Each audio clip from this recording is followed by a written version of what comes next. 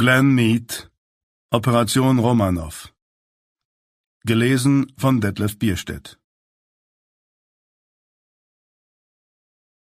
Meine liebe Maria, die Geschichte wird vielleicht niemals vollständig aufdecken, was wirklich mit allen Zarenkindern geschah. Die Antwort ist so geheim, dass ich vorerst nicht darüber sprechen kann. Lenin in einem Brief an seine Schwester im Juli 1918, nachdem sie ihn informiert hatte, sie habe Gerüchte über die Hinrichtung der Romanows gehört. Anna Anderson ist Teil eines viel größeren Geheimnisses, als sich irgendjemand von uns vorstellen kann, denn sie hat zahlreiche unbeantwortete Fragen hinterlassen. Eine besonders erschreckende Frage ist die, wie konnte es einer vermeintlich einfachen, geistig verwirrten Bäuerin gelingen, über sechs Jahrzehnte lang die hellsten und angesehensten Anwälte, Ermittler und Journalisten hinters Licht zu führen? In diesem Zusammenhang erinnere ich mich an eine Redensart, die ich einst gehört habe. Jede Geschichte hat drei Seiten. Es gibt Ihre Seite und es gibt meine Seite. Und dann gibt es noch die Wahrheit. Grigori Antonow über Anna Anderson die einst für die jüngste Zarentochter Anastasia gehalten wurde, welche die Hinrichtung der Zarenfamilie angeblich überlebt haben soll. Gegenwart Ich glaube, die größten Geheimnisse sind vergraben, und nur die Toten sprechen die Wahrheit. Und in gewisser Weise kam ich aus diesem Grunde an jenem Sommermorgen, als wir die Leichen fanden, in die Wälder. Es regnete in der Stadt der toten Seelen, und ein kräftiger Schauer überschwemmte die Straßen. Heute Morgen ist nicht viel Verkehr, dreißig Minuten, länger nicht, sagte mein russischer Fahrer, als unser Land Rover an imposanten Granitgebäuden vorbeifuhr, den Relikten einer längst vergangenen prächtigen Epoche. Ich lehnte mich zurück und sah das alte kaiserliche Jekaterinburg an mir vorüberziehen, die Stadt, die 1723 zu Ehren von Katharina der Großen ihren Namen erhalten hat, liegt im Schatten des Urals. Die Landschaft erinnert an die zerklüftete Schönheit Alaskas. Dichte Wälder mit Wölfen und Bären, tiefe Schluchten und schneebedeckte Gipfel. Ergiebige Erzminen, welche die größten Schätze der Welt, Platin und Smaragde, Gold und Diamanten bergen, durchziehen die felsigen Bergketten, die hinter der sibirischen Metropole aufragen. Als wir Jekaterinburg hinter uns ließen und an den mit Birkenwäldern bewachsenen Hängen vorbeifuhren, öffnete ich die Lederaktentasche auf meinem Schoß und nahm eine Akte heraus. Auf dem blauen Aktendeckel stand Vorläufiger Bericht über die Ergebnisse der archäologischen Grabungen in Jekaterinburg. Dr. Laura Pavlov, forensische Pathologin, verantwortliche Archäologin der Grabungen. Ich blätterte den dicken Papierstapel durch und sah mir noch einmal die Ergebnisse meiner Arbeit der letzten drei Monate an. Dies war meine erste Reise nach Jekaterinburg, und unser Team kam von überall her. Forensische Archäologen, Wissenschaftler und Studenten aus Amerika, England, Deutschland, Italien und natürlich aus unserem Gastland, Russland. Für unser gemeinsames Abenteuer erhielten wir nur eine kurze Einweisung, wir sollten in den Wäldern nach Beweisen für Massenhinrichtungen während des Roten Terrors zur Zeit der russischen Revolution graben. Viele Tausende kamen um, nicht zuletzt auch die Romanows, die russische Zarenfamilie, der Zar, die Zarin, ihre vier hübschen Töchter und ihr jüngster Sohn, der dreizehnjährige Alexei, von Kugeln und Bajonetten durchbohrt, ihre Schädel von Gewehrkolben zertrümmert und ihre Leichen mit Schwefelsäure übergossen. Das Ipatjew-Haus, in welchem die Familie gefangen gehalten worden war, wurde von den Stadtbewohnern das Haus der toten Seelen genannt. Aber die Roten richteten so viele Menschen hin, deren Leichen sie in Minenschächte warfen und in anonymen Gräbern in den weiten Wäldern außerhalb von Jekaterinburg vergruben, dass die Bewohner ihrer Stadt einen neuen Namen gaben, die Stadt der toten Seelen. Mit der Hitze und den vielen Mücken hatte ich nicht gerechnet. Im Winter gleicht Sibirien einem Gefrierschrank, doch in den kurzen, heißen Sommern herrschen oft hohe Temperaturen. In den Wäldern wimmelt es dann von Fliegen und Mücken. Die Hitze ist so stark, dass süßlich duftendes Harz von den Bäumen tropft und dessen wohlriechender Duft die Luft erfüllt. Als mein Fahrer auf einen schmalen, schlammigen Pfad einbog, auf dem schwere Lastwagen Spurrillen hinterlassen hatten, hörte es auf zu regnen. Unser Land Rover steuerte auf eine Ansammlung von Baracken und stabilen, begehbaren Zelten zu, die für die Dauer unserer Grabungen in der Mitte einer Lichtung in einem Birkenwald aufgebaut worden waren. Auf einem von Hand beschriebenen Holzschild stand auf Englisch und Russisch Grabungsstätte, Privatgrundstück, unbefugtes Betreten verboten. Es gab noch etwas, womit ich nicht gerechnet hatte, als wir an diesem Sommermorgen neben einem der Zelte anhielten. Ich war in diesen nach Harz duftenden Wald gekommen, um die Geister der Vergangenheit auszugraben. Doch absolut nichts hätte mich auf das ungeheure Geheimnis vorbereiten können, über das ich stolperte, als die gefrorene sibirische Erde ihre Toten preisgab. Denn mit den Toten kam die Wahrheit ans Licht. Und mit der Wahrheit entstanden die ersten Gerüchte der unglaublichsten Geschichte, die ich jemals gehört hatte. Ich stieg aus dem Wagen, schob die Plane zur Seite und betrat mein Zelt. Als ich an meinem Arbeitstisch Platz nahm, kam Roy Moran herein, der die Ausgrabungen vor Ort beaufsichtigte. Hallo, Baby. Wir nannten ihn Memphis Roy, und er nannte mich immer Baby. In Memphis nannte jeder jeden Baby. Die Tatsache, dass einer Frau die Leitung der Grabungen oblag, änderte nichts daran. Wenn ich ein Mann gewesen wäre, hätte Roy mich auch Baby genannt. Roy ist ein großer und knochiger, nüchterner Typ und einer der besten auf seinem Gebiet.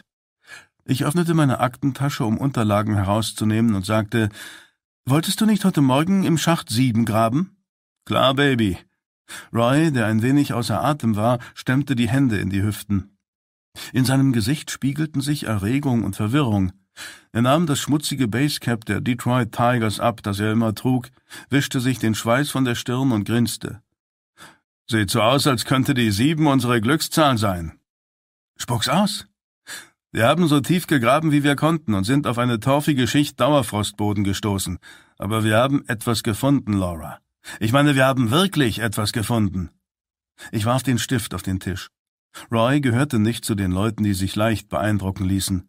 Doch in diesem Augenblick schien er unter Spannung zu stehen und vor Begeisterung überzusprudeln wie ein aufgeregter zwölfjähriger Junge. Nun sag schon, forderte ich ihn auf. Das musst du dir selbst ansehen, Baby. Ich folgte Roy durch den Wald. Er bahnte sich mit seinen muskulösen Beinen langsam einen Weg durch regennassen Farn und an alten, umgestürzten Bäumen vorbei. Der Schacht ist über zwanzig Meter tief, erklärte er mir unterwegs. Überall auf der Lichtung lagen Bergbaugeräte, Stützpfeiler und Material zum Ausbau der Schächte. Dazwischen standen zahlreiche Lastwagen und SUVs, Warum habe ich das Gefühl, dass du mir gleich etwas Interessantes erzählst? Du hast mir immer noch nicht gesagt, was du gefunden hast. Roy ging grinsend weiter. Seine Erregung wirkte ansteckend auf mich. Auf seiner Stirn schimmerten Schweißperlen und seine Augen strahlten. Es ist eine Frau, Baby. Wir glauben, dass da unten eine weitere Leiche liegen könnte, aber sie ist zu tief vergraben, um zu sehen, was es ist. Und wer weiß, vielleicht sind es sogar noch mehr. Als wir zwischen silbrig schimmernden Birken hindurchgingen und vor der Öffnung eines Minenschachtes stehen blieben, wurde ich nervös. Ich roch den intensiven, erdigen Geruch des braunen Torfes. Das Loch im Boden war einen knappen Quadratmeter groß und dicke Holzbalken sicherten die Seitenwände. Dieser Schacht gehörte zu einer Reihe von Schächten, die wir bei diesen Grabungen erforschten. Wir suchten nach Hinweisen auf weitere Fundstücke aus der Romanow-Zeit, als der größte Teil dieses Gebietes eine Hinrichtungsstätte gewesen war. In der Nacht des 16. 17. Juli 1918 verschwand in Jekaterinburg die Romanow-Familie, die damals reichste Adelsfamilie der Welt.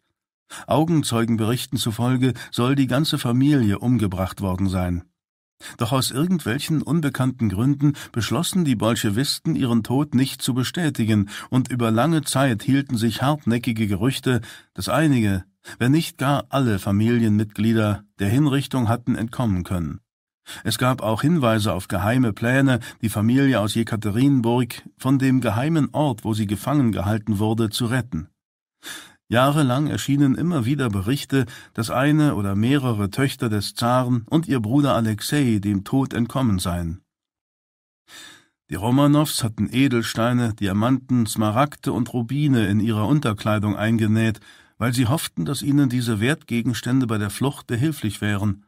Später hieß es, die Edelsteine hätten die Qualen während ihrer Hinrichtung verlängert und den Tod hinausgezögert. Solchen Geschichten hatte ich in meiner Kindheit gebannt gelauscht. Ob sie der Wahrheit entsprachen, spielte keine Rolle. Jedenfalls faszinierte mich, wie so viele andere auch, dieses Geheimnis, und ich wollte glauben, dass Anastasia und Alexei entkommen waren. Zahllose Gerüchte rankten sich um ihre Ermordung, und Jahrzehnte später wurden bei verschiedenen Grabungen außerhalb von Jekaterinburg die sterblichen Überreste von sechs Erwachsenen gefunden. Unter ihnen sollten sich angeblich der Zar, seine Gattin und zwei seiner Töchter befinden.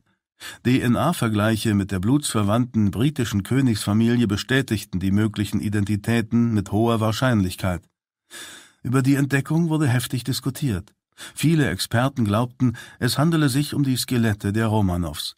Ebenso viele glaubten es nicht und führten als Beweis unter anderem die Tatsache an, dass zahllose Verwandte der Zarenfamilie in dieser Gegend hingerichtet worden waren und es ebenso gut deren Skelette sein konnten, die man gefunden hatte. Bei einer späteren Grabung in einem Wald westlich von Jekaterinburg wurden zwei weitere vollständige menschliche Skelette gefunden. DNA-Tests deuteten darauf hin, dass es die Knochen der beiden vermissten Kinder des Zaren, Anastasia und Alexei waren.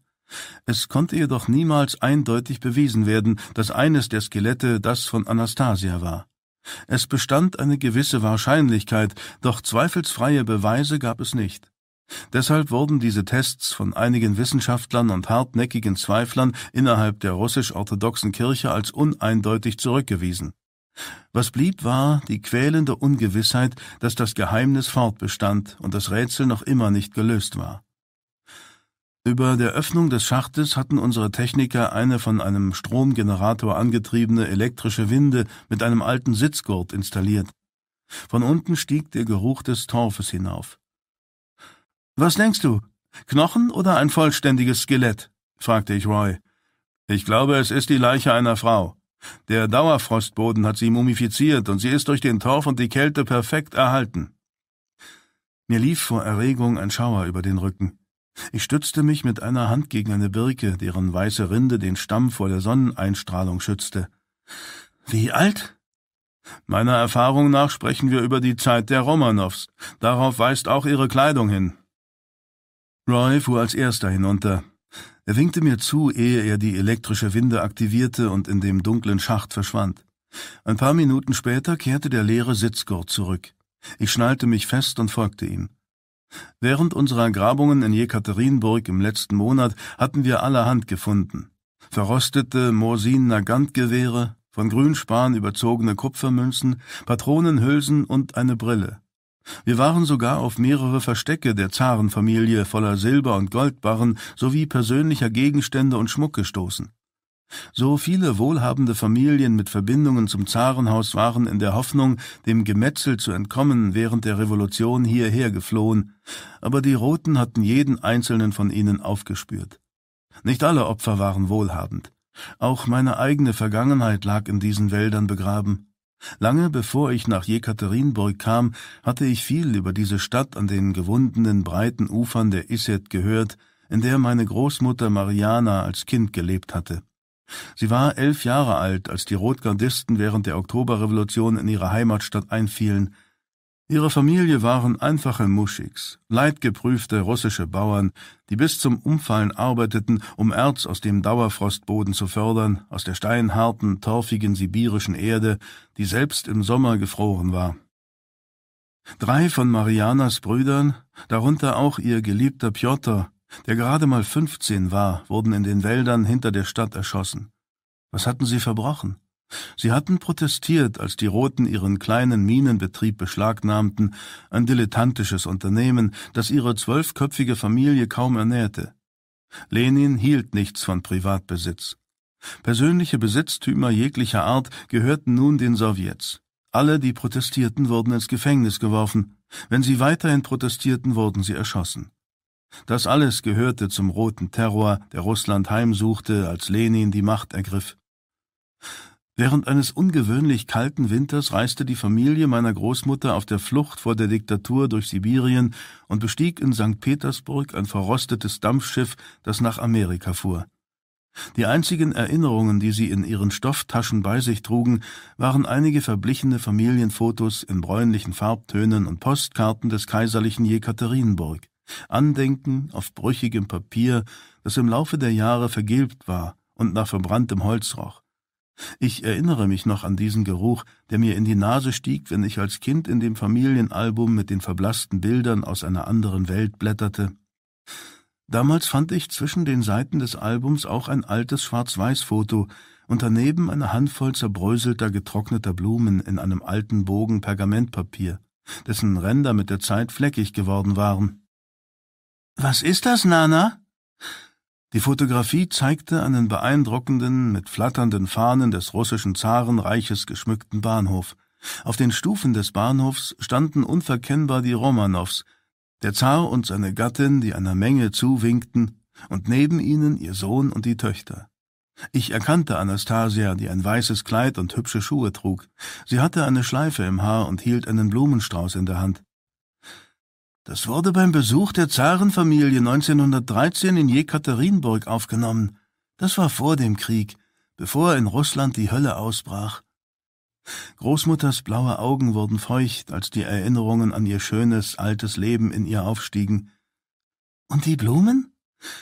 Niemand in der Zarenfamilie war so rebellisch und geistreich wie Anastasia. Als sie an jenem Tag auf den Stufen des Bahnhofs stand, warf sie den Kindern in der Menge den Blumenstrauß zu.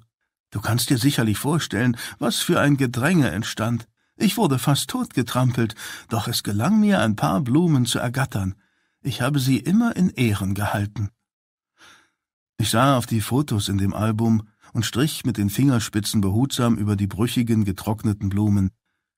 Du hast Anastasia gesehen? Sie hat tatsächlich diese Blumen geworfen? Es war ein freches Ding, dieses Mädchen, voller Leben, ein richtiger Wildfang. Wir Kinder haben sie geliebt. Die Familie nannte sie liebevoll Kubischka, das heißt Pummelchen.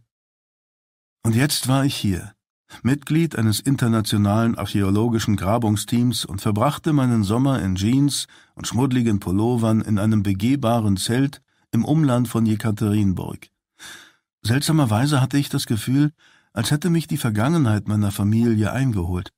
Die Neugier brachte mich fast um. Ich drückte auf den Schalter, worauf der Motor zu surren begann und die Winde mich in den Schacht hinunterfuhr. Zuerst umgab mich Dunkelheit, doch nach etwa sieben Metern wurden die Seiten des Schachtes von Glühbirnen erhellt. Mit meinen abgetragenen Reeboks trat ich immer wieder gegen die Wände, um nicht dagegen zu stoßen. Unter mir sah ich helles Licht und plötzlich ergriff Roy den Gurt. Okay, Baby, du bist unten. Ich ließ das Seil los und trat auf glitschige, verschlammte Holzplanken. Als ich mich abschnallte, begann ich zu frösteln. Es war furchtbar kalt. Ich rieb mir die Arme. Durch die quadratische Öffnung des Schachtes schien grelles, blaues Licht auf mich hinab. Ein Stück von mir entfernt erhellten starke Halogenlampen den Boden der Kammer, die sich mindestens vier Meter in alle Richtungen erstreckte und damit breiter war als der Schacht selbst.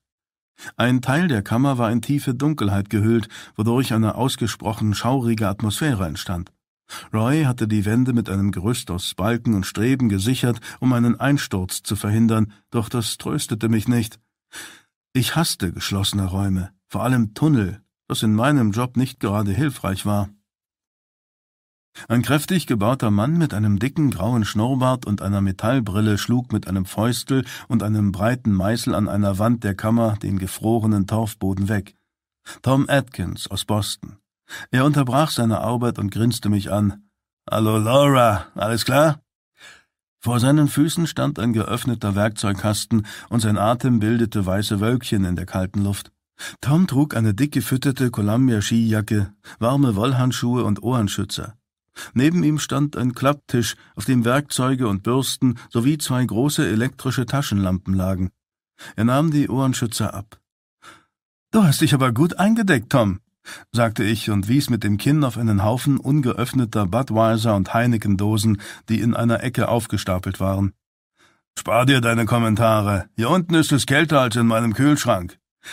Und was habt ihr beide gefunden, außer einem perfekten Ort, um euer Bier zu kühlen? Sieh dir erst mal das hier an. Tom zeigte auf ein Schüttelsieb aus Draht.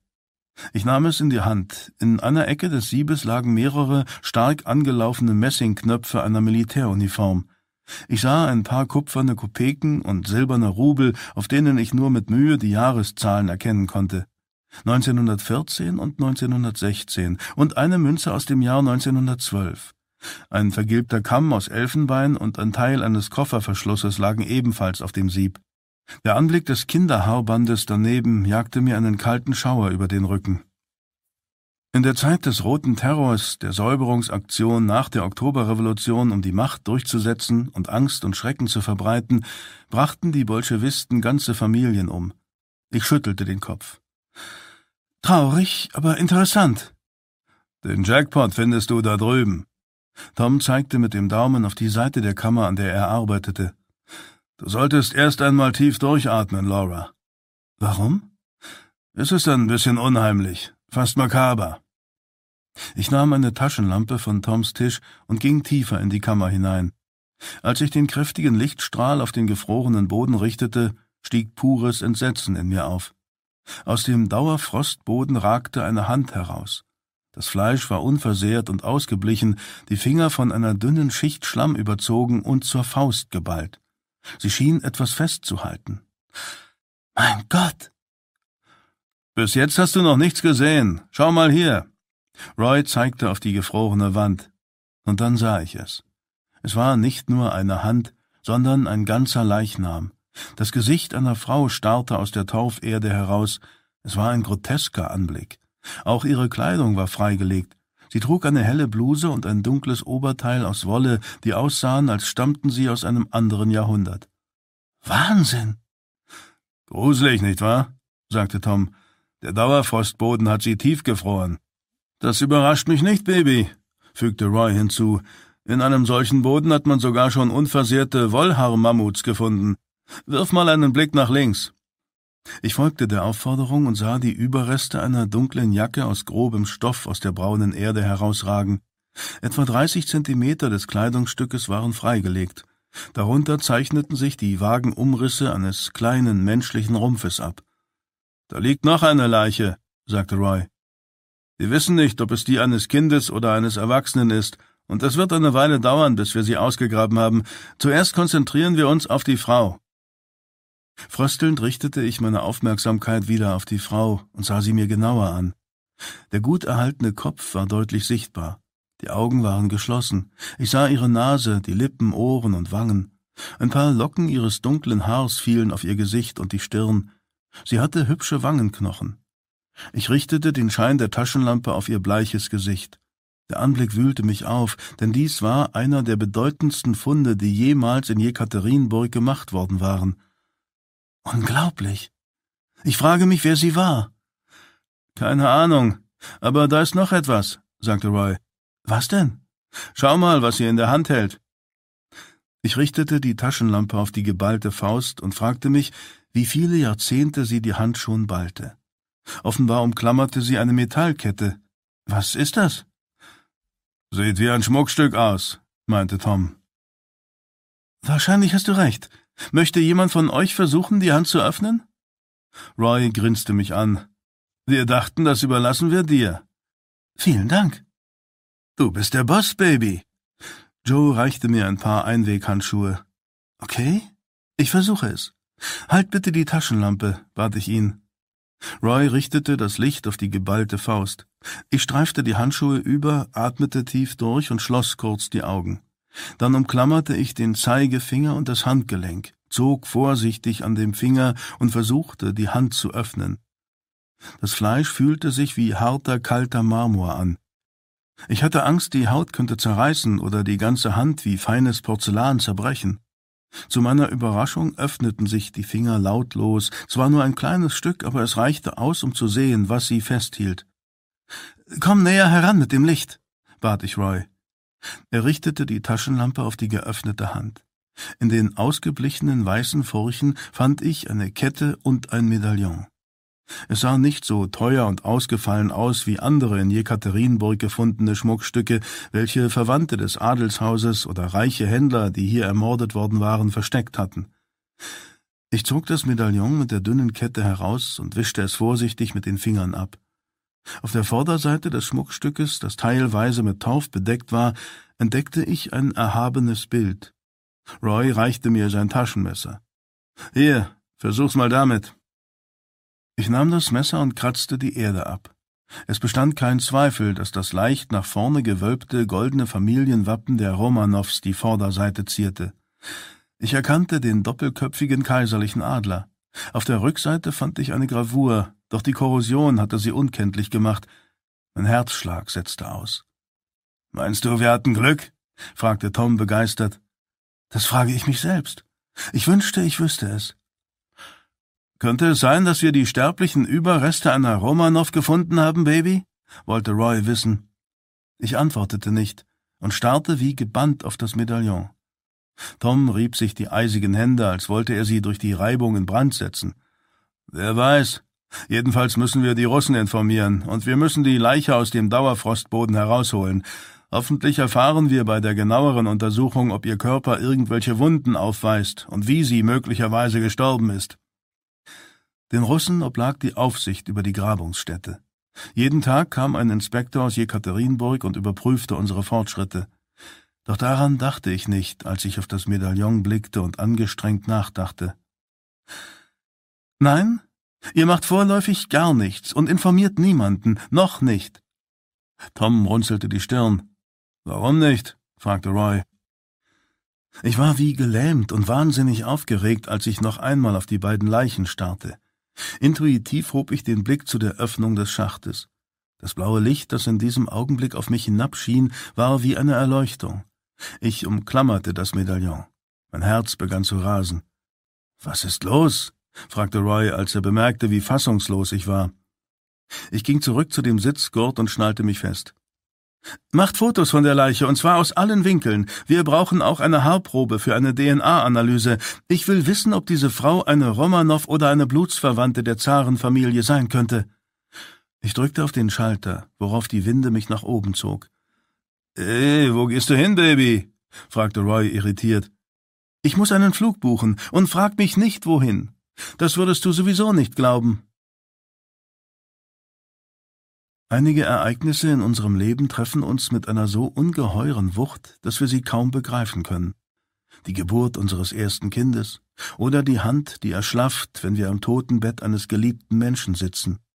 Das Mysterium, das diese Leichen im Dauerfrostboden umgab, lag auf derselben seismischen Skala. In den nächsten 18 Stunden konnte ich weder richtig denken noch schlafen. Aber ich erinnere mich noch gut daran, wie ich nach dem Flug von Jekaterinburg nach Moskau am nächsten Nachmittag am Londoner Heathrow Airport landete. Als erstes suchte ich die Telefonnummer heraus, die ich mir ins Notizbuch geschrieben hatte, und rief sie noch einmal vom Handy aus an. Es klingelte und klingelte. Ich versuchte es noch weitere sechsmal mit demselben Ergebnis. Eine Computerstimme forderte mich auf, eine Nachricht zu hinterlassen. Es war die sechste seit dem Morgen. Ich war erschöpft, doch ich hoffte, dass die Lösung des Geheimnisses um die Leichen in Jekaterinburg nur ein paar hundert Meilen entfernt lag. Der Flug nach Dublin über die irische See dauerte eine knappe Stunde.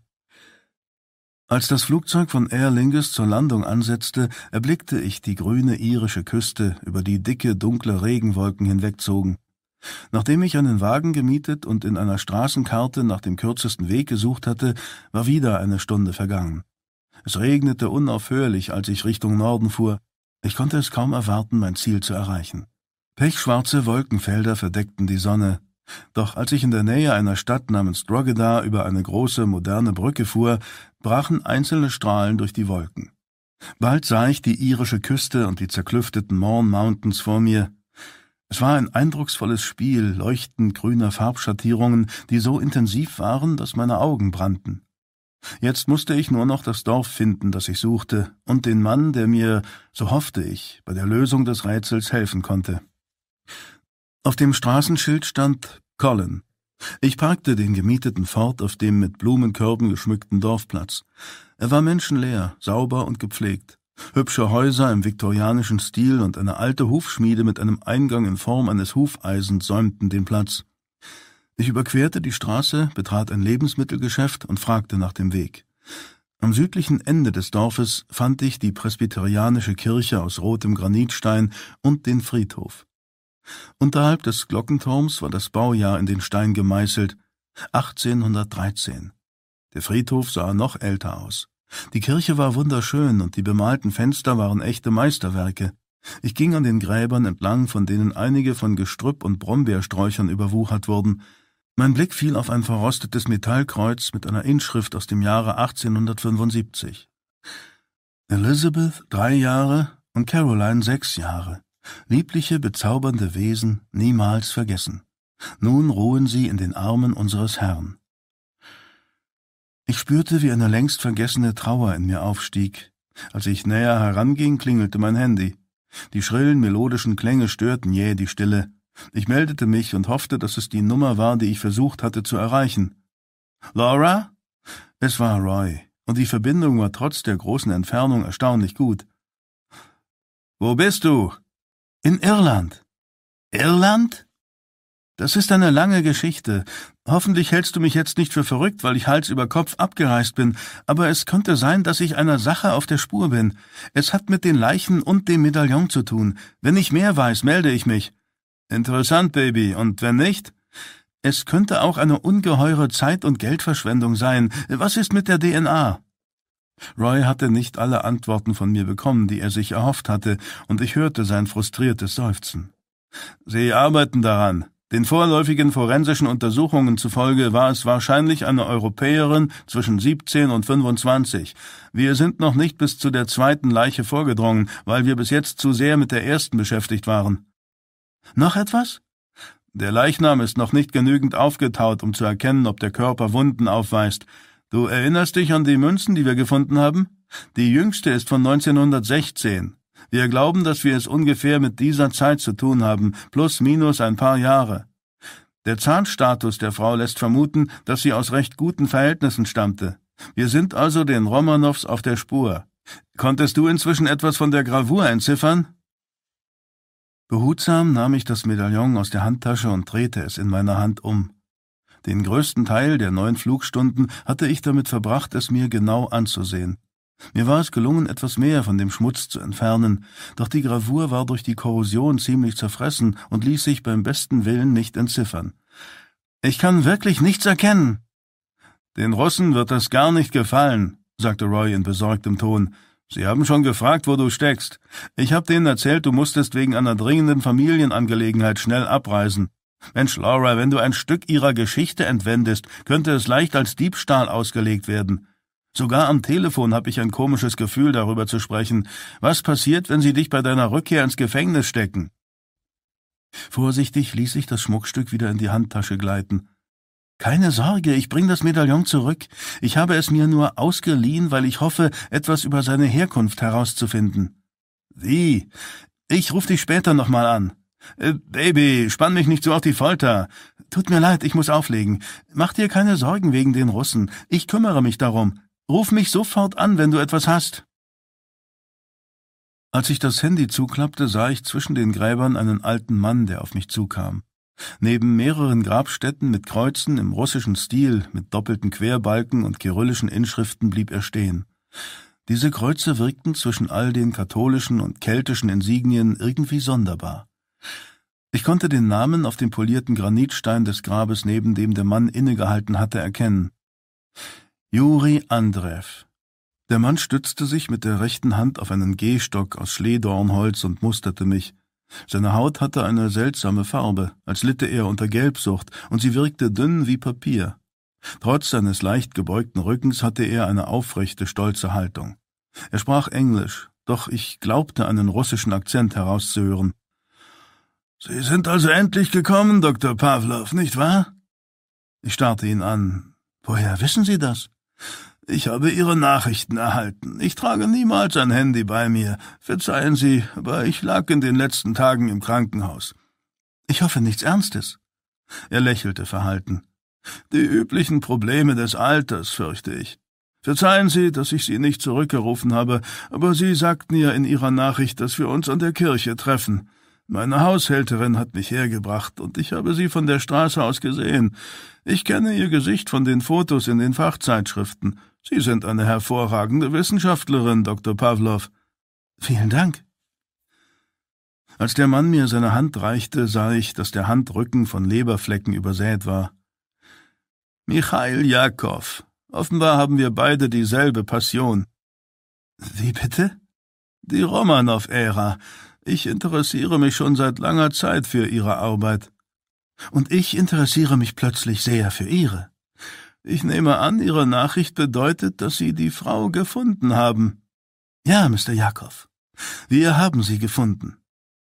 Genau so, wie Sie es vorhergesagt haben. Es könnten noch weitere Leichen dort liegen, vielleicht auch die eines Kindes, doch zum jetzigen Zeitpunkt kann ich Ihnen nicht mehr sagen. Jakob atmete tief ein, als würde diese Information ihm schwer zu schaffen machen. Ich hatte so sehr gehofft, dass Sie sie finden. Sie haben ein Gebiet untersucht, in dem sie meines Wissens nach vergraben worden sein könnte. Als ich dort stand und dem alten Mann zuhörte, wurde mir mit einem Mal die Absurdität der Situation bewusst. Ich hatte Michail Jakow nie zuvor getroffen, im Laufe eines Jahres aber regelmäßig Briefe von ihm erhalten. Eine Zeit lang hatte ich mich von ihm fast verfolgt gefühlt. Im Abstand einiger Monate hatte ich immer wieder Briefe von ihm erhalten, in denen er sich nach den Fortschritten der Grabungen in Jekaterinburg erkundigte, und jetzt stand ich hier und hoffte, dass er mein Rätsel lösen würde. Mr. Jakow, seitdem der Öffentlichkeit bekannt war, dass ich beabsichtigte, Grabungen in Jekaterinburg durchzuführen, haben Sie mir mindestens ein Dutzend Mal geschrieben. In fast jedem Brief wiesen Sie darauf hin, dass ich in dem Gebiet, in dem die Grabungen stattfanden, die sterblichen Überreste einer Frau finden könnte. Sie baten mich, Sie zu kontaktieren, falls ich tatsächlich auf Ihre Leiche stoßen sollte. Es schien Ihnen ungeheuer wichtig zu sein, auf diese bestimmte Frau hinzuweisen. Er nickte. Ja, das stimmt. Ich sah ihm in die Augen. Sie haben in Ihren Briefen erwähnt, dass ich möglicherweise ein Medaillon finden könnte. Über die Identität der Frau haben Sie aber nie gesprochen, und auf meine Fragen, warum Sie so großes Interesse an den Grabungen haben und davon überzeugt zu sein scheinen, dass ich die Leiche finde, bekam ich nie Antwort. Ehrlich gesagt habe ich Sie für einen Spinner gehalten. Das ist auch der Grund, warum ich mich seit Monaten nicht mehr bei Ihnen gemeldet habe. Bis gestern. Als wir die Leiche der Frau gestern gefunden haben, habe ich mich gefragt, ob Sie Hellseher sind. Würden Sie mir verraten, was das alles zu bedeuten hat? Jakob stieß einen Seufzer aus, der beinahe schmerzverzerrt klang, und seine Augen wurden feucht. Es ist eine sehr persönliche Geschichte, Dr. Pavlov. Mein Vater hat sie mir erzählt. Es betrifft auch meine Person. Sie haben mich in die Sache hineingezogen. Jakob schwieg und legte eine Hand auf den polierten Grabstein. Seine Finger strichen behutsam über den Granit, dann bekreuzigte er sich, als wollte er dem Toten darunter eine Ehre erweisen. Es ist ein seltsamer Ort für das Grab eines Russen hier zwischen den keltischen Kreuzen, sagte ich. Kennen Sie dieses Land? Ich habe mehrfach keltische Grabungsstätten besucht. Jakobs Blick wanderte über den Friedhof, als würde er jeden Stein und jede Grabstelle, jedes Gestrüpp und jeden Grashalm kennen. In dieser Gegend sind viele Russen begraben, und das ist nicht so verwunderlich, wie Sie vielleicht meinen, Dr. Pavlov. Und warum nicht? Zwischen Russland und Irland gab es einst einen regen Flachs- und Pferdehandel. Nach der Revolution kamen viele russische Familien hierher, einige auch in diese Gegend, das war ungefähr zu derselben Zeit, als die Iren mit der britischen Krone um ihre Unabhängigkeit kämpften. Sie kamen sozusagen vom Regen in die Traufe. Das wusste ich nicht. Gehörte dieser Mann auch dazu? Kannten Sie ihn? Jakob strich wieder über den glatten Granitstein. Ja, ich lernte ihn kurz vor seinem Tod kennen. Juri Andrew war ein ausgesprochen bemerkenswerter Mann, Dr. Pavlov. Ein Mann, der die Geschichte verändert hat. Und noch bemerkenswerter ist, dass ihn kaum jemand kennt. Sein Name ging in den Wirren der Zeit verloren. Ich verstehe nicht. Was hat all das mit der Leiche der Frau zu tun? Jakob sah mich an, und seine wässrigen Augen strahlten plötzlich vor Begeisterung. Es hat eine ganze Menge damit zu tun. Vielleicht passt es ganz gut, dass wir uns gerade hier auf dem Friedhof getroffen haben, Dr. Pavlov. Warum? Weil wir an diesem Ort von Geheimnissen und Lügen umgeben sind, die allesamt eine Erklärung verlangen. Briar Cottage stand in der Nähe des Meeres und war sicherlich weit über hundert Jahre alt. Auf einem schwarz lackierten, ovalen Metallschild an der Mauer neben der Eingangstür stand in verschnörkelter weißer Schrift der Name. Das Cottage hatte offenbar einmal zu einem großen Landsitz gehört. Auf dem Weg dorthin fuhren wir zwischen zwei alten Granitpfeilern hindurch, auf denen verwitterte, aus Kalkstein gemeißelte Löwen saßen.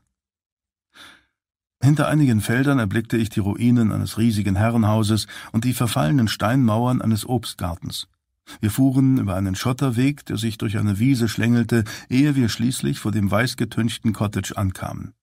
Dank der von Rosen umrankten, blau gestrichenen Tür sah es recht malerisch aus. Eine Hügelkette, von welcher der intensive Kokosduft von prächtigem gelbem Ginster herüberwehte, schützte das Häuschen vor dem Meereswind. Von hier aus hatte man einen herrlichen Blick auf die Landschaft. Es begann wieder zu regnen, als ich den gemieteten Ford auf dem Kiesweg vor dem Haus neben einer alten dunkelblauen Toyota-Limousine parkte. Ein paar Halme des ursprünglichen Strohdaches des Cottages ragten unter den schwarzen, nachträglich angebrachten Schieferplatten hervor, so dass es wie eine schlecht sitzende Perücke aussah. Ich folgte Jakob zur Tür. Er war überraschend rüstig, doch ich sah auch, dass das Alter seinen Tribut forderte. Die Hüften machten ihm zu schaffen. Die Eingangstür bestand aus einem unteren und einem oberen Teil, wie man es manchmal noch in einigen ländlichen Gebieten Europas findet. Jakob bereitete es ein wenig Mühe, die Tür aufzuschließen, doch als er es geschafft hatte, führte er mich hinein. Das Cottage war erstaunlich groß. Es hatte eine Balkendecke und bot einen atemberaubenden Blick auf die fernen Mourne Mountains, deren Hänge sich sanft zum Meer hinsenkten. In dem Haus herrschte ziemliche Unordnung. Alles war von Büchern, Zeitungen und Zeitschriften übersät. Ein paar lagen auch auf dem großen Couchtisch aus hellem Kalkstein, der vor dem Kamin stand und an manchen Stellen schwarze Rauchflecken aufwies. Holzregale, die mit Büchern und zahllosen, verschnürten Stapeln vergilbter Zeitungen gefüllt waren, säumten die Wände. Mehrere Spazierstöcke aus Bruyèreholz standen in einem Schirmständer in einer Ecke. Die beiden alten Lehnstühle neben dem Kamin hatten so verschlissene Lehnen, dass man durch den Stoff hindurchsehen konnte. Ein Weidenkorb neben dem Kamin war randvoll mit Holzscheiten und Torfstücken gefüllt. Es war ein wenig kalt in dem Raum, obwohl das Feuer noch brannte. Jakob schob den Kaminschirm zur Seite und stocherte mit einem Schürhaken in der Glut herum. Dann warf er ein paar Holzscheite und Torfstücke hinein, stellte den Schirm wieder vor den Kamin und rieb sich die Hände. Je älter man wird, desto mehr freut man sich über ein bisschen Wärme. Auch im Sommer kann es hier recht kühl sein. Wie lange wohnen Sie schon hier? Jakob füllte frisches Wasser in den Wasserkocher und schaltete ihn ein. Über drei Jahrzehnte. Zuerst zur Miete, und als der Eigentümer verstarb, habe ich das Cottage gekauft. Eine nette Dame hält das Haus in Ordnung und kocht für mich. Er lächelte verschmitzt. Wir haben eine Abmachung. Sie beseitigt die Unordnung, und sobald sie gegangen ist, bringe ich alles wieder durcheinander. Tee? Gern. Ich warf einen Blick auf die Schwarz-Weiß-Fotos an den Wänden. Nach der Kleidung der Männer und Frauen auf den Bildern zu urteilen, nahm ich an, dass sie etwa zur Zeit des Ersten Weltkrieges oder kurz danach entstanden waren. Auf einem der Fotos war ein Paar abgebildet. Ich trat näher heran, um es mir genauer anzusehen. Ein gut aussehender Mann mit slawischen Gesichtszügen und Leinenmütze auf dem Kopf neben einer hübschen jungen Frau mit langem, dunklem Haar. Sie sahen glücklich aus. Die Frau hatte sich bei dem Mann eingehakt, und sie standen in lässiger Haltung lächelnd und entspannt vor einem weiß getünchten Haus. Unten auf dem Foto stand mit blauer Tinte geschrieben Juri und Lydia, aufgenommen von Joe Boyle in Colin am 2. Juli 1918. Mein Blick wanderte zu dem weiß getünchten Haus hinter dem Paar. Das Foto konnte überall aufgenommen worden sein, doch dann sah ich die halbe Tür und daneben die Kletterrosen, und ich erkannte das Haus, in dem ich stand. Briar Cottage. Jakob schüttete drei Teelöffel getrocknete Teeblätter in eine Keramikkanne und goss das kochende Wasser darüber, woraufhin ein kräftiges Aroma den Raum erfüllte. Übrigens, das Cottage war einst Teil eines großen Landsitzes, das einem russischen Geschäftsmann und seiner Frau, einer bekannten Theaterschauspielerin aus St. Petersburg, gehörte. Sie hieß Hanna Wolkowa und war vor dem Ersten Weltkrieg sehr berühmt. Haben Sie mal von ihr gehört? Ich fürchte nein. Darf ich Sie fragen, woher Ihr Interesse an Russland stammt, Dr. Pawlow? Es scheint ziemlich stark und persönlich motiviert zu sein. Meine Großmutter stammte aus Jekaterinburg, und in meiner Kindheit habe ich viele Geschichten über ihre Heimat gehört. Jedes Mal, wenn sie sich Dr. Chivago anschaute, weinte sie hinterher eine Woche lang. Beantwortet das Ihre Frage? Jakob lächelte verhalten. Ich habe gehört, dass dieser Film einen starken Eindruck hinterlassen kann. Es scheint fast, als hätten die Russen eine harte Schale, dabei sind es ausgesprochen gefühlvolle Menschen. Sie hat immer gesagt, Lenins Revolution sei ein Kampf für die Seele Russlands gewesen, eine Schlacht zwischen Gut und Böse, zwischen Gott und dem Teufel, und eine Zeit lang habe es so ausgesehen, als ob der Teufel gewinnen würde. Jakob strich sich nachdenklich über die Wange. Vielleicht hatte sie recht. Es war jedenfalls ein entsetzlich brutaler Kampf. Die zahlreichen Andenken an Russland in dem Raum weckten meine Erinnerung an die Heimat meiner Großmutter. Auf einem Bücherregal entdeckte ich eine lackierte Matroschka. Ein polierter, vernickelter Samovar stand in einer Ecke und vergoldete religiöse Ikonen hingen an den Wänden. Sogar die Bücher in den Regalen erzählten Geschichten. Das Ende des imperialen Russlands von Waldron, der Hof des letzten Zaren von King, Lenins Leben von Fischer, zwischen all diesen Werken entdeckte ich unzählige Bücher über die Romanows und genauso viele über Anna Anderson, die mysteriöse Frau, von der einige behaupteten, sie sei Anastasia, die jüngste Tochter des Zaren gewesen. Was hat Sie nach Irland geführt, Mr. Jakow? Es gibt viele Gründe, und sie sind alle persönlicher Natur. Vor vielen, vielen Jahren kam ich als Gastdozent ans Trinity College und kehrte nie wieder nach Russland zurück. Aber das ist eine andere Geschichte. Er zeigte auf die Regale. Ich bin glücklich mit meinen Büchern und meinen Unterlagen. Es ist ein ruhiges, aber erfülltes Leben. Darf ich? fragte ich mit Blick auf die Bibliothek. Gerne. Eines der Bücher trug den Titel Die verlorene Welt von Nikolaus und Alexandra. Ich nahm es heraus und blätterte darin. Es enthielt Bilder des Russlands, das meine Großeltern gekannt hatten, und Schwarz-Weiß-Fotografien der Zarenfamilie, ihrer vier hübschen Töchter und ihres gut aussehenden jungen Sohnes. Anschließend griff ich nach einem der zahlreichen Bücher über Anna Anderson. Sie scheinen sich für Anna Anderson zu interessieren, Mr. Jakow. Sie kennen ihre Geschichte sicherlich? Natürlich. Sie war eine psychisch labile Frau. Als sie 1920 aus einem Kanal in Berlin gezogen und in eine psychiatrische Klinik eingewiesen wurde, hatte sie keine Papiere bei sich, durch die sie sich identifizieren konnte. Sie weigerte sich zu sagen, wer sie war. Doch sie schien so detaillierte Kenntnisse über die russische Zarenfamilie zu besitzen, dass ihre Unterstützer immer behaupteten, sie sei tatsächlich die Zarentochter Anastasia, die das Massaker an den Romanows überlebt hat. Ich blätterte in dem Buch. Ihre Geschichte hat Stoff für Filme, ein Broadway-Musical und zahllose Bücher geliefert, nicht wahr? Jakob nickte und steckte die Daumen in die Taschen seiner Weste. Ja, das ist richtig. Sie war eine geheimnisvolle, faszinierende Frau, deren Existenz mehr Fragen aufwarf als beantwortete. Manche behaupten, dass sich das bis heute nicht geändert hat. Sie war gewiss eine rätselhafte Persönlichkeit, das muss man schon sagen. Ich stellte das Buch zurück ins Regal und entdeckte einen alten Gedichtband von Yeats mit einem braunen, abgestoßenen Ledereinband. Ich nahm das Buch, das, wie mir die erste Seite verriet, 1917 veröffentlicht worden war, in die Hand. Ich schlug die mit einem langen braunen Seidenbändchen markierte abgegriffene Seite auf und las ein paar Zeilen. Wenn du alt und grau und müde bist, und am Kamin sitzt und ruhst, nimm dieses Buch, lies ein paar Zeilen und träume von dem sanften Blick, den deine Augen hatten, und von ihren tiefen Schatten.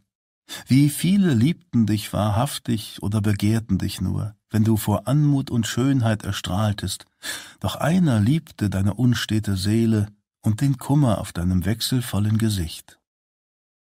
Mögen Sie Yates? fragte Jakob. Ich sah vom Buch auf. Dieses Gedicht gefällt mir, aber ich weiß nicht, was es bedeutet. Es hat die Bedeutung, die Sie ihm geben. Yates schreibt immer über Liebe und Verlust, Erinnerungen und Sehnsucht. Die Russen und die Iren verbinden ihr Hang zur Melancholie und die Liebe zur Poesie. Ich klappte das Buch zu und stellte es zurück ins Regal. Haben Sie Familie, Mr. Jakow? Nein, es gibt nur mich. Meine Frau und ich hatten nicht das Glück, Kinder zu bekommen. Sie haben noch immer Ihren russischen Akzent. Ich habe die meiste Zeit meines Lebens in Russland gelebt. Nehmen Sie doch bitte Platz, Dr. Pavlov.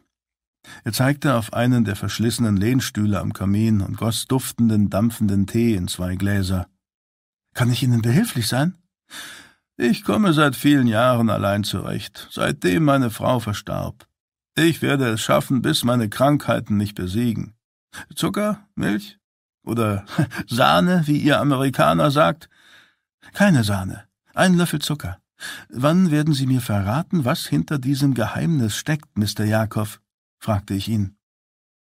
Er gab in beide Gläser einen Löffel Zucker, fügte noch ein paar Löffel in sein Glas hinzu und reichte mir dann meinen Tee. Als ich mich in einen der Lehnstühle setzte, nahm Jakob ächzend auf dem Gegenüber Platz. Zuerst muss ich Ihnen mehr über mich erzählen, Dr. Pavlov. Mein Vater war Kommissar Leonid Jakow, der in den Geschichtsbüchern als hoher Funktionär der Geheimpolizei der Bolschewiki, der CK, erwähnt wird. Vielleicht haben Sie mal von ihm gehört. Ich wollte gerade einen Schluck heißen Tee trinken, stattdessen hob ich erstaunt den Kopf. Ja, habe ich. Wenn ich mich nicht täusche, stand er im Ruf, äußerst brutal gewesen zu sein. Eine gewisse Zeit gehörte mein Vater zu den meistgefürchteten Menschen in Russland. Und das zu Recht. Er hat viele schreckliche Dinge getan. Jakow trank einen Schluck Tee. Sie erinnern sich an das Grab von Juri Andrew, das Sie vorhin gesehen haben, nicht wahr? Was ist damit? Er und mein Vater hatten eine sehr enge persönliche Bindung. Was denn für eine Bindung? Eine, die viel stärker war, als sie beide es sich hätten vorstellen können und von der sie lange Zeit nichts wussten. Ein gut gehütetes Familiengeheimnis. Ein Familiengeheimnis? Ich verstehe nicht. Andrevs Vater und Leonid Jakows Mutter. Sie hatten ein Verhältnis miteinander. Sie gehörten unterschiedlichen gesellschaftlichen Klassen an, verstehen Sie? Aber sie fühlten sich dennoch sehr wohl miteinander. Aus dieser Beziehung ging ein Kind hervor, ein Junge namens Stanislav. Er war der Bruder von meinem Vater und von Juri Andrew, doch sie erfuhren erst viel später davon. Verzeihung, aber ich verstehe nicht. Das müssen Sie mir erklären. Alles zu seiner Zeit, Dr. Pavlov. Sie sagen, Sie haben die Leiche gefunden? Ja, und auch das Medaillon, das Sie in einem Ihrer Briefe erwähnt haben. Die Frau hielt es in der Hand. Jakob schüttelte den Kopf, und seine blassen Lippen zitterten leicht. Ihre Entdeckung erleichtert und erstaunt mich zugleich, Dr. Pavlov. Ich stellte meine Tasse auf den Tisch. Ich kann es kaum erwarten zu hören, woher Sie diese Frau kannten. Ich habe das Medaillon mitgebracht. Er riss die Augen auf. Haben die Behörden es erlaubt? Ehrlich gesagt habe ich es Ihnen nicht gesagt. Dr. Pavlov, Sie wissen doch sicherlich, dass der Diebstahl eines Fundstückes in Russland ein schweres Vergehen ist, ja, aber vertrauen Sie mir. Ich habe vor, es zurückzubringen. Ich dachte, Sie würden es sich gerne einmal ansehen. Ich habe auch Nahaufnahmen der Leiche mitgebracht, die wir am Fundort gemacht haben. Darf ich sie sehen? fragte Jakob gespannt. Ich reichte ihm eine gepolsterte Versandtasche mit den Fotos. Jakobs Hände zitterten, als er die Farbfotos herausnahm und sorgfältig auf dem Tisch ausbreitete. Er setzte eine dicke Lesebrille auf und nahm ein Foto nach dem anderen vorsichtig in die Hand, als handelte es sich um wertvolle Gegenstände. Er betrachtete die Fotos von dem Leichnam der Frau, der aus verschiedenen Winkeln aufgenommen worden war. Als er schließlich den Blick hob, waren seine Augen feucht.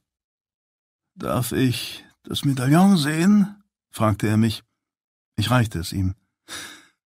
Wie Sie bereits andeuteten, ist die Vorderseite mit dem kaiserlichen Adler der Romanows verziert. Auf der Rückseite ist eine Gravur, sie ist jedoch korrodiert und ich konnte sie bisher nicht entziffern. Da Sie aber von dem Medaillon wussten, hoffe ich, dass Sie mir helfen können. Wissen Sie, was dort steht? Jakob nahm das Medaillon fast ehrfürchtig entgegen, als wäre es eine heilige Reliquie. Aufmerksam betrachtete er das korrodierte Metall, drehte das Medaillon in seiner Hand hin und her. Die dünne Kette baumelte in der Luft, und jetzt füllten sich Jakobs Augen mit Tränen. Ist alles in Ordnung? fragte ich ihn. Ja, Dr. Pavlov, erwiderte er in heiserem Ton. Unsere Entdeckung in Jekaterinburg bedeutet Ihnen offenbar sehr viel, nicht wahr? Das kann man wohl sagen. Wie haben Sie von dem Medaillon erfahren? Genauso, wie ich von der Leiche der Frau erfahren habe. Mein Vater hat es mir erzählt. Ein Gedanke durchfuhr mich wie ein Blitz und mein Pulsschlag beschleunigte sich. Hatte Ihr Vater irgendetwas mit der Ermordung der Romanows zu tun? Ich erinnerte mich, Leonid Jakows Namen in den Geschichtsbüchern gelesen zu haben, aber niemals in diesem Zusammenhang. Zu meiner Überraschung nickte sein Sohn. Ja, hatte er. Er wurde heimlich von Lenin beauftragt, die Hinrichtung zu überwachen. Ich muss gestehen, dass ich noch nie mit einem Menschen darüber gesprochen habe. Wissen Sie, wie die Gravur lautet? Ich glaube schon, Dr. Pawlow. Dann sagen Sie es mir um Himmels willen. Jakob wandte den Blick ab und starrte in die Ferne, als versuchte er vor seinem geistigen Auge etwas zu erkennen. Es musste etwas sehr Persönliches sein, denn er sagte nichts. Und dann begann er aus irgendeinem mir unbekannten Grund zu weinen. Seine Schultern bebten, als bittere Tränen über seine Wangen liefen. Er zog ein Taschentuch hervor und tupfte sich die Augen. Verzeihen Sie bitte. Mr. Jakob, es gibt nichts zu verzeihen. Was wühlt Sie so auf? Die Erinnerungen eines alten Mannes. Ich verstehe nicht. Wer war die Frau? Und was hat sie mit dem Grab zu tun, an dem wir uns getroffen haben? Es gibt eine Verbindung, nicht wahr? Plötzlich sah Jakob gebrechlich und besorgt aus, schrecklich einsam, wie ein alter Mann auf der Schwelle des Todes, der Angst hat, sie zu überschreiten. Eine Sekunde später veränderte sich seine Miene, und die traurigen Gesichtszüge erinnerten an einen kleinen Jungen, der sich ohne seine Eltern furchtbar verloren fühlte. Sie sind doch eine Expertin der Romanows, Dr. Pawlow, oder? fragte er mich leise. Eine Expertin vielleicht nicht unbedingt, aber mich verbindet ein starkes berufliches Interesse mit der Zarenfamilie. Dann, fürchte ich, werden Sie niemals glauben, was ich Ihnen erzählen werde. Warum nicht? Jakobs Stimme klang nun wieder etwas fester, weil hinter der allgemein anerkannten Darstellung dessen, was in der Nacht, als die Romanows starben, passierte, eine gewaltige Verschwörung steckt. Das ist eine recht kühne Behauptung, Mr. Jakob. Ich kann es beweisen. Ich musterte ihn verwirrt. Warum haben Sie nie zuvor über Ihre Behauptung gesprochen, wenn sie wahr ist? In Jakobs Augen funkelte ein Feuer. Ich habe es so oft versucht, aber niemand wollte mir glauben. Auch Sie hätten mir ohne Beweise nicht geglaubt. Nachdem Sie nun die Leiche und das Medaillon gefunden haben, haben Sie den Beweis. Ich bin ein alter Mann. Mir bleibt nicht mehr viel Zeit, und darum möchte ich, dass Sie die wahre Geschichte hören, Dr. Pawlow.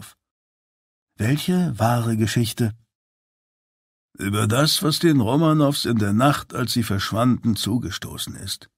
Es ist nicht die Geschichte, die in den Geschichtsbüchern steht, es war ein entsetzliches Blutvergießen, eine unglaubliche Brutalität und ein grausames Sterben. So viel steht jedenfalls fest. Er verstummte kurz. Zu viele persönliche Interessen haben in all den Jahren verhindert, dass die Wahrheit ans Licht kam, aber wenn ich Ihnen alles erzählt habe, werden Sie das Geheimnis um Anna Anderson verstehen, die Frau, die Anastasia genannt wurde. Ich starrte Jakob verblüfft an, als er fortfuhr. Wenn Ihre Geschichte irgendwo begann, dann war es in St. Petersburg im Jahre 1918 mit einem amerikanischen Spion namens Philip Sorg. Ich habe nie etwas von Sorg gehört. Nur wenige kannten ihn. Sorg ist ein Rätsel, ein junger Mann, der sich in die Tochter des Zaren verliebte, die Großfürstin Anastasia. Das Paar, das Sie vor diesem Cottage auf dem Foto gesehen haben, Juri Andrev und eine Frau namens Lydia Ryan, spielten dabei ebenfalls eine Rolle. Sie verbrachten gemeinsam einige Zeit hier in diesem Haus, ehe sie nach Russland reisten, um sie zu retten. Um wen zu retten? Den Zaren und seine Familie. Ich blickte Jakob schockiert an.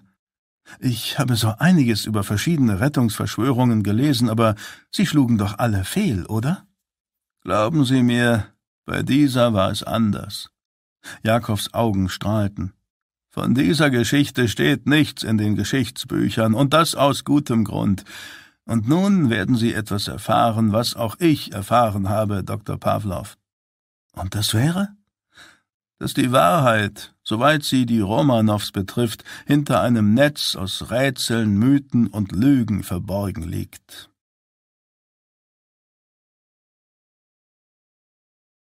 Vergangenheit 1918 Erster Teil Sibirien Es war der kälteste Winter seit 25 Jahren.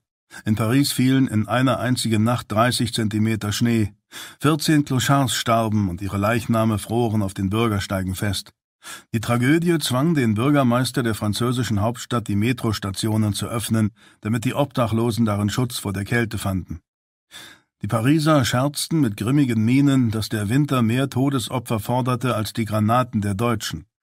Der blutige Krieg, der in ganz Europa wütete, hatte bereits 17 Millionen Menschen das Leben gekostet, und die eisigen Temperaturen machten alles noch unerträglicher. In einer Zeitung wurde berichtet, dass an der Westfront, wo inmitten von Schneeverwehungen grausame Schlachten tobten, eine Einheit der deutschen Artillerie drei Wochen lang ohne Verpflegung von der Außenwelt abgeschnitten gewesen war. Die Soldaten hatten ihre Pferde geschlachtet, um zu überleben, und nachdem sie das Pferdefleisch verzehrt hatten, kochten sie ihre Ledersättel und aßen sie. In Sibirien, wo die Temperaturen unter 30 Grad minus sanken, kämpfte Juri Andrew in einem anderen Kampf, als seine Verfolger sich ihm näherten, um ihn zu töten. Schreie und Gewehrschüsse hallten durch den Wald, und die Kugeln flogen links und rechts von ihm durch die Bäume. Sie schlugen in die Birken ein und wirbelten den Schnee auf, doch Andrew lief weiter. Er brach vor Erschöpfung fast zusammen, als seine müden Beine in dem tiefen, eisigen Schnee versanken. Verbissen kämpfte er sich durch den Wald und rannte um sein Leben. Das Bellen und Kläffen der Hunde wurde lauter, nachdem sie seine Spur aufgenommen hatten. Andrevs Brust brannte, als er die eisige Luft tief einatmete. Bei jedem qualvollen Schritt betete er, dass es ihm gelang, die Eisenbahnschienen zu erreichen. Die Stiefel und die Gefängnisuniform waren sein einziger Schutz vor der furchtbaren Kälte, und der grobe Stoff scheuerte wie Schmirgelpapier auf seiner Haut. Ein Gewehrschuss hallte durch die Luft, dann ein zweiter, und beide Kugeln zischten nur Zentimeter an seinem Kopf vorbei. Andrew rang nach Atem und warf einen flüchtigen Blick zurück. Mindestens zwei Dutzend bewaffnete Wachen rannten hinter ihm kreuz und quer durch den Wald. Andrew sah die Bahnschienen, die in diesem Waldstück eine Kurve beschrieben. Das schrille Pfeifen eines Zuges ertönte. Es wurde lauter, und Andrew starrte wie gebannt auf die Gleise. Er war weniger als hundert Meter von den Bahnschienen entfernt, und er wusste, dass der Zug seine einzige Hoffnung auf Freiheit war. Doch es musste ihm gelingen, auf den Zug aufzuspringen, wenn dieser das Tempo in der Kurve verlangsamte. Achtzig Meter. Siebzig. Die Kugeln peitschten ihm um die Ohren. Sechzig. Fünfzig. Andrew lief weiter, und jeder Schritt durch den hohen Schnee war eine entsetzliche Qual. Er hatte unerträgliche Schmerzen am ganzen Körper, als würden tausend Dolche seine Haut durchbohren. Die nächste Salve schlug in die Bäume zu seiner Rechten ein, und dann geschah es. Gerade rannte Andrew noch auf die Bahnschienen zu, und im nächsten Augenblick hatte er keinen Boden mehr unter den Füßen. Ein riesiges Loch tat sich vor ihm in der Erde auf. Er schrie auf, verlor das Gleichgewicht und fiel wie ein Stein in den Abgrund. Als Andrew in die offene Grube stürzte, schlug er mit der Schulter auf und hörte Knochen brechen. Er spürte den brennenden Schmerz in der Schulter, als er benommen vom Aufprall versuchte, sich aus dem Gewirr von Ästen zu befreien. Plötzlich erkannte Andrew zu seinem großen Entsetzen, dass es keine Äste, sondern ein Haufen gefrorener Leichen waren.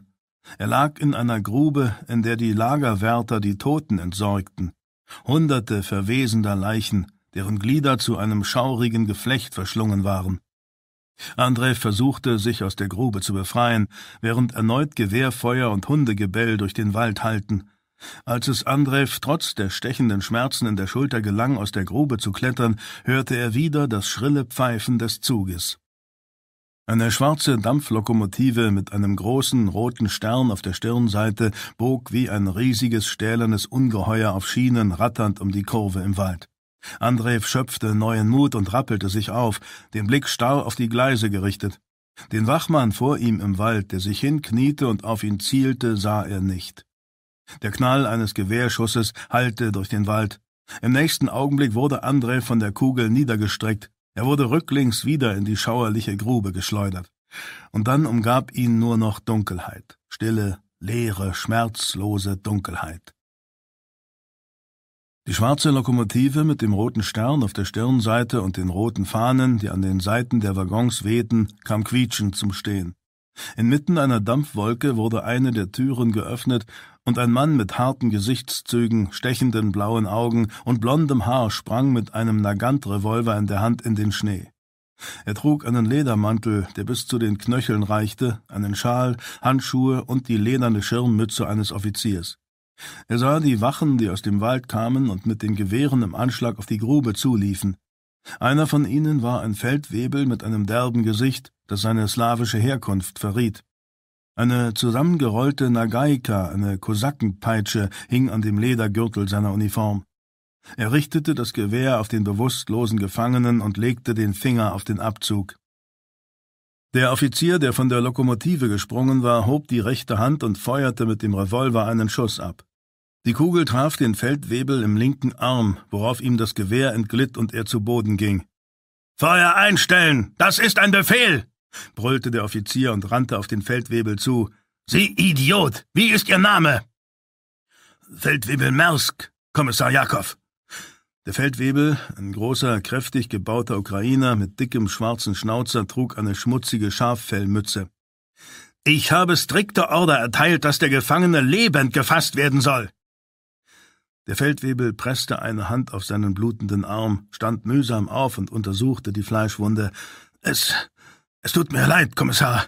Ich befürchtete, er würde entkommen. Wenn er tot ist, bezahlen Sie das mit Ihrem Leben. Jakob steckte den Revolver in sein Holster und stapfte durch den Schnee an den Rand der Grube.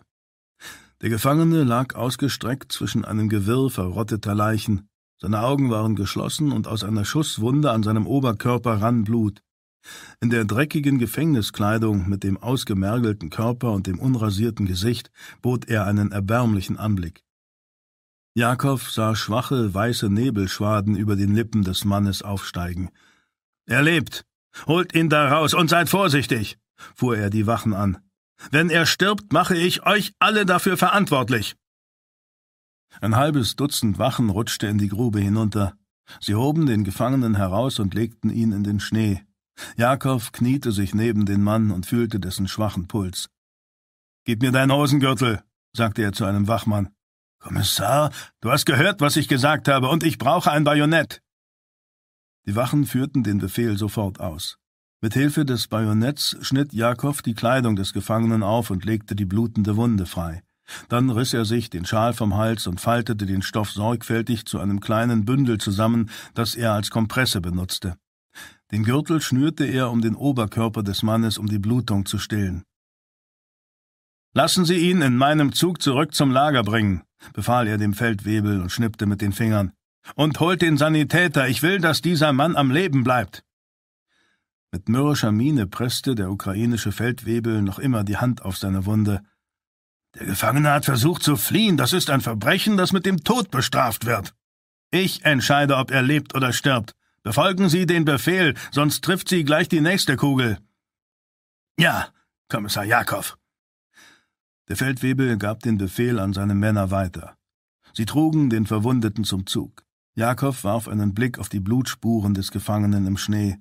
Er kniete sich hin und berührte mit den Fingerspitzen die roten Flecken. Als er wieder aufstand, war sein Gesicht wutverzerrt. Ich verstehe etwas nicht, Kommissar, sagte der Feldwebel verwirrt. Warum sind Sie eingeschritten, um diesem Verräter zu helfen? Er macht nichts als Ärger. Jakob sah zu, wie die Wachleute den Verletzten an eine Gruppe Rotgardisten aus dem Zug übergaben. Der Gefangene hat einen Namen. Die Augen des Feldwebels funkelten verächtlich. Juri Andrew, ein ehemaliger Hauptmann des zaristischen Heeres und ein überführter Staatsfeind. Kennen Sie ihn, Kommissar Jakow? Er ist mein Bruder. Deutschland über 3000 Kilometer entfernt war die gesamte Nordseeküste vor Bremerhaven an diesem Morgen in dichten Nebel gehüllt. Eine atemberaubend schöne Frau stand an Deck der Frachtfregatte Mary Ann, deren Bug den Nebel durchbrach und geradewegs auf den Hafen von Bremerhaven zusteuerte. Mit ihrem langen kastanienbraunen Haar, das bis auf ihre Schultern fiel, hätte man Lydia Ryan in einer anderen Zeit für eine Piratenbraut halten können, die an der Reling ihres Schiffes stand. Doch die zweckmäßige warme Kleidung, die sie trug, ein langer schwarzer Wollrock, Lederstiefel, eine Bluse, die ihrer Figur schmeichelte, und eine kurze Jacke widerlegten diesen Eindruck. Mit der blassen Haut und den grünen Augen ähnelte sie einer Spanierin, was im Westen Irlands keine Seltenheit war. Dieses südländische Aussehen ging auf die Basken aus Nordspanien zurück, die sich vor tausenden von Jahren an der Westküste des Landes angesiedelt hatten. Die Mary Ann bereitete das Anlegemanöver vor. Der Kapitän schaltete den Motor aus, worauf sich die Rotation der Schiffsschraube verlangsamte, bis sie schließlich zum Stillstand kam. Deutsche Heeressoldaten hatten den Hafen abgeriegelt. Lydia Ryans Arbeit an diesem Morgen verlangte größte Geheimhaltung. Sie erblickte Oberst Horst Ritter, einen deutschen Geheimdienstoffizier, der das Manöver vom Hafendamm aus beobachtete. Er war um die fünfzig und trug eine tadellos gebügelte Uniform, Schweinsleder, Handschuhe und kniehohe, auf Hochglanz polierte Stiefel. Ritter atmete die salzige Luft ein, zwirbelte seinen gewachsten Schnurrbart und erlaubte sich ein Lächeln, als er die Hand zum Gruß erhob. Lydia winkte zurück. Ritter gab ein Zeichen, worauf zwei Lastwagen mit Planen rückwärts auf den Rand des Hafendamms zufuhren. Deutsche Soldaten sprangen herunter, rollten die Planen hoch, luden Holzkisten mit Waffen und Munition ab und stellten sie auf den Kai. Als die Besatzung der Mary Ann das Schiff festmachte, kletterte Lydia über eine Eisenleiter auf den Hafendamm. Oberst Ritter, bekommen Sie nie einen freien Tag? Ritter schlug die Hacken zusammen, nahm ihre Hand und küsste sie wie ein Gentleman. Ritter fand die junge Frau mit dem wohlgeformten Körper und der temperamentvollen Art ausgesprochen anziehend. Nicht, wenn wichtige Arbeit auf mich wartet, wie zum Beispiel den irischen Republikanern zu helfen, die Briten zu besiegen. Es ist mir eine Freude, Sie wiederzusehen, Fräulein Ryan, sagte Ritter in ausgezeichnetem Englisch. Die Freude ist ganz meinerseits, Oberst. Ach, ich wünschte, es wäre wahr, sagte er gut gelaunt und seufzte. Ich wäre gerne noch einmal dreißig Jahre alt. Hatten Sie eine angenehme Reise? Das kann man nicht gerade behaupten, wenn man bedenkt, dass wir fünf Tage lang ständig die Flaggen wechseln mussten, um der britischen Kriegsflotte zu entkommen. Es gab aber auch angenehme Augenblicke. Jedenfalls sind Sie unversehrt hier angekommen. Ihre Ladung steht bereit. 200 Gewehre und 100.000 Patronen Munition. Wir haben übrigens noch ein halbes Dutzend Bergmann-Maschinengewehre dazugelegt. Mit besten Grüßen vom Kaiser. Oberst, ich könnte den Mann küssen. Ich bin gerade sogar versucht, Sie zu küssen. Ritter warf lachend den Kopf zurück. Und ich wäre geneigt, das Angebot anzunehmen, Fräulein Ryan. Ein junges Besatzungsmitglied der Mary Ann stieg mit einer Flasche Jameson Whisky in der Hand die Metallleiter hinunter. Der Junge mit den hübschen Gesichtszügen und dem dunklen Teint, der nicht älter als achtzehn Jahre war, ähnelte Lydia. Eine Leinenmütze saß schräg auf seinem Kopf, was ihm einen adretten Eindruck verlieh, und seine Wangen waren von Sommersprossen übersät. Er reichte Lydia die Flasche. Pordy hat gesagt, das Beladen wird nicht lange dauern, höchstens zehn Minuten. Gut. Hilf ihnen, die Kisten an Bord zu bringen, Finn. Der Junge drehte sich um und ging auf die Lastwagen zu. Irre ich mich oder ähneln sie sich beide ein wenig? sagte Ritter zu Lydia. Mein jüngster Bruder. Sie reichte Ritter die Flasche Jameson, ein kleines Geschenk als Dankeschön. Ich hoffe, Sie mögen irischen Whisky, Oberst? Ritter betrachtete die Flasche und salutierte, um sich zu bedanken. Sehr sogar. Ich werde ihn genießen. Er wies mit dem Kinn auf einen verlassenen Teil des Hafens und machte plötzlich ein ernstes Gesicht. Sie haben es eilig, und darum möchte ich Sie nicht lange aufhalten. Gehen wir ein paar Schritte? Wenn ich es nicht besser wüsste, würde ich sagen, diese Einladung klingt ein wenig unheilvoll. Ritter nahm ihren Arm. Ich fürchte, Sie haben recht. Ich habe schlechte Nachrichten. Lydia und Ritter gingen ein Stück am Kai entlang. Es war windstill und der Nebel über dem Meer hielt sich hartnäckig. Plötzlich fühlte sich Lydia furchtbar müde. Die Anstrengungen der letzten Tage hatten Spuren in ihrem Gesicht hinterlassen. Ritter zog die Schweinslederhandschuhe aus. Nachdem Sie eine Woche lang volle Quartiere mit einem Haufen Männer geteilt haben, sehnen Sie sich sicherlich nach einem heißen Bad und etwas Zeit für sich allein. Sie können Gedanken lesen, Oberst. Dies ist die dritte Schmuggeltour innerhalb von sieben Monaten. Ich wundere mich, dass es Ihnen so lange gelungen ist, den Briten zu entwischen. Sie kennen uns Iren. Wir würden sogar das Risiko eingehen, vom Teufel persönlich Waffen anzunehmen. Ritter lächelte. Wir Deutschen können uns nicht beklagen. Die irischen Aufständischen binden britische Truppen und halten sie von unseren Fronten fern. Und was haben Sie für eine schlechte Nachricht, Oberst? Ich habe von unserer Kriegsmarine Bericht erhalten, dass die königliche Kriegsflotte in der irischen See sehr aktiv ist. Die Briten scheinen nun alles daran zu setzen, um sie daran zu hindern, Waffen zu schmuggeln. Keine Sorge, unser Kapitän ist es gewohnt, Katz und Maus mit der Kriegsflotte zu spielen. Ritter schlug mit den Schweinslederhandschuhen in seine Handfläche. Das glaube ich Ihnen gern, aber Sie erinnern sich, was mit Ihrem Kameraden Roger Casement geschehen ist, als er unsere Gewehre nach Irland gebracht hat? Die Briten haben ihn als Verräter gehängt. Ritter nickte. Sie werden mit Ihnen dasselbe machen, wenn Sie nicht aufpassen, und dabei spielt es keine Rolle, dass Sie eine Frau sind. Man wird Ihnen nicht einmal einen Prozess zugestehen, nur eine Kugel in den Nacken, um die Dinge zu vereinfachen. Warum plötzlich diese Sorge? Ich möchte Sie nicht verlieren, Fräulein Ryan, und das möchten Ihre republikanischen Freunde und Ihr jüngerer Bruder bestimmt auch nicht. Darum habe ich mit einem unserer U-Boote vereinbart, dass es Ihr Schiff die ganze Strecke bis zur irischen Küste begleitet. Wenn Sie auf Probleme stoßen, wird der Kapitän des U-Bootes sich persönlich darum kümmern.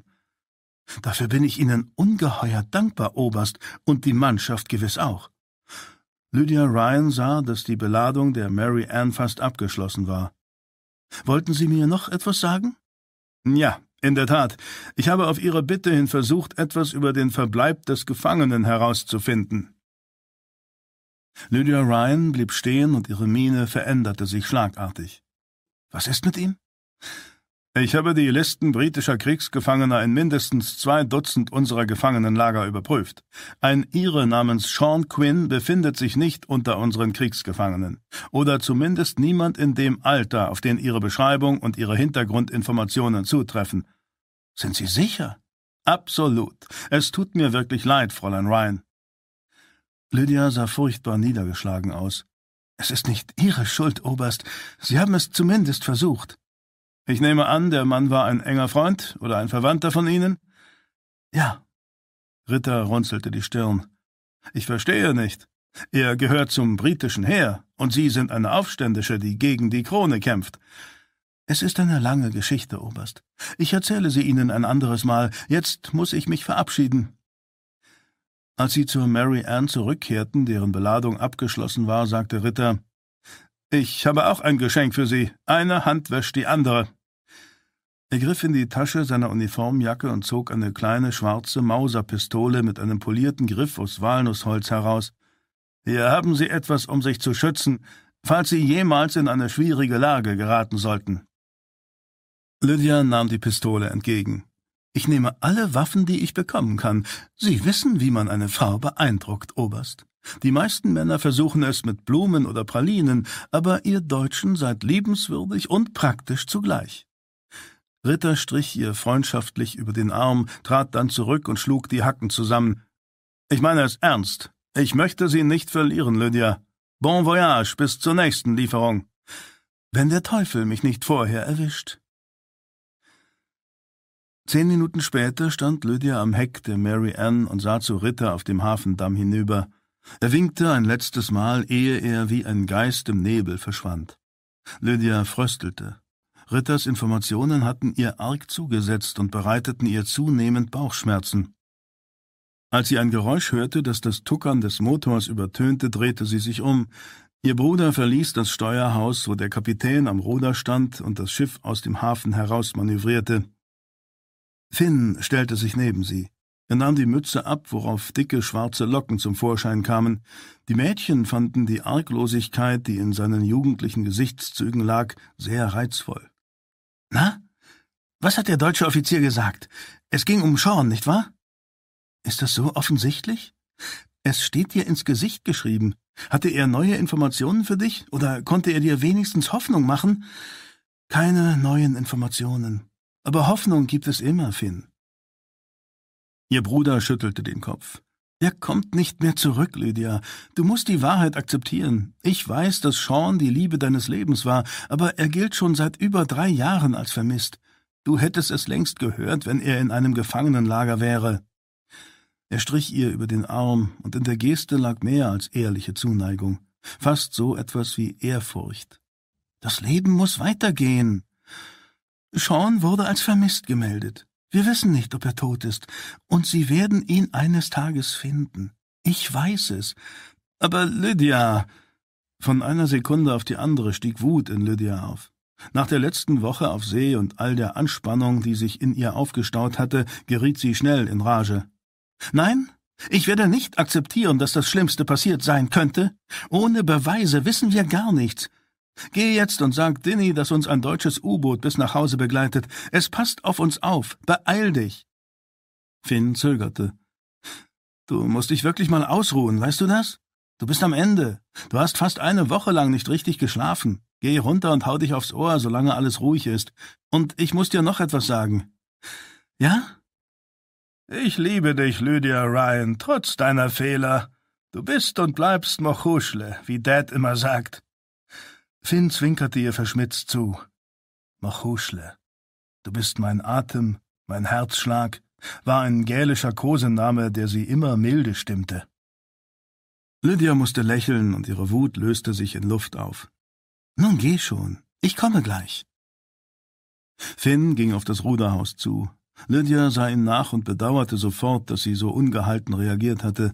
Es hatte eine Zeit gegeben, da war sie großherzig, liebenswürdig und freundlich gewesen, doch nun wütete der Krieg, und der hatte mit all seinen Verwüstungen und seinem unermesslichen Elend dazu geführt, dass sie schnell aus der Haut fuhr und oft kleinmütig und hart war. Jetzt bemerkte sie, dass sie etwas Schweres in der rechten Hand hielt. Es war die kleine schwarze Mauser, die Ritter ihr geschenkt hatte. Lydia zog den Rock hoch, so dass ihre Waden entblößt wurden, und steckte die Mauser in ihren rechten Halbstiefel. In diesem Moment verließ die Mary Ann den Hafen, und von irgendwoher wehte eine frische Brise und ließ sie frösteln. Der Nebel löste sich auf, und die unermessliche Weite der grauen Nordsee erstreckte sich bis zum Horizont. Aus irgendeinem Grunde fühlte sie sich schrecklich einsam. Wo bist du, Sean Quinn? Verdammt, nie bist du da, wenn ich dich brauche. Im nächsten Augenblick trug der Wind ihre Klage davon, und sie verlor sich in der Unendlichkeit des kalten, gleichgültigen Meeres. Lydia tupfte sich eine Träne aus dem Augenwinkel, strich ihren Rock glatt und ging unter Deck. St. Petersburg, Zarskoje Zielo nur wenige Wochen nach der Februarrevolution und dem Sturz des Zaren ähnelte die Stadt der Hölle auf Erden, einem Ort, an dem die Welt vollkommen aus den Fugen geraten war. Der Frühling hatte begonnen, doch in den Straßen der ehemals von Peter dem Großen gebauten Siedlung herrschte noch immer eisiger Winter. Riesige, dreckige Eisklumpen türmten sich auf allen Straßen und Bürgersteigen. Natürlich hatte der Krieg auch hier Spuren hinterlassen. Philipp Sorgs aufmerksamen Blicken entging nichts, als er in der angemieteten Droschke Richtung Westen fuhr.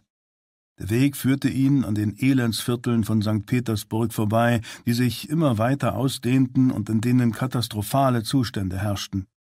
Überall auf den Balkonen waren Leinen gespannt, auf denen schmutzig graue Wäsche hing. Sorg fielen die Sandsäcke auf, die vor wichtigen öffentlichen Gebäuden aufgestapelt waren, und die Propagandaplakate an den Laternenpfählen und an den Mauern. Er achtete genau darauf, welche Straßenzüge Einschusslöcher von Artilleriegranaten aufwiesen und wo die blutroten Fahnen der Revolution an den zaristischen Gebäuden flatterten. Von dort aus war einst das riesige russische Reich regiert worden, das sich von der Ostsee bis zum Pazifik erstreckte.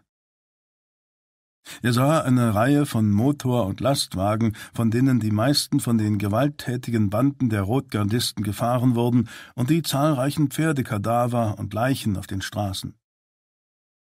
Sorg zählte die Menschen in den Schlangen vor den Lebensmittelgeschäften. Es waren Hunderte, wenn nicht gar Tausende. Er sah auch die Parolen, die auf die Mauern geschmiert worden waren. Land und Freiheit, ein langes Leben den Arbeitern oder Sieg oder Tod. Die Unruhen der Revolution hatten das Land fest im Griff, und die Kämpfe zwischen den roten Bolschewisten und den weißen Zaristen, die versuchten, die Vorherrschaft zu gewinnen, richteten es zugrunde. Kinder scheuten sich ebenso in die Schule zu gehen, wie die Bürger unnötige Wege vermieden. Es war nämlich keine Seltenheit, dass das Donnern von Artilleriefeuer und Gewehrschüssen durch die Straßen hallte. All diese Dinge entgingen Sorg nicht. Er war viel aufmerksamer als andere ausländische Geschäftsleute, die sich in St. Petersburg niedergelassen hatten, weil sie hofften, in dem Chaos des Bürgerkrieges gute Geschäfte zu machen. Allerdings war Philipp Sorg auch kein gewöhnlicher Geschäftsmann. Knapp zwei Stunden, wenn wir Glück haben, Herr. Der Kutscher schlug die Peitsche auf die Flanken der Pferde und folgte der matschigen Landstraße, die aus der Stadt herausführte. Der Atem der großen Tiere kondensierte in der Luft. Danke, Genosse. Sorg tippte an seinen Trilby-Hut und schlug den Kragen seines langen, schwarzen Chesterfield-Mantels hoch, um sich gegen die Kälte an diesem Märzmorgen zu schützen. Die Fahrt hätte mit der Dampflok keine 40 Minuten gedauert, doch in der vergangenen Nacht hatte die Gewerkschaft der Lokomotivführer einen Streik bis zum heutigen Nachmittag ausgerufen. Daher war Sorg gezwungen gewesen, eine Droschke für die Fahrt zu mieten. Als sie an einer Bäckerei mit einer langen Schlange hungriger Menschen vorbeikamen, erregten die verzweifelten, wütenden Schreie und Rufe seine Aufmerksamkeit. Sorg beobachtete entsetzt, wie sich zwei hungrige Frauen wegen eines Leibs Brot gegenseitig fast umbrachten. Die Rauferei der beiden Frauen, die sich schlugen, bissen und einander die Haare ausrissen, war schnell entschieden. Die bemitleidenswerte Verliererin, die sich den verletzten Kopf hielt, lief in Tränen aufgelöst davon, und zog ihre beiden schreienden Kinder hinter sich her. Sie verschwanden in der Menschenmenge in den Seitenstraßen, ehe Sorg von der Droschke steigen und ihnen folgen konnte. Er hätte der armen Frau gerne ein paar Münzen zugesteckt. Es sah so aus, als würden überall in Russland hungernde Menschen in den Abfällen wühlen, um zu überleben. Das war verständlich. Ein Pfund Butter kostete so viel wie ein Tageslohn, ein Laib Brot, falls man überhaupt eine geöffnete Bäckerei fand, kostete fast ebenso viel. Die Straßenbahnen fuhren nur unregelmäßig. Inmitten der hungrigen Bevölkerung blühten Prostitution und Diebstahl. Sorg schrieb all das in seinen geheimen Berichten auf, die er nach Washington schickte. Sie enthielten die minutiösen, vertraulichen Details des Lebens in der Stadt, die für einen Spion im Ausland von Bedeutung waren. Auch ungewöhnliche Dinge wie zum Beispiel die Tatsache, dass sich trotz der Revolution oder gerade deshalb überall ausländische Besucher aufhielten. In den Hotels und Seitengassen drängte sich ein bunt gemischtes Volk. Unter ihnen befanden sich wohlmeinende Helfer, die gekommen waren, um die Lebensmittelknappheit zu lindern. Es gab internationale Revolutionäre und Kommunisten, die ganz versessen darauf waren, den Rotgardisten Unterstützung anzubieten, außerdem Zeitungskorrespondenten, die über den Aufruhr im ehemaligen Zarenreich berichteten. Als Sorgs Droschke eine gute Stunde später durch ein Dorf fuhr, wurde er Zeuge weiterer Unruhen. Ein großes, herrschaftliches Haus wurde von einer aufgebrachten Meute geplündert. Bauern schleppten ihre Beute heraus, Stühle und Gemälde, Wandteppiche und sogar Rohrleitungen. Eine gackernde alte Frau hatte einen hölzernen Toilettensitz ergattert und ihn sich wie einen Jahrmarktsgewinn um den Hals gehängt. Die Menge brach bei ihrem Anblick in Gelächter aus. Es war allgemein bekannt, dass skandinavische Antiquitätenhändler in der ganzen Stadt auf der Suche nach guten Geschäften waren, seit die prächtigen Häuser der Reichen geplündert wurden.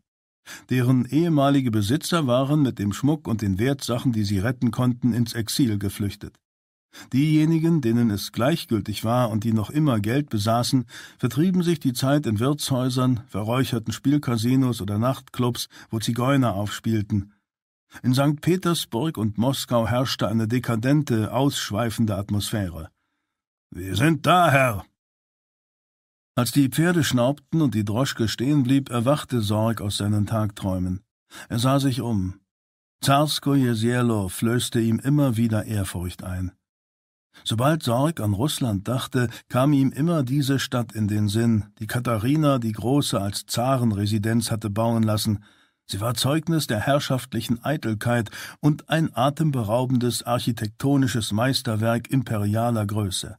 Gepflasterte Gässchen, malerische, holzverkleidete Häuser in Bernsteingelb und Grünblau und orthodoxe Kirchen mit vergoldeten Zwiebeltürmen stellten eben jenes märchenhafte Russland dar, dessen sein Vater voller Nostalgie gedachte, wenn er zu viel Wodka trank. Und das trotz der Tatsache, dass Sorgs Mutter nur zu glücklich gewesen war, Russland zu verlassen, als aufgrund des brutalen Pogroms des Zaren massenweise Juden umgebracht und Abermillionen von ihnen zu heimatlosen Flüchtlingen gemacht wurden. Am Ende einer breiten Prachtstraße entdeckte Sorg die Krönung zaristischer Bauwerke, den großen Alexanderpalast mit den beeindruckenden korinthischen Säulen, die Sommerresidenz des Zaren, die 25 Kilometer von St. Petersburg entfernt lag. So nah, zum Greifen nah. Er umklammerte seine abgegriffene Gladstone-Ledertasche, stieg von der Droschke herunter und reichte dem Kutscher eine Silbermünze. Danke, Genosse. Der Kutscher nahm die Silbermünze entgegen, küsste sie und steckte sie grinsend in die Tasche. Ich danke Ihnen und einen schönen Tag, Herr. Mit diesen Worten ergriff er die Zügel und drehte die Droschke. Das Getrappel der Pferde im matschigen Schnee verhallte in der Ferne. Sorg begann zu schwitzen, als das Adrenalin durch seine Adern strömte. Er war ein schlanker, mittelgroßer Mann mit aufmerksamen braunen Augen und einem sorgfältig gestutzten Bart. Seine gefällige Erscheinung wies nur einen Makel auf, und das war sein linkes Bein. Es war zwei Zentimeter kürzer als das rechte. Sorg hatte in seiner Kindheit unter den üblichen grausamen Spötteleien leiden müssen. Häschen, Hinkebein, Klumpfuß. Er erinnerte sich genau an den Tag, als er vier Jahre alt war und seinen Vater, ein Musiker, der in Varietétheatern auftrat und ein praktisch veranlagter Mann war, Abhilfe schuf. Sein Dada saß mit einem scharfen Messer und einem großen, zwei Zentimeter dicken Stück Leder am Küchentisch. Aus diesem Stück schnitt er eine Sohle heraus und nagelte sie unter den linken Schuh seines Sohnes. Jetzt hinkte der Junge zwar kaum noch, da aber die Hüfte ihre Lage verändert hatte, um das Hinken auszugleichen, äußerte sich der körperliche Makel nun durch einen auffallend stolzen Gang. Doch das nahm Sorg dankbar in Kauf. Was ist das für ein Gefühl, Philipp? Viel besser, Dada. Jetzt fühle ich mich wie ein richtiger Junge. Noch Jahre später glaubte Sorg sich an die feuchten Augen seines Vaters an jenem Tag zu erinnern, aus ihnen sprachen Liebe und Stolz, aber auch Mitleid, denn er konnte nicht mehr tun, als eine zwei Zentimeter dicke Sohle unter den Schuh seines Sohnes zu nageln, um dessen Gebrechen zu lindern. Sorg betete seinen Vater an. Und es gab noch eine andere Erinnerung an seine Kindheit, die Sorg niemals vergessen würde. Er war zehn Jahre alt, als eines Abends im Winter eine Gruppe von Männern in dunklen Uniformen die Tür der Einzimmerwohnung seiner Eltern eintraten. Angeführt wurden sie von einem Schläger mit finsterer Miene, glänzender Glatze und aschfahler Haut. Sein linkes Auge war milchig trüb. Er trug einen langen schwarzen Mantel, und es schien ihm Freude zu bereiten, Menschen zusammenzuschlagen. Seine rechte Hand steckte in einem furchteinflößenden Schlagring aus Messing. Bis zum heutigen Tage erinnerte sich Sorg an den höhnischen Blick des Mannes, nachdem er die Tür zertrümmert und seinen Ausweis gezeigt hatte. Kasan, Geheimpolizei, Okrana! Hände hoch, du sozialistisches jüdisches Dreckschwein! Wir werden dich lehren, Unruhe zu stiften! Seit diesem Tag verfolgte Kasans boshaftes Grinsen Sorg in seinen Albträumen. Blanker Hass war Kasan im Gesicht gestanden, als er Sorgs Vater mit dem Schlagring brutal zusammenschlug und ihn dann trotz des verzweifelten Flehens seiner Mutter aus dem Zimmer zerrte. Sorgs Mutter verprügelte er ebenfalls.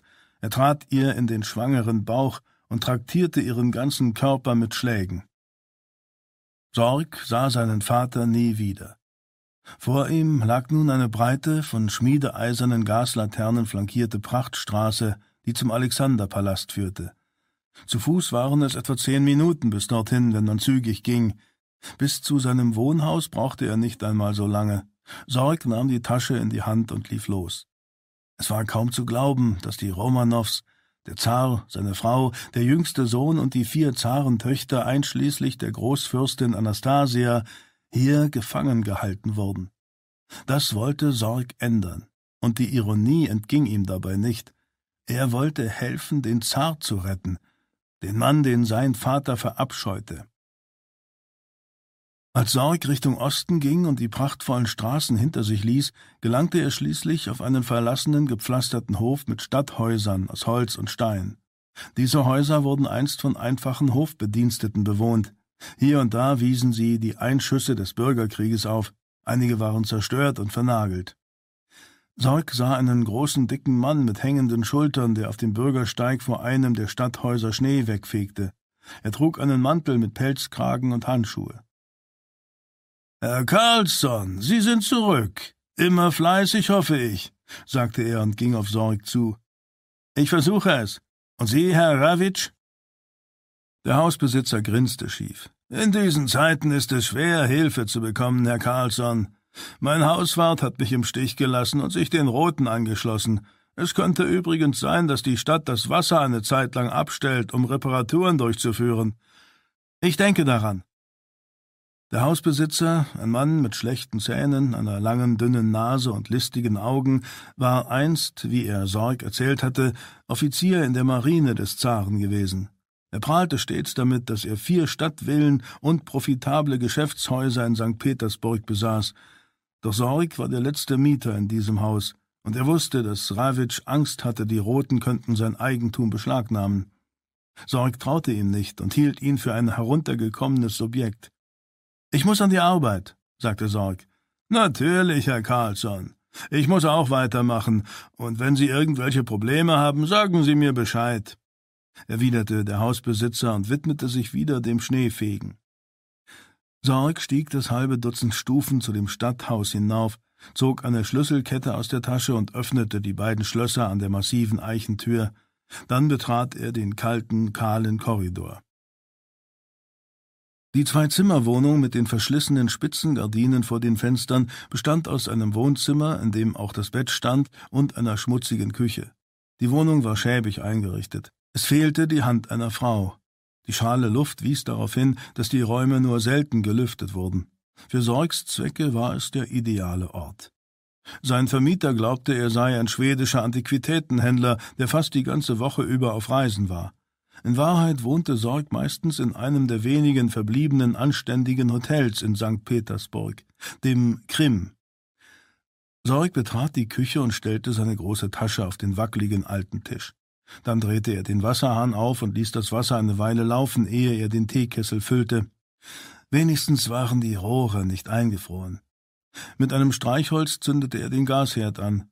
Während er darauf wartete, dass das Wasser kochte, öffnete er die Gladstone-Tasche und nahm einen Schraubenzieher heraus.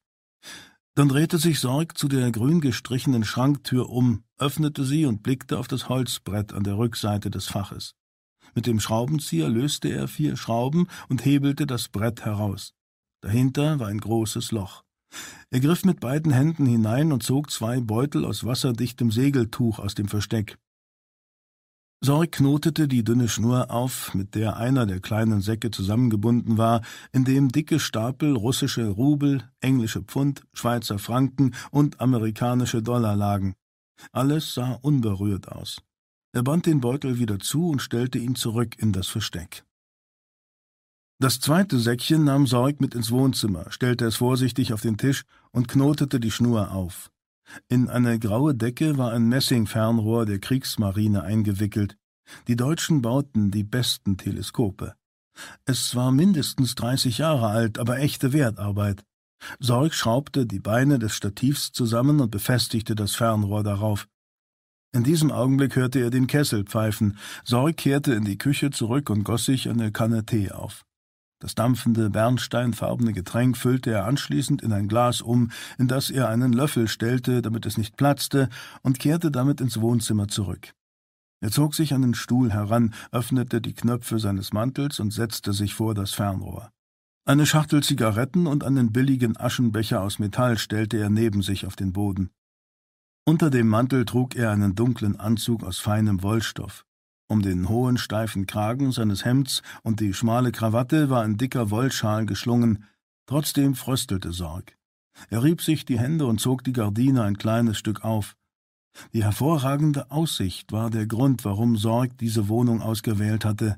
Vom Fenster aus hatte er einen guten Blick auf den Alexanderpalast. Er richtete das Fernrohr auf die Gärten hinter dem Palast und stellte die Schärfe ein. Das Grundstück lag verlassen da. Sorg sah nur entlaubte Birken und ein paar bewaffnete Wachen, die auf den verschneiten Wegen gelangweilt hin und her schlenderten. Er zog ein ledergebundenes Notizbuch aus der Tasche und legte es auf den Boden. Sorg benutzte immer seine eigene verschlüsselte Kurzschrift, so dass niemand seine Hieroglyphen hätte entschlüsseln können, sollte das Notizbuch jemals in falsche Hände geraten. Ein spitzer Bleistift steckte in seiner Brusttasche neben einem schwarzen Füllfederhalter. Er nahm den Füller heraus und legte ihn in seine Hand. Der 15 Zentimeter lange Füllfederhalter war ein interessantes Gerät. Die Feder bestand aus Toledo-Stahl und war scharf wie ein Skalpell. Es war eine Geheimwaffe, die er vom Außenministerium bekommen hatte. Wenn man die Kappe abzog, hatte man eine tödliche spitze Klinge, mit der man ausgezeichnet schreiben und gleichzeitig einem Menschen problemlos die Kehle durchschneiden konnte. Sorg schlug mit der Klinge gegen den Silberring, den er am Ringfinger der linken Hand trug und der im einfallenden Licht leuchtete. Auf der Innenseite war ein kleines Symbol eingraviert. Es war eine spiegelverkehrte Swastika, ein altes tibetanisches Glückssymbol.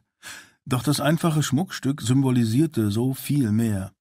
Sorg steckte den Füllfederhalter wieder ein und warf einen Blick auf seine Taschenuhr. Viertel vor zwölf. Bald konnte er mit der Arbeit beginnen. Er konnte es kaum erwarten. Als er die Uhr wieder einsteckte, stieß er mit den Fingern gegen die kleine braune Arzneiflasche mit dem Gummipfropfen. Er zog sie heraus. Laudanum-Tinktur. Die rotbraun schimmernde Mischung bestand aus neun Teilen Alkohol und einem Teil Kokain und wurde in Apotheken ohne Rezept verkauft. Heutzutage war es allerdings schwierig, dieses Mittel in Russland zu finden, wie alles andere übrigens auch. Sorg war versucht, ein paar Tropfen zu nehmen, um sich zu beruhigen, doch er widerstand der Versuchung. Er musste sparsam mit seinem Vorrat umgehen und sich im Augenblick mit Tee und Zigaretten begnügen. Sorg steckte das Fläschchen wieder in die Tasche. Er zündete sich eine Zigarette an, trank einen Schluck Tee und wartete. Seine Gedanken kehrten zurück zu dem Tag seines ersten Besuchs in einem anderen Palast der Romanows. Dort war er der temperamentvollsten jungen Frau begegnet, die er jemals kennengelernt hatte.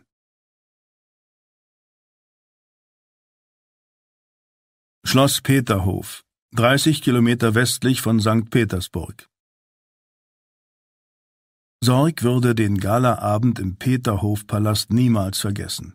Im Ballsaal tummelten sich unzählige, liebreizende, hübsche Frauen, die in ihren feinen Seidenkleidern und dem funkelnden Schmuck hinreißend aussahen.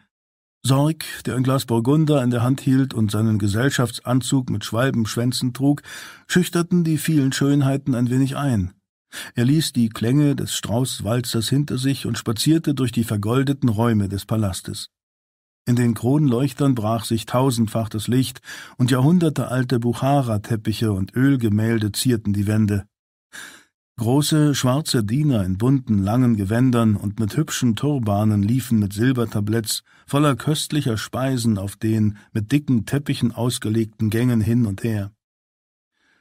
Sorg musste an den krassen Gegensatz zu den Elendsvierteln der Armen in St. Petersburg denken, die nur ein paar Straßen entfernt lagen. Riesige Wohnblocks, in denen Familien ein Drittel ihres Lohns an die Hausbesitzer zahlten und Fabrikarbeiter zu zehnt in einem Raum wohnten. Männer, die zwölf Stunden am Tag schufteten und sich nur am Sonntagnachmittag ausruhen konnten. Sorg ging einen Gang hinunter, der im Glanz der Kronleuchter erstrahlte.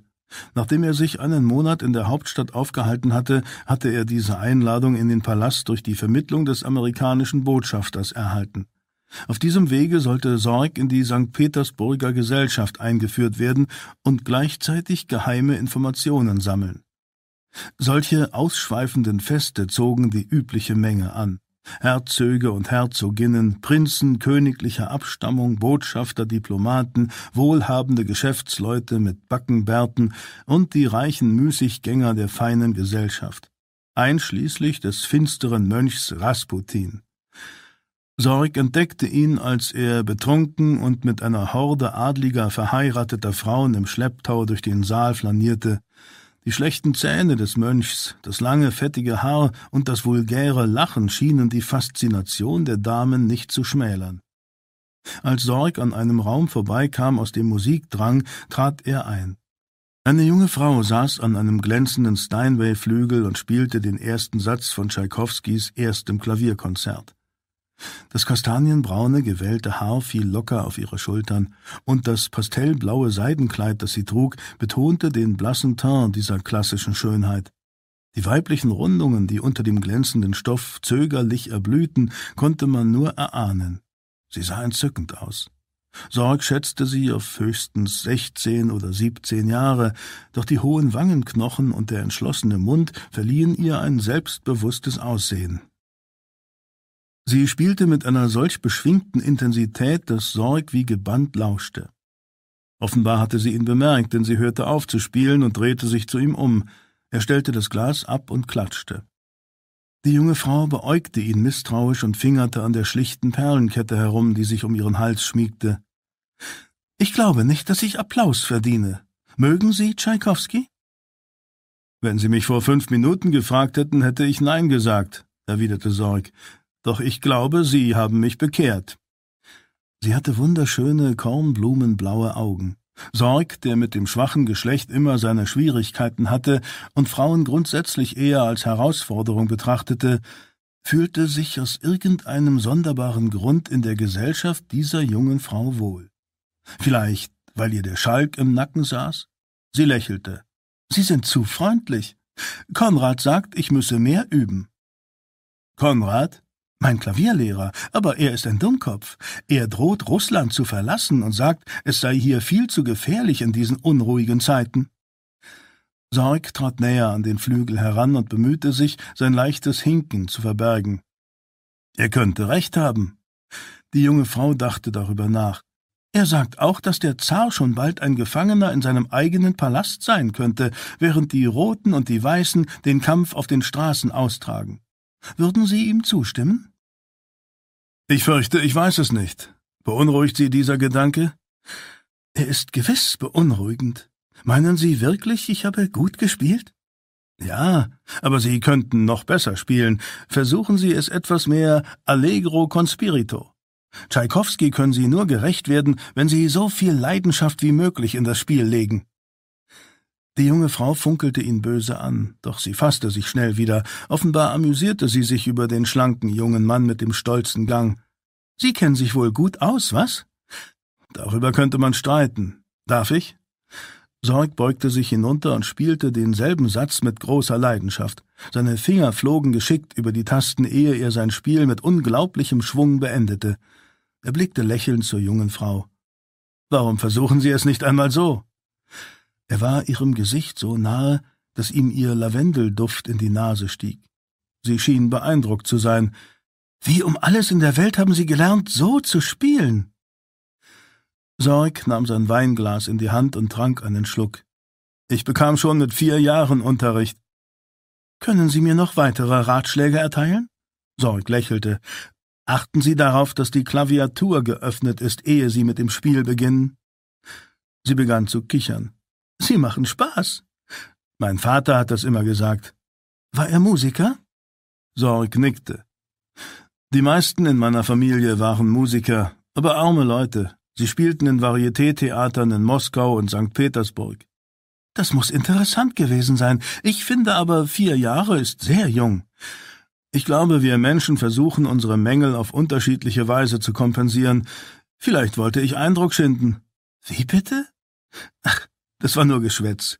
Nach der Musikhochschule bekam ich ein Angebot, in einem Orchester zu spielen. Ich blieb ein Jahr, und dann gewann ich eine wertvolle Erkenntnis. Und was war das für eine Erkenntnis? Sorg lächelte.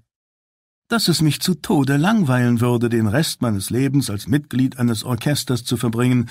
Daher verdrängte das Geschäftsleben das Klavierspiel, fürchte ich. Es ist viel interessanter. Die junge Frau stand auf und legte behutsam eine Hand auf seinen Arm. Bei dieser zarten Berührung sprang ein Funke auf ihn über. Wie schade.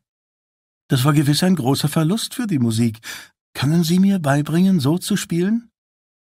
Als sich ihre Blicke trafen, spürte er die starke Anziehungskraft, die sie auf ihn ausübte. Es war absurd. Er war mindestens zehn Jahre älter als sie, und doch zog sie ihn in ihren Bann. Dieses Mädchen mit dem kastanienbraunen Haar, den blauen Augen und der lebhaften Art war das entzückendste Geschöpf, das er jemals gesehen hatte. Warum nicht? Aber Sie müssen sich viel Mühe geben. Machen Sie sich darüber keine Sorgen. Meine Schwestern behaupten, dass ich die temperamentvollste in der Familie sei und alles mit Leidenschaft mache. Sie sprechen übrigens ausgezeichnet Russisch. Kann es sein, dass ich einen leichten Akzent heraushöre? Ich bin amerikanischer Bürger. Ich habe Russland mit meiner Mutter als Kind verlassen. Papa sagt, die Amerikaner werden eines Tages die mächtigste Nation der Welt sein. Wie heißen Sie? Philip Sorg. Ich bestehe darauf, Sie noch einmal spielen zu hören, Herr Sorg. Da mein Klavierlehrer die Nerven verloren hat und glaubt, Russland sei verdammt, möchte ich, dass Sie mir beibringen, so gut zu spielen wie Sie. Natürlich nur, wenn Sie einverstanden sind, mir Unterricht zu geben. Es wäre mir eine Ehre.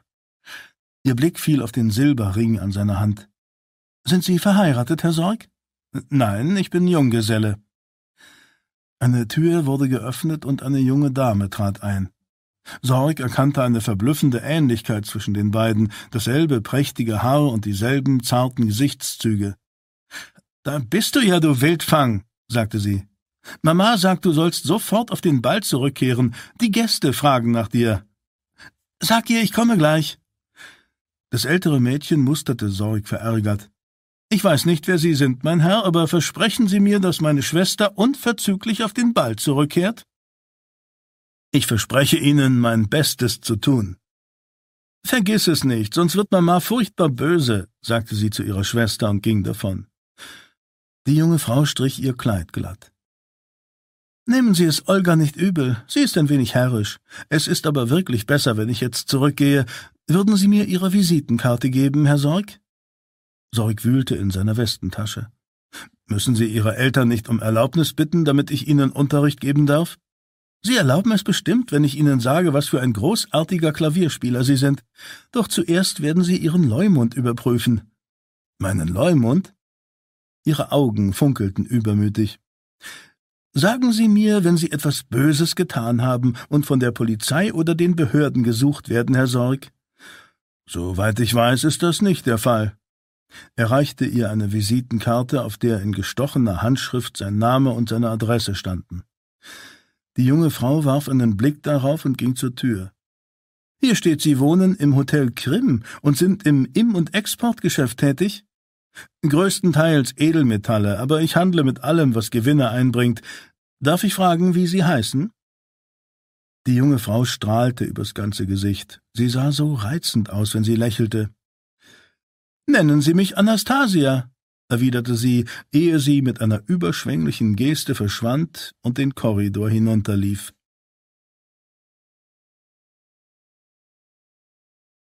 Zarskoje Zielo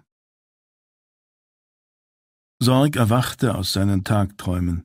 Vier bewaffnete Wachen traten durch eine Terrassentür auf den schneebedeckten Rasen des Palastes.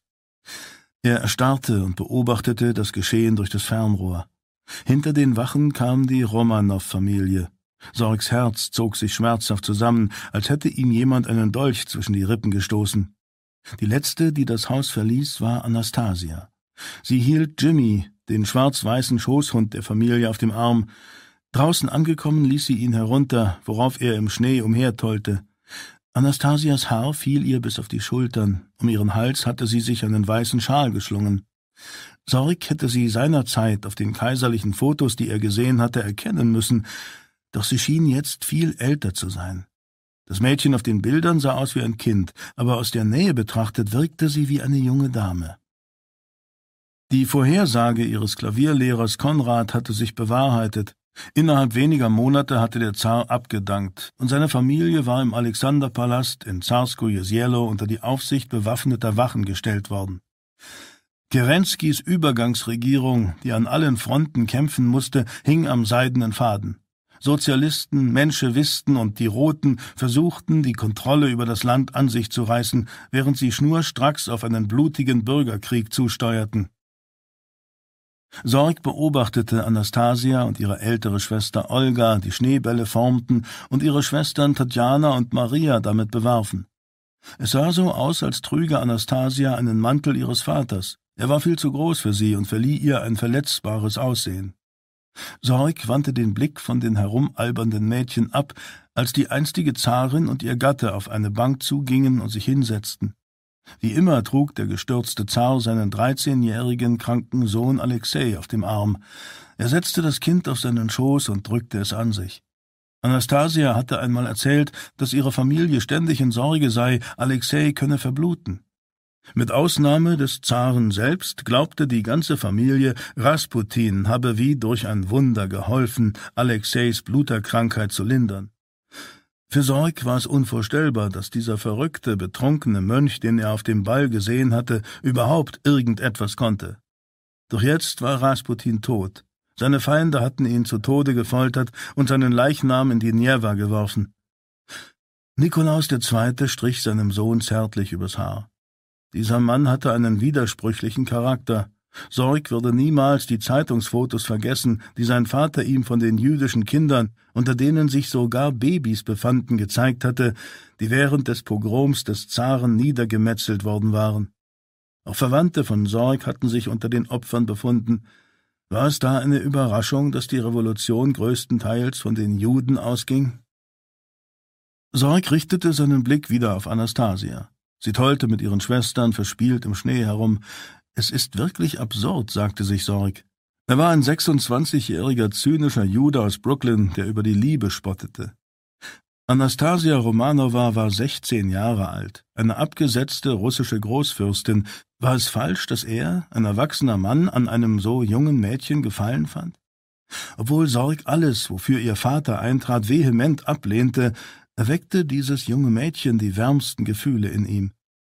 Als Sorg sie beobachtete, dachte er, ich habe nicht vorhergesehen, dass das passiert und dass ich mich hoffnungslos in dich verliebe.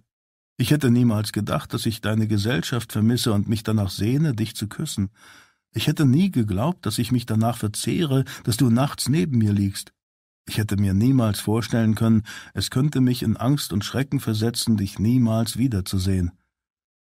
Der Gedanke daran, was sein Vater, der die Monarchie abgrundtief gehasst hatte, wohl dazu gesagt hätte, beunruhigte ihn. Sorg schob den Gedanken beiseite und dachte daran, wie er nach jeder Klavierstunde im Palast immer ungeduldiger auf seinen nächsten Besuch gewartet hatte. Es spielte keine Rolle, dass die Unterrichtsstunden nicht nur seinem Vergnügen dienten, sondern dass er sie zudem nutzte, um Geheiminformationen zu sammeln. Sorg redete sich ein, dass es viel mehr als nur Sympathie war, was er und Anastasia bei ihrem ersten Treffen empfunden hatten.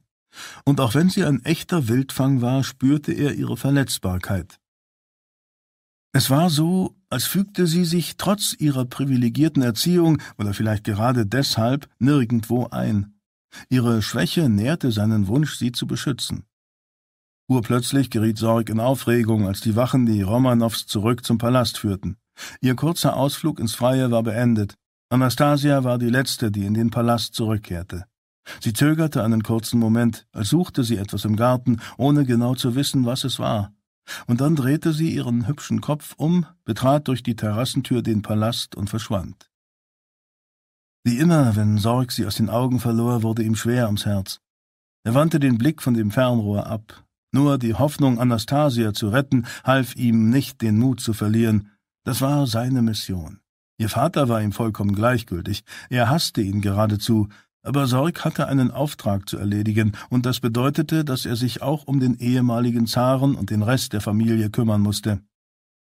Sorg protokollierte die Zeit, machte sich Notizen zum allgemeinen Erscheinungsbild der Familie und schrieb seine persönlichen Eindrücke auf. Den verschlüsselten Bericht würde er nach Helsinki telegrafieren. Von dort aus würde seine Botschaft zu gegebener Zeit über die Unterseekabel von London nach New York und dann weiter nach Washington telegrafiert werden. Der junge Mann legte Notizbuch und Stift weg und begann, das Fernrohr auseinanderzubauen. Als er das leise Knarzen der Bodendielen hörte, drehte er sich um. Ravitsch, sein Vermieter, stand in der Tür. Er betrat den Raum mit einem schiefen Grinsen und zog in aller Seelenruhe die Handschuhe aus.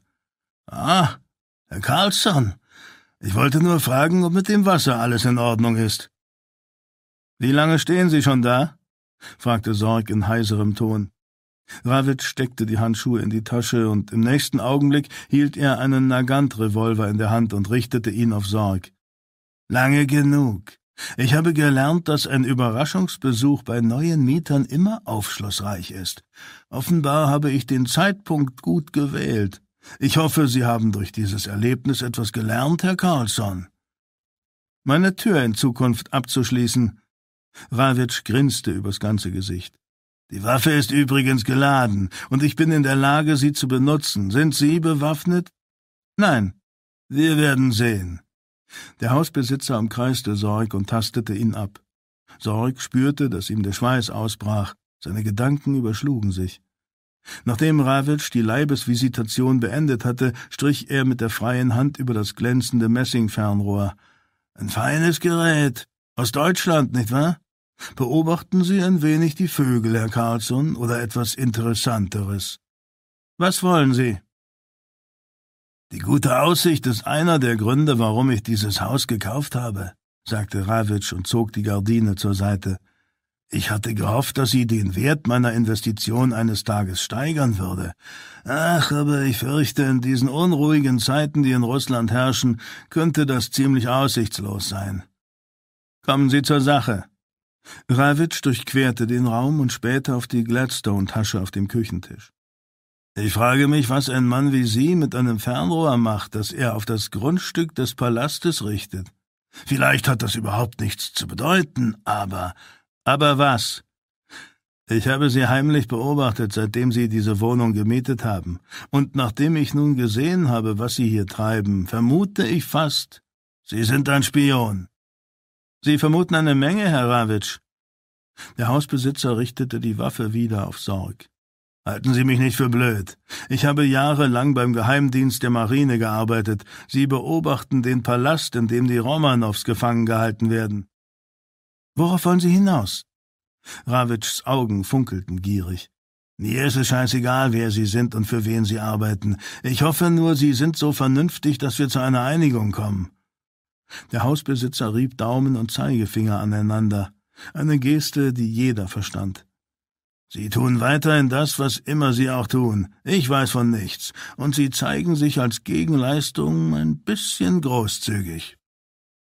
Woher soll ich wissen, dass ich Ihnen trauen kann? Das wissen Sie nicht. Aber ich glaube, wir sind uns einig, dass wir beide in große Schwierigkeiten geraten könnten, wenn wir die Polizei einschalten. Ich kann Ihnen Geld geben. Es ist in dem anderen Raum. Ravitsch zeigte mit der Waffe auf die Küche. Ich freue mich, das zu hören. Aber ich warne Sie, wenn Sie versuchen, mich auszutricksen, blase ich Ihnen den Schädel weg. Er drückte Sorg den Lauf des Nagant-Revolvers in den Nacken, als sie in die Küche gingen. Wo ist das Geld? Sorg zeigte auf den geöffneten Schrank und das abgeschraubte Brett, das dort lag. Da drin, in einem Beutel aus Segeltuch. Holen Sie ihn heraus. Langsam. Sorg zog den Beutel heraus und schickte sich an, ihn zu öffnen, doch Ravitsch hielt ihn auf. Warten Sie! Heben Sie die Hände über den Kopf und treten Sie zur Seite. Sorg folgte dem Befehl. Mit der freien Hand zog Ravitsch die Schnur auf und öffnete den Beutel. Er wühlte darin und zog einen Stapel Rubel und amerikanische Dollar heraus. Auf seiner Stirn schimmerten Schweißperlen. Wie viel ist das? Siebenhundert Rubel in verschiedenen Währungen. Ravitsch fuhr sich mit der Zunge über die Lippen und zeigte mit der Waffe gierig auf den Tisch, wo die Gladstone-Tasche stand. Das reicht mir nicht. Ich will mehr, viel mehr. In diesem Augenblick legte Sorg eine Hand auf den Füller in seiner Brusttasche. Ehe er die Kappe von der Stahlspitze ziehen konnte, zielte Ravitsch mit dem Revolver auf Sorg und gab einen Schuss ab. Die Kugel zischte an Sorgs Schulter vorbei. Er ließ den Füller fallen und warf sich nach vorne. Das Adrenalin strömte durch seinen Körper. Ein weiterer Schuss löste sich, und der Putz rieselte von der Wand hinter ihm. Rawitsch war ein großer, kräftiger Mann, doch als Sorg sich mit voller Wucht auf ihn gestürzt hatte, hatte der Vermieter das Gleichgewicht verloren. Er fiel zu Boden und Sorg landete auf ihm. Ich bringe Sie um, zischte Rawitsch mit hasserfülltem Blick. Mit aller Kraft versuchte Sorg, die Kontrolle über den Revolver zu erlangen und die Waffe auf Ravitschs Kopf zu richten. Er schob einen Finger in den Abzugsbügel und ein letzter Schuss hallte durch die Küche. Ravitschs Kopf kippte nach hinten und seine Augen rollten nach oben. Sorg rang nach Atem. Unter Ravitschs Schädel breitete sich eine Blutlache aus. Der stämmige Mann zuckte kurz und blieb dann reglos liegen. Sorg hob den Füller vom Boden auf und kniete sich hin. Sein Gesicht war schweißüberströmt. Er untersuchte Ravitsch. Die Kugel hatte die linke Augenhöhle durchbohrt und war durch den Hinterkopf wieder ausgetreten. Sorg riss Ravitsch die Waffe aus der Hand. Mit weichen Knien stolperte er in die Küche und erbrach sich ins Spülbecken. Endlich beruhigte sich sein Magen wieder. Sorg drehte den Wasserhahn auf, spülte das Erbrochene weg und rieb die Blutspritzer so gut es ging von seiner Kleidung. Sein Mantel und der Schal würden die restlichen Flecken verdecken. Sorg zog eine der Schubladen auf, in der eine Schachtel mit Kerzen und ein paar Spültücher lagen. Er nahm ein Tuch heraus und wischte sich den Mund ab. Sein Herz klopfte ihm bis zum Hals. Zum ersten Mal in seinem Leben hatte Sorg einen Menschen getötet, und das jagte ihm einen gewaltigen Schrecken ein. Doch er triumphierte, weil er den Zweikampf gewonnen hatte. Jetzt meldete sich sein Überlebensinstinkt. Sorg trat ans Fenster und starrte durch die Gardinen hinaus. Die Straße war menschenleer. Er schlich zur Haustür und öffnete sie mit zitternden Händen. Auf dem Hof war auch niemand. Ravitsch hatte alle Fußspuren bis auf seine eigenen weggefegt. Sorg dachte angestrengt nach. Wenn er die Leiche einfach hier liegen ließ und verschwand, könnte sie jemand finden. Vielleicht hatte Ravitsch Verwandte, die ihn suchen würden. Alles war möglich. Aber auf jeden Fall musste er sich beeilen und durfte nicht in Panik geraten. Sorg steckte Fernrohr und Geldscheine zurück in die Beutel aus Segeltuch und stopfte diese in die Gladstone-Tasche. Dann schraubte er das Brett wieder in den Schrank. Die Blutlache in der Küche unter Ravitschs Schädel breitete sich weiter aus. Sorg nahm eine Kerze aus der Schublade, einen Teller aus dem Schrank und kehrte ins Wohnzimmer zurück. Er zündete den Docht mit einem Streichholz an, ließ etwas Wachs auf den Teller tropfen und drückte die Kerze auf den Tropfen. Den Teller schob er an den Rand des Tisches. Dann öffnete Sorg die Küchentür und klemmte ein Stück zusammengefaltetes Zeitungspapier darunter. Nachdem er seinen Mantel zugeknüpft und den Trilby-Hut aufgesetzt hatte, drehte er den Gashahn des Ofens auf und vernahm im selben Moment das Zischen des Gases. Schließlich nahm Sorg die Reisetasche in die Hand und steckte Ravitschs Revolver in seine Manteltasche. Er verließ das Haus durch die Eingangstür. Als er in die Kälte hinaustrat, war er immer noch schweißgebadet. Als er nach wenigen Minuten ein paar hundert Meter gegangen war, hörte er den lauten Knall der Gasexplosion hinter sich. Orange-rote Flammen schossen in den Himmel. Die Schockwelle traf ihn wie ein Faustschlag in den Rücken und warf ihn beinahe um. Sorg hielt den Hut fest und ging weiter. Sibirien Der blonde Mann mit den harten blauen Augen und den Pockennarben im Gesicht saß an Juri Andrejs Bett. Er trug einen knöchellangen Ledermantel mit dem Parteiabzeichen der Bolschewisten auf dem Revers, einen Schal und dunkle Lederhandschuhe. Seine schwarzen polierten Stiefel glänzten. Das erste, was Andrew sah, als er zu sich kam, war dieser Mann. Zuerst verschwammen die Gesichtszüge vor seinen Augen, doch dann erkannte er ihn. Er sah älter aus als 28 und seine grobe Haut zeugte von einer entbehrungsreichen Kindheit. Sein Gesicht war von altem Narbengewebe überzogen, fast wie bei einem Boxer, der zu viele Runden im Ring gekämpft hatte. Sie starrten sich eine Weile schweigend an, doch war es keinem von beiden unangenehm, denn sie kannten sich schon eine halbe Ewigkeit. Schließlich lächelte der Blonde. Hallo, Juri. Es ist lange her. Mindestens zwei Jahre. Sein Akzent verriet, dass er aus der Arbeiterklasse von St. Petersburg stammte. Leonid, ich freue mich, dich zu sehen. Ich mich auch. Leonid Jakow musterte Andrew, dessen dunkles Haar kurz geschoren und dessen Gesicht unrasiert war. Durch Mangelernährung entstandene rote Quaddeln bedeckten Andrevs Gesicht, und seine Haut war von Wunden übersät, welche die Lagerwärter ihm zugefügt hatten. Im Raum war es trotz des lodernden Holzofens in einer Ecke eisig kalt. Der blonde Mann zog die Handschuhe aus und blies in seine Hände. Neben der Tür standen zwei Wärter in Mänteln und mit Pelzmützen, über deren Schultern Gewehre hingen. Der eine war groß, der andere ein untersetzter, kräftiger Mann mit O-Beinen. Ihre Gesichter wurden durch ihre Pelzmützen fast vollständig verdeckt. Andrejs Stirn war glühend heiß und durch seine linke Schulter und den Oberkörper zuckten stechende Schmerzen. Er lag auf der Krankenstation des Lagers, wenn man das überhaupt so nennen konnte. Es handelte sich um eine dreckige Holzbaracke mit einem Dutzend verrosteter Metallbetten, Flecken von Erbrochenem auf dem Boden, kratzigen Decken und Kissen aus Sackleinen. Der Gestank von Desinfektionsmitteln und verrotteten Verbänden hing in der Luft. Ein geflicktes Bettlaken, das an einer Schnur gespannt war, trennte Andrew von einer Handvoll anderer Kranker, deren Husten und Spucken in einem fort zu hören waren. Ich hab hier etwas gegen die Schmerzen, Jakob zog eine Taschenflasche aus Zinn aus der Manteltasche. Hier, trink einen Schluck Wodka, das wärmt den Bauch, dann wird es dir gleich besser gehen. Andrew nahm die Flasche dankbar entgegen, führte sie an seine aufgerissenen Lippen und trank einen Schluck. Was machst du hier an diesem gottverlassenen Ort? Jakob stand auf. Alles zu seiner Zeit. Ein paar Freunde möchten dich begrüßen. Soba, du zuerst. Er gab dem untersetzten, kräftigen Mann mit der Pelzmütze ein Zeichen. Als er sich näherte, erkannte Andrew den dunklen Teint und den asiatischen Einschlag des Georgiers. Ein Grinsen erhellte das Gesicht des immerzu gut gelaunten Mannes. Guten Tag, Hauptmann! Sie gaben sich die Hand. Soba, was machst du hier?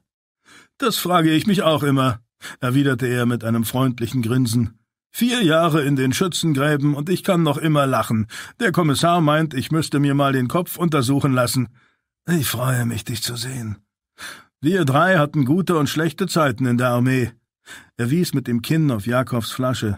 Da wir unser Wiedersehen begießen müssen, hätte ich gegen ein gutes Tröpfchen auch nichts einzuwenden. Jakob reichte ihm die Flasche. Man findet immer einen Grund. Soba grinste und nahm einen ordentlichen Schluck. Es gibt Orte auf der Welt, da sterben die Menschen, weil sie nicht genug trinken. In Russland kommt man durstig zur Welt. Ich habe noch eine Überraschung für dich, Juri.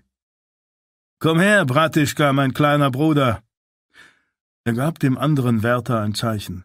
Es war ein blonder, schüchtern aussehender Junge von knapp fünfzehn oder sechzehn Jahren. Seine Uniform war ihm mindestens eine Nummer zu groß. Der junge Mann trat ans Bett und nahm seine Pelzmütze ab. Hallo, Juri, Andrew strahlte. Stanislav! Ich habe mich den Rotgardisten angeschlossen, Juri, sagte der Junge stolz. Ich bin jetzt Soldat. Das kann nicht sein, du bist nicht alt genug. Ich bin fast siebzehn, alt genug, um ein Gewehr für den Genossen Lenin zu tragen. Mein Gott, was soll aus der Welt werden, wenn Jungen schon Waffen tragen? murmelte Andrew, in dessen Stimme aufrichtige Zuneigung mitschwang. Komm her, er drückte dem Jungen herzlich die Hand und umarmte ihn. Zum letzten Mal habe ich dich auf der Beerdigung meines Vaters gesehen. Du sahst aus, als würdest du noch mit Zinnsoldaten spielen. Schau dich jetzt an. Stanislav schwang sein Gewehr. Das hier hat meine Spielsachen ersetzt, Juri. Alle meine Freunde haben sich der Revolution angeschlossen. Lenin ist unser Gott. Sag ihm, warum wir hier sind, Leonid. Jakow zerzauste das Haar seines Bruders und unterbrach ihn. Du redest zu viel, Stanislav. Besorg mit Soba etwas zu essen. Dann haben Juri und ich Zeit, uns zu erzählen, was inzwischen alles passiert ist. Ich hoffe, du erholst dich schnell, Juri. Andrew verabschiedete sich von den beiden, worauf Stanislav und Soba die Baracke verließen. Als sie die Tür hinter sich schlossen, verdunkelte sich Andrevs Miene. Wie konntest du es zulassen, dass Stanislav in die Armee eintritt, Leonid? Wir beide kennen die Schrecken des Krieges. Jakob setzte sich und trank einen Schluck. Ich konnte ihn nicht davon abbringen. Er ist genauso ungestüm und eigensinnig wie ich. Rede es ihm aus, ich flehe dich an. Ich weiß, dass Stanislav immer wie ein kleiner Bruder für dich war. Mach dir keine Sorgen. Ich habe ihn in meine Einheit versetzen lassen, damit ich ihn unter meine Fittiche nehmen kann. Ich sorge schon dafür, dass ihm nichts zustößt. Hier, trink noch einen Schluck. Willst du mich betrunken machen? Wodka ist leider alles, was ich habe, um deine Schmerzen zu lindern. Uns ist das Chloroform ausgegangen. Trink, das wird dir helfen zu vergessen, dass wir auf unterschiedlichen Seiten stehen. Andrew trank ein paar Schlucke. Der hochprozentige Wodka brannte in seiner Kehle und er begann zu husten. Jakob lächelte. Es ist der beste sibirische Wodka, den es gibt. Sie benutzen ihn hier als Brennstoff für die Sturmlampen. Die Lampen brennen sogar beim schlimmsten Schneegestöber weiter. Es ist nur schwierig, die Flamme hinterher zu löschen. Du willst mich wohl umbringen. Mit ernster Miene nahm Jakob einen feuchten Lappen und tupfte den Schweiß von Andrevs Stirn. Feldwebel Mersk sagt, du bist ein unbeugsamer Gefangener. Er scheint ein ekelhafter Kerl zu sein. Mersk hasst jeden. Er hat behauptet, es sei unmöglich, aus dem Lager zu fliehen. Jakob schüttelte amüsiert den Kopf. Also hast du beschlossen, dir ein Wettrennen mit ihm zu liefern? Du hast schon immer Herausforderungen geliebt, Juri. Lebe gefährlich und sei auf der Hut, das war stets dein Motto. Erinnerst du dich, als wir mitten im Winter aus dem deutschen Gefangenenlager geflohen sind? Du hast mich gezwungen, drei Nächte durch hohen Schnee zu stapfen, ohne eine Stunde zu schlafen. Jakob nickte. Und als wäre das nicht schon schlimm genug gewesen, hast du mich aufgefordert, diese furchtbaren Marschlieder der Kosaken zu singen, die wir aus unserer Kindheit kannten, damit ich wach bleibe. Ich habe es dir zu verdanken, dass ich am Leben bin, Juri. Übrigens, der besoffene Tölpel, der sich Lagersanitäter nennt, hat mir gesagt, dass es ein glatter Durchschuss ist. Ich habe die Wunde mit Wodka gereinigt und sie so gut ich konnte verbunden. Aber ich glaube, deine Schulter ist ausgerenkt. Andrew starrte auf Jakobs schwarzen Ledermantel und das Parteiabzeichen der Kommunisten auf dem Revers. Seit wann arbeitest du für die Geheimpolizei, Leonid? Genosse Lenin hat mich mit dem Rang eines Kommissars zur CK abkommandiert. Ich bin beeindruckt. Aber du hast mir noch nicht gesagt, was du hier machst.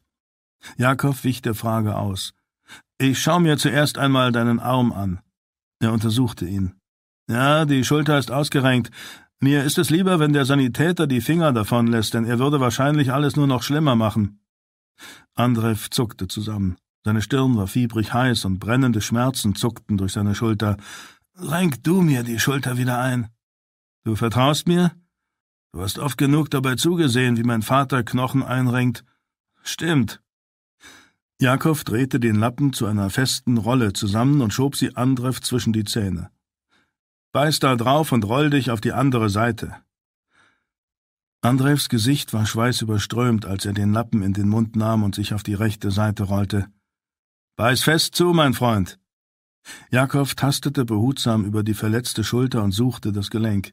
Als er es ertastet hatte, verlagerte er sein ganzes Gewicht auf Andrevs Schulter, holte tief Luft und drückte mit aller Kraft zu. Mit einem lauten Knacken rutschte das Gelenk wieder in die richtige Position. Unerträgliche Schmerzen schossen durch Andrevs Körper, seine Augen rollten nach oben und er verlor das Bewusstsein. Jakob ging zu dem Waschbecken in einer Ecke, nahm einen Zinkeimer und füllte ihn mit eiskaltem Wasser. Er zog den Lappen aus Andrevs Mund, tauchte ein Handtuch in das eiskalte Wasser und warf es ihm ins Gesicht. Andrev wachte auf und starrte ihn mit schmerzverzerrter Miene an. Verdammt tat das weh, stammelte er. Jakob zwinkerte ihm zu. Mit ein bisschen Glück kannst du immer noch Akkordeon spielen, sagte er und riss das dreckige Laken von der Schnur, das sie bis dahin von den anderen Kranken getrennt hatte. Jetzt waren sie den Blicken der Patienten in den anderen Betten ausgeliefert, einem halben Dutzend bis auf die Knochen abgemagerter, kranker und unrasierter Gefangener. Sie starrten auf den Mann in der schwarzen CK-Uniform. Was glotzt ihr so? brüllte Jakob sie an. Die verängstigten Patienten guckten sofort in eine andere Richtung. Jakob zerriss das Laken und knotete es zu einer einfachen Schlinge zusammen, die er Andrev um den Hals und unter den Arm band. Das muss erst einmal so gehen. War das dein Zug, den ich gesehen habe? Ja, so reise ich jetzt auf Lenins Befehl. Die Leute sagen, ich bin seine rechte Hand. Kannst du dir das vorstellen? Ich, von Lenin persönlich eingesetzt. Um was zu tun? Feindliche Agenten und Spione, Spekulanten und Konterrevolutionäre und alle, die Lenins Autorität anzweifeln, aufzuspüren und zu erschießen. Jakow nahm zwei zerschlissene graue Decken von einem leeren Bett und legte sie vorsichtig um Andrevs Beine und Schultern.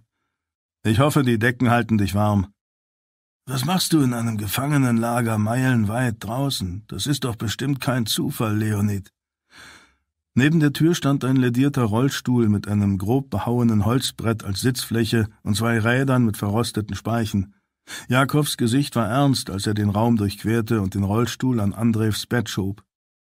Fühlst du dich dazu in der Lage, mit mir auf die Veranda zu gehen, um mit mir zu sprechen? Es ist kalt draußen, aber da sind wir wenigstens ungestört. Was ist los, Leonid? Jakob nahm einen Briefumschlag aus der Tasche, zog ein Blatt heraus und faltete es auseinander. Das Blatt trug einen amtlichen roten Stempel und eine Unterschrift. Jakob senkte die Stimme. Ich habe von Lenin einen Befehl erhalten, der dich betrifft, Juri. Was für einen Befehl? Jakob reichte ihm das Papier. Es geht um deine sofortige Hinrichtung.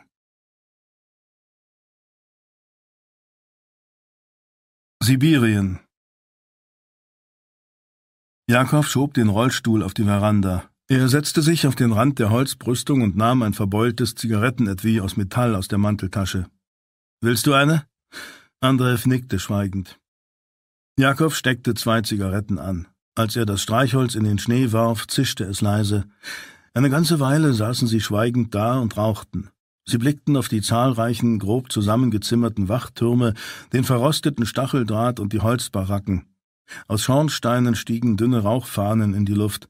Wachen liefen mit mehreren Gruppen von abgemagerten, erschöpften Gefangenen vorbei, die Gefangenenkleidung oder zerfetzte Militäruniformen des zaristischen Heeres trugen. Andrew kratzte sich über die Bartstoppeln. Darf ich erfahren, warum ich hingerichtet werden soll? fragte er schließlich. Oder braucht ihr Roten jetzt keine Gründe mehr? Jakob blies auf die Glut der Zigarette und ließ seinen Blick über das Lager gleiten, das inmitten der verschneiten Einöde lag. Ein Bataillon der Weißen ist nur noch 40 Kilometer von Perm entfernt. Sie könnten die Gefangenen befreien, um die nächste Schlacht gegen uns zu gewinnen. Lenin sieht Heeresoffiziere deines Kalibers als Gefahr an, solltest du befreit werden. Kein Prozess? Kein Militärgericht? Nur ein Erschießungskommando? So läuft das hier? Ihr Weißen lasst unseren Männern gegenüber auch keine Gnade walten, Juri. Es ist ein grausamer Krieg. Wird Lenin den Zaren ebenfalls hinrichten? Er und seine Familie stehen unter Hausarrest, aber der Tag wird kommen. Du willst sie alle umbringen? Die ganze Familie? Es ist unvermeidbar, erwiderte Jakow. Die Partei will sicher sein, dass kein Nachkomme der Romanows jemals wieder an die Macht gelangt. Tötet ihr Bolschewisten jetzt sogar Kinder? Manchmal sind unangenehme Dinge für das Gemeinwohl notwendig, aber das ist nicht brutaler als das Gebaren der zaristischen Geheimpolizei seinerzeit. Du weißt, dass ich diese Dinge verabscheut habe. Ich war dem Zaren niemals blind ergeben, und doch hast du für ihn gekämpft. Ich habe als Offizier in seiner Armee gedient, aber glaube mir, ihr Bolschewisten werdet das Land zerstören. Jakobs Gesicht zuckte, als er ein Foto aus der Tasche seines Waffenrocks nahm. Ich habe dieses Foto in deiner Jackentasche gefunden. Du willst es gewiss zurückhaben. Er reichte es ihm. Andrew warf die Zigarette weg und riss ihm das Foto einer Frau und eines kleinen Kindes fast aus der Hand. Nina scheint es gut zu gehen sagte Jakob leise. Und der kleine Sergei sieht aus wie du. Eine Familie ist verdammt wichtig für einen Mann. Andrew hob den Blick von dem Foto, als versuchte er, seiner Gefühle Herr zu werden. Du hast nie wieder geheiratet? Jakob warf seine halb aufgerauchte Zigarette weg und blickte auf den dichten Wald, der sich in alle Richtungen erstreckte. Welche Frau will einen so hässlichen Kerl wie mich schon haben? Außerdem bin ich jetzt mit der Partei verheiratet. Und deine Tochter? Sie wird schon sechs. Kannst du dir das vorstellen? An dem Tag, als wir den Winterpalast gestürmt haben, gehörte ihre Mutter zu den ersten Opfern. Ich habe davon gehört. Es tut mir leid. Wir haben alle unser Kreuz zu tragen. Sobas Frau kümmert sich jetzt um die Kleine. Als Andrew das Bild von seiner Frau und seinem Sohn betrachtete, bekam er feuchte Augen. Beantwortest du mir eine Frage, Juri? fragte Jakob leise. Andrew sah ihn an, es fiel ihm schwer, die Fassung zu bewahren. Und welche? Was würde dich glücklich machen? Ich glaube, meine Antwort kennst du bereits. Andrew später an dem Lager vorbei in den dichten Wald, wo die Bäume im Nebel wie Geister verblassten. Dass ich wieder bei meiner Frau und meinem Sohn sein kann. Dass ich ein freier Mann bin. Dass ich jeden Morgen neben ihnen aufwachen kann, an einem Ort, an dem Frieden herrscht und keine Hoffnungslosigkeit. Was noch? Ist das nicht genug? Was war es noch, was Tschechow einst gesagt hat? Wir leben für die Liebe und die Hoffnung und unsere Träume und für die kleinen Dinge, die uns erfreuen und für sonst kaum etwas. Es wäre schön, wenn der Schnee schmelzen würde und endlich wieder Frühling wäre. Jakob lächelte. Du warst schon immer ein Romantiker, Juri. Bestimmt liest du noch immer Gedichte. Du hast dich nicht verändert. Die beiden Männer wechselten einen Blick. Aber du hast dich verändert, Leonid. Diese Revolution, die du zu deiner Sache gemacht hast, ist ein wahnsinniges Experiment, das keine Zukunft hat. Sie hat eine grausame Wende genommen. Sag mir, bei welcher Revolution kein Blut geflossen ist. Lenin hat Frieden und Freiheit versprochen, und doch bin ich wie unzählige andere auch in Gefangenschaft. Er hat geschworen, dass er dieses Land von der Geheimpolizei befreien wird, und dennoch hat er eine eigene aufgebaut. Das ist kein Mann, dem ich vertrauen kann. Es geht ihm nur um Macht. Worauf willst du hinaus? Bald werden die Menschen begreifen, dass das alles ein riesiger, blutrünstiger Fehler ist. Ihr Roten werdet mehr unschuldige Menschen töten, als in all den Jahrhunderten der Zarenherrschaft getötet wurden. Jakob schüttelte heftig den Kopf und errötete. Ganz im Gegenteil. Ich glaube, dass es Russlands größte Stunde sein wird. Dann haben wir nichts mehr gemein, Leonid. Ein Mensch glaubt, was er glauben will. Jakobs Lächeln verblasste. Andrew warf einen Blick auf das Foto. Sergei ist drei Jahre alt, sagte er aufgewühlt. Ich kann an einer Hand abzählen, wie oft ich meinen Sohn gesehen habe, seitdem der Krieg begonnen hat. Jakob empfand Mitleid mit Andrew und legte eine Hand auf seinen Arm. Dieser Krieg ist für uns alle hart. Aber wenn ich dir jetzt sage, dass du alles, was du dir wünschst, bekommen wirst und das Lager als freier Mann verlassen kannst, dass du wieder bei deiner Frau und deinem Sohn sein und dein Leben neu beginnen kannst, Juri. Dann würde ich sagen, du hättest zu viel getrunken. Ich bin nicht nur gekommen, um dir dein Todesurteil zu überbringen, sagte Jakob. Du und ich, wir standen uns lange Zeit so nahe wie Brüder. Wir lagen in denselben Schützengräben. Meine Loyalität dir gegenüber ist so stark wie immer, auch wenn wir in diesem Krieg nicht für dieselbe Sache kämpfen. Es ist ein Krieg, der die besten Freunde zu erbitterten Feinden gemacht hat, doch ich lasse nicht zu, dass uns so etwas auch passiert. Was willst du mir sagen, Leonid? Als ich erfahren habe, dass du hingerichtet werden sollst, bin ich zu Lenin gegangen. Ich habe ihm gesagt, wie stolz ich war, mit dir gedient zu haben. Ich habe ihm erzählt, dass dein Vater ein Mann des Volkes war, ein guter Arzt, der niemals eine Kopeke von seinen Patienten nahm, die sich keine Behandlung leisten konnten. Leonid. Du willst es vielleicht nicht hören, aber lass mich trotzdem ausreden, Juri. Dein Vater war einer der besten Menschen, die ich jemals kennengelernt habe. Er hat für meine Familie gesorgt und es Stanislav und mir ermöglicht, zur Schule zu gehen. Er hat alles getan, um meine Mutter zu retten, bis sie an Tuberkulose starb. Und nach ihrem Tod hat er sich um uns gekümmert wie um seine eigenen Kinder. Ich habe Lenin gesagt, dass ich dir mein Leben verdanke. Im Gegenzug habe ich um deines gebeten. Was sagst du da? Dass ich hierher gekommen bin, um dir deine Freiheit anzubieten. Lenin stimmt einer Begnadigung zu, aber unter einer Bedingung. Unter welcher? Dass ich dich überzeuge, für die Sache der Bolschewisten einzutreten. Ich soll mich den Roten anschließen? Bist du verrückt, Leonid?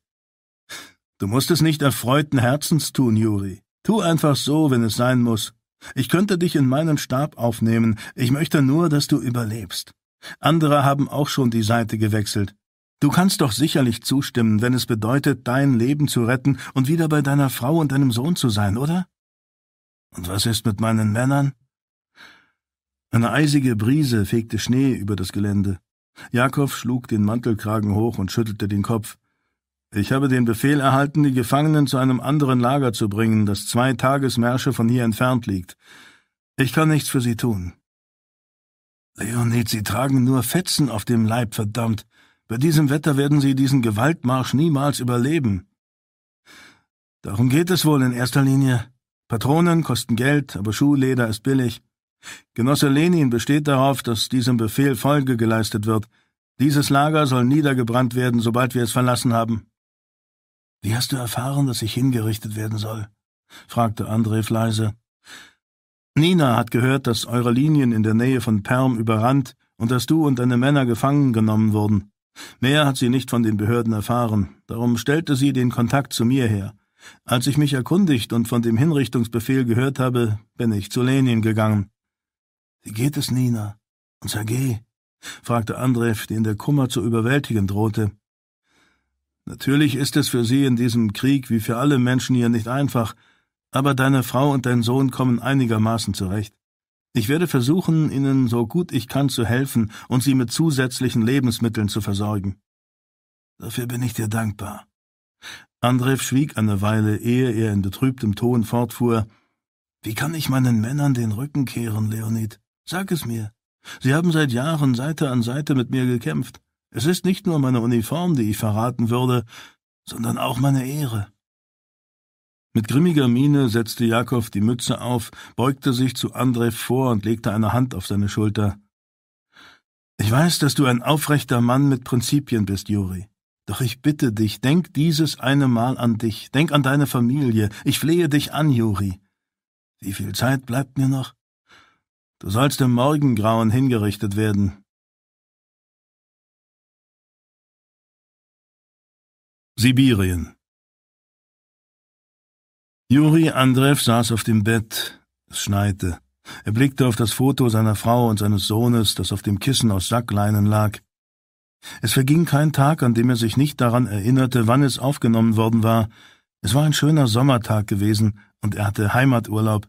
Er fuhr mit Nina und Sergei mit dem Zug zum Jever-Strand vor den Toren von St. Petersburg. Der Junge war ein Jahr alt und das Pfeifen des Zuges begeisterte den Kleinen. Jedes Mal, wenn Andrew das Geräusch nachahmte, begann Sergei zu kichern. Es war genau an diesem Tag, als Sergei seine ersten unsicheren Schritte im Sand machte und mit einem breiten, triumphierenden Lächeln im Gesicht auf den Hintern fiel. Nina war so glücklich, dass sie alle drei gemeinsam im Sand tanzten. Später kauften sie auf der Promenade Eis, und ein kleiner Klecks davon klebte bald schon auf Sergeis Nase. Er lachte darüber, und ein Strandfotograf machte diesen Schnappschuss von ihnen. Es war eine glückliche Zeit. Er und Nina hatten ein Jahr nachdem er seine Ausbildung an der Militärakademie in St. Petersburg abgeschlossen hatte, geheiratet. Für ihn war es die natürlichste Sache der Welt, Nina zur Frau zu nehmen. Er kannte sie seit seiner Kindheit. Sie wirkte auf ihn immer wie ein Kind im Körper einer Frau, und er hatte stets das Gefühl, sie beschützen zu müssen. Da er zum Oberleutnant befördert worden war, hatte er Anspruch auf ein kleines, aber gemütliches Haus aus roten Ziegelsteinen im Offiziersviertel seiner Kaserne. Nach zwei Fehlgeburten wurde drei Jahre nach der Heirat Sergei geboren. Der blonde Junge, der das hübsche Aussehen seiner Mutter geerbt hatte, kam zwei Monate zu früh zur Welt. Zuerst sah es so aus, als würde er es nicht schaffen, seine Lungen waren noch nicht vollständig entfaltet, doch wie durch ein Wunder klammerte er sich ans Leben und entwickelte sich seitdem prächtig. Andrew genoss es, Vater zu sein, und wenn Sergei schlief, stand er oft an seinem Kinderbettchen und beobachtete ihn beim Schlafen. Der Gedanke, dass dieses kleine Wesen sein eigen Fleisch und Blut war, flößte ihm Ehrfurcht ein. Doch einen Monat später brach der Krieg aus, dann folgte die Revolution und die Welt wurde auf den Kopf gestellt. Der Zar dankte ab, die Roten ergriffen die Macht und Russland wurde von blutigen Unruhen erschüttert. Der Krieg gegen Deutschland lief für die Russen nicht gut, und Hunderttausende der besten jungen Männer Russlands wurden von den besser ausgerüsteten deutschen Truppen niedergemetzelt. Die Armee des Zaren spaltete sich in zwei fast gleich große Lager. Die eine Hälfte bestand aus den Weißen, die dem ehemaligen Zaren treu ergeben waren, die andere Hälfte sympathisierte mit den unterschiedlichsten sozialistischen Splittergruppen, die in ganz Russland urplötzlich aus dem Boden schossen. Eine dieser kleinen Minderheitsparteien, die von Lenin angeführten Bolschewisten oder die Roten, wählten einen günstigen Augenblick, um die Macht zu ergreifen, worauf in Russland ein blutiger Bürgerkrieg ausbrach. Lenin hielt Moskau, doch der Rest des Landes versank in Chaos, während sich die Truppen der Weißen und der Roten erbitterte Kämpfe um die Vorherrschaft in Russland lieferten. Die Gefühle überwältigten Andrew. Behutsam strich er über das Foto seiner Familie, als wäre es zerbrechlich. Als die Roten die Macht ergriffen und ihr Mann gefangen genommen wurde, brach für sie eine Welt zusammen. Andrew wusste, dass ihr seine Gefangenschaft und die Ungewissheit, ob sie ihn jemals lebend wiedersehen würde, schwer zu schaffen machten. Er durfte seiner Frau nicht einmal schreiben. Die Probleme in ihrer Ehe hatten jedoch schon kurz nachdem er zu seiner Einheit gestoßen war begonnen. Nina wünschte sich einen Ehemann und keinen Soldaten, der mehr Zeit mit seinen Kameraden verbrachte als mit seiner Frau. Es gab kaum noch intime Momente, und sie stritten sich immer häufiger. Die Liebe, die sie einst verbunden hatte, war im Laufe der Jahre der Gewohnheit gewichen. Sie führten mittlerweile eine Beziehung, die eher von Freundschaft als von Leidenschaft geprägt war. Noch schlimmer war, dass die Roten, nachdem sie die Macht ergriffen hatten, alle Kasernen der Weißen beschlagnahmten und die Familien der Soldaten auf die Straßen setzten. Vor seiner Gefangennahme hatte Andrew zum letzten Mal einen Brief von Nina erhalten und erfahren, wie es ihr ging. Sie wohnte mit Sergei in einer winzigen Einzimmerwohnung mit feuchten Wänden und einer Gemeinschaftstoilette in einem Elendsviertel in St. Petersburg. Mit ein paar Rubeln im Monat, die ihr Vater, ein Kaufmann, der seiner einzigen Tochter fast jeden Wunsch erfüllte, erübrigen konnte, schlug sie sich mehr schlecht als recht durch. Es brach Andrew das Herz, von seiner Familie getrennt zu sein. Aber er war nicht der Einzige, der dieses Schicksal erleiden musste. Jeder, der sich Lenin widersetzte, Männer, Frauen, ganze Familien, wurde erschossen oder zu harter Zwangsarbeit in den eisigen Weiten der sibirischen Straflager verurteilt. Die durchschnittliche Überlebensdauer für Gefangene in Straflagern betrug acht Monate. Doch nur wenige überlebten länger als vier. Die mörderische Arbeit, zu der sie gezwungen wurden, Bäume fällen oder Tunnel in gefährlichen Goldminen graben, richtete sie zugrunde. Das erbärmliche Essen, wässrige Suppe aus verfaultem Gemüse und Knorpel, sorgte dafür, dass sie langsam verhungerten. Es schrie zum Himmel, dass Lenin genau das Strafsystem, das er einst so vehement angeprangert hatte, benutzte, um seine Feinde zu vernichten. Andrew starrte auf die Fotografie von Nina und Sergei. Immer wieder quälte ihn dieselbe Frage. Was wird aus uns werden? Er war weit entfernt von dem einfachen, glücklichen Leben, das er einst in St. Petersburg geführt hatte.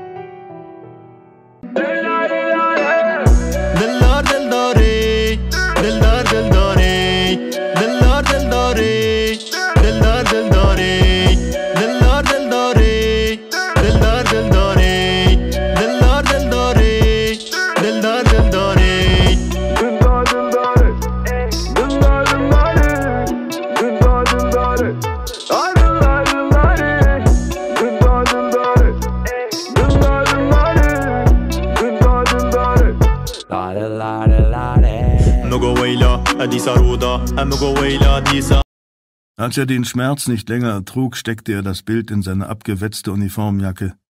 Irgendwo in der Ferne hörte er das Pfeifen der transsibirischen Eisenbahn, die an den meisten Tagen am Lager vorbeifuhr. Das Geräusch erinnerte ihn wieder an diesen sorglosen Sommertag, als er und Nina mit Sergei zum Njewa-Strand gefahren waren und Sergei über das Eis, das auf seiner Nase klebte, gelacht hatte, und er erinnerte sich an die ungetrübte Freude in ihren Herzen, als sie mit ihrem Baby in den Armen im Sand getanzt hatten. Als die Tür zur Krankenbaracke geöffnet wurde, erwachte Andrew aus seinen Träumen. Zwei Männer in zerlumpten Uniformen traten ein. Hauptmann Michail Wilsk war ein schlachsiger Infanterieoffizier, dessen Lippen von verkrusteten Fieberbläschen überzogen waren. Eine Kugel der Deutschen hatte sein linkes Bein unterhalb des Knies zertrümmert und er ging am Stock. Sein Begleiter, Unteroffizier Abraham Talku, im zivilen Leben eigentlich Juwelier, war ein kampferprobter Soldat aus Kiew mit einer Brille mit Drahtgestell. Eines der Gläser war zerbrochen, doch irgendwie hielt es noch zusammen. Ein paar seiner Fingerkuppen fehlten. Die schwarzen Stummel wiesen auf eine Erfrierung hin. Wilsk humpelte ans Bett und starrte auf Andrevs verbundene Wunden. Wir dachten, du würdest schon in einer Kiste liegen, Juri. Stattdessen haben wir erfahren, dass der Wachmann, der dich verwundet hat, von einem CK-Offizier angeschossen wurde. Stimmt das? Wie geht es dir? Andrev nickte. Es könnte viel schlimmer sein. Ja, es stimmt. Unteroffizier Tarku trat ans Fenster und wischte mit dem schwarzen Stumpen eines Fingers über das beschlagene Glas. Er spähte hinaus in das Schneetreiben. Der CK-Offizier ist Leonid Jakov, nicht wahr?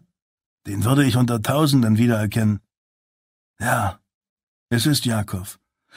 Ich habe ihn aus dem Zug steigen sehen, der auf dem Nebengleis hier im Lager gehalten hat, bevor man sie auf einer Bahre herausgetragen hat.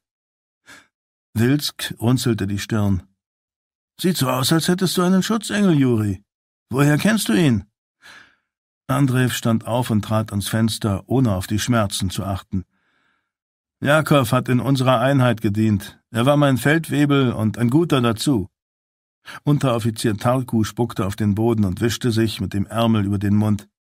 Das war, bevor er zu den Roten übergelaufen ist.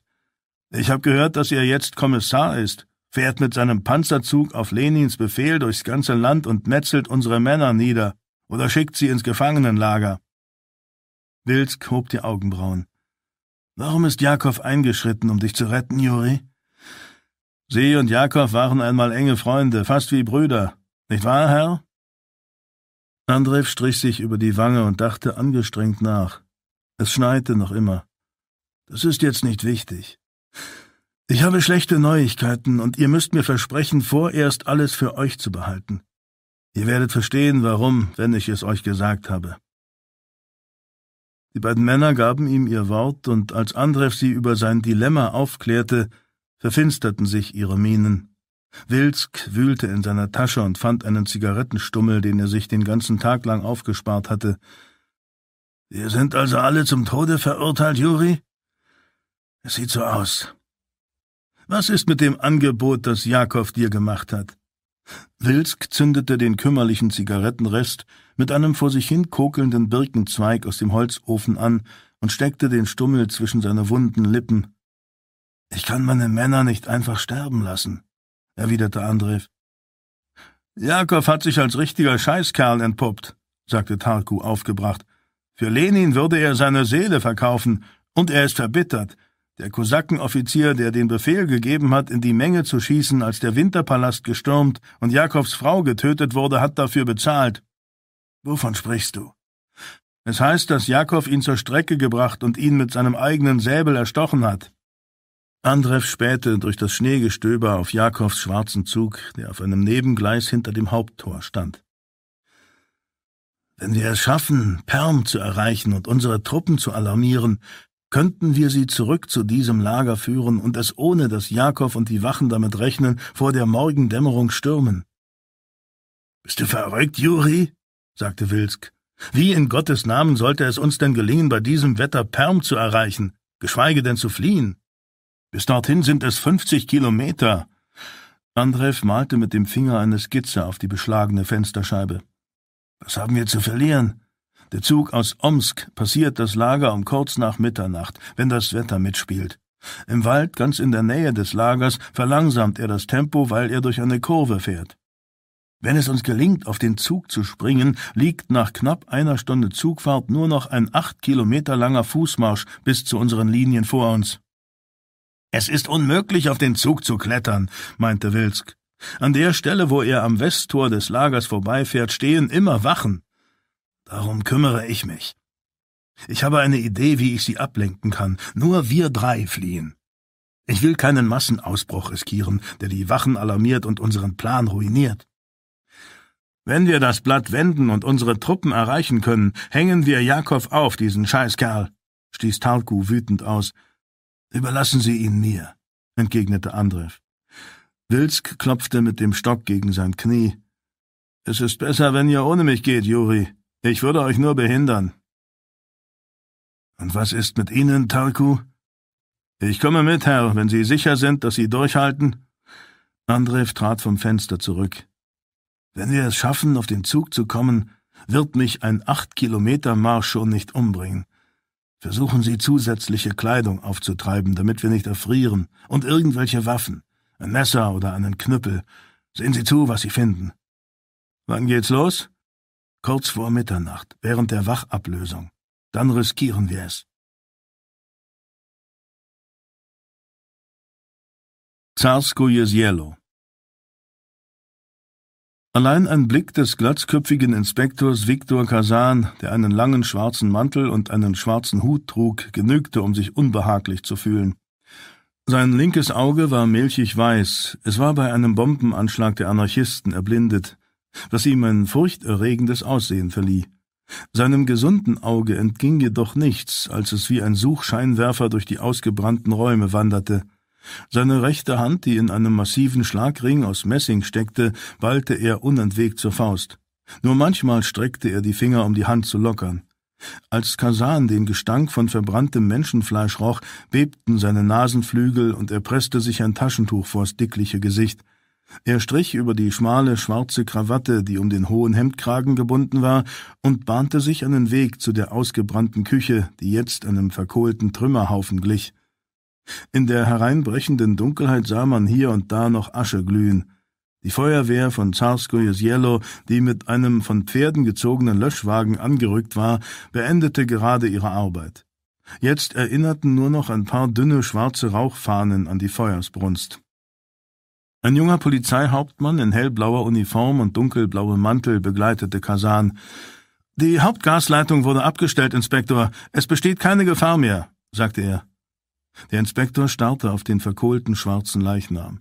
Es sah so aus, als hätte die Explosion den Mann gegen die Küchenwand geschleudert. Er lag auf der Seite und war teilweise mit der Wand und dem Betonboden verschmolzen, der vom Löschwasser durchnässt war.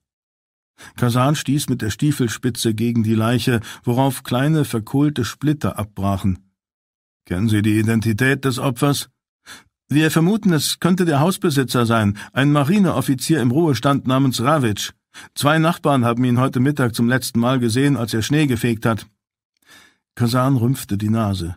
In der Küche stank es entsetzlich. Der Leichnam war bis zur Unkenntlichkeit verbrannt. Kein Fetzen Fleisch war von den Flammen verschont geblieben. Wer hat das Haus gemietet? Einem der Nachbarn hat Ravitsch erzählt, dass der Mieter ein ausländischer Geschäftsmann ist. Er soll seit ungefähr sechs Wochen hier wohnen. Alter? Mitte zwanzig. Der Nachbar weiß nicht, aus welchem Land er stammt. In den Trümmern gibt es keine Hinweise auf eine andere Leiche. Dieser Mieter ist wie ein Phantom. Ein Phantom? Er blieb offenbar immer für sich. Außer Ravitsch und dem Nachbarn hat ihn hier noch nie jemand gesehen. Haben Sie seinen Namen? Nein, Inspektor, aber wir können versuchen, ihn herauszubekommen. Kasan nahm seinen Hut vom Kopf und wischte sich mit dem Taschentuch über die Stirn und die glatte, glänzende Glatze. Versuchen reicht nicht aus. Ich will einen Namen und ich will eine Beschreibung. Wie ein Raubtier, das versuchte, eine Fährte aufzunehmen, betrachtete er den nahegelegenen Alexanderpalast, während er die Finger der rechten Hand, die in dem Schlagring steckte, unablässig bewegte. Sie glauben also, es handelt sich um einen bedauernswerten Unfall, Polizeihauptmann? Der Polizist wusste, dass Kasan, ein ehemaliger Geheimdienstpolizist der Okrana des Zaren, der nun für die Tscheka der Bolschewisten arbeitete, im Ruf stand, mit äußerster Brutalität vorzugehen – er jagte seine Opfer gnadenlos, und es hieß, er prügle unbeugsame Gefangene auch schon mal zu Tode. Hunderte, wenn nicht gar Tausende der ehemaligen Geheimdienstpolizisten des Zaren waren in den Ruhestand getreten, entlassen oder von der rachsüchtigen Meute getötet worden, nicht so Kasan. Er hatte die Bolschewisten überzeugt, dass seine Gerissenheit und Erfahrung nur von Nutzen sein konnte. Nun ja, es sieht ganz danach aus, Inspektor, erwiderte der Polizeihauptmann vorsichtig. Es wäre nicht die erste Gasexplosion bei kaltem Wetter. Dennoch hielt mein Oberst es für klug, Sie über die Explosion zu informieren, falls doch mehr dahinter stecken sollte. Vor allem, weil das Haus in der Nähe des Palastes steht. Eine weise Entscheidung Ihres Obersts. Kasan steckte den Schlagring in die Tasche. Dann kniete er sich hin und untersuchte eine erstarrte, teerige Masse, die an der Stelle auf dem Boden klebte, wo die Leiche gegen die Wand geschleudert worden war. Er brach ein kleines Stück der schwarzen Substanz ab und zerrieb sie zwischen Daumen und Zeigefinger. Sie war spröde und zerbröselte. Kasan schnupperte daran und strich kurz mit der Zungenspitze darüber. Dann klopfte er sich die Asche von den Händen und stand auf. Dieses schwarze Zeug ist Blut. Woher wissen Sie das, Inspektor? Dreißig Jahre Erfahrung. Kasans Blick wanderte über den Boden. Er trat mit dem Fuß gegen verbrannte Trümmer, presste gedankenverloren die Fingerspitzen beider Hände zusammen und führte sie an die Lippen. Das Opfer könnte Selbstmord begangen haben, aber ich zweifle daran. Das viele Blut und die Gasexplosion sprechen dagegen. Es scheint mir wahrscheinlicher zu sein, dass ein Mörder versucht hat, seine Spuren zu beseitigen. Gott stehe dem Verbrecher bei, wenn Kasan seine Fährte aufnimmt, dachte der Polizist. Haben Ravitschs Nachbarn Fremde in dieser Gegend beobachtet? Kasan blickte auf den schneebedeckten Rasen des Alexanderpalastes. Nein, wir haben sie gefragt. Aber der Mieter ist verschwunden. Die Explosion ereignete sich erst vor vier Stunden. Es könnte sein, dass er noch auftaucht. Kasan knurrte. Oder auch nicht. Mein Gefühl sagt mir, dass mehr dahinter steckt. Wir dürfen nicht vergessen, dass der Palast nur einen Steinwurf von hier entfernt liegt. Es gibt königstreue Spione, die nichts lieber täten, als den Zaren aus dem Hausarrest zu befreien. Wir dürfen kein Risiko eingehen. Es ist wirklich unglaublich, wie schnell Kasan seine Fahne nach dem Wind hängt, dachte der Polizeihauptmann. Kasan entdeckte etwas in der Asche. Er beugte sich hinunter und hob eine kleine braune Flasche aus geriffeltem Glas auf, an der Asche klebte. Der Gummipfropfen war geschmolzen. Kasan wischte die Flasche ab und schnüffelte daran. Haben Sie etwas gefunden? fragte der Polizist. Als Kasan den bitteren Geruch wahrnahm, rümpfte er die Nase. Laudanum. Wie bitte? Ein Beruhigungsmittel, das zur Behandlung verschiedenster Krankheiten eingesetzt wird. Schmerzen, Angst. Die Liste ist lang. Kasan steckte die Flasche in seine Manteltasche. Befragen Sie Droschkenkutscher, Zimmerwirte und Hausbesitzer. Finden Sie heraus, ob kürzlich Fremde in diese Gegend gekommen sind. Überwachen Sie die Bahnhöfe. Stellen Sie auf allen Straßen, die zur Stadt führen, Kontrollposten auf. Geben Sie die Beschreibung des Mieters weiter. Aber Inspektor, meine Männer haben alle Hände voll zu tun, erwiderte der Polizist aufgebracht. Kasan starrte den Polizeihauptmann mit seinem gesunden Auge ungerührt an, während das trübe Auge ins Nichts glotzte. Machen Sie, was ich sage. Wenn unser Phantom irgendwo da draußen herumläuft, werde ich es finden. Könnten Sie ein paar Minuten anhalten? fragte Sorg den Droschkenkutscher. Die Natur verlangt ihr Recht. Sie hatten den Stadtrand von Zarskoje Sielo erreicht und standen auf einer kleinen Anhöhe, die dicht mit Kiefern bewachsen war. Ein zugefrorener Bach schlängelte sich durch den Wald. Der Droschkenkutscher zügelte die beiden kräftigen Pferde, deren Atem als weiße Nebelwölkchen in die eisige Luft stieg.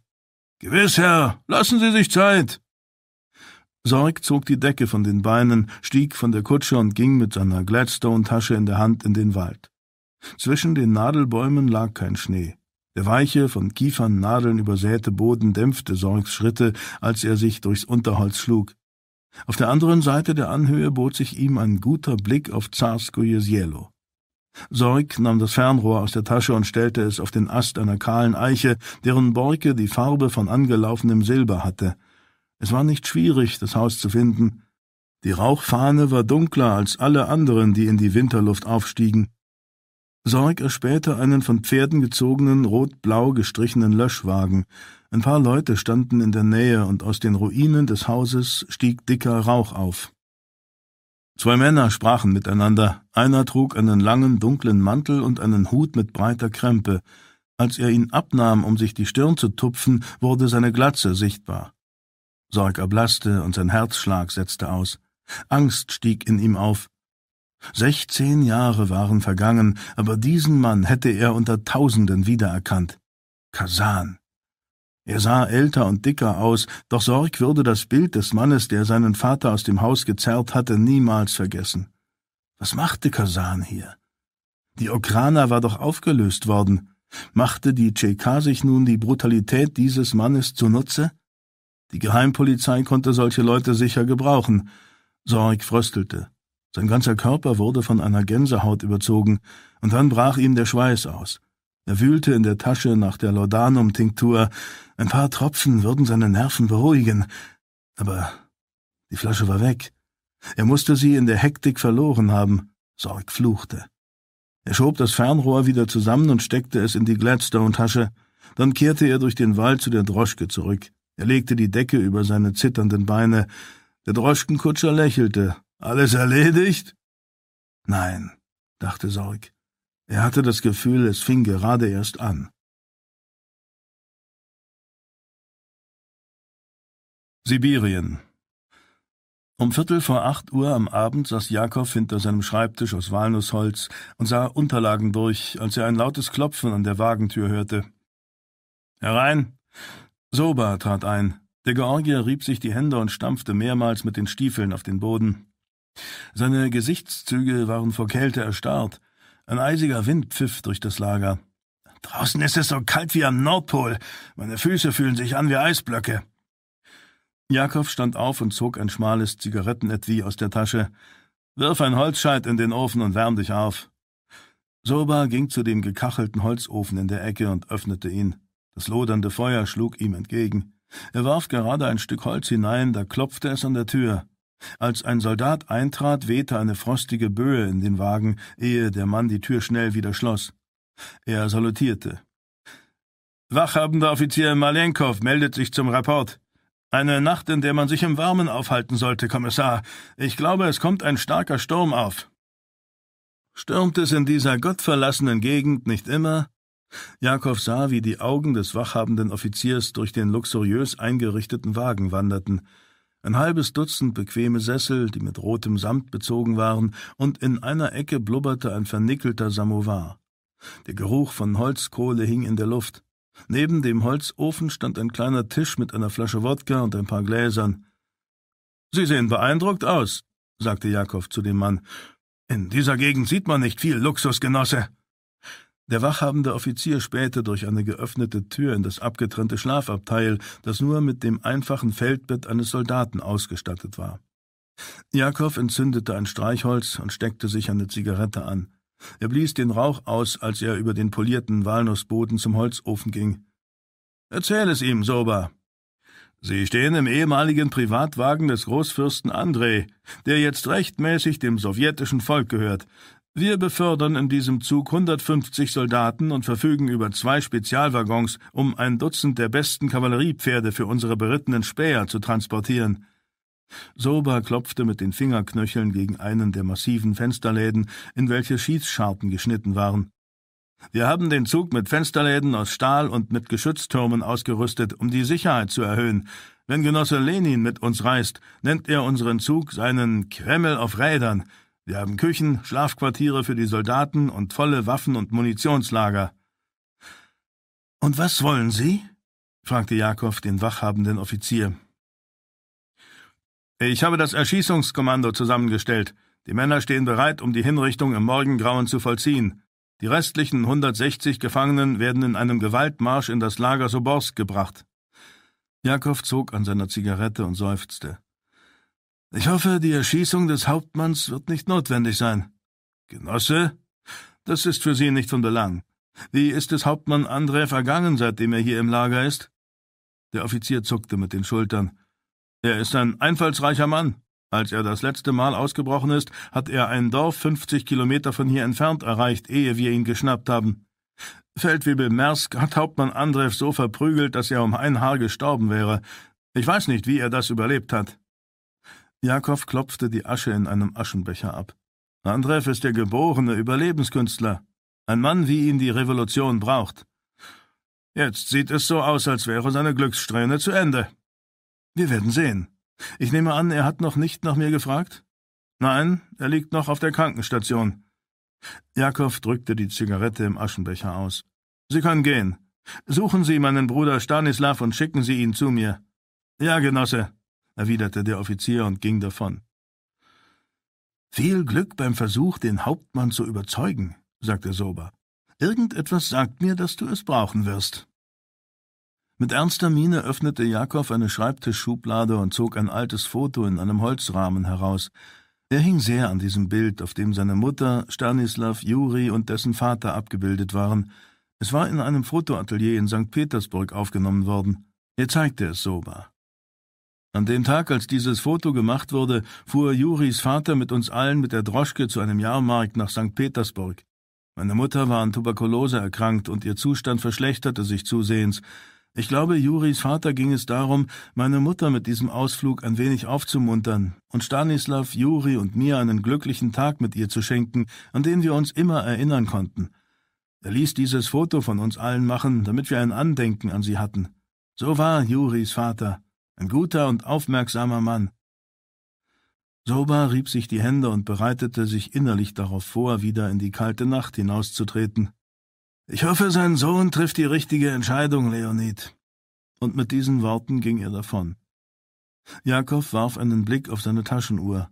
Fünf Minuten nach acht Uhr. Er öffnete den obersten Knopf des Waffenrocks und goss sich ein Glas Wodka ein.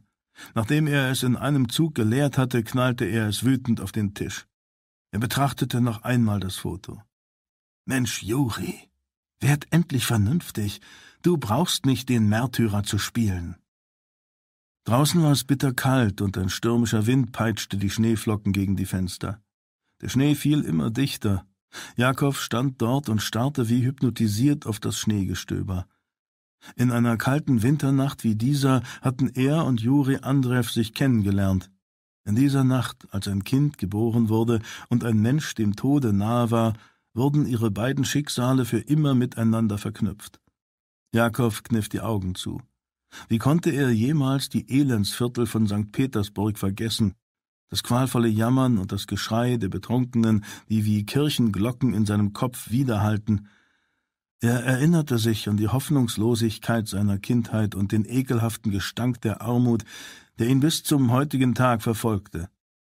Und plötzlich wurden die Erinnerungen an die Vergangenheit wieder lebendig.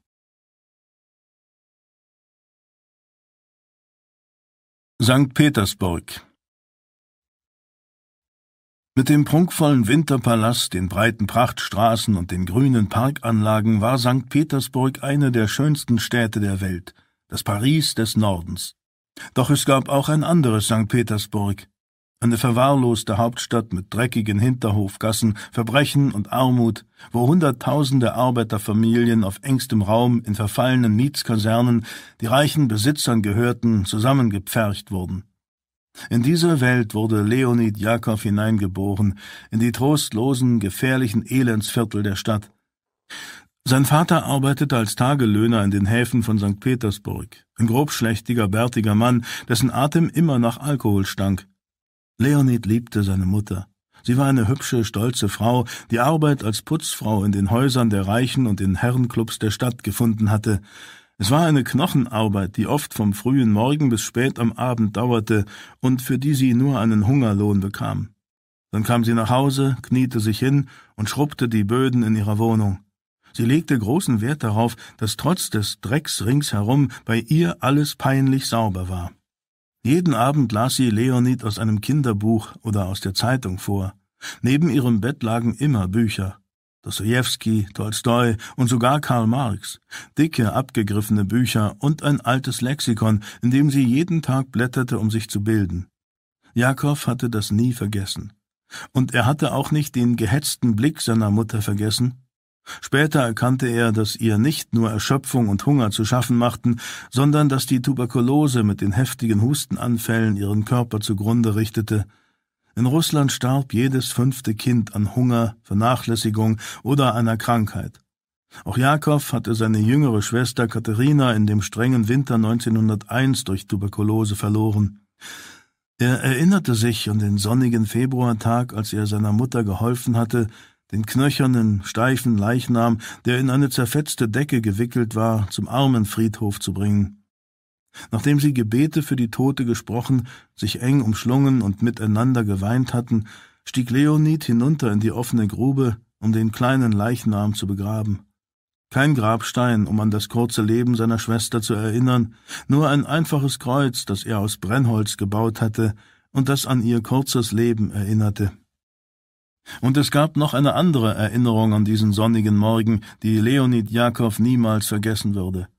Die Glocken der Isaakskathedrale erklangen, und Leonid sah, als er seine Mutter in den Arm nahm, über die Dächer von St. Petersburg hinweg die glänzenden, vergoldeten Kuppeln, die vielen prächtigen Herrenhäuser und tausende von glitzernden Fenstern des riesigen Winterpalasts des Zaren. Diese Sinnbilder der Macht und des Reichtums, die über die Armut und das Leid der Jakobs zu spotten schienen, entfachten in Leonid eine unbändige Wut und brannten sich auf ewig in sein Gedächtnis ein. Es war im Herbst desselben Jahres, als der Bauch seiner Mutter wieder dick wurde. Nach dem Tod der Schwester hatte Leonids versoffener Vater Arbeit auf einem Dampfschiff nach Amerika gefunden und war nie wieder zurückgekehrt. An einem frostigen Tag im Januar im Jahre 1901 stieg Leonid die Treppe in ihrem Wohnhaus hinauf und sah Blutflecken auf dem Weg in das Zimmer seiner Mutter. Bestürzt lief er hinein und sah, dass sie auf dem Bett lag.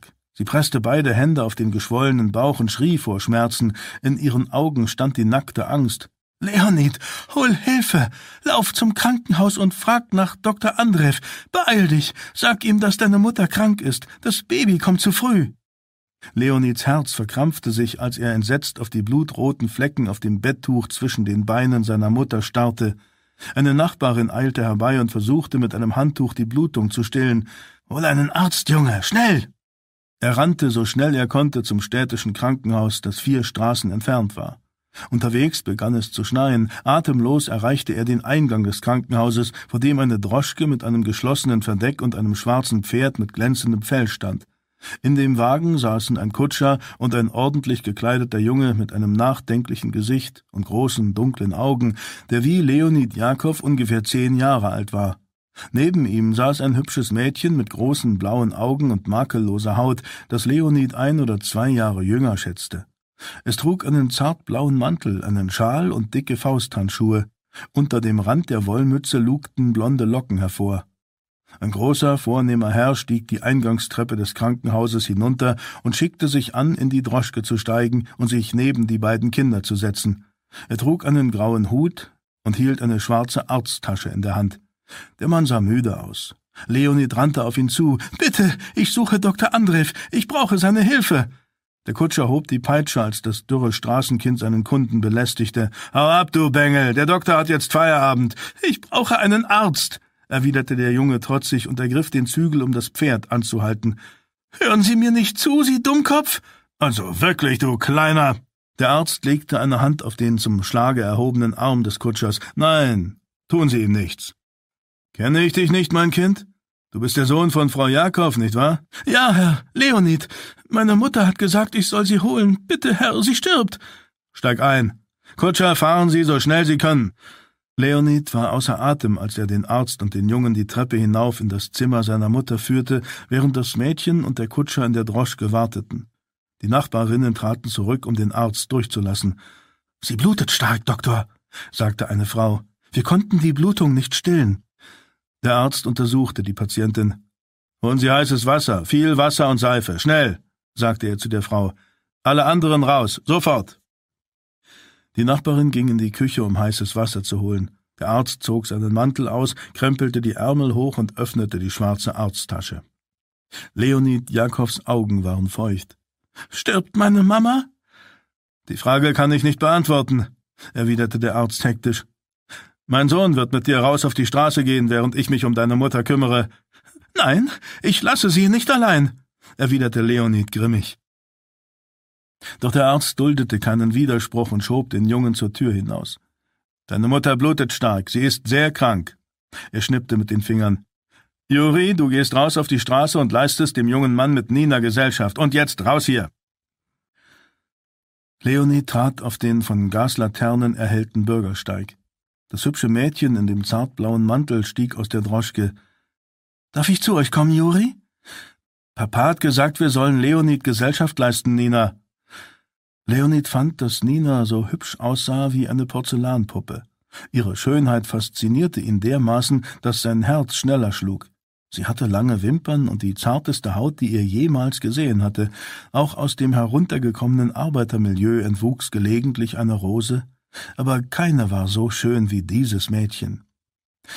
Der Junge mit den dunklen Augen war ordentlich gekleidet und sauber. Er sah nicht so hochnäsig aus wie manch andere reiche Jungen, doch Jakob hegte einen Groll gegen ihn. Er hegte gegen alle Reichen und ihre Kinder einen Groll. Wie heißt du? fragte Jakob misstrauisch. Juri. Und das ist Nina, erwiderte der Junge höflich. Ich bin Leonid Jakow. Er starrte mit grimmiger Miene zu dem Fenster hoch, hinter dem im Licht einer flackernden Petroleumlampe Schatten tanzten. Ich hoffe, dein Vater ist ein guter Arzt, Juri Andrew. Warum? Weil ich ihn umbringe, wenn meine Mama stirbt. Der Junge ging nicht auf die Drohung ein. Mein Vater gehört zu den besten Ärzten in St. Petersburg. Manchmal ist er schlecht gelaunt, aber nur weil er wütend auf die Welt ist und meint, dass alles furchtbar ungerecht ist. Juri betrachtete die von Gaslaternen erhellte Straße. Obwohl er noch ein Kind war, wirkte er sehr erwachsen. Wie ist es, hier zu wohnen? Was meinst du wohl? Jakob, der von Missmut und Angst erfüllt war, stieß dem Jungen mit einem Finger gegen die Brust. Wo wohnst du? Auf dem Niewski-Prospekt. In diesen prächtigen Häusern? Du bist der Sohn eines reichen Arztes. Du warst wahrscheinlich noch nie in einer solchen Gegend, was? Natürlich war er das. Erzähle es ihm, Juri, sagte Nina, die den fremden Jungen mit Bewunderung in den Augen beobachtet hatte. Mein Vater bringt in ganz St. Petersburg Babys zur Welt, erwiderte Juri kühl. Und wir sind nicht reich. Wenn du mich noch einmal anstößt, knall ich dir eine. Der Ton des Jungen ließ vermuten, dass er es ernst meinte. Das war kein reicher, eitler Fatzke. Leonid Jakow gab es nicht gerne zu, doch er bewunderte Juri Andrew, weil er sich nicht so leicht einschüchtern ließ. Der Junge hatte Charakter. Nina musterte ihn mit besorgtem Blick. Warum bist du böse, Leonid Jakow? Das Mädchen war so hübsch, dass Leonid ihm kaum in die Augen blicken konnte. Wenn du arm wärst und in diesem Elendsviertel wohnen würdest, Wärst du auch böse, dachte er. Doch dieses Mädchen hatte keine Ahnung von dem rauen Leben ringsherum. Plötzlich hörten sie über ihren Köpfen Babygeschrei. Leonid flitzte die Treppe des Mietshauses hinauf und drückte die Tür auf. Seine erschöpfte Mutter lag auf dem Bett. Ihr Gesicht war schweißüberströmt und sie hielt ein kleines Bündel in den Armen. Die Nachbarin wischte das Blut vom Boden auf, während der Arzt seine Hände in einer Schüssel mit heißem Seifenwasser wusch. Auf seiner Stirn glänzten die Schweißtropfen, doch das Babygeschrei, das durch den Raum hallte, hatte die Anspannung aus seinem Gesicht vertrieben. Der Doktor strahlte. Gute Nachrichten, Leonid Jakow. Deine Mutter wird wieder gesund und du hast einen kleinen Bruder. In dieser Nacht schneite es. Leonid blieb bei seiner schlafenden Mutter. Der Arzt, Juri und Nina waren weggefahren und Leonid machte sich schreckliche Sorgen. Seine Mutter konnte in diesem Zustand nicht arbeiten, also hatten sie nichts zu essen. Verzweifelt starrte er auf das winzige, rosige Gesicht seines kleinen Bruders. Die Hilflosigkeit des süßen Babys, das er in den Armen wiegte, bezauberte ihn. Er war erstaunt, dass dieses kleine Wesen sofort seinen Beschützerinstinkt und seine Liebe weckte. Was kann ich tun, um zu helfen? fragte er sich. Er war fast elf, doch auch schon neunjährige Kinder arbeiteten in Fabriken, Backstuben und auf Märkten oder als Schornsteinfeger oder Laufjungen. Leonid war ein guter Schüler, er konnte lesen und schreiben, aber nun war es vorbei mit der Schule. Er beschloss, dass er Lebensmittel stehlen würde, wenn er keine Arbeit fand, doch die Sorgen brachten ihn fast um. Um kurz nach Mitternacht hörte er eine Droschke unten auf der Straße. Kurz darauf stieg jemand die Treppe des Mietshauses hinauf, und dann klopfte es. Leonid legte seinen Bruder zur schlafenden Mutter, er durchquerte den Raum und öffnete vorsichtig die Tür. Der Doktor war zurückgekehrt. Diesmal hatte er zwei Strohkörbe, ein Kinderbett und Bettzeug mitgebracht. Er hatte dunkle Ringe unter den Augen und sah müde aus. Darf ich reinkommen, Leonid Jakow? Ja, Herr. Der Arzt stellte die Strohkörbe, das Kinderbett und das Bettzeug auf den Boden. Seinen Hut legte er auf den klapprigen Tisch und trat ans Bett, in dem Ljudmila Jakowa mit ihrem Baby lag. Er betrachtete ihre schlafenden Gesichter und legte eine Hand auf die Stirn der Mutter. Sie hat kein Fieber mehr. Mit Gottes Gnade wird deine Mutter wieder gesund. Und mein Bruder? Dr. Andrew lächelte müde. Er ist einen Monat zu früh zur Welt gekommen aber ich glaube, er wird es schaffen. Das Kinderbett hat früher Juri gehört. Ich dachte, deine Mutter kann es bestimmt gut gebrauchen. Ich brauche es nicht mehr, Leonid. Danke, Herr. Du hast Juri kennengelernt. Er ist ein guter Junge, ebenso liebenswert und aufrichtig, genau wie seine Mutter gewesen ist. Ich hoffe, du magst ihn. Der Atem des Arztes roch nach Pflaumenschnaps. Leonid kannte diesen Geruch von seinem Vater. Der Arzt war nicht betrunken, aber nüchtern war er auch nicht mehr. Leonid nickte. Ihre Kinder scheinen nicht so verwöhnt zu sein wie andere reiche Kinder, erwiderte er frei heraus. Wir sind nicht reich, Leonid. Ich verstehe, dass für dich dieser Eindruck entstehen kann. Ich bin nur ein vielbeschäftigter Arzt mit viel zu vielen Patienten und zu wenig Zeit. Wenn ich weniger trinken und öfter darauf bestehen würde, dass meine Patienten ihre Rechnungen bezahlen, hätte ich wahrscheinlich mehr Geld zur Verfügung. Aber im Leben zählt nicht nur Geld. Was meinen Sie damit, Herr? Der Doktor lächelte verhalten. Ach, nichts. Du hast recht. Juri ist kein verwöhnter Junge, und dafür bin ich seiner Mutter dankbar. Sie stammte aus einer Militärfamilie und bestand darauf, ein bescheidenes, ehrbares Leben zu führen. Der Arzt rieb sich die müden Augen. Und Nina ist nicht meine Tochter. Ihre Eltern sind gute Freunde von mir und haben mich gebeten, ihre Tochter vom Musikunterricht abzuholen. Der Arzt setzte sich auf einen der beiden Stühle, die in dem spärlich eingerichteten Zimmer standen. Setz dich, Leonid, forderte er den Jungen auf.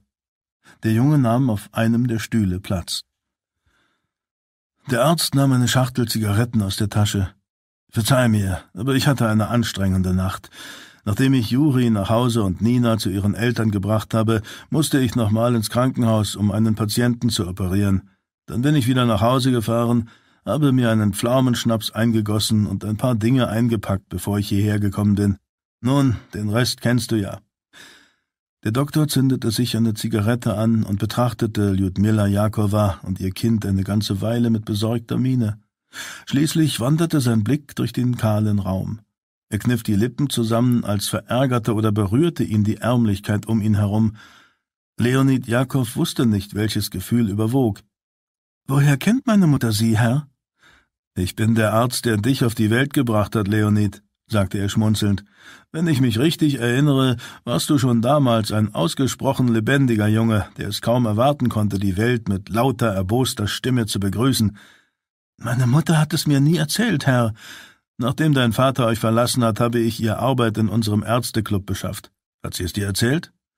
Leonid schüttelte den Kopf. Der Blick des Arztes glitt zu den abgegriffenen Büchern neben dem Bett. Deine Mutter ist eine liebenswerte, rechtschaffene Frau, Leonid eine liebevolle Mutter. In einer gerechteren Welt und mit einer besseren Ausbildung hätte sie gut für sich und euch sorgen können. Aber diese Welt, in der wir beide leben, ist nicht gerecht. Das weißt du sicher. Ja, Herr. Warum helfen Sie uns, Herr? Wer sind wir denn, wenn wir nicht anderen helfen können? Wir sind niemand. Dr. Andrew zögerte. Hast du schon über einen Namen für deinen Bruder nachgedacht? Leonid sah zum Bett hinüber. Das friedliche Bild einer schlafenden Mutter mit ihrem Kind würde fortan immer die zärtlichsten Gefühle in ihm wecken. Meine Mutter hat gesagt, dass wir ihn nach Ihnen nennen wollen, weil Sie das Leben des Babys gerettet haben. Wie heißen Sie mit Vornamen, Doktor? Stanislav. So werden wir meinen Bruder nennen. Stanislav. Der Arzt sah gerührt und fast ein wenig verlegen aus. Das, das ist nett von euch beiden. Sehr nett. Hilf deiner Mutter, Leonid. Sie hatte eine schwere Geburt und wäre fast gestorben. Sei lieb zu ihr. Zärtlich strich der Arzt Leonid über den Kopf. Dann stand er auf und reichte ihm ein kleines braunes Fläschchen. Ich komme morgen wieder. Wenn deine Mutter Schmerzen hat, soll sie eine Tablette davon nehmen. Wenn du mich brauchst, hole mich zu jeder Tages- und Nachtzeit. Ich komme sofort. Der Arzt warf Ljudmila Jakowa, die noch immer schlief, einen letzten Blick zu, und strich dann behutsam über die abgegriffenen Rücken der Bücher neben dem Bett. Deine Mutter liest viel, nicht wahr? Jeden Abend, Herr. Andrew nahm eines der Bücher in die Hand. Sie mag Tolstoi. Ja, Herr. Darf ich dir sagen, was Tolstoi einst geschrieben hat, Leonid? Ja, Herr. Er schrieb über unsere Verpflichtung als Mensch anderen gegenüber. Er schrieb, dass wir Liebe und Zärtlichkeit, die uns geschenkt werden, immer dankbar annehmen sollten und dass es unsere Aufgabe ist, Leid zu lindern, sobald wir eine Seele in Not treffen. Verstehst du das, Leonid? Leonid verstand es nicht.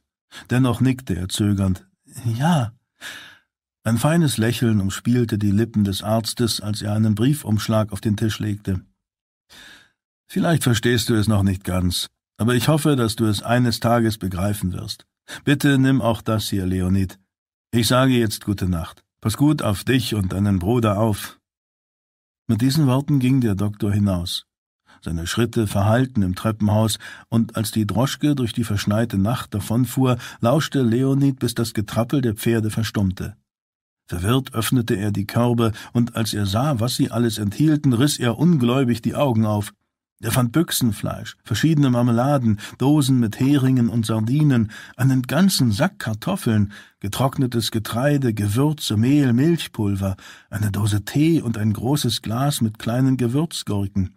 Und Kleidung für ihn und seine Mutter, Pullover, zwei dicke Wollschals, Hemden und Socken. Einiges war neu und anderes gebraucht, aber es waren alles warme, gebügelte Sachen. Es befanden sich auch Decken, Babykleidung und frisch gewaschene Betttücher darunter, die nach Flieder dufteten. Leonid vergrub das Gesicht in der Wäsche und atmete den angenehmen Duft ein. Die Gefühle überwältigten ihn und er bekam feuchte Augen. Als Leonid den Umschlag aufriss, den Dr. Andrew auf den Tisch gelegt hatte, fand er fünfzig Rubel. Dafür musste seine Mutter monatelang arbeiten, Außerdem steckte in dem Umschlag eine kurze Mitteilung in gestochener Handschrift mit einer Adresse. Ein paar Lebensmittel, um euch zu helfen, Leonid. Du bist ein sehr mutiger Junge. Mach dir keine Sorgen um die Zukunft. Ich werde da sein, um zu helfen. Dr. Andrew. Es lag noch ein kurzer Brief in der sauberen Handschrift eines Kindes dabei, in dem stand Ich habe mich gefreut, dich kennenzulernen, Leonid Jakow. Es ist schön, dass es deiner Mutter gut geht und dass du einen kleinen Bruder hast. Ich hätte auch gerne einen. Vielleicht können wir uns deinen Bruder teilen. Dann können wir alle drei wie Brüder sein. Hoffentlich sehen wir uns wieder. Liebe Grüße von Nina. In den nächsten Jahren gab es so vieles, wofür Leonid dem Doktor dankbar war. Doch als er in dieser Nacht auf die beiden mit Lebensmitteln und warmer Kleidung gefüllten Strohkörbe und seine erschöpfte Mutter und den kleinen schlafenden Bruder sah, konnte Leonid Jakow nur weinen. Ein lautes Schluchzen entfuhr ihm und ein wundervoll warmes Gefühl des Trostes und der Dankbarkeit und ein neu entdeckter Glaube an die Güte der Menschen erfüllten ihn.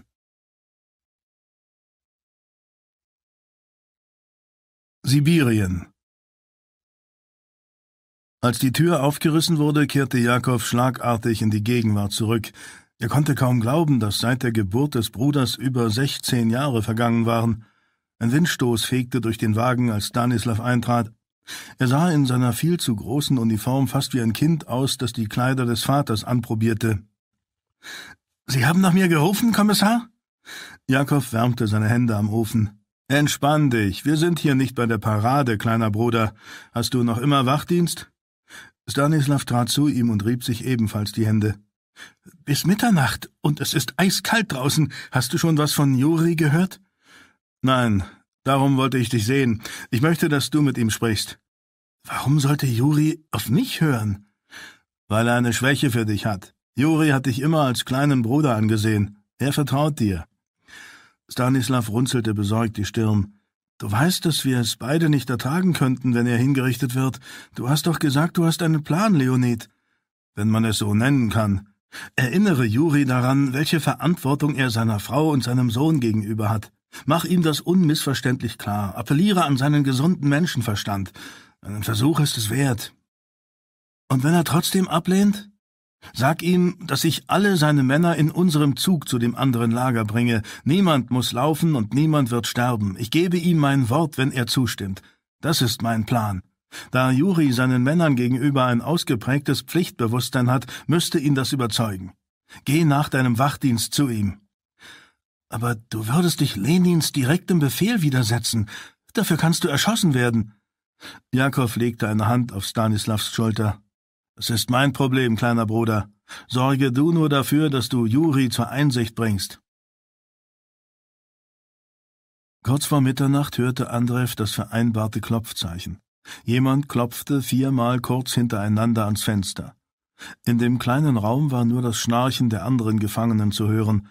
Mit der Decke über den Schultern stand Andrew auf und trat an die von Raureif überzogene Fensterscheibe. Er wiederholte das Klopfzeichen, ging dann zur Tür und schob den Riegel zur Seite. Unteroffizier Tarku trat ein und blinzelte hinter den beschlagenen Brillengläsern. Er trug eine Pelzmütze, einen Wollschal, Fäustlinge und zwei Mäntel. Die Stiefel waren von einer dicken Schneeschicht bedeckt, und er hatte den Arm voller Kleidungsstücke. Hauptmann Wilsk hat einen Mantel gespendet, Herr, flüsterte er. Und Sie können einen meiner Pullover haben. Nehmen Sie die Decke am besten mit. Draußen ist es eiskalt. Andreev schloss die Tür und nahm dankbar die Kleidungsstücke entgegen. Tarku half ihm, den Mantel über seine Schultern zu legen und ihm den Pullover wie einen Schal um den Hals zu binden. Sind Sie sicher, dass Sie es mit Ihren Wunden schaffen, Herr? Es muss gehen. Gab es Probleme auf dem Weg hierher? Nein, die Aufseher sind mit der Wachablösung beschäftigt. Tarku zog ein furchteinflößendes Schlachtermesser unter dem Mantel hervor. Der Stahl glänzte in dem spärlichen Licht, das durch die von Eisblumen überzogene Fensterscheibe in den Raum fiel. Ich habe eine Waffe gegen einen wertvollen Goldring getauscht. Von Beruf bin ich Juwelierherr, und es ist mir tatsächlich gelungen, den Ring über all die Zeit zu verstecken. Ich frage Sie lieber nicht wo. Denken Sie daran, das Messer nur zu benutzen, wenn es unbedingt sein muss. Wie ist der Plan, Hauptmann? Ganz einfach. Wir beide verlassen das Lager durch das Haupttor. Der Unteroffizier riss den Mund auf und steckte das Messer wieder in die Tasche seines Mantels. Das ist wohl ein Scherz, Herr. Es muss genau der richtige Augenblick sein. Wir müssen das Tor passieren, kurz bevor der Zug aus Omsk am Lager vorbeifährt, so dass wir Zeit haben, auf den Zug zu springen. Wie machen wir das? Jakobs Zug steht auf einem Nebengleis, an dem unser Zug vorbeifährt. Er erwartet mich, um mit mir über seinen Vorschlag zu sprechen. Wenn wir es irgendwie hinkriegen, dass die Wachen uns zu Jakobs Zug bringen, müssen wir sie im richtigen Moment ausschalten und auf den Zug aus Omsk springen. Aber Jakob will nur mit Ihnen sprechen. Andreev ging zur Tür. Überlassen Sie das mir. Das hört sich riskant an. Was, wenn Alarm geschlagen wird und Jakob uns mit seinem Zug folgt? Es dauert mindestens eine Viertelstunde, bis Sie den Kessel von Jakobs Lokomotive angeheizt haben, und noch länger, bis Sie uns eingeholt haben. Wir hätten auf jeden Fall einen Vorsprung. Selbst wenn er zur nächsten Station telegrafiert, hätten wir bis dahin schon den Zug verlassen und wären auf dem Weg nach Perm. Andrew schob leise den Riegel zur Seite und spähte hinaus. Ein paar Stimmen hallten durch die Winternacht, als die Wachen während der Wachablösung miteinander sprachen. Das Lager schien zu schlafen. Es hatte aufgehört zu schneien, der Horizont war pechschwarz. Wolkenfetzen zogen über den silbernen Mond hinweg. Hinter den Toren des Gefangenenlagers erstreckte sich, so weit das Auge reichte, ein undurchdringlicher Wald, der so schwarz war wie die Nacht. Es wird Zeit, und vergessen Sie nicht zu beten, sagte Andrew. Er gab Tarku ein Zeichen, ihm zu folgen, und trat hinaus. Als sie durch den Schnee zu der mit Stacheldraht gesicherten Umzäunung am Westtor stapften, sahen sie Sturmlampen, die die Baracke der Wächter erhellten. Sehen Sie den winzigen Lichtpunkt am Horizont hinter den Toren? Tarku blinzelte durch seine zerbrochene Brille und erkannte nur mit Mühe den schwachen Fleck in weiter Ferne, der aussah wie ein flimmernder Stern. Er wusste aber, dass es die helle Stirnleuchte einer Lokomotive war. Der Zug aus Omsk kommt pünktlich. Uns bleiben ungefähr zehn Minuten, ehe er das Lager passiert.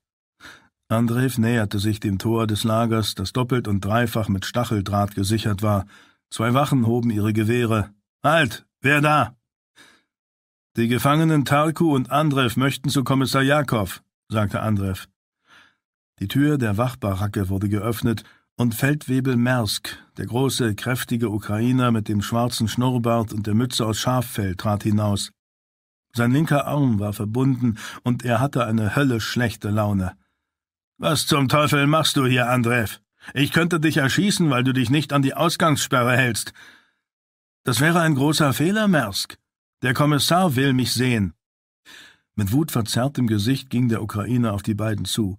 In der rechten Hand hielt er eine furchterregende kurze Kosakenpeitsche, eine Nagaika, an deren Ende eine Metallspitze eingeflochten war. Er drückte Andrew den Griff der Peitsche ins Gesicht. Glaub ja nicht, dass du mit dem Ärger, den du heute gemacht hast, davonkommst, du zaristischer Scheißkerl. Was hast du mit Jakow zu besprechen? Fragen Sie ihn selbst. Ich frage dich. Mersk hob die Hand und verpasste Andrew einen Schlag mit dem Griff der Peitsche. Andrew wich zurück. Du warst immer ein Unruhestifter, sagte Mersk. Er warf die Peitsche auf den Boden und zog mit der rechten Hand einen Nagant-Revolver aus dem Holster. Ein leises Klicken war zu hören, als er den Hahn spannte. Grinsend richtete Mersk den Lauf auf Andrevs Kopf. Er hat versucht zu fliehen und ich habe ihn erschossen. Ihr werdet mich beide decken, verstanden? sagte er zu den Wachen. Die Männer hoben ihre Gewehre. Wir machen, was Sie sagen, Feldwebel. Mersk grinste breit.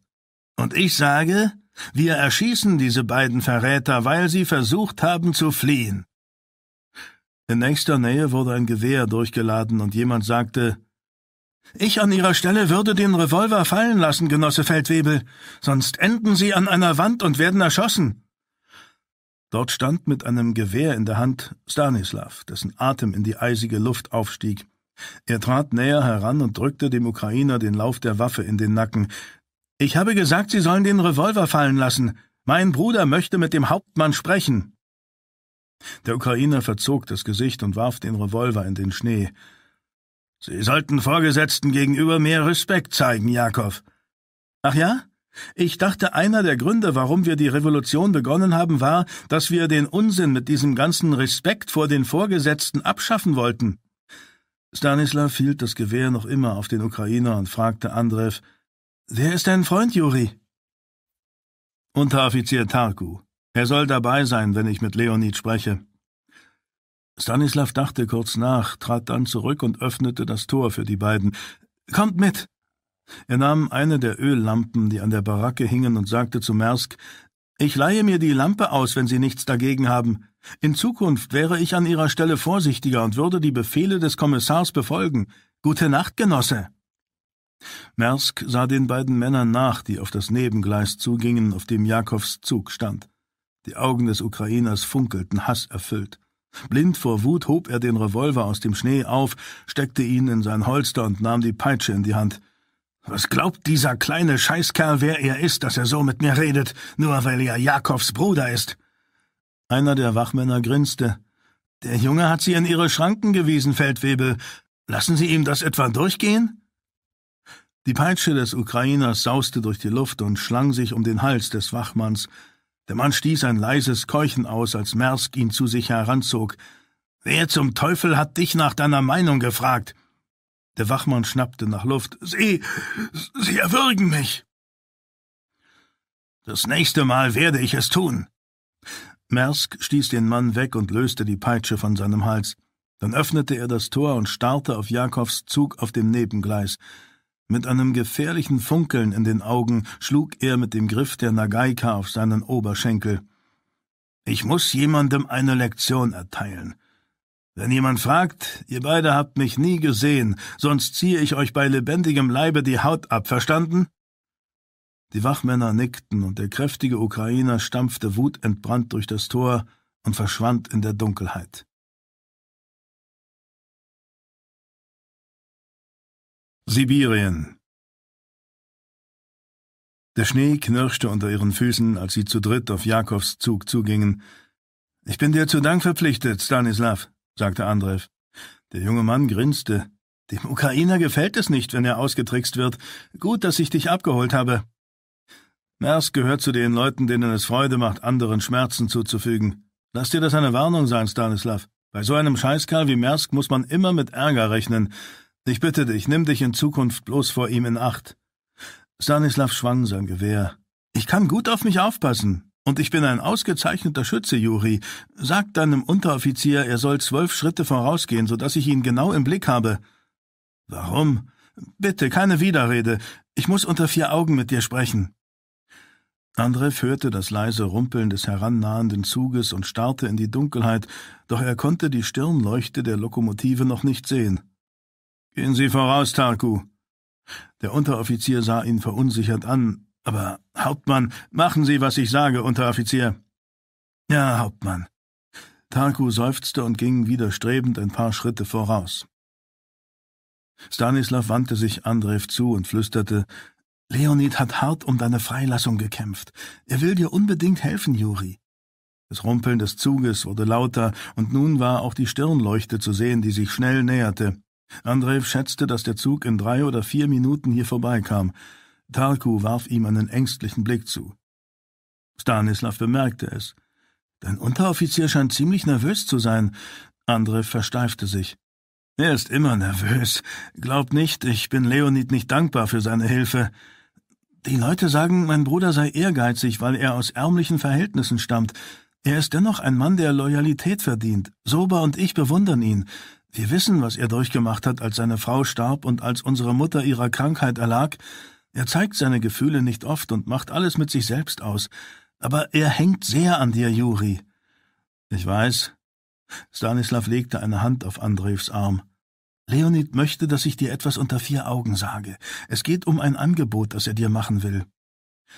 Als das Zuglicht noch näher kam, geriet Tarku in Panik und drehte sich plötzlich um. Das Messer unter seinem Mantel wurde sichtbar und die Klinge glitzerte im Licht der Laterne. Wir haben keine Zeit mehr, Hauptmann! Tarku stürzte sich auf Stanislav, doch Andrew warf sich dazwischen und entriss dem Unteroffizier das Messer. Nein! Tun Sie ihm nichts! Der verwirrte Stanislav ließ die Laterne fallen und hob sein Gewehr. Was, was geht hier vor sich? Andrew presste eine Hand auf Stanislavs Mund, so dass dessen Schrei in der Kehle erstickte. Er schleuderte den Jungen herum und knallte ihn mit dem Gesicht gegen den nächsten Waggon.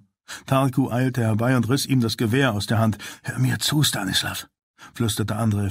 So sehr ich es auch hasse, aber ich muss dich außer Gefecht setzen. Er beugte sich zu ihm vor, so dass sich ihr Atem in der kalten Luft vermischte. Wenn du wieder zu dir kommst, sind wir längst weg. Es tut mir leid, dass ich dir wehtun muss, Bratischka. Andrew drückte auf Stanislavs Halsschlagader, worauf der Junge stöhnte und wild um sich schlug, dann verdrehte er die Augen und verlor das Bewusstsein. Wehr dich nicht, Stanislav, sagte Andrew. Ich wusste, dass ihr Dreckskerle nichts Gutes im Schilde führt, Jetzt werdet ihr dafür bezahlen, hörten sie jemanden in barschem Ton sagen. Andrew wirbelte herum, als Stanislav auf dem Boden zusammenbrach. Vor ihm stand der ukrainische Feldwebel mit einem boshaften, hämischen Gesichtsausdruck und der Nagaika in der rechten Hand. Tarku legte das Gewehr an. Keine Sekunde später zischte die Nagaika mit einem lauten Knall durch die Luft und traf die Hand des Unteroffiziers. Er schrie auf und ließ die Waffe fallen. Die Peitsche zischte erneut und schlang sich um Tarkus Hals. Der große Ukrainer zog ihn zu sich heran und verpasste ihm eine Kopfnuss, worauf der Unteroffizier wie ein Sack Mehl zu Boden ging. Der Ukrainer grinste. Jetzt bist du dran, Andrew. Es wird mir großes Vergnügen bereiten, dir eine Lektion zu erteilen. Andrew versuchte, der Peitsche auszuweichen, doch sie traf seine verwundete Schulter. Ein stechender Schmerz schoss durch die Wunde und ihm entfuhr ein verzweifelter Schrei. Mersk warf die Nagaika feixend auf den Boden und zog einen Kosakendolch mit doppelter Schneide vom Gürtel. Die Klinge blitzte in seiner Hand. Es wird Zeit, dass ich das hier ein für allemal beende. Ich werde dir bei lebendigem Leibe die Haut abziehen, Andrew. Das Pfeifen der Lokomotive aus Omsk schrillte durch die Nacht, als sie in der Nähe des Lagers um eine Biegung fuhr. Die Stirnleuchte war keine fünfhundert Meter mehr entfernt, eine Rauchfahne quoll aus dem Schornstein und wehte über die Lokomotive hinweg. Als Mersk den Zug sah, fiel der Groschen. Das hast du also vorgehabt, Andrew? Eine schnelle Fahrt in die Freiheit? Zu spät. Das schaffst du nicht mehr. Stanislav stöhnte benommen und rappelte sich mühsam auf. Und wo willst du hin, du kleiner Scheißkerl? sagte Mersk zu ihm. Der Junge war noch nicht ganz zu sich gekommen und konnte sich kaum auf den Beinen halten. Mein. mein Gewehr. Als der verstörte Stanislav seine Waffe aufheben wollte, holte der Ukrainer aus und stieß ihm die Klinge in den Rücken. Stanislav schrie und bäumte sich auf. Seine Augen spiegelten nacktes Entsetzen wider, als er auf dem schneebedeckten Boden zusammenbrach. Mit einem Grinsen im Gesicht zog der Ukrainer die Klinge aus der Wunde und wischte sie an seinem Mantelärmel ab. Nein, stammelte Andrew ungläubig, und ein Schrei des Entsetzens kroch seine Kehle hinauf. Jetzt bist du dran.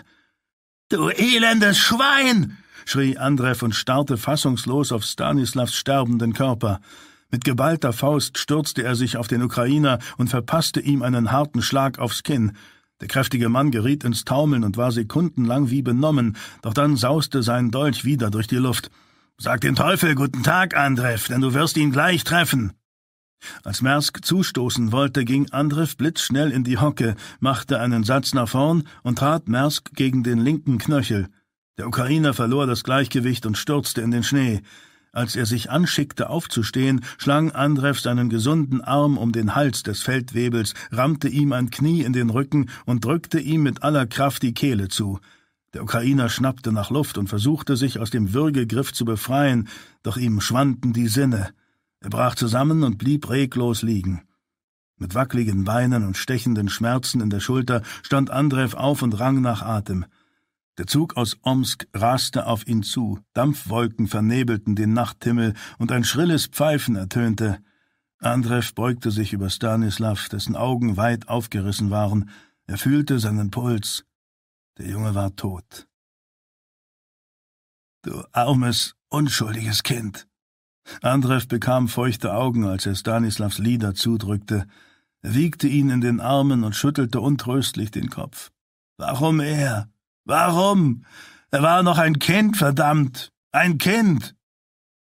Als er das Pfeifen des Zuges erneut hörte, wischte sich Andrew über die Augen und legte den Toten behutsam in den Schnee. Dann riss er Tarku hoch und schüttelte ihn. Wachen Sie auf! Wachen Sie auf, verdammt! Allmählich kam Tarku wieder zu sich. Benommen schob er die Brille auf den Nasenrücken und starrte auf die beiden leblosen Körper. Was, was ist passiert? Später, der Zug, Tarku. Rennen Sie zu den Schienen. Haben Sie Mersk getötet? Wir haben keine Zeit, das zu überprüfen. Laufen Sie! Der Güterzug näherte sich, und plötzlich war er direkt vor ihnen. Das schrille Pfeifen hallte in ihren Ohren, und der Boden bebte unter ihren Füßen, als er langsam um die Biegung fuhr. Andrew warf einen letzten, kummervollen Blick auf Stanislavs Leichnam, ehe er Tarku am Kragen packte und mit ihm auf den Zug zurannte.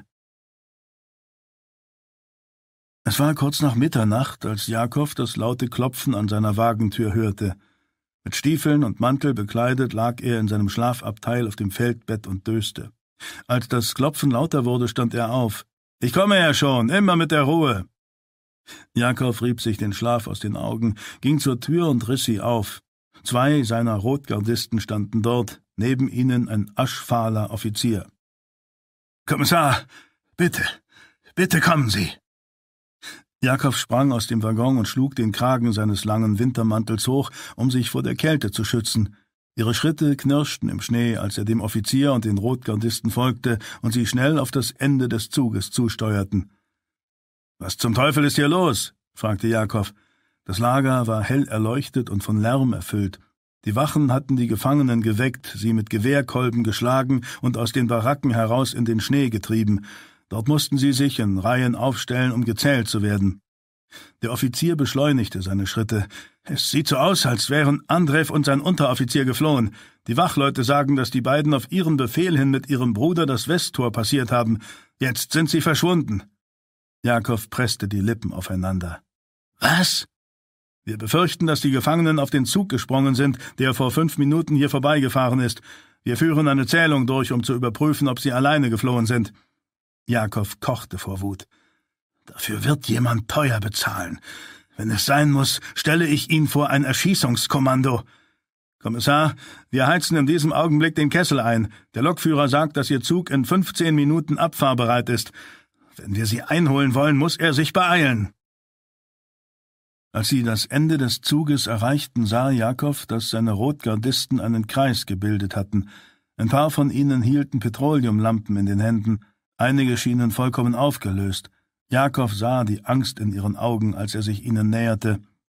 Er stemmte die Hände in die Hüften und starrte die Männer wütend an. Warum stehen Sie hier alle herum wie die Dummköpfe? Kommissar, begann der Offizier zögerlich.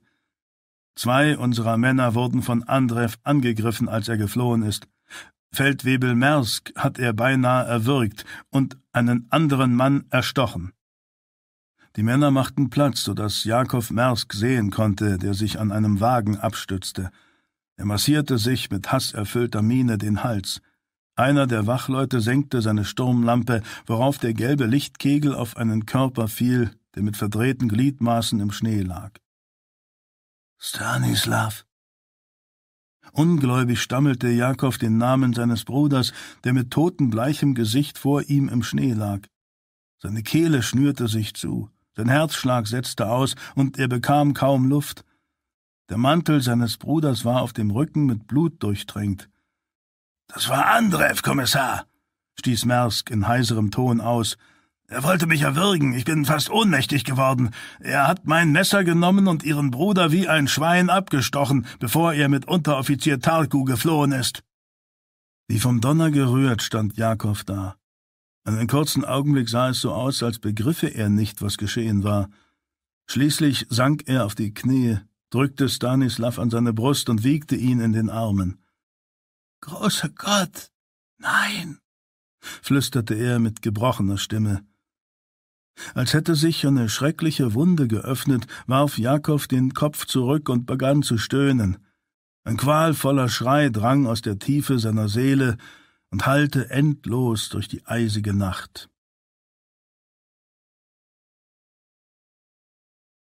Zweiter Teil Buckingham Palast, London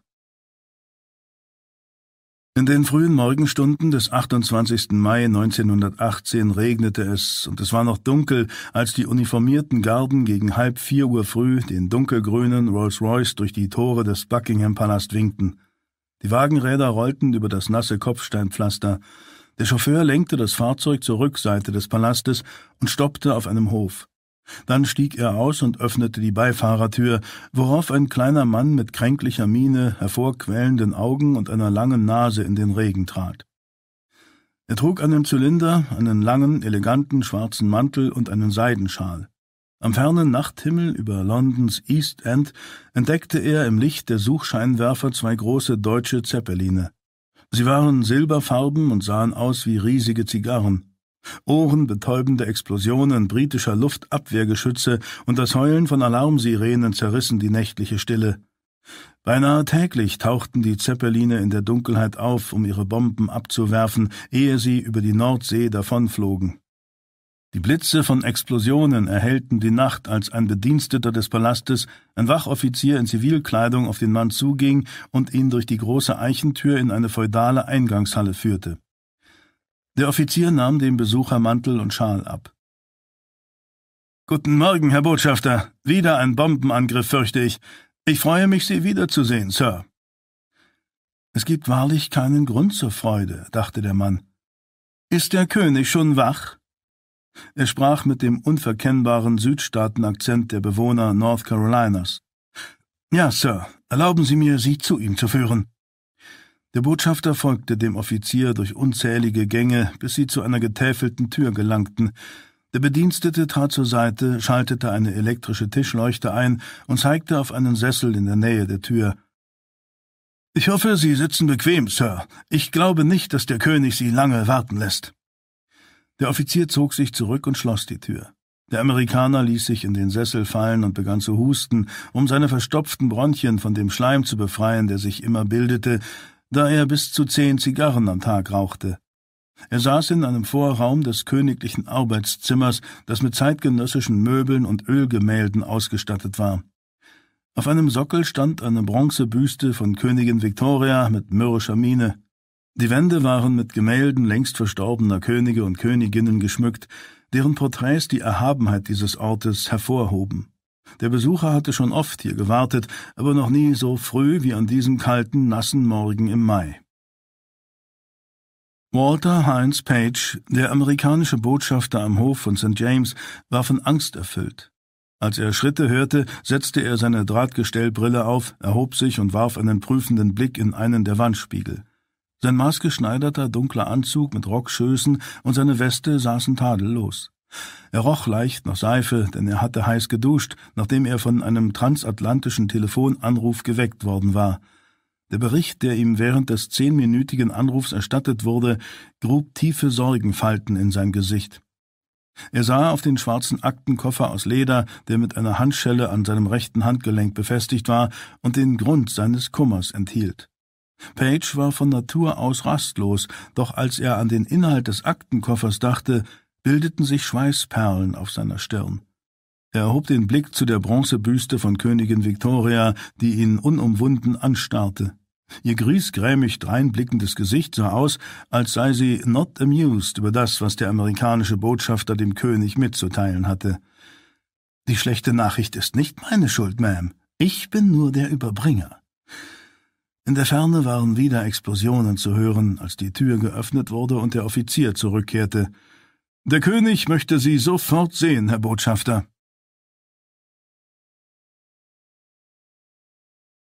Buckingham Palast, London. Sie trafen sich im holzgetäfelten Arbeitszimmer, im Kamin loderte ein Feuer. Der König saß an seinem Schreibtisch, hinter ihm an der Wand hing ein zerfetzter Union Jack in einem Holzrahmen hinter Glas. Page nahm an, dass diese Fahne eine historische Bedeutung hatte, doch an diesem Morgen hatte er weiß Gott andere Sorgen, als danach zu fragen. Der König trug einen zerknitterten Morgenrock aus Seide, seine geschwollenen, immerzu traurig wirkenden Hundeaugen zeugten von zu wenig Schlaf. Die beinahe schon unheimliche Ähnlichkeit zwischen König George V.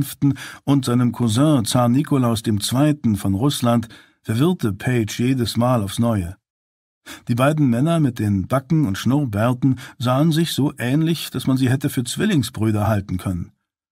Ein Silbertablett mit Porzellantassen, Milch, Zucker und Kannen mit frisch zubereitetem Kaffee und Tee standen auf dem Schreibtisch. Trotz der Luftangriffe war der König guter Stimmung. Er schob eine Hand in die Tasche seines Morgenrocks und blickte durch die bleiverglasten Fenster auf den Nachthimmel, den Explosionen erhellten. Nehmen Sie Platz, Walter. Es hört sich so an, als erwartete unsere Luftabwehr eine anstrengende Nacht. Kaffee oder Tee? Bedienen Sie sich bitte. Danke. Ich nehme Kaffee. Verzeihen Sie, dass ich Sie geweckt habe, Majestät, erwiderte Page mit seinem leicht nasalen Südstaatenakzent höflich.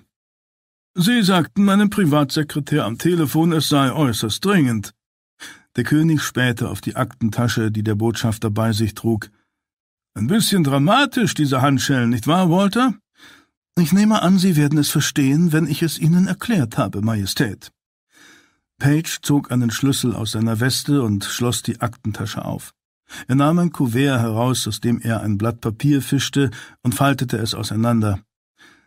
Ich habe um zwei Uhr in der Nacht einen Anruf von Präsident Wilson erhalten, unser Gespräch betraf ein geheimes Telegramm, das der Präsident vor seinem Anruf bei mir an mein Büro geschickt hatte.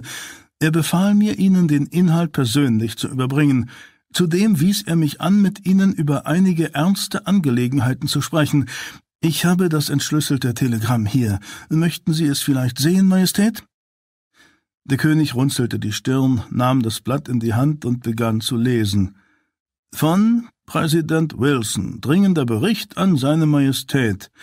Unser Agent mit dem Codenamen Dimitri bestätigt, dass die gesamte Zarenfamilie, Zar Nikolaus, seine Gattin Alexandra, die Töchter Olga, Maria, Tatjana, Anastasia und der Sohn Alexei seit dem 23. Mai in der sibirischen Stadt Jekaterinburg wieder vereint ist, nachdem sie in Tobolsk getrennt worden war. Dmitri hat diese Information von einem verlässlichen, hochrangigen sowjetischen Funktionär erhalten, der glaubt, dass die Bolschewisten die Absicht haben, den Zaren und seine Familie trotz geheimer Verhandlungen mit den Alliierten hinzurichten. Informieren Sie Seine Majestät über die anderen Punkte, die einer Erörterung bedürfen. Ich erwarte eine Bestätigung, dass meine Anweisungen befolgt wurden. Der König hob den Blick. Sind Sie sicher, dass diese Botschaft Nicky und seine Familie betrifft? fragte er in heiserem Ton. Es ist bekannt, wie unzuverlässig Telegraphen sein können. Die Nachricht wurde dreimal verschickt, um jedes Missverständnis auszuschließen. Der König seufzte und gab dem Botschafter das Blatt zurück. Wenn Sie mir die Frage erlauben, wer zum Teufel ist Dmitri? Unser Top-Agent in Russland. Es ist ihm gelungen, über eine gewisse Zeit Kontakt zu den Romanows zu pflegen. Er hat sich mit der Großfürstin Anastasia angefreundet, ehe die Roten die Familie gefangen genommen haben. Der Mann scheint lebensmüde zu sein, wenn er sich in diesen gefährlichen Zeiten in Russland herumtreibt. In Russland hielten sich ebenso Agenten aus den Vereinigten Staaten wie aus England und Deutschland auf. Seit der Februarrevolution im Jahr zuvor hatten die Staaten Dutzende von Geheimagenten in das Land geschickt, damit sie über den drohenden Bürgerkrieg auf dem Laufenden gehalten wurden.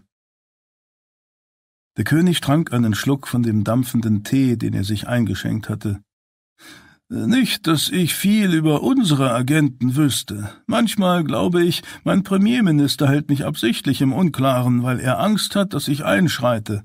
Stimmt das, was dieser Dimitri über die Zarenfamilie berichtet? Mir wurde gesagt, dass wir dieser Information vertrauen können, Sir.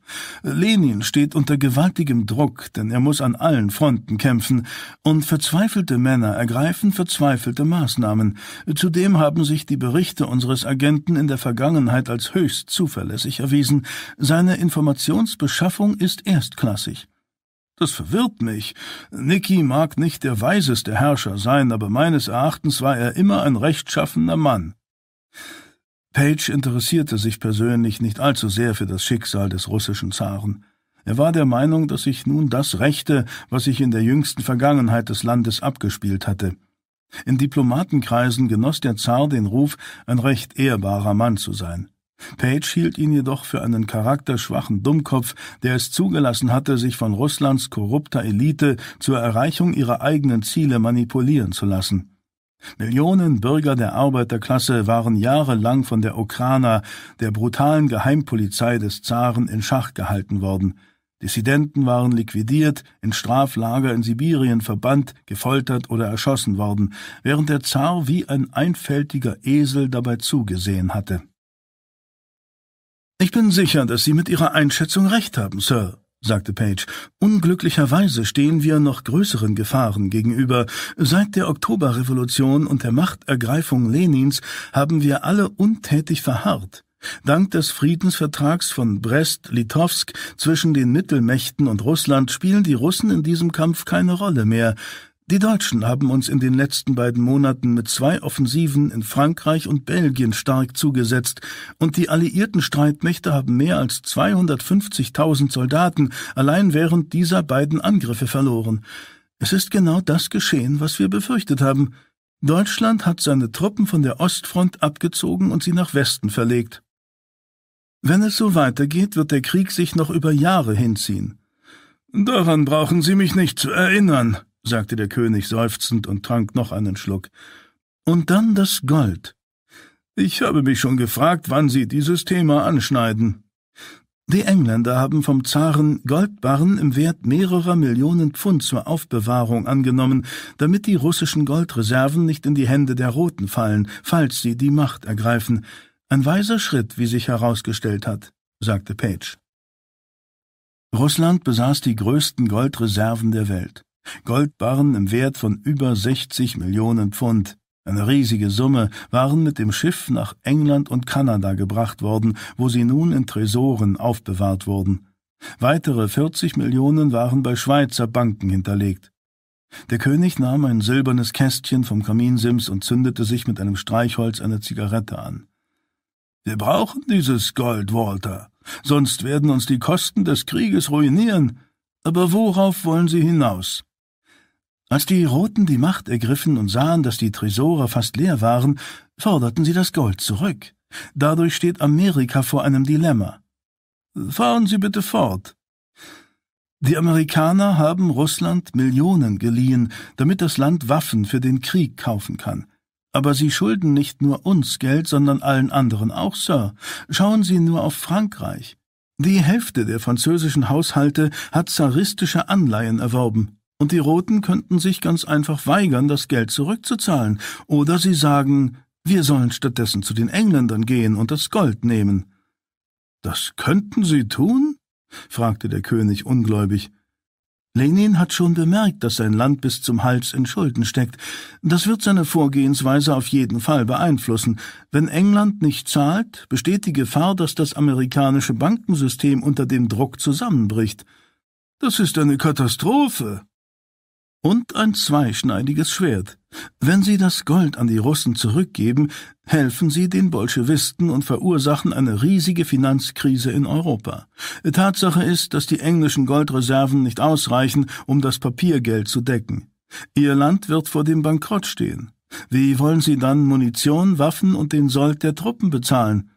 So deutlich brauchen Sie es mir nicht zu sagen, ich habe es verstanden. Page stand auf. Das sind die Fakten, Majestät. Wir wissen beide, dass der Premierminister zutiefst beunruhigt ist. Präsident Roosevelt hat ein paar Ideen zu dem Thema und möchte unter vier Augen mit Ihnen darüber sprechen, ohne den Premierminister einzuweihen. Was für Ideen? Wir wissen, dass die Roten ihre Macht noch nicht gefestigt und die weißen zaristischen Kräfte den Kampf noch nicht aufgegeben haben. Wir wissen auch, dass britische Truppen verschiedene Häfen in Nordrussland kontrollieren werden und die amerikanische Marine in Kürze zu ihnen stoßen wird, um zu versuchen, den Vormarsch der Roten aufzuhalten. Der König rieb sich fröstelnd die Hände. Ihre Meinung?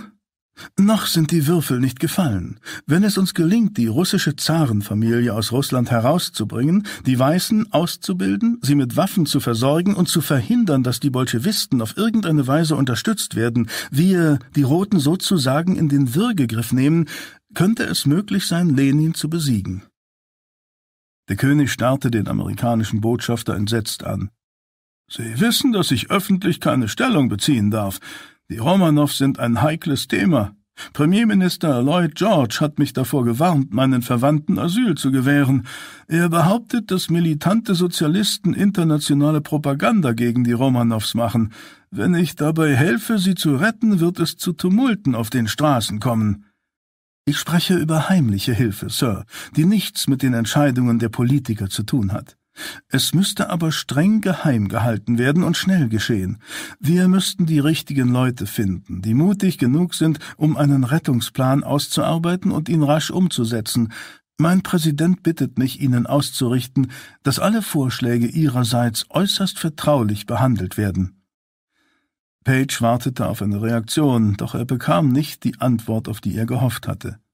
Stattdessen lächelte der König und stellte seine Tasse auf den Schreibtisch. Ich fürchte, ich verstehe nicht, warum Sie so guter Laune sind, Sir, sagte Page. Sagen Sie, glauben Sie an Schicksal oder Zufälle? Meine Gattin glaubt an all diesen Unsinn, aber ich nicht. Bis jetzt. Ich verstehe nicht. Der König strich sich über den Bart. Haben Sie davon gehört, dass vor einigen Monaten Angehörigen der rumänischen Königsfamilie sowie der Schauspielerin Hanna Volkova aus Odessa zur Flucht verholfen wurde? Sicher. Sie wurden heimlich aus Russland herausgeschleust, aber niemand weiß wie. Die Entführung von Mitgliedern der rumänischen Königsfamilie und einer berühmten russischen Theaterschauspielerin aus einem Hotel am Schwarzen Meer hatte für internationale Schlagzeilen gesorgt. Die Gruppe war von einer Bande Bolschewisten in Odessa gefangen gehalten worden. Nachdem sie alle auf geheimnisvolle Weise vor den Augen ihrer Wächter befreit worden waren, tauchten sie unversehrt in Bukarest wieder auf. Ich war erleichtert, dass Hanna Volkova befreit wurde, fügte Page hinzu. Irre ich mich, oder hat sie sich von der Bühne zurückgezogen und einen stinkreichen Russen geheiratet? Ja, aber da ich Hanna kenne, weiß ich, dass sie ihn aus Liebe und nicht des Geldes wegen geehelicht hat. Sie hat sich auch erst von der Bühne zurückgezogen, als die Roten den Theaterdirektoren vorschrieben, welche Stücke sie aufführen dürfen. Das gefiel Hanna nicht. Sie ist ein ausgesprochener Freigeist. Ich habe sie einmal am Broadway gesehen, eine sehr begabte Schauspielerin. Sie ist viel mehr als das, Walter. Sie kennen nur die halbe Wahrheit. Wie meinen Sie das, Sir? Ich werde ein Treffen zwischen Ihnen beiden und dem Mann, der Sie gerettet hat, arrangieren. Er ist eine interessante Persönlichkeit. Zweifellos mit einem abenteuerlichen Leben und jemand, der so schnell wie kein anderer, den ich kenne, reagiert. Majestät? Der König legte eine Hand auf Pages Schulter. Lassen Sie uns einen kleinen Spaziergang machen. Ich glaube, es ist Zeit, mit Ihnen über einen bemerkenswerten, vielleicht auch ein wenig verrückten Kanadier irischer Herkunft namens Joe Whiteside Boyle zu sprechen.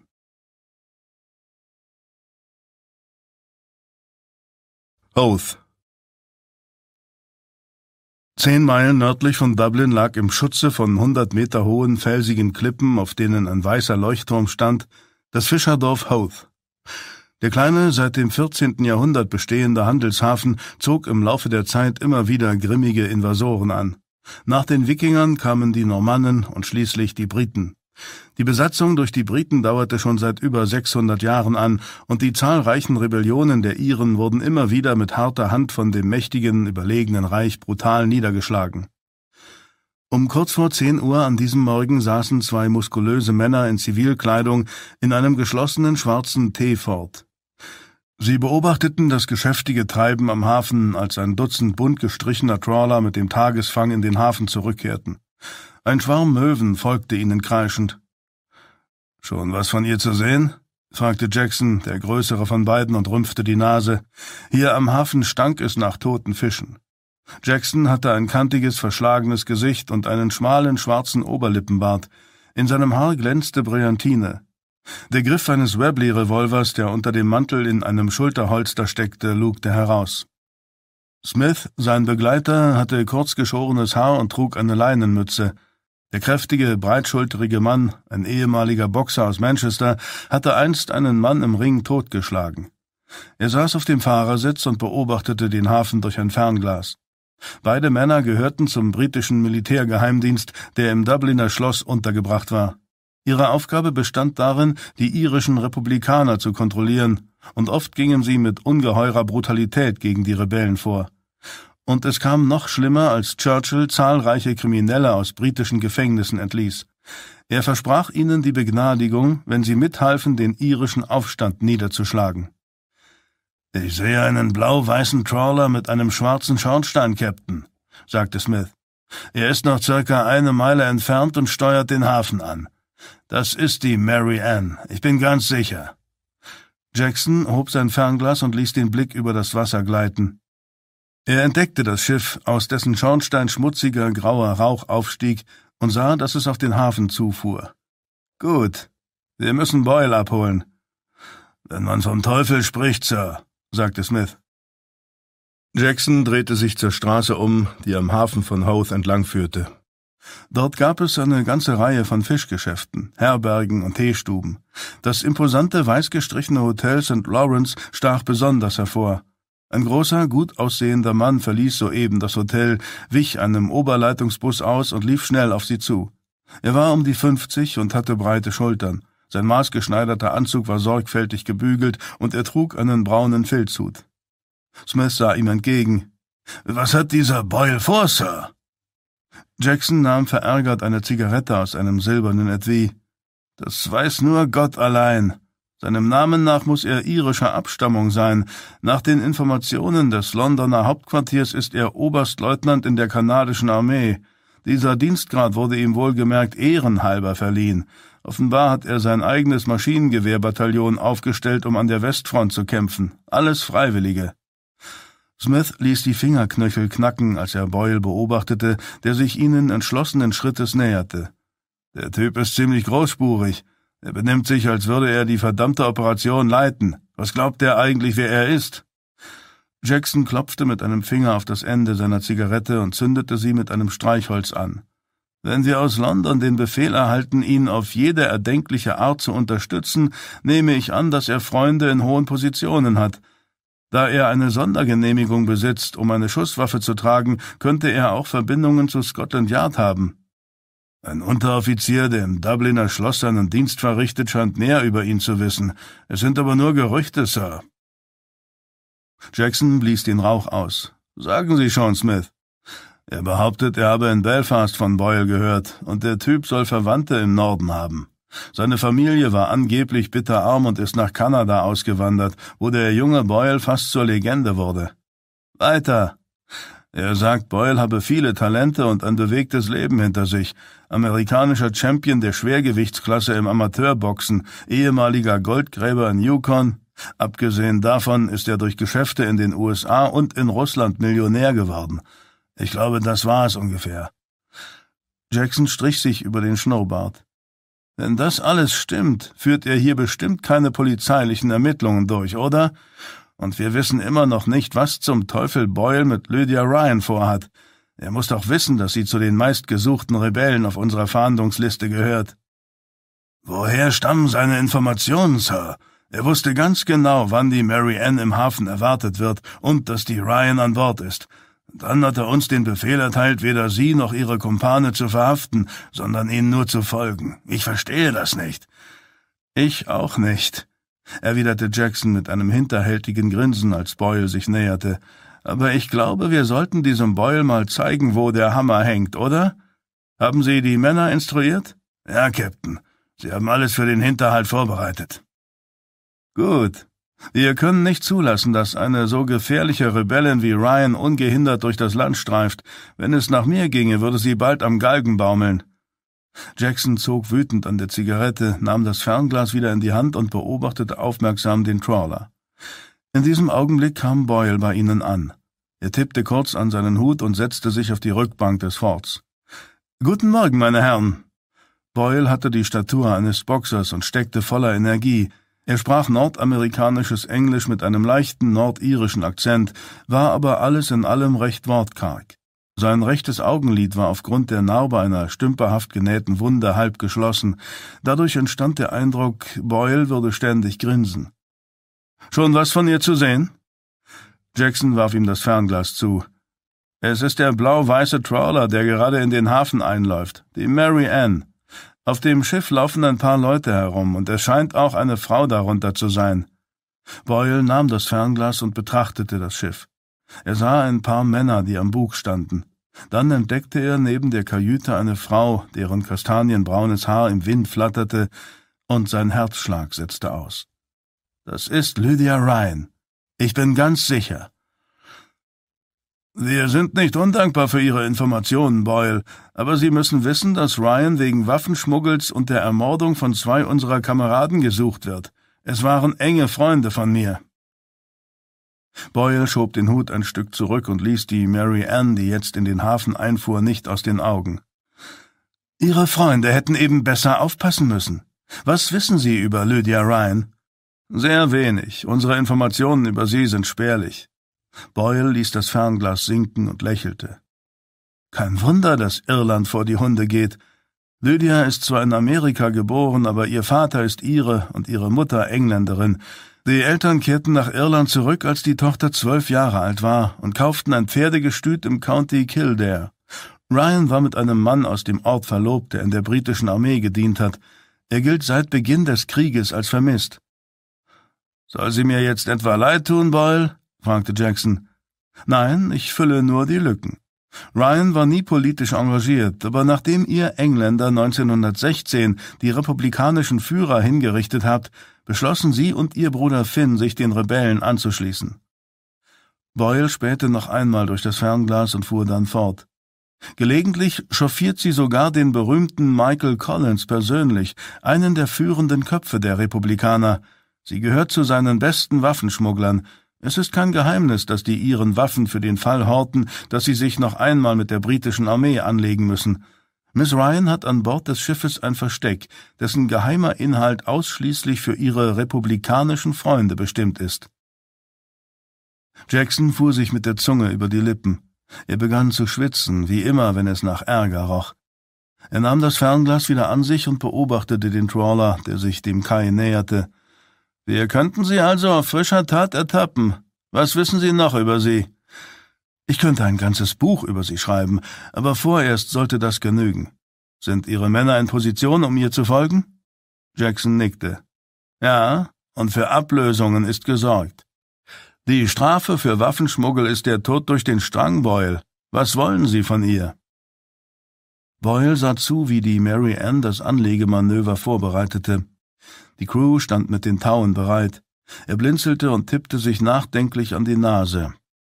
Das ist meine Sache, fürchte ich. Und hier wird niemand auf frischer Tat ertappt, Jackson. Befolgen Sie meine Befehle. Jackson wurde wütend. Mir gefällt Ihr Ton nicht, Boyle. Das beruht auf Gegenseitigkeit. Halten Sie sich einfach an die Anweisungen, beobachten und verfolgen, so lautet der Befehl. Boyle zog einen Colt aus dem Schulterholster unter seinem Mantel und überprüfte, ob er geladen war. Haben Sie vor, das Ding zu benutzen? fragte Smith. Nicht, wenn ich es vermeiden kann. Wie ich Ihnen bereits sagte, meine Herren, geht es hier um das Einholen von Informationen. Ich will wissen, wohin Ryan fährt. Ihre Männer, Herrschaften, werden sich zurückhalten, wenn sie die Lady beschatten.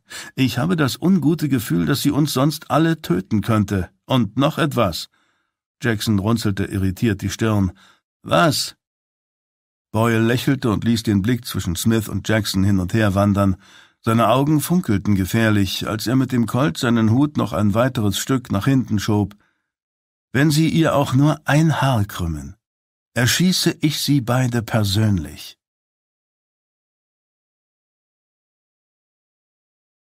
Oath. Das Salzwasser spritzte Lydia, die am Bug der Mary Ann stand, ins Gesicht. Sie fröstelte zwar, doch die frische Luft belebte sie. Der Trawler fuhr langsam durch die Wellen in den Hafen von Howth, in dem Dutzende bunt gestrichener Fischerboote lagen. Lydia trug eine Donkeyjacke für Herren mit Lederflicken an den Ellbogen, eine dicke Wollhose und hohe Gummistiefel. Von der felsigen Landspitze wehte eine steife Brise herüber, und einen kurzen Augenblick vertrieb sie den Salz- und Fischgeruch. Stattdessen lag der exotische Duft von gelbem Ginster in der Luft, der an Kokos erinnerte. Die Tür zum Ruderhaus wurde aufgerissen und Finn trat heraus. Du scheinst mit den Gedanken weit weg zu sein. Woran denkst du? fragte ihr Bruder. Lydia schlang die Arme um den Oberkörper, als wollte sie sich vor dem kühlen Wind schützen. Sie wies mit dem Kopf auf den Leuchtturm und die hohen Klippen, auf denen Möwen saßen. Riechst du den Ginster? Es ist ein Duft, den ich niemals vergessen werde. Sonntagnachmittags bin ich oft mit Sean in der Straßenbahn nach Hout Head gefahren. Wir sind dort spazieren gegangen und haben gepicknickt. Finn verzog das Gesicht und wies mit dem Kinn auf den Frachtraum, in dem die Waffenlieferung versteckt unter dem Fischfang lag. Ich bin heilfroh, dass wir wieder zu Hause sind. Wenn ich den Gestank des Fisches noch eine Nacht ertragen müsste, könnte ich glatt zum Mörder werden. Lydias Blick wanderte über den Hafen. Wir sind noch nicht zu Hause, Finn. Bete, dass kein Ärger auf uns wartet. Wo ist Denny? Er kommt gleich. Die Tür zum Ruderhaus wurde wieder geöffnet und der Kapitän trat heraus. Der dicke Bierbauch des Mannes hing über seinen Ledergürtel, sein Gesicht war unrasiert und er hatte eine wilde Mähne, die aussah, als hätte er gerade einen Geist gesehen, typisch für einen Iren. Mit einem Fernglas in der Hand ging er auf die beiden zu. Was ist los, Denny? fragte Lydia. Der Kapitän spähte durch das Fernglas, ließ es dann auf seinen Bauch sinken und zeigte auf ein Granitgebäude auf der Hafenstraße. Der grüne Vorhang vor dem obersten linken Fenster des Krämerbüros ist zugezogen. Unser Signal von den Kameraden, dass am Ufer kein Ärger auf uns wartet. Lydia schirmte die Augen mit einer Hand ab und entdeckte auch den zugezogenen grünen Vorhang. Sie lieh sich das Fernglas des Kapitäns aus und betrachtete die anderen Häuser am Hafen. Bist du sicher, dass wir uns auf die Leute des Hafenmeisters verlassen können? Der diensthabende Beamte ist einer von uns. Er wird dafür sorgen, dass uns niemand belästigt, wenn wir die Ladung löschen. Die Briten überprüfen den Hafen mehrmals täglich, aber die Luft scheint rein zu sein. Falls Patrouillen unterwegs wären, würden uns die Kameraden ein Zeichen geben, damit wir umkehren und warten, bis sie verschwunden sind. Lydia gab ihm das Fernglas zurück. Warum habe ich das Gefühl, dass sich das alles viel zu gut anhört? Danny grinste. Weil du so vorsichtig bist wie ein neugeborenes Lamm, Lydia Ryan. Das ist eine gute Eigenschaft, aber ich glaube, wir können es wagen. Sobald wir angelegt haben, laden wir, so schnell wir können, die Kisten auf den Lastwagen. Ich will, dass sie gut unter dem Fang versteckt werden und alles mit den Planen zugedeckt wird. Machen wir, Lydia. Der Kapitän tippte an seine Mütze und drehte sich zum Ruderhaus um. Die Crew des Trawlers begann, die Tower abzuwickeln und das Anlegemanöver vorzubereiten. Ehe Lydia sich versah, hatten sie die Hafenmauer erreicht, und sie spürte die starke Erschütterung, als die Mary Ann gegen die Fender stieß. Die Crewmitglieder riefen sich Befehle zu und Taue flogen durch die Luft, als das Schiff neben einer Eisenleiter an der Hafenmauer festgemacht wurde. Lydia überprüfte, ob die glänzende schwarze Mauser geladen war, ehe sie die Pistole wieder in ihre Tasche steckte. Sie hob die rechte Hand und berührte damit den Arm ihres Bruders. Wenn es auch nur das geringste Anzeichen für Ärger gibt, hältst du dich da raus, Finn. Hast du verstanden? Finn sah aus, als verletzte dieser Befehl seinen Stolz. Das sagst du immer. Ich kann kämpfen wie ein Mann, Lydia. Natürlich kannst du das, aber du kannst unserer Sache lebendig viel mehr nutzen, als wenn du tot bist. Jetzt hol den Fisch aus dem Frachtraum, damit wir die Gewehre abladen können. Lydia zwinkerte ihm zu und strich ihm zärtlich über die Wange, ehe sie über die Metallsprossen am Kai das Schiff verließ. Im Hafen herrschte reger Betrieb. Es war Freitagmorgen und kleine und große Trawler luden ihren Fang ab. Überall wuselten Händler von den Dubliner Fischmärkten auf der Suche nach guter Ware herum. Ein Ford-Lastwagen mit einer Plane über der Ladefläche, der mit Kisten voller zerhacktem Eis beladen war, fuhr rückwärts auf den Kai zu. Als er anhielt, sprangen zwei Männer mit schmierigen Ölschürzen und Mützen aus dem Fahrerhaus. Einer von ihnen hielt Wache am Kai, während der andere, ein kräftiger Kerl mit großen Pranken, rotem Haar und Sommersprossen, auf Lydia zuging und die Hand zum Gruß hob. Du hast es geschafft, Boss. Wir dachten schon, du hättest uns vergessen. Wir können plaudern, wenn wir hier fertig sind, Matty. Komm, Paddy, wir müssen abladen, rief er seinem Kameraden zu. Unterstützt von der Crew des Trawlers, die die Kisten mit dem Eis ablud, begannen sie mit der Arbeit. Sie füllten die Kisten mit Fisch, während mehrere Crewmitglieder die Waffenkisten an den Kai schleppten und sie auf die Ladefläche des Lastwagens luden. Anschließend wurden die Kisten, in denen die mit Eis gekühlten Fische lagen, oben aufgestellt und stinkende, ölige Planen über die Ladung geworfen. Als sie fertig waren, stieg Lydia, gefolgt von Finn, in die Fahrerkabine. Der kräftige, rothaarige junge Mann setzte sich auf den Fahrersitz und startete den Motor, während sich Paddy, sein Kamerad, hinten auf die Ladefläche setzte. Lydias Blick wanderte über den Hafen, an dem Dutzende Last- und Pferdewagen standen. Auf der Küstenstraße fuhr eine Straßenbahn in Richtung Hout Head vorbei. Funken sprühten wie ein Feuerwerk von den oberirdischen elektrischen Leitungen. Was ist los? fragte Finn. Lydia schüttelte den Kopf. Ich sehe keine britischen Soldaten. Es ist fast zu perfekt. Nicht einmal eine Wolke am Himmel, nenn es verrückt, aber ich bekomme gerade Muffensausen. Der rothaarige Fahrer lächelte. Das sind deine keltischen Wurzeln, immer auf der Suche nach einem Omen. Wenn die Briten uns hier auflauern, werden sie ihr blaues Wunder erleben. Wir haben ein Gewehr und eine Bergmann hinter den Sitzen. Es wird keine Schießerei geben, Matty, wenn ich es nicht ausdrücklich befehle erwiderte Lydia und strich dem Fahrer freundschaftlich über den Arm. Wenn die Briten irgendetwas vorhaben, dann vermutlich, wenn wir den Hafen verlassen. Halte also die Augen offen. Gegenüber vom Hafen saß Joe Boyle in dem Tee fort und beobachtete den Lastwagen, der den Hafen verließ und auf die Hauptstraße einbog, die nach Dublin führte. Lydia Ryan saß im Fahrerhaus. Jackson warf seine halb aufgerauchte Zigarette weg, es macht keinen Sinn, Ryan nur zu folgen, Boyle. Wir müssen Sie verhaften. Verdammt, was treiben Sie da für ein Spiel mit uns? Boyle ließ den schwer beladenen Lastwagen nicht aus den Augen. Das sind vertrauliche Informationen, Jackson. Sie brauchen nur die Befehle zu befolgen. Und jetzt drücken Sie aufs Gas, sonst verlieren wir Sie noch. Oath, Sutton Sie fuhren Richtung Dublin und es dauerte noch zehn Minuten, bis Lydia sich allmählich entspannte. Als sie sich einer Kreuzung näherten, an der ein Schild mit der Aufschrift Sutton Crossroads stand, öffnete sie die Knöpfe ihrer Dunkey-Jacke und atmete erleichtert aus. Plötzlich wurden sie von einem Triumph-Motorrad mit Beiwagen überholt. Der Fahrer und der Beifahrer trugen Helme, Schals und Schutzbrillen. Sie winkten und drückten übermütig auf die Hupe, als sie mit Vollgas über die Kreuzung an ihnen vorbeidonnerten. Die haben es aber eilig, sagte Finn. Die sollten aufpassen, dass sie keinen Unfall bauen. Ein paar Minuten später fuhr der Lastwagen auf der Küstenstraße um eine Kurve.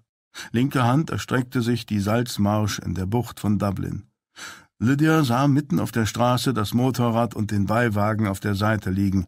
Die Hinterräder drehten sich noch. Der Fahrer lag ausgestreckt auf dem Rücken, sein Beifahrer kniete neben ihm. Als er den Lastwagen sah, stand er auf und winkte aufgeregt, damit sie anhielten. Hab ich's nicht gesagt? Man soll das Schicksal nicht herausfordern, sagte Finn. Matty versteifte sich und drosselte das Tempo. Das ist nicht unser Problem, Lydia. Es könnte auch eine Falle sein. Soll ich um sie herumfahren? Lydia, die auf den verwundeten Mann und den Beifahrer starrte, der verzweifelt mit den Armen fuchtelte, wusste nicht, wie sie sich entscheiden sollte. Ihr Gewissen regte sich. Sie wollte jedoch auch kein Risiko eingehen und tastete nach der Mauser in ihrer Tasche. Bleib 20 Meter hinter dem Motorrad stehen. Lass den Motor laufen und halt die Augen offen. Matty fuhr um den Unfallort herum und bremste. Lydia spannte den Hahn der Mauser, umklammerte sie mit der rechten Hand und schob den Ärmel ihrer Jacke darüber, um die Waffe zu verdecken. Ihr Blick wanderte die Straße hinauf und hinunter. Es war niemand zu sehen. Wartet hier. Ich schau mal nach, was da los ist. Sei vorsichtig, Lydia. Das habe ich vor. Matty griff hinter den Sitz und tastete nach dem Bergmann-Maschinengewehr, als Lydia ausstieg und auf den Beifahrer zuging. Er war um die dreißig und hatte kurzes, blondes Haar und blaue Augen. Er sah besorgt aus und sprach mit irischem Akzent. Gott sei es gedankt, dass Sie angehalten haben. Wir sind etwas zu schnell gefahren, und als wir um die Kurve bogen, hat mein Freund die Kontrolle über das verdammte Motorrad verloren. Er kann sich nicht bewegen, vielleicht hat er sich den Rücken verletzt. Lydia spähte zu dem Fahrer hinüber, der immer noch mitten auf der Straße lag und stöhnte. Er trug noch die Schutzbrille, aber sie sah, dass seine Augen geschlossen waren. Er kann sich gar nicht bewegen? fragte sie.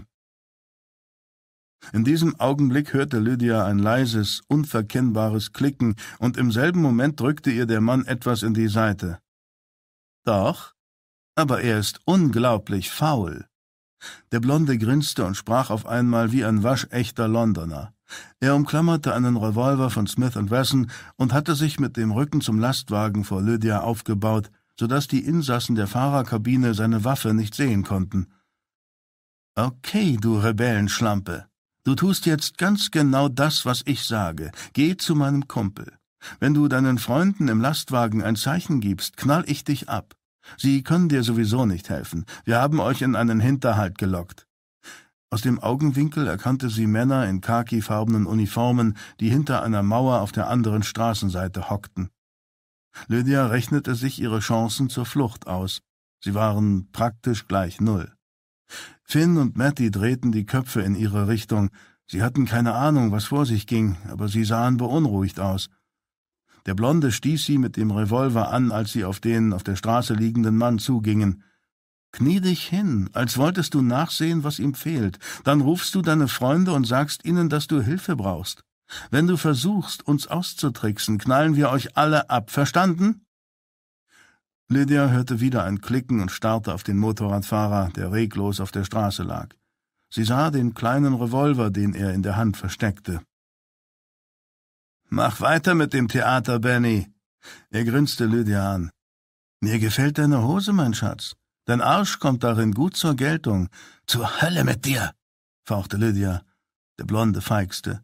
Er stand noch immer mit dem Rücken zum Lastwagen und richtete die Waffe auf sie. Das ist eine richtige Märtyrerin, Frank. Wahnsinn. Keine Sorge, mein Schatz, im Dubliner Schloss kannst du deine Beine für uns breit machen. Während einer leidenschaftlichen Nacht wirst du schon benehmen lernen, und ich werde derjenige sein, der es dir beibringt. Lydia musterte ihn mit eiskaltem Blick. Es gibt da ein kleines Problem. Ja? Und welches? fragte der Blonde grinsend. Du wirst es nicht mehr erleben. Lydias rechte Hand, in der sie die Mauser versteckt hatte, schoss hoch. Sie drückte einmal ab und schoss dem Blonden eine Kugel durch das linke Auge, die ihn auf der Stelle tötete. Blitzschnell drehte sie sich zu dem zweiten Mann um, der wie von einer Tarantel gestochen aufgesprungen war. Er hob die Waffe. Du verdammtes Miststück! Lydia schoss ihm zwei Kugeln in die Brust, worauf er wieder auf die Straße stürzte. Dann wirbelte sie herum und rief Matty und Finn zu Ein Hinterhalt. Soldaten auf der anderen Straßenseite. Steigt aus dem Wagen. Als Matty die Bergmann hinter dem Sitz hervorzuzerren versuchte, hallte ein Schuss durch die Luft. Die Kugel traf ihn in die Brust. Er bäumte sich auf und sackte dann in sich zusammen. Mit dem zweiten Gewehr in der Hand sprang Finn aus dem Lastwagen. Lydia rannte auf ihn zu, während ihr die Kugeln um die Ohren flogen. Einige schlugen in den Lastwagen ein, und Paddy, der auf der Ladefläche neben den Kisten gewartet hatte, wurde in den Arm getroffen, als er herunterkletterte und in Deckung ging. Lydia gelang es, das Maschinengewehr unter Mattys Leichnam hervorzuziehen. Sie ging hinter dem Lastwagen in Deckung. Kopf runter, Finn, verdammt! Von der anderen Straßenseite wurde eine Salve auf sie abgefeuert. Lydia umklammerte die Bergmann mit beiden Händen. Sie wartete auf einen günstigen Augenblick, trat dann hinter dem Lastwagen hervor, zielte auf die Angreifer und drückte ab. Als sich Boyle der Kreuzung nach Sutton näherte, verlangsamte der T. Ford das Tempo. Er hörte Schüsse und das Rattern eines Maschinengewehrs. Was zum Teufel! Instinktiv griff er nach der Waffe in seinem Schulterholster, doch Jackson, der neben ihm saß, hatte seinen Revolver schon gezogen und drückte ihm selbigen in die Rippen. Wir haben den Plan geändert, Boyle. Was reden Sie da? Jackson grinste. Wir haben Ryan und ihre Freunde in einen Hinterhalt gelockt. Da wir ihnen zahlenmäßig überlegen sind, dürfte es nicht lange dauern. Ich sorge persönlich dafür, dass Ryan gehängt wird. Sie verdammter Idiot! zischte Boyle. Jackson schlug Boyle mit dem Revolver auf den Mund. Seine Lippe platzte auf und begann zu bluten. Sie sollten höflich bleiben, wenn Sie mit einem Polizeibeamten sprechen, Boyle. Nehmen Sie ihm die Pistole ab, Smith. Smith grinste. Mit Vergnügen. Er beugte sich vor und griff nach dem Colt. Boyles Augen funkelten bedrohlich. Sie werden für Ihre Dummheit bezahlen, Jackson. Sie haben keine Ahnung, was Sie da tun. Das werden wir ja sehen, erwiderte Jackson spöttisch. Meine Vorgesetzten werden hoch erfreut sein, wenn sie erfahren, dass ich eine Bande Republikaner geschnappt habe. Er warf einen Blick auf seine Taschenuhr. Wir haben keine Lust, ins Kreuzfeuer zu geraten, darum warten wir, bis das Feuer eingestellt wurde. Boyle hörte, dass auf beiden Seiten nun immer unerbittlicher geschossen wurde. Zwischen dem Rattern eines Maschinengewehrs waren einzelne Schüsse von Gewehren und kleineren Waffen zu hören. Boyle, der seine Wut kaum zügeln konnte, ballte die Fäuste. Entspannen Sie sich, Boyle. Jackson grinste. Die Schießerei ist gleich vorbei. Wenn wir Glück haben, brauchen wir uns gar nicht mehr damit herumzuschlagen, Lydia Ryan zu erhängen. Fünf Minuten später verstummte der Schusswechsel für einen Moment, doch gleich darauf wurde er umso heftiger fortgesetzt. Ungeduldig warf Jackson wieder einen Blick auf die Uhr. Warum dauert das so lange, verdammt? Es hätte schon längst vorbei sein sollen. Das Dröhnen eines Motorrads war zu hören, ehe es plötzlich auftauchte und mit Vollgas über die Kreuzung donnerte. Vor dem T-Fort trat der Fahrer auf die Bremse und es geriet kurz ins Schleudern. Jackson und Smith stiegen aus. Der Fahrer des Motorrads schob seine Schutzbrille hoch. Sie sind uns entkommen, Sir. Sie hatten ein Maschinengewehr und konnten unsere Männer damit in Schach halten und fliehen. Was? Sie kamen aber nicht weit. Wir hatten hinter der nächsten Kurve eine zweite Blockade errichtet, und da haben wir sie geschnappt. Zwei der Rebellen sind tot, die beiden anderen verwundet. Wir bringen sie in einem unserer Lastwagen nach Dublin. Der Motorradfahrer nickte kurz, dann raste er davon. Als sich Jackson und Smith zum Wagen umdrehten, stieg Boyle aus. Er stemmte die Hände in die Hüften und starrte sie wütend an. Sie stehen unter Arrest, Boyle, Sie bleiben hier, sagte Jackson. Plötzlich schoss Boyles linker Arm hoch. Er riss Jackson den Revolver aus der Hand und brach ihm dabei zwei Finger. Jackson schrie auf. Boyle verpasste ihm mit der rechten Hand einen so kräftigen Faustschlag auf den Kiefer, dass der Knochen brach und Jackson quer über die Motorhaube rutschte. Mit malmenden Kieferknochen beobachtete Smith die Auseinandersetzung, als freute er sich schon auf den bevorstehenden Kampf. Er ging in Kampfstellung, zog den Kopf ein und ballte seine dicken Fäuste. Sie sind ganz schön mutig, was? Dann zeigen Sie mal, was Sie drauf haben, wenn Sie gegen einen ebenbürtigen Gegner antreten. Mit schwingenden Fäusten ging er auf Boyle los. Dieser wich aus und verpasste Smith unterhalb der Kniescheibe einen kräftigen Tritt auf den Unterschenkel und keine Sekunde später einen Schlag in den Nacken. Smith taumelte und stöhnte vor Schmerzen, aber er gewann das Gleichgewicht schnell wieder zurück und schickte sich an, seine Waffe zu ziehen. Boyle legte den Webley-Revolver des außer Gefecht gesetzten Jackson an, spannte den Hahn und zielte auf Smiths Stirn. Halten Sie sich da raus, sonst haben Sie gleich ein Loch in Ihrem dicken Schädel. Werfen Sie Ihre Waffe auf die Erde und geben Sie mir mein Colt zurück. Hübsch langsam. Und fassen Sie ihn am Lauf an. Treten Sie dann zur Seite. Smith befolgte den Befehl und hob die Hände. Boyle wandte sich Jackson zu. Hab ich Ihnen nicht gesagt, Sie sollen der Dame kein Haar krümmen? Der Mann lag noch immer auf der Erde. Er presste die Hände auf den Kiefer und starrte Boyle mit abgrundtiefer Verachtung im Blick an. Als er sprach, klang es, als wäre sein Kiefer ausgerenkt. Ich hoffe, das Miststück ist tot. Wer glauben Sie eigentlich, wer Sie sind? Sie verdammter irischer Scheißkerl. Ganz einfach. Ich bin der Mann, der Ihnen jetzt eine Lektion erteilen wird. Mit diesen Worten feuerte Boyle zwei Schüsse auf Jackson ab, die ihn jeweils unterhalb der Kniescheiben trafen. Dublin Drei Stunden später lief Boyle vor einem Krankenzimmer im Mater Hospital im Norden von Dublin auf und ab und umklammerte mit beiden Händen seinen Hut. Zwei bewaffnete Detectives der königlich irischen Schutzpolizei bewachten den Korridor. Dieser Teil des Krankenhauses wurde oft für republikanische Gefangene aus dem nahegelegenen Mountjoy-Gefängnis genutzt, die hier behandelt wurden. Boyle drehte sich um, als die Tür geöffnet wurde und eine Nonne in einer gestärkten Tracht und weißem Schleier heraustrat, Sie hatte eine Stahlschüssel mit blutbefleckten Tupfern in der Hand. Sie können jetzt rein, Sir, aber nur ein paar Minuten, hat der Arzt gesagt. Danke.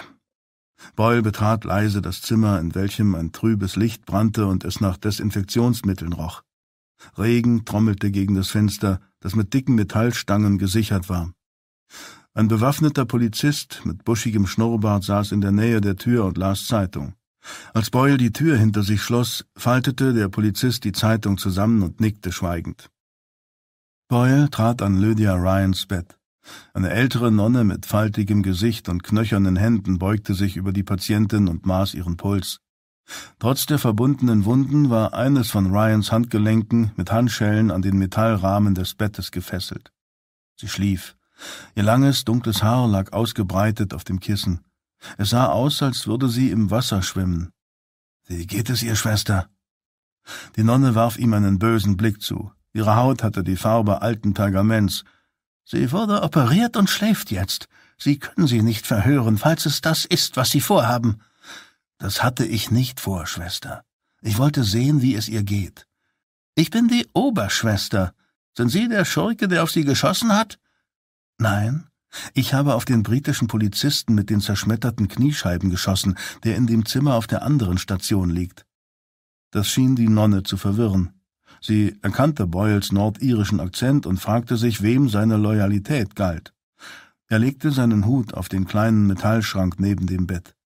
Es ist eine lange und komplizierte Geschichte, Schwester. Bitten Sie mich nicht, sie Ihnen zu erzählen. Ich versichere Ihnen aber, dass dieser Frau nichts zustoßen sollte. Das Gesicht der Nonne erhellte sich. Gott vergib mir, wenn ich es sage, aber vielleicht war es richtig, auf diesen britischen Verbrecher zu schießen. Leute wie er haben dieses Land ruiniert. Boyle sah auf Lydia Ryans Gesicht und die langen dunklen Wimpern, die sich deutlich von der blassen Haut abhoben. Sie schlief. Wie lautet die Diagnose? Sie hat eine Schusswunde an der linken Schulter. Es ist keine schlimme Verletzung. Sie wird sich wieder erholen. Bei ihrem Bruder sieht die Sache anders aus. Die Kugeln haben sein linkes Bein zertrümmert. Er müsste schon viel Glück haben, wenn er eines Tages wieder laufen kann. Boyle betrachtete Lydia noch immer. Jetzt, da sie schlief, sah ihr Gesicht unglaublich friedlich aus, und es war ihm so vertraut, dass es fast unheimlich war. Instinktiv legte er eine Hand auf ihre Wange. In der Stille des Raumes drangen zwei Dinge in sein Bewusstsein der Regen, der gegen die Scheibe trommelte, und der Blick der Nonne. Er zog seine Hand zurück. Kennen Sie sie, mein Sohn? Boyle richtete seinen Blick wieder auf die Nonne. Wir sind uns nie zuvor begegnet, aber sie erinnert mich an meine verstorbene Tochter. Es tut mir leid. Die Nonne bekreuzigte sich, zog einen Rosenkranz unter der Tracht hervor und ließ ihn durch ihre knöchernen Hände gleiten. Gebete helfen immer, wissen Sie? Die Erinnerung an die entsetzliche Trauer kehrte zurück und legte sich wie ein dunkler Schatten auf Boyles Gesicht. Sie wissen, was man über Gott sagt? Gibt es ihn? Gibt es ihn nicht? Sobald man ein Kind verliert, haben alle Argumente, die belegen wollen, dass es Gott nicht gibt, keine Bedeutung mehr. Gleichzeitig scheint der Verlust, den man erfahren hat, der beste Beweis zu sein, dass es Gott nicht geben kann. Und genau das macht es so schwer, an ihn zu glauben. Die Nonne legte ihre Hand auf seinen Arm. Aber er glaubt an Sie, mein Sohn. Vergessen Sie das niemals. Die frommen Worte der Nonne berührten ihn. Wissen Sie, wo ich eine Droschke finde, die mich zur Sackville Street bringt? Ich habe dort eine Verabredung, sagte Boyle und nahm seinen Hut. Vor dem Haupteingang des Krankenhauses ist ein Droschkenstand. In einer so verregneten Nacht wie heute müssen Sie vermutlich eine Weile warten. Die Nonne musterte Boyle intensiv, als verwirrte sie dieser Mann. Wer sind Sie, Sir? fragte sie. Boyle setzte den Hut auf. Es ist seltsam, denn diese Frage stelle ich mir schon seit Jahren. Beten Sie einen Rosenkranz für mich, Oberschwester. Vielleicht kann mir das noch helfen. Dublin Zwanzig Minuten später setzte eine Droschke Boyle vor dem Gresham Hotel in der Sackville Street in Dublin ab. Als er ausstieg, regnete es in Strömen. Hanna Volkova war schon da, als Boyle seine Suite im obersten Stock betrat. Sie saß auf einer roten Chaiselong, in dem mit schweren Samtvorhängen dekorierten Raum brannte ein Feuer im Kamin. Sie sah jünger aus als dreißig. Mit der makellosen Figur und den hübsch geformten, slawisch anmutenden Wangenknochen war sie für die Bühne geschaffen. Hanna Wolkowa strahlte Ruhe und Eleganz aus. Sie hatte große, ausdrucksstarke, saphirblaue Augen. Boyle schüttelte den nassen Hut aus. Auf Regen kann man sich in diesem Land immer verlassen. Ich finde, man sollte jedem Kind auf dieser Insel einen Regenschirm zur Geburt schenken. Hannah stand lächelnd auf. Ihr Iren scheint auf das Wetter fixiert zu sein, Joe, sagte sie in leisem, ein wenig rauem Ton. Sie sprach fließend Englisch mit einem leichten russischen Akzent. Boyle zog den Mantel aus und hängte ihn ebenso wie den Hut auf einen Ständer neben der Tür, ehe er zum Barschrank ging. Nur weil es so miserabel ist. Hier kommt man an vielen Tagen innerhalb einer Stunde in den Genuss aller vier Jahreszeiten. Möchtest du einen Drink? Ich könnte einen vertragen. Ja, ein Glas Wein wäre schön. Boyle goss ihr einen Rotwein und für sich Bushmills Whisky ein und setzte sich zu ihr an den Kamin. Hannah wirkte müde und ungewöhnlich besorgt an diesem Abend. Das schwarze Etui-Kleid betonte ihre gute Figur. Außer einem Goldring und einer einfachen Halskette, an der das russische Kreuz hing, trug sie keinen Schmuck. Ich würde gerne einen Toast aussprechen, doch ich habe keine guten Nachrichten. Boyle reichte ihr das Glas, nippte an seinem Whisky und seufzte. Es wird einige Zeit dauern, bis sie sich erholt hat. Wie lange? Ich weiß es nicht. Ich kann morgen mit Ihrem Arzt sprechen. Das Ganze ist verdammt ärgerlich. Lydia Ryan war genau die Richtige und hatte alle Voraussetzungen für die Aufgabe. Es ist unmöglich, zu diesem späten Zeitpunkt einen Ersatz für sie zu finden. Hannah stellte ihr Weinglas ab. Gibt es denn sonst niemanden? Boyle trank seinen Whisky.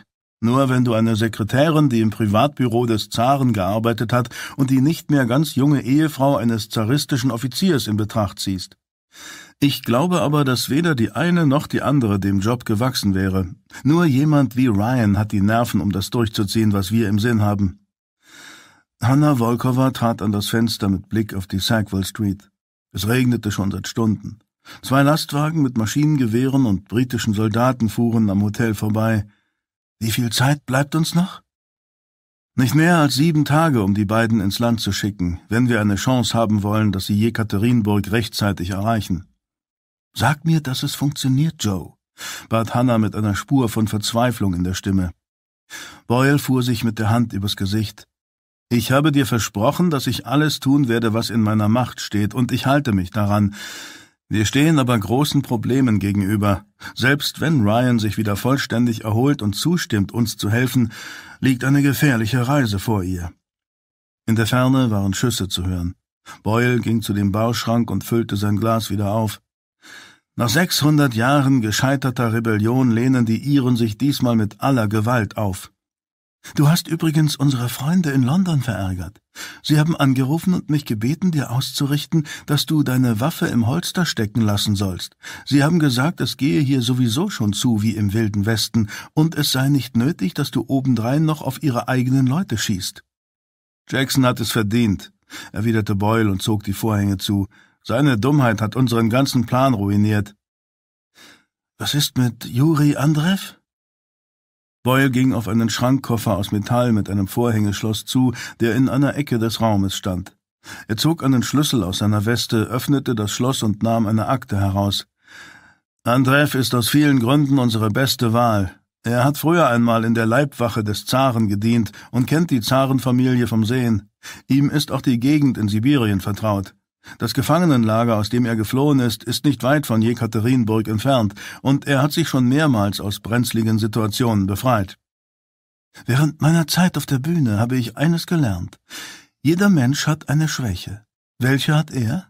fragte Hannah und setzte sich wieder hin. Boyle blätterte in der Akte. Nur eine, und das ist nicht direkt eine Schwäche, sondern eine Information, die uns fehlt. Als er in London ankam, wurde er von einem weißen Verbindungsoffizier befragt, der mit der Einwanderungsbehörde seiner Majestät zusammenarbeitet. Andrew sagte ihm, dass er aus einem Gefangenenlager der Roten geflohen sei und sich bis St. Petersburg und zu seiner Familie durchgeschlagen habe. Was dann geschah, wissen wir nicht genau. Jedenfalls setzte er seine Flucht fort. Was meinst du? Andrew muss in St. Petersburg irgendetwas erlebt haben. Wahrscheinlich eine Konfrontation mit den Roten. Offenbar kam er gerade so mit dem Leben davon und musste seine Frau und seinen Sohn zurücklassen. Der Offizier, der ihn befragt hat, gab an, dass Andrew stark traumatisiert zu sein schien und sich weigerte, darüber zu sprechen. Die Frage ist, ob er sich darauf einlassen wird, zurückzukehren und noch einmal sein Leben zu riskieren. Boyle warf die Akte auf den Couchtisch. Morgen müssten wir die Antwort bekommen. Darum solltest du jetzt schlafen gehen. Du musst um sieben Uhr aufbrechen, wenn du das Postschiff nach Holyhead erreichen willst. Hannah nahm ihre Handtasche. Gute Nacht, Joe. Ihre Suite lag genau gegenüber. Boyle begleitete sie zur Tür und küsste ihr die Hand. Ich wünsche dir eine sichere Überfahrt und viel Glück bei dem Versuch, Andrev in London zu überzeugen. Sie zögerte kurz und warf Boyle einen besorgten Blick zu. Glaubst du wirklich, wir können sie retten, Joe? fragte sie mit unsicherer Stimme. Wir müssen es versuchen. Es wäre entsetzlich, wenn uns die Hinrichtung fünf unschuldiger Kinder auf dem Gewissen läge.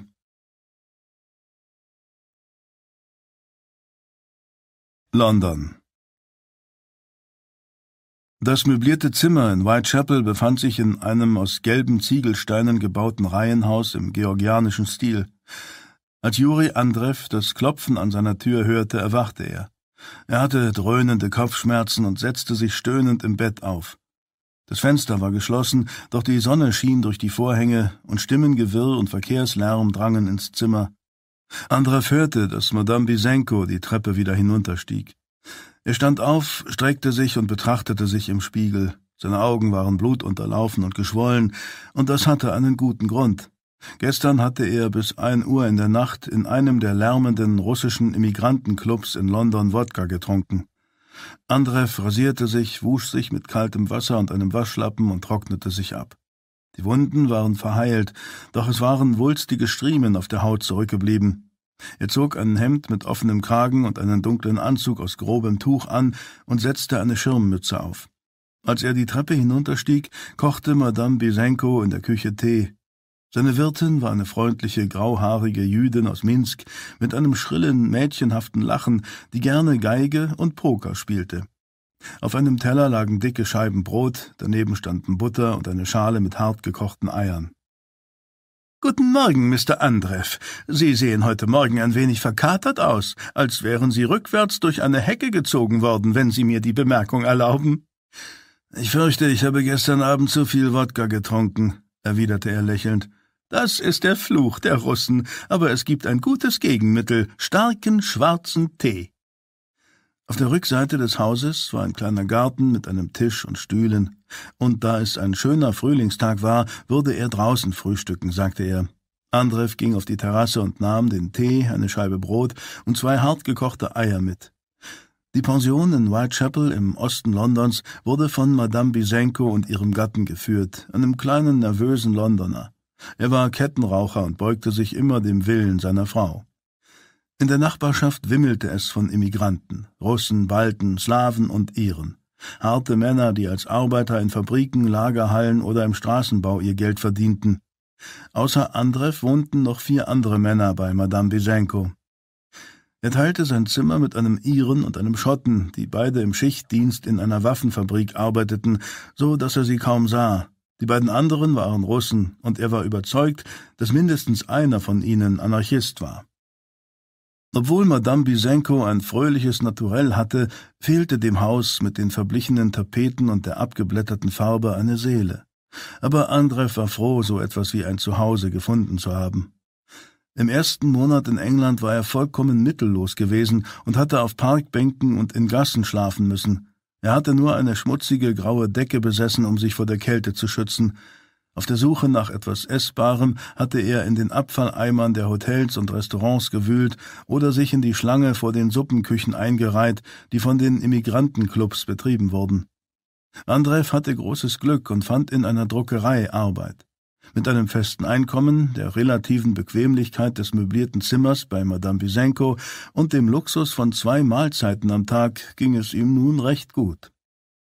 Sein Chef, Ivan Schaskow, hatte ihm gestern Abend für heute Morgen freigegeben, weil er in letzter Zeit sehr hart gearbeitet hatte, meistens bis zehn Uhr abends. Andrew hatte die Gelegenheit genutzt, um nach Feierabend noch einen der Immigrantenclubs zu besuchen. Er ließ es nicht zur Gewohnheit werden, abends in diese Clubs zu gehen, doch er sehnte sich nach Neuigkeiten aus der Heimat, und diese lärmenden Clubs waren wahre Sammelbecken für Informationen aus aller Welt. Andreev saß in der Sonne und fand eine Zeitung von gestern, die jemand auf dem Tisch hatte liegen lassen. Während er seinen Tee trank und das Brot aß, durchblätterte er sie. Die Nachrichten, die er dort las, bestätigten die Gerüchte, die er gestern Abend gehört hatte. Lenin klammerte sich verzweifelt an seine Macht. Er hatte zwar mit den Deutschen in Brest-Litovsk einen Friedensvertrag unterzeichnet, aber die deutsche Armee war bereits so weit vorgerückt, dass sie St. Petersburg unter Beschuss nehmen konnte.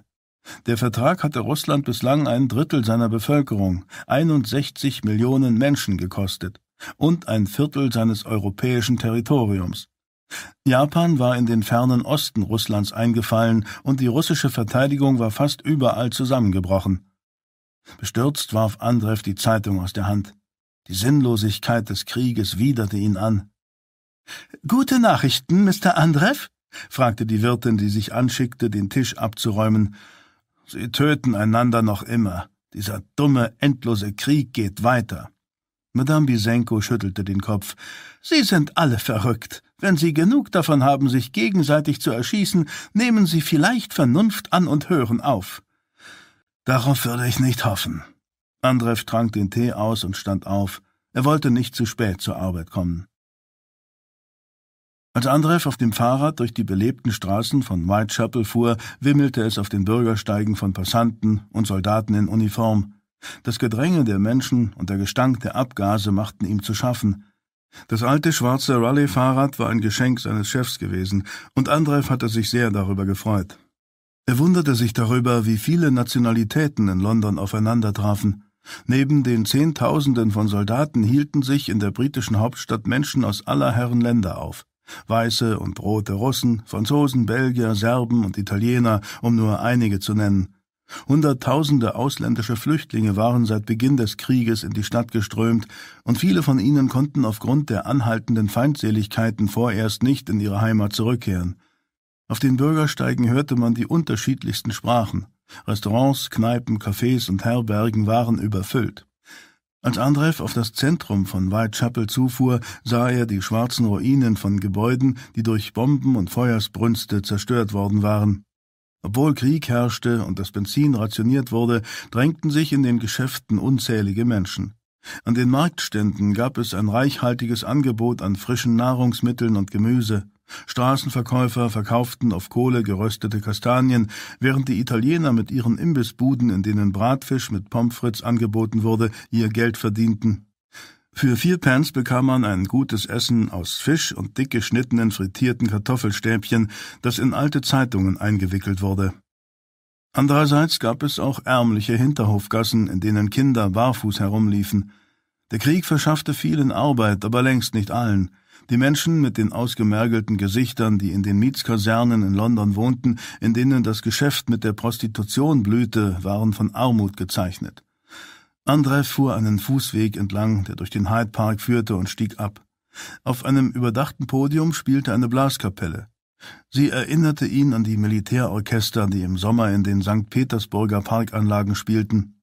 Seit seiner Flucht aus dem Gefangenenlager waren erst vier Monate vergangen, doch es kam ihm vor wie eine Ewigkeit. Inzwischen war so vieles geschehen. Die Blaskapelle beendete ihr Medley und nun hallten die beschwingten Klänge eines Walzers durch den Park. Als Andrew die ersten Takte vernahm, musste er sofort an seine Frau und seinen Sohn denken. Nina liebte diese Musik. Zu Tränen gerührt kniff er die Augen zusammen. Sofort stellte er sich zahllose Fragen.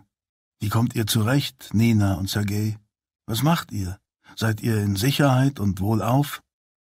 Dann stiegen die düsteren Erinnerungen an Stanislavs brutale Ermordung in ihm auf. Die Bilder ließen ihn nicht mehr los.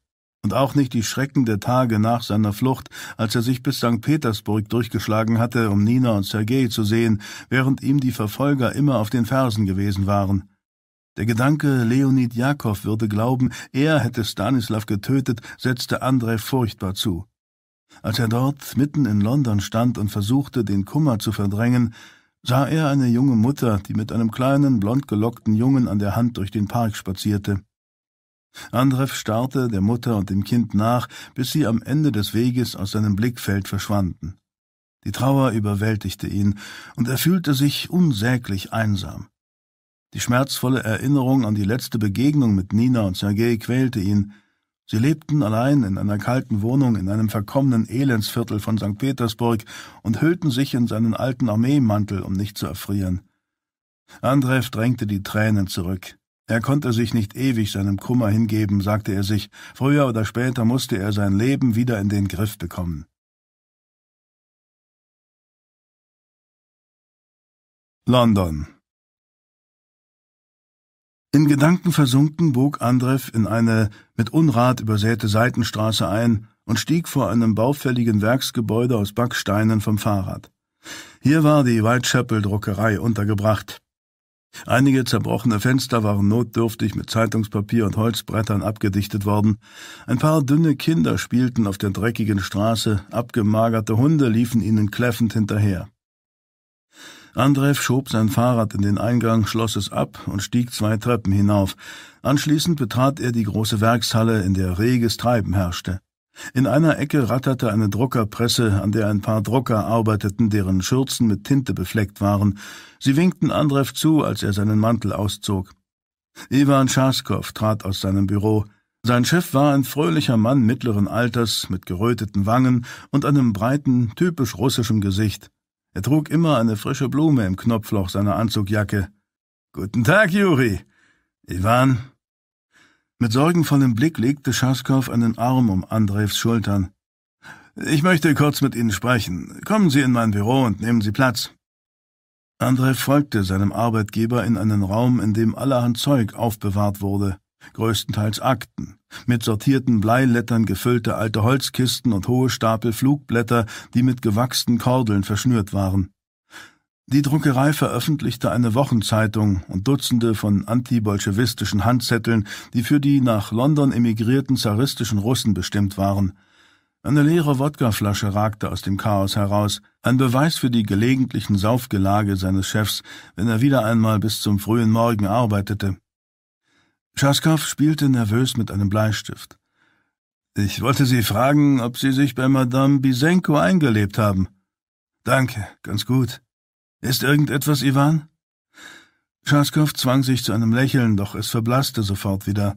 Er warf den Bleistift auf den Tisch und trat an das Fenster mit Blick auf die Dächer von London. Als Schaskow mit abwesender Miene auf zwei Tauben starrte, die wie graue Stofffetzen in einem Luftloch schwebten, erinnerte sich Andrew an ihre erste Begegnung. Es war im April gewesen, seinem zweiten Monat in London. Sein einziger Besitz war die Decke, die ihm eine freundliche alte Frau in der Nähe des Bahnhofs Charing Cross geschenkt hatte. An guten Tagen gelang es ihm zu überleben, indem er Brot und Fleischreste aus den Mülleimern der Restaurants fischte. An schlechten Tagen starb er fast vor Hunger. Der Tag, an dem er Schaskow kennengelernt hatte, war einer der schlechten Tage gewesen. Andrew hatte sich so schwach gefühlt, dass er sich auf eine Parkbank hatte setzen müssen. Ein gut gekleideter Mann mit einem Spitzbart und einer weißen Nelke im Knopfloch war in der Nähe gestanden und hatte dicke Brotkrusten, die von seinem Butterbrot übrig geblieben waren, an Tauben verfüttert. Andrew hatte die Ohren gespitzt, als er den Mann im Moskauer Dialekt mit den Vögeln hatte sprechen hören. Verzeihung, sind Sie Russe? Der Mann musterte Andrew misstrauisch, denn er sah recht ungepflegt aus. Ja, ich stamme aus Moskau. Und Sie? St. Petersburg. Andrew starrte auf die Brotkrusten, die die Vögel verschlangen. Dem Mann entging das nicht. Haben Sie Hunger? Andrew hatte seit fast drei Tagen nichts gegessen. Ob sein Stolz oder die Erschöpfung der Grund waren, das wusste er nicht. Jedenfalls erwiderte er nichts. Der Mann rieb sich die Krümel von den Händen. Ich heiße Ivan Schaskow und besitze eine Druckerei hier in der Nähe. Kommen Sie mit. Er führte Andrew zu einem ungepflegten Reihenhaus aus roten Ziegelsteinen in der Friar Street, die zwei Straßen entfernt war. Die schon etwas ältere Ehefrau des Mannes ließ Andrew ein heißes Bad ein und bereitete ihm ein herzhaftes Abendessen zu, das aus einem Steak, Bratkartoffeln und Eiern bestand. Andrew verschlang es gierig. Schaskow brachte ihm einen Anzug, das müsste erst einmal gehen, bis Sie Fuß gefasst haben. Hier, nehmen Sie auch das. Schaskow gab ihm einen Zehn-Schilling-Schein. Andrew war zu Tränen gerührt. Er hatte keinen einzigen Penny in der Tasche. Ich, ich weiß nicht, was ich sagen soll. Sagen Sie nichts. Es ist eine Leihgabe, kein Almosen. Geben Sie es mir zurück, sobald Sie können. Aber ich habe gar keine Arbeit. Doch, die haben Sie. Schaskow lächelte und schlug ihm auf die Schulter. Wie ist Ihr Englisch? Gut? Ich glaube schon. Machen Sie sich keine Sorgen, wenn Sie nichts vom Drucken verstehen. Sie werden es schnell lernen. Morgen fangen Sie mit der Arbeit an. Der kleine Mann war Andrew wie ein Schutzengel vorgekommen. Doch an diesem Morgen hatten sich tiefe Falten in Schaskows Stirn gegraben. Was ist los, Ivan? Sie sehen beunruhigt aus. Haben Sie im Club die Neuigkeiten gehört? Dort gibt es jeden Tag neue Gerüchte. Welche Neuigkeiten meinen Sie? Dass die Amerikaner, genau wie die Briten, beabsichtigen, in Nordrussland und in Sibirien zu landen, um Lenins Macht zu bedrohen, und dass der Zar und seine Familie nach Jekaterinburg gebracht wurden. Ja, ich habe es gehört. Schaskow seufzte und steckte die Daumen in die Taschen seiner Weste. Es gibt wilde Spekulationen, dass der Zar getötet werden soll, nicht nur er, sondern die ganze Familie. Ich bin kein Freund der Zarenherrschaft, sie war korrupt und erfolglos, aber wenn sie die ganze Familie töten, ist Russland verloren, Juri. Diese gottlosen Bolschewisten werden das Land in einen Friedhof verwandeln, und dann kann keiner von uns mehr zurückkehren. Es sieht so aus, als wäre dies ein Morgen der schlechten Nachrichten. Wie meinen Sie das? Schaskow zog eine Schublade auf und nahm einen adressierten Umschlag mit blauen, fremdartig aussehenden Briefmarken heraus. Der Brief, den Sie mir gegeben haben, meinem Bruder Felix ist es gelungen, von Helsinki aus St. Petersburg zu erreichen und sich nach meinen Angehörigen zu erkundigen, die noch immer in Russland leben. Auf Ihren Wunsch hin habe ich Felix gebeten, Ihren Brief und das Geld persönlich abzugeben. Und? Felix hat mir geschrieben, als er nach Helsinki zurückgekehrt ist. Er schreibt, dass Ihre Frau und Ihr Sohn nicht mehr in dem Haus wohnen. Sie sind weg, Juri. Andrew beugte sich ängstlich vor. Was soll das heißen? Weg! Schaskow zuckte mit den Schultern. Mein Bruder sagt, dass Nina nicht mehr dort wohnt. Hat er mit den Nachbarn gesprochen? Schaskow nickte. Eine der Nachbarinnen behauptet, sie habe Nina gesehen, als sie eines späten Abends das Haus mit einem kleinen Koffer in der Hand verließ. Seitdem ist sie nicht mehr dort aufgetaucht. Und was ist mit Sergei? Von einem Kind hat die Nachbarin nichts gesagt, sie hat nur ihre Frau gesehen. Und wenn ihm etwas zugestoßen ist? fragte Andrew beunruhigt. Er hätte bei seiner Mutter sein müssen. Quälen Sie sich nicht, Juri. Es ist rätselhaft, ich weiß, aber es wird eine Erklärung dafür geben. In Russland herrschen chaotische Zustände. Recht und Ordnung gibt es da nicht mehr. Tag für Tag fliehen die Menschen aus dem Land. Meinem Bruder ist es gelungen, mit Hilfe einer Nachbarin Ninas Tante aufzuspüren. Was hat er erfahren? wollte Andrew aufgeregt wissen. Sie hat ihm eine Adresse in Moskau gegeben. Es ist ein Wohnhaus auf dem Kolinski-Prospekt, das Ninas Vater früher gehört hat. Ich weiß. Was noch? Schaskow zögerte. Ich weiß nicht, wie ich es sagen soll, Juri. Nun sagen Sie schon, um Himmels willen. Sie hat meinem Bruder erzählt, dass Nina sich von Ihnen hat scheiden lassen. Was? Sie hat gesagt, dass Nina sie während des Krieges so gut wie nie gesehen hat und dass sie kein guter Ehemann und Vater waren, sagte Schaskow mitfühlend und verstummte kurz. Vielleicht wollte sich die Frau nur wichtig machen. Ich weiß, dass es nicht ihre Schuld ist. Sie sind ein Opfer des Krieges, wie so viele andere auch. Sie wissen ja, dass Frauen sehr gefühlsbetonte Wesen sind. Mein Bruder glaubt übrigens, dass Nina ein anderes Motiv haben könnte.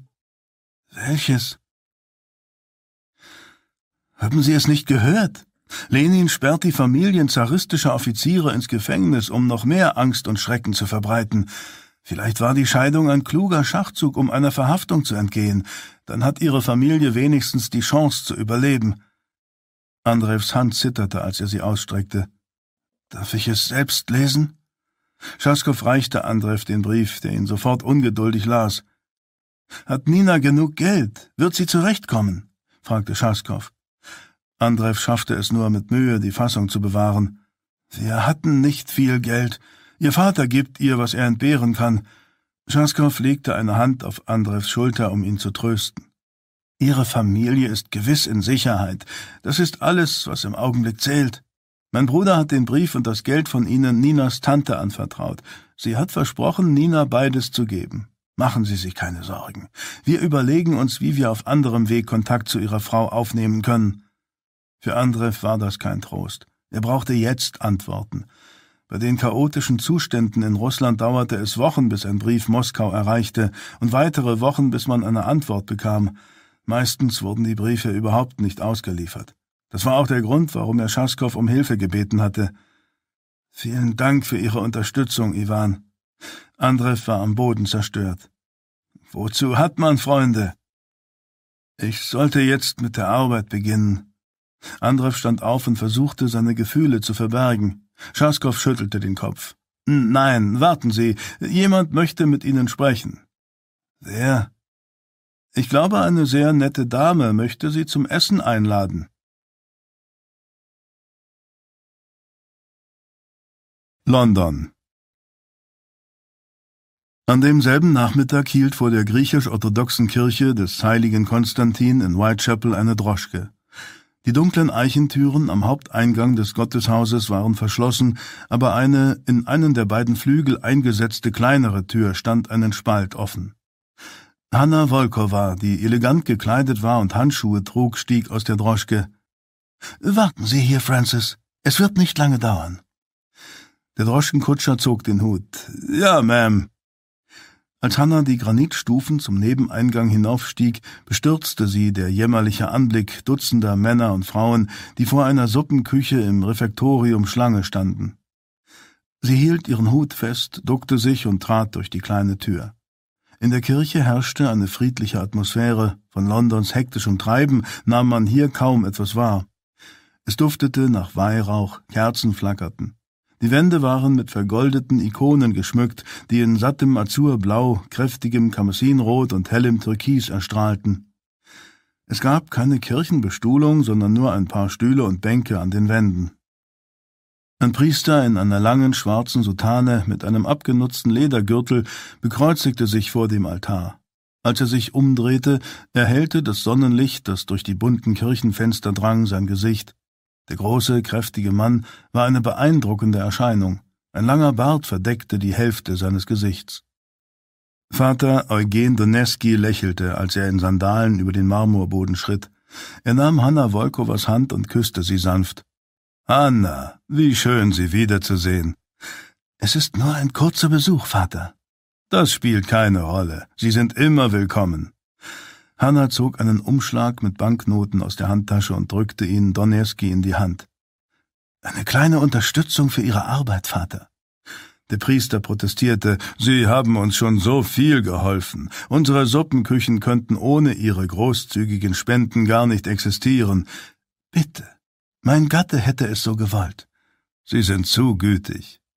Vater Donerski steckte den Umschlag unter seine Soutane und warf einen Blick auf die Eichentür an der Rückseite der Kirche. Sie sagten, Sie wollten allein sein. Ich sorge dafür, dass Sie nicht gestört werden, Hanna. Hanna setzte sich in eine der Bänke gegenüber vom Altar. Als sie ein Geräusch hörte, drehte sie sich um. Ein Mann betrat durch die kleine Tür die Kirche. Er trug einen Anzug aus grobem Wollstoff und hielt eine Tweedmütze in der Hand. Ein Schal war locker um seinen Hals geschlungen. Er kniete sich nieder und bekreuzigte sich, ehe er den Mittelgang hinunterging und seine Schritte durch die Kirche hallten. Vater Doneski steuerte auf den Ausgang zu und schob einen Riegel vor die kleine Tür, worauf ein lautes Echo ertönte. Der Mann zuckte zusammen und warf einen Blick über die Schulter, um den Priester gerade noch in der Dunkelheit verschwinden zu sehen. Als er bei Hanna ankam, stand sie auf und reichte ihm die Hand. Sie müssen Juri Andrew sein. Andrew erwiderte den Gruß und nickte, ehe er sich neben sie auf die Bank setzte. Hanna musterte Andrew, einen gut aussehenden, sympathischen Mann. Er wirkte ruhig und kontrolliert, doch er hatte einen harten, unsteten Blick. Ich bin Hanna Wolkowa. Waren Sie schon mal in der Kirche des heiligen Konstantin Juri? Sie hat mir mehrmals als willkommene Zufluchtsstätte vor dem Regen gedient erwiderte Andrew mit dankbarer Miene, und Vater Doneskis Suppenküche hat mich nicht nur einmal vor dem Verhungern bewahrt. Warum fragen Sie? Hanna drehte den Kopf zu einem Glasfenster in einer Ecke der Kirche. Durch die Scheibe konnte man die Schlange vor der Suppenküche sehen. Ich weiß nicht, was wir ohne selbstlose Männer wie Vater Doneski machen würden. Nur wegen Lenin sind Millionen verarmter Russen nach Europa geflohen. Sie wandte sich wieder dem Besucher zu. Darf ich Ihnen ein Geheimnis verraten? Als Kind mochte ich Kirchen nicht allzu sehr. Sie kamen mir immer wie dunkle, trostlose Orte vor, doch je älter ich werde, desto mehr weiß ich den Frieden zu schätzen, den man sonst nirgendwo findet. Das verstehe ich. Hanna betrachtete den vergoldeten Altar. Vielleicht hatte Tschechow recht, als er sagte, ein Haus Gottes sei einer der wenigen Plätze auf der Welt, wo wir die Ruhe seiner Umarmung spüren können.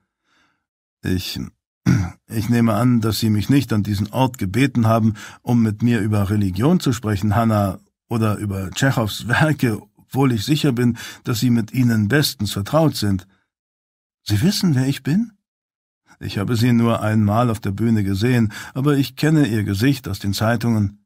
Und ich wundere mich, warum die berühmteste Schauspielerin von St. Petersburg mit mir sprechen möchte. Sie haben ein gutes Gedächtnis.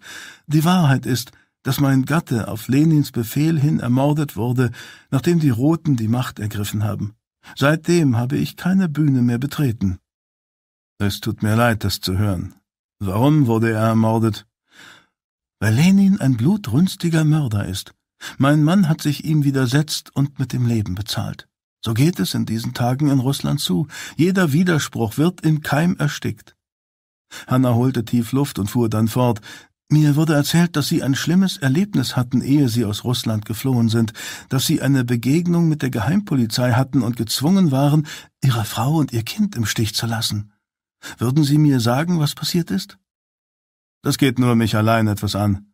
Sie haben recht, doch es könnte eine Bedeutung für das Angebot haben, das ich Ihnen gleich machen werde. Was für ein Angebot? Ein höchst interessantes. Bitte beantworten Sie mir meine Frage. Andrew kniff die Lippen zusammen und seine Augen spiegelten großen Kummer wider. Kurz nach meiner Flucht aus dem Gefangenenlager wurde ich von der CK gejagt. Es gelang mir, St. Petersburg zu erreichen und meine Frau und meinen Sohn zu sehen. Uns blieben nur ein paar gemeinsame Minuten, mehr nicht, denn unser Haus wurde beobachtet. Er zögerte kurz. Ich musste schnell verschwinden, um sie nicht in Gefahr zu bringen. Als ich das Haus verließ, stieß ich mit dem CK-Kommissar zusammen, der mich gejagt hat. Es kam zu einer Konfrontation. Ich habe einige seiner Männer erschossen und konnte in letzter Sekunde fliehen. Was bedeuten Ihnen Ihre Frau und Ihr Sohn? Meine Frau hat sich von mir scheiden lassen, aber natürlich bedeutet mir meine Familie alles, und wie könnte ich meinen Sohn vergessen? Warum haben sich die Gefühle Ihrer Frau Ihnen gegenüber verändert? Andrew warf Hannah einen kummervollen Blick zu. Der Krieg verändert uns alle. Nina hat sich mehr verändert als die meisten anderen, aber würden Sie mir jetzt bitte endlich sagen, was das alles zu bedeuten hat? Hanna stand auf. Nicht weit von hier gibt es ein kleines Restaurant, in dem ein recht guter Borscht serviert wird. Wenn es Ihnen recht ist, würde ich Sie gerne zum Essen einladen. Die Leute, in deren Namen ich spreche, möchten Ihnen ein interessantes Angebot unterbreiten. Welche Leute? Das erkläre ich Ihnen später. Wir möchten, dass Sie nach Russland zurückkehren. Es wäre natürlich sehr gefährlich für Sie, aber wir würden Ihnen im Gegenzug einen Vorschlag machen. Worüber in Gottes Namen reden Sie? Wie würde es Ihnen gefallen, wenn wir Nina und ihren Sohn nach London bringen? Moskau über 3000 Kilometer entfernt regnete es an diesem Nachmittag in Strömen, als der olivgrüne Fiat-Lastwagen vor einem heruntergekommenen Mietshaus am südlichen Ende des Kolinski-Prospekts anhielt. In dem vor 100 Jahren erbauten Gebäude wohnten zwölf Familien in 16 Räumen ohne Strom und mit einer einzigen verfallenen, stinkenden Gemeinschaftstoilette im Erdgeschoss. Jakob stieg aus dem Fiat und nahm ein großes, in braunes Papier eingewickeltes und verschnürtes Paket aus dem Wagen. Er trug seine Lederjacke, eine Mütze und hohe Stiefel. Der Nagant-Revolver steckte in dem Holster an seiner Hüfte. Warte hier und pass auf den Lastwagen auf. Ich möchte allein mit Juris Frau sprechen, sagte er zu Soba, der auf dem Fahrersitz saß. Glaubst du wirklich, die würden hier einen Lastwagen stehlen, der der CK gehört? Erwiderte der Georgier mit den dunklen, mandelförmigen Augen lächelnd. In hoffnungslosen Zeiten würden die Leute alles tun. Als Jakob klopfte, öffnete sie die Tür. Nina hatte den Arm voller Wäsche und sah angespannt aus. Sie trug ein verschlissenes Kleid, das an einigen Stellen notdürftig geflickt war. Das blonde Haar fiel ihr bis auf die Schultern. Guten Tag, Nina. Darf ich reinkommen? Hinter der Tür sah Jakob ein schäbiges, ärmlich eingerichtetes Zimmer, in dessen Mitte ein wackeliger Tisch und zwei Rohrstühle standen. Auf der Tapete, die sich von den Wänden löste, waren Schimmelflecken. In einer Ecke entdeckte Jakob einen Holzofen mit ein paar geschwärzten Töpfen obendrauf. Ein altes, schmiedeeisernes Bett war an eine Wand geschoben worden. Offenbar hatte Nina sich bemüht, den Raum ein wenig zu dekorieren. Vor den morschen Fenstern hingen blaue Vorhänge, und in einer alten Vase standen ein paar weiße Lilien. Sie strich sich mit der Hand ängstlich durchs Haar. Sergei schläft. Ich bitte dich leise zu sprechen. Jakob richtete seinen Blick auf den schlafenden Jungen im Bett, der mit alten Mänteln und Decken zugedeckt war und dessen blonde Locken auf der feuchten Stirn klebten. Er war ein hübscher Junge, der seinem Vater sehr ähnlich sah. Sergei hustete mehrmals stark und drehte sich im Schlaf um. Sein Gesicht hatte eine ungesunde Farbe. Neben einer Petroleumlampe am Bett sah Jakob eine Flasche mit Tropfen und einen Teelöffel. Wie ist es dir ergangen, Nina? Wie geht es dem Jungen? Sergei ist krank. Er hatte von Geburt an schwache Lungen und durch die Feuchtigkeit hier wird es nicht besser. Was hat der Arzt gesagt? Nina strich sich eine Haarsträhne aus dem Gesicht. Welcher Arzt? Die Besten sind aus dem Land geflohen und ihr Roten habt die meisten anderen eingezogen. In den letzten sechs Monaten musste ich mich mit einem Scharlatan begnügen, der keine Ahnung hatte und ein Vermögen verlangt hat. Es tut mir leid, das zu hören. Nina nahm einen durchgescheuerten Kinderpullover vom Wäschestapel und legte den Rest hinten im Raum an das Fenster mit Blick auf einen hässlichen Hinterhof. Die Wäsche, die auf einer Leine draußen im Regen hing, flatterte im Wind. Mit dem Pullover in der Hand setzte sie sich an den Tisch. Dort lag ein Knäuel Wolle, in dem eine Stopfnadel steckte. Jakob nahm seine Mütze ab und legte das sperrige Paket auf den Tisch. Ein paar Lebensmittel und Kondensmilch für dich und das Kind und ein paar Kleidungsstücke für den Jungen. Ich weiß, dass es schwer für euch ist. Nina musterte ihn mit entschlossenem Blick. Ich habe es dir schon gesagt, dass ich nichts von dir haben will, Leonid. Kannst du deinen dummen Stolz nicht einmal vergessen? Wenn du es nicht willst, gib es wenigstens dem Jungen. Nein, erwiderte Nina aufgebracht. Ich nehme von dir und deinesgleichen nichts, solange meine Eltern im Gefängnis verrotten.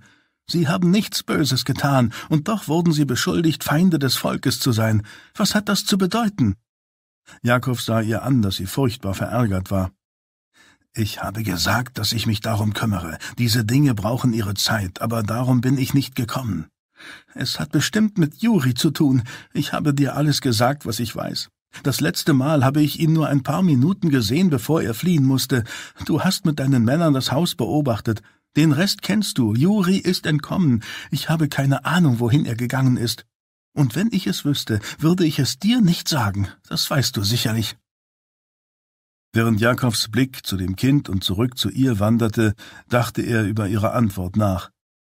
Glaub mir bitte und denk gar nicht daran, Sergei zu fragen, fuhr sie fort. Für ihn ist es schon schwer genug, dass er seinen Vater vermisst. Er hat oft über Juri gesprochen. Jetzt weint er immer, wenn sein Name fällt. Jakob stand auf und blickte hinunter auf die Straße. Es hörte nicht auf zu regnen. Eine Revolution ist für alle Menschen schwer. Ohne Opfer und Leid kann sie nicht gewonnen werden. Und welche Opfer bringst du, Leonid? Auf dein Leben scheint sich diese Katastrophe positiv auszuwirken. Er schwieg einen Moment, ehe er antwortete. Niemand entkommt dem Elend des Krieges, es sei denn, er ist clever genug, um zu fliehen. Was meinst du damit? Jakob setzte sich wieder zu ihr an den Tisch. Juri ist verschwunden. Vermutlich ist er nach Frankreich oder England gegangen, irgendwohin, wo zaristische Emigranten eine Schulter finden, um sich auszuweinen, oder wo Mörder ihrer Strafe entgehen. Woher weißt du das? Das ist eine logische Schlussfolgerung. Wenn er noch hier wäre, hätte er Kontakt zu dir aufgenommen. Ich kenne Juri. Er ist nicht der Mann, der dich und seinen Sohn in diesem Elend im Stich lassen würde. Welche Differenzen es auch zwischen euch gegeben haben mag, er wird auf jeden Fall irgendwann versuchen, dich aus dieser misslichen Lage zu befreien, und sei es nur Sergei zuliebe. Und sobald er es versucht, wird er mir nicht entkommen. Nicht dieses Mal, das verspreche ich dir. Nina schüttelte den Kopf. Ich kann nicht glauben, dass Juri das Verbrechen begangen hat, dessen du ihn beschuldigst. Das ist deine Meinung. Der Krieg verändert die Menschen. Er hat dich verändert und ihn auch. Was er mit Stanislav gemacht hat, hätte ich nicht einmal einem Hund angetan. Außerdem gibt es einen Zeugen. Juri hat Stanislav geliebt wie einen Bruder. Er hätte ihm niemals etwas zuleide getan. Niemals. Kannst du dir das entsetzliche Bild vorstellen, das ich Tag und Nacht vor Augen habe? Stanislavs lebloser, blutüberströmter Leichnam im Schnee? Mein Gott, er war erst sechzehn. Er war doch noch ein Kind. Um Himmels willen, hör auf, Leonid. Rühre nicht mehr daran und beende diesen Wahnsinn, ehe er dich zerstört. Jakob schob den Stuhl hastig zurück und sprang erbost auf. Hass flackerte in seinen Augen auf. Niemals. Das wird nicht passieren, solange noch ein Funken Leben in mir ist. Der Junge regte sich im Schlaf. Er keuchte und hustete, dann schlief er wieder ein. Nina stand auf. Du wirst nicht auf mich hören, nicht wahr? Ich vergeude nur meine Zeit. Wenn du sonst nichts zu sagen hast, würde ich dich bitten zu gehen, bevor du meinen Sohn noch aufwächst. Jakob griff nach seiner Mütze. Liebst du Juri noch? Welche Gefühle ich Juri entgegenbringe, geht dich nichts an. Ebenso wenig wie unsere Differenzen. Er und ich waren einst Mann und Frau. Und das sind wir nun nicht mehr. Mehr gibt es dazu nicht zu sagen. Der Regen peitschte gegen das Fenster. Jakobs Blick glitt durch das schäbige Zimmer. Trotz allem hatte er Mitleid. Nina schwieg, als er auf sie zukam, ihr Gesicht mit den Händen umfasste und sagte, Sieh mich nicht an, als würdest du mich verachten. Ich habe dich niemals verachtet. Ich habe dich immer gemocht, Leonid.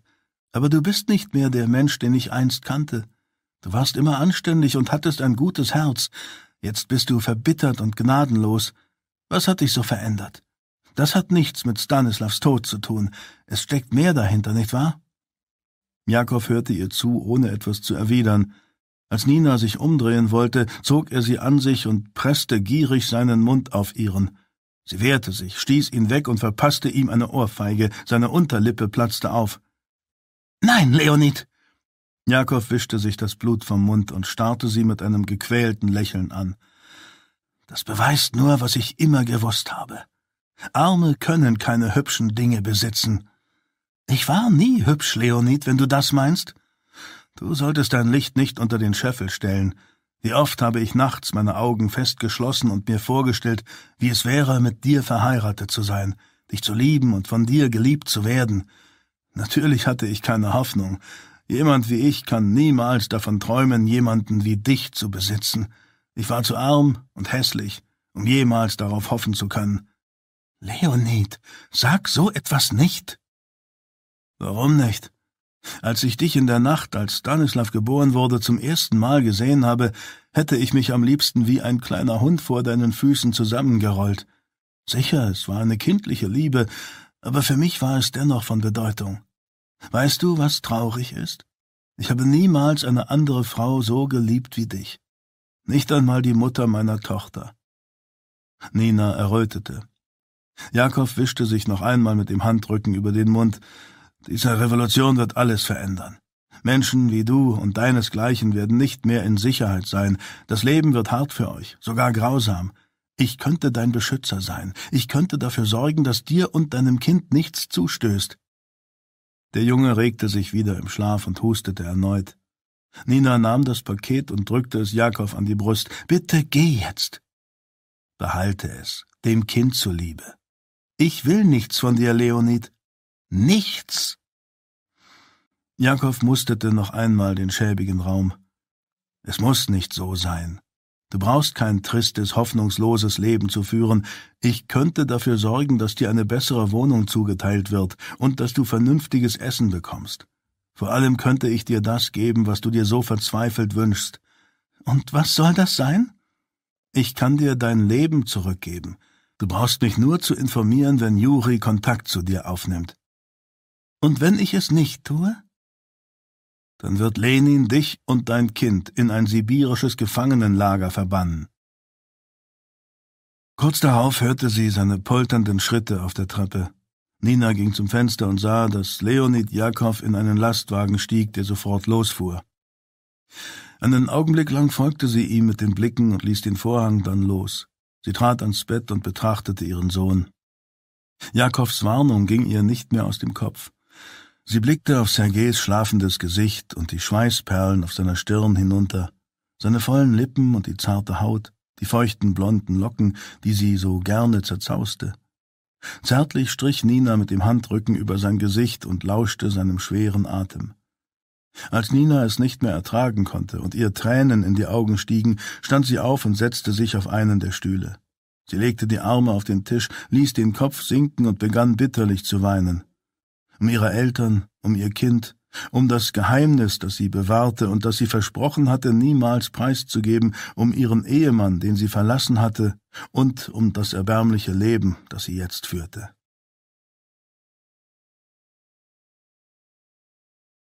London Die Droschke bog zum Hyde Park ab und die Pferde trotteten auf einen der Brunnen zu. Die Sonne schien, es war ein warmer Tag. Eisverkäufer auf Fahrrädern verkauften Eiscreme, die in Behältern mit zerhacktem Eis gekühlt wurde. Die Droschke hielt an und Hanna Wolkowa stieg aus. Sie spannte ihren Sonnenschirm auf und ging auf den Brunnen zu. Ein Mann mit kränklicher Miene um die sechzig in einem feinen Anzug und Hut stand dort und rauchte eine Zigarre. Er stützte sich auf einen Gehstock und beobachtete die Wasserfontäne. Mit den hervorquellenden Augen, dem blassen Gesicht und der dicken Nase war er eine sonderbare Erscheinung. Als Hanna sich näherte, drehte er sich zu ihr um und nahm den Hut ab, woraufhin sein kahlköpfiger Schädel sichtbar wurde. Guten Tag, Hanna. Ich freue mich, Sie wiederzusehen. Ich freue mich auch, Herr Botschafter. Walter Heinz Page setzte den Hut wieder auf und blickte auf den sonnenbeschienenen Park, durch den Paare flanierten und in dem Kinder spielten. Hätten Sie etwas dagegen, wenn wir ein paar Schritte gehen? Ein alter Mann muss sich ab und an ein wenig die Beine vertreten. Er zeigte mit dem Stock auf den Weg, der an dem Brunnen vorbeiführte. Hanna bemerkte einen kräftigen Mann mit einem Schnurrbart und einer Melone auf dem Kopf, der ihnen mit einigen Metern Abstand folgte. Er schien sich in seinem braunen Anzug nicht wohl zu fühlen. Anna vermutete, dass er der Leibwächter des Botschafters war.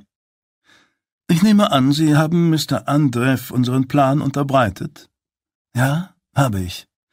Page klopfte die Asche von der Zigarre. Bevor ich Ihnen eine äußerst wichtige Frage stelle, wüsste ich gerne Ihre Meinung, Hannah. Herr Botschafter? Sie haben sich mit Mr. Andrew getroffen. Vertrauen Sie ihm. Ich meine, Vertrauen Sie ihm vollkommen, dass er niemals zu irgendjemandem auch nur ein Sterbenswörtchen über unseren Plan sagen würde, selbst wenn sein Leben in Gefahr wäre? Hannah zögerte eine Sekunde, ehe sie antwortete Ja, das tue ich. Verzeihen Sie, aber ich spüre einen leichten Zweifel, Hannah. Sie sah auf den Brunnen. Nein, das ist kein Zweifel, sondern eher eine gewisse Sorge. Inwiefern? Hannah erzählte Page einige Details ihres Treffens in der Kirche an diesem Morgen. Ich glaube, Juri Andrew ist durch die Hölle gegangen. Er hat furchtbare Dinge erlebt, nachdem er aus dem Gefangenenlager geflohen ist. Was heißt das? Ich bin sicher, er hat eine Art Schock erlitten. Wenn Sie meine Meinung hören wollen, ist er verletzt und verwirrt, vielleicht sogar ein gebrochener Mann. Ein gebrochener Mann?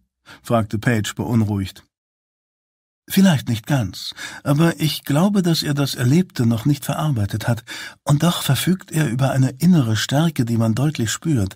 Es ist sonderbar. Was genau hat er erlebt? Das wollte er mir nicht erzählen. Ich nehme an, dass ihm etwas anderes als die Probleme mit seiner Familie stark zugesetzt hat. Page dachte darüber nach, zog an seiner Zigarre und blies den Rauch aus. Ich bin alt genug, dass ich als Junge miterlebt habe, wie General Shermans Truppen in unsere Stadt einmarschiert sind und unser Haus in Brand gesetzt haben. Das Erlebnis hat mich zutiefst erschüttert. Ein Bürgerkrieg ist eine entsetzliche Erfahrung, die tiefe Wunden hinterlässt, Familien und Freunde entzweit. Werden Sie mich jetzt fragen, ob ich glaube, dass der Krieg Andrev so sehr zugesetzt hat, dass er uns nicht mehr von Nutzen sein kann? Ich frage mich nur, ob der Kummer seine Fähigkeit, die vor ihm liegenden Aufgaben zu bewältigen, beeinträchtigen wird. Das weiß ich wirklich nicht, Herr Botschafter. Ich glaube aber, wir haben zu diesem Zeitpunkt kaum eine andere Wahl als Andrev, nicht wahr? Page zog wieder an seiner Zigarre, und Hannah merkte ihm an, dass er angestrengt über die Antwort nachdachte. Vermutlich nicht. Ist Boyle noch in Irland und versucht Miss Ryan für unser Vorhaben zu gewinnen? Er hofft, dass er heute Ihre Antwort bekommt. Dann bleibt, glaube ich, nur noch eine Frage offen. Willigt Mr. Andrev ein oder nicht? Fünf Minuten später fuhr Hanna Wolkowas Droschke aus dem Hyde Park heraus und bog auf die belebten Londoner Straßen ein. Walter Heinz Page blieb einen Moment stehen und blickte der Droschke nach. Gedankenverloren rauchte er seine Zigarre zu Ende und trat sie anschließend mit dem Absatz seines Schuhs aus. Er ging die kurze Strecke zu seiner erwartenden Droschke und stieg ein. Der Kutscher trieb die Pferde an, worauf sie zum Ausgang des Parks trotteten. Ein untersetzter, stark schwitzender Mann mittleren Alters mit den derben Gesichtszügen eines Bauers saß etwa hundert Meter entfernt auf einer Bank. Er stützte sich auf die Lenkstange seines Fahrrads und leckte an seinem Eis. Er beobachtete die Droschke des glatzköpfigen, eigenartig aussehenden kleinen Mannes, die sich hinter Hanna Wolkowas Kutsche ebenfalls in den Verkehr einfädelte. Neben der hübschen Frau sah der kleine Glatzkopf richtig hässlich aus. Die Schöne und das Biest, dachte er und grinste. Der untersetzte Mann aß das Eis auf, warf die Reste des Hörnchens weg und wischte sich mit dem Ärmel über den Mund, ehe er aufs Fahrrad stieg. Auf seiner Stirn schimmerten Schweißperlen. Er überlegte, wem er folgen sollte, der Schönen oder dem Biest. Als er die Entscheidung getroffen hatte, nahm er die Verfolgung auf und trat ordentlich in die Pedale.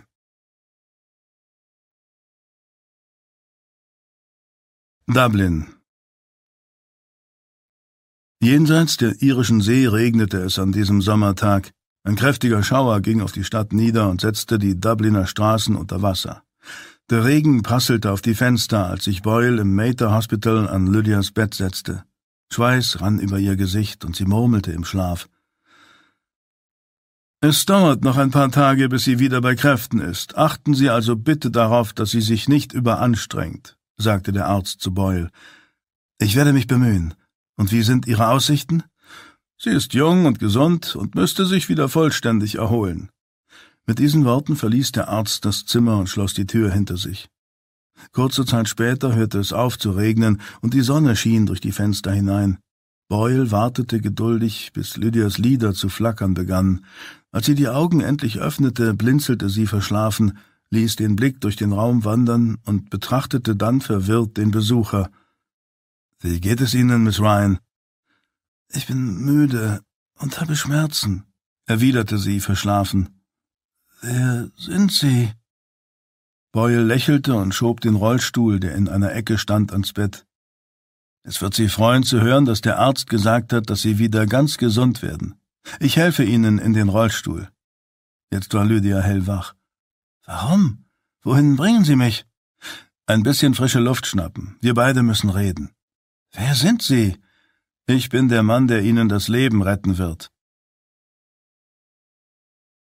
Von dem winzigen Park hinter dem Krankenhaus, in dem hübsche Blumenbeete angelegt waren, fiel der Blick auf eine Reihe georgianischer Häuser aus dem 18. Jahrhundert. Die gemauerten Wachtürme des nahegelegenen Mount Joy Gefängnisses überragten die Mauern des Krankenhauses. Boyle zog eine Schachtel Players Navy aus der Tasche. Ich habe gehört, dass die Frauen jetzt ganz versessen aufs Rauchen sind, seit sich eine Mitstreiterin von Mrs. Pankhurst bei einem Derby vor ein Pferd geworfen hat, um mehr Rechte für Frauen durchzusetzen. In der Zeitung Suffragette wurden Zigaretten kürzlich als die Fackeln der Freiheit bezeichnet. Soll das ein Witz sein? fragte Lydia. Nein, ich wollte nur ausdrücken, dass ich es nicht anstößig fände, wenn Sie eine Zigarette rauchen wollten. Nein, möchte ich nicht. Würden Sie mir bitte sagen, wer Sie sind? Mein Name ist Joe Boyle. Er zündete ein Streichholz an und hielt seine freie Hand schützend vor die Flamme, um sich Feuer zu geben. Dann schwenkte er das Streichholz kurz durch die Luft, so dass es erlosch und warf es weg.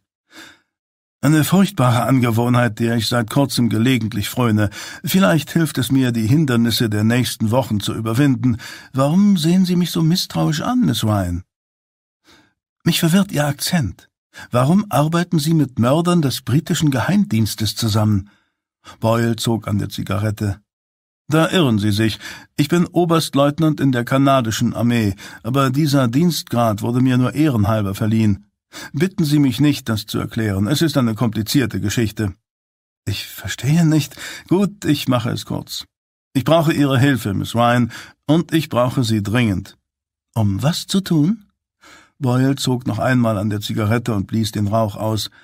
Sie sind wirklich eine bemerkenswerte junge Frau, wissen Sie das? Es gibt nicht viele Frauen mit Ihrem Hintergrund. Ihr Vater hat in St. Petersburg eine erfolgreiche Pferdezucht betrieben. Sie haben dort die St. Benedikt Klosterschule besucht und Russisch zu sprechen gelernt wie eine gebürtige Russin. Ich verstehe nicht, was das alles mit Ihnen zu tun hat. Lassen Sie mich ausreden. Ihre Eltern siedelten nach Kentucky über, und Sie scheinen zu glauben, dass Sie und Ihr Bruder auf dem Pferdegestüt Ihres Onkels in Kildare in Sicherheit sind. Sie wissen übrigens auch nichts von Ihrem Engagement für den irischen Republikanismus. Wenn Sie es wüssten, würden Sie sich schrecklich aufregen und Ihnen befehlen, das nächste Schiff nach Amerika zu besteigen. Sie scheinen eine Menge zu wissen, Boyle. Ich habe mich informiert. Bevor Sie Ihren Verlobten kennengelernt haben, haben Sie als Gouvernante der russischen Zarenfamilie gearbeitet. Das muss für eine neunzehnjährige junge Frau ein großes Abenteuer gewesen sein. Das Haus Romanow hat Hunderte von Ausländern als Gouvernanten und Hauslehrer beschäftigt. Ich war nur eine von vielen. Stimmt, aber waren die Kinder nicht gerade Ihnen besonders zugetan? Der Zar hat ein Loblied auf Sie gesungen, nachdem eine seiner Töchter in den Parkanlagen von Schloss Peterhof mit ihrer Hilfe vor dem Ertrinken gerettet wurde. Wie nannte er sie noch gleich? Seinen irischen Glücksbringer? obwohl ich mir die Einschätzung erlaube, dass Sie als Republikanerin nicht gerade eine Anhängerin der Monarchie sind. Lydia verlor allmählich die Geduld. Bringen Sie mich wieder auf mein Zimmer, Boyle. Ihre Geschichten sind ermüdend. Sie stand auf, doch Boyle drückte sie behutsam wieder in den Rollstuhl. Immer mit der Ruhe. Wir kommen gerade zum interessanten Teil. Und der wäre, Boyle? Eine kurze Zusammenfassung meines Lebens, bevor die Briten mich hinrichten? Nun gut, ich sage Ihnen frei heraus, worum es geht. Die Leute, in deren Namen ich spreche, beabsichtigen, den Zaren und seine Familie zu retten. Was? Sie haben ganz richtig verstanden. Wenn alles wie geplant läuft, befreien wir die Romanows vor den Augen ihrer Bewacher. Lydia starrte ihn an und begann zu lachen. Sind Sie verrückt, Boyle? Warum ist es in Irland fast ein Kompliment, jemanden verrückt zu nennen? Und kennen Sie nicht dieses sonderbare Gesetz des Universums, das besagt, dass dem Mutigen die Welt gehört? Sie meinen es wirklich ernst, nicht wahr? Allerdings. Boyle stellte einen Fuß auf die regennasse Bank gegenüber von Lydia und stützte sich auf sein Knie. Sie erwartet eine gefährliche Reise nach Russland und zurück. Sie reisen in Begleitung eines Mannes und geben sich zur Tarnung als Paar aus. Sobald Sie Jekaterinburg erreichen, müssen Sie bestimmte Aufgaben übernehmen, damit die Rettung der Familie gelingt, ohne dass jemand in Gefahr gerät. Es ist ein solider, durchführbarer Plan.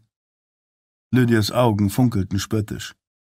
Haben Sie meine anschließende Beerdigung auch schon geplant, Mr. Boyle? Ich weiß, was Sie denken. Wenn man sie schnappt, wird man sie für eine Spionin halten, und Spione werden erschossen, aber ich vertraue darauf, dass unsere Strategie funktioniert. Sonst würde ich mich nicht für diese Sache stark machen. Wer sind Sie?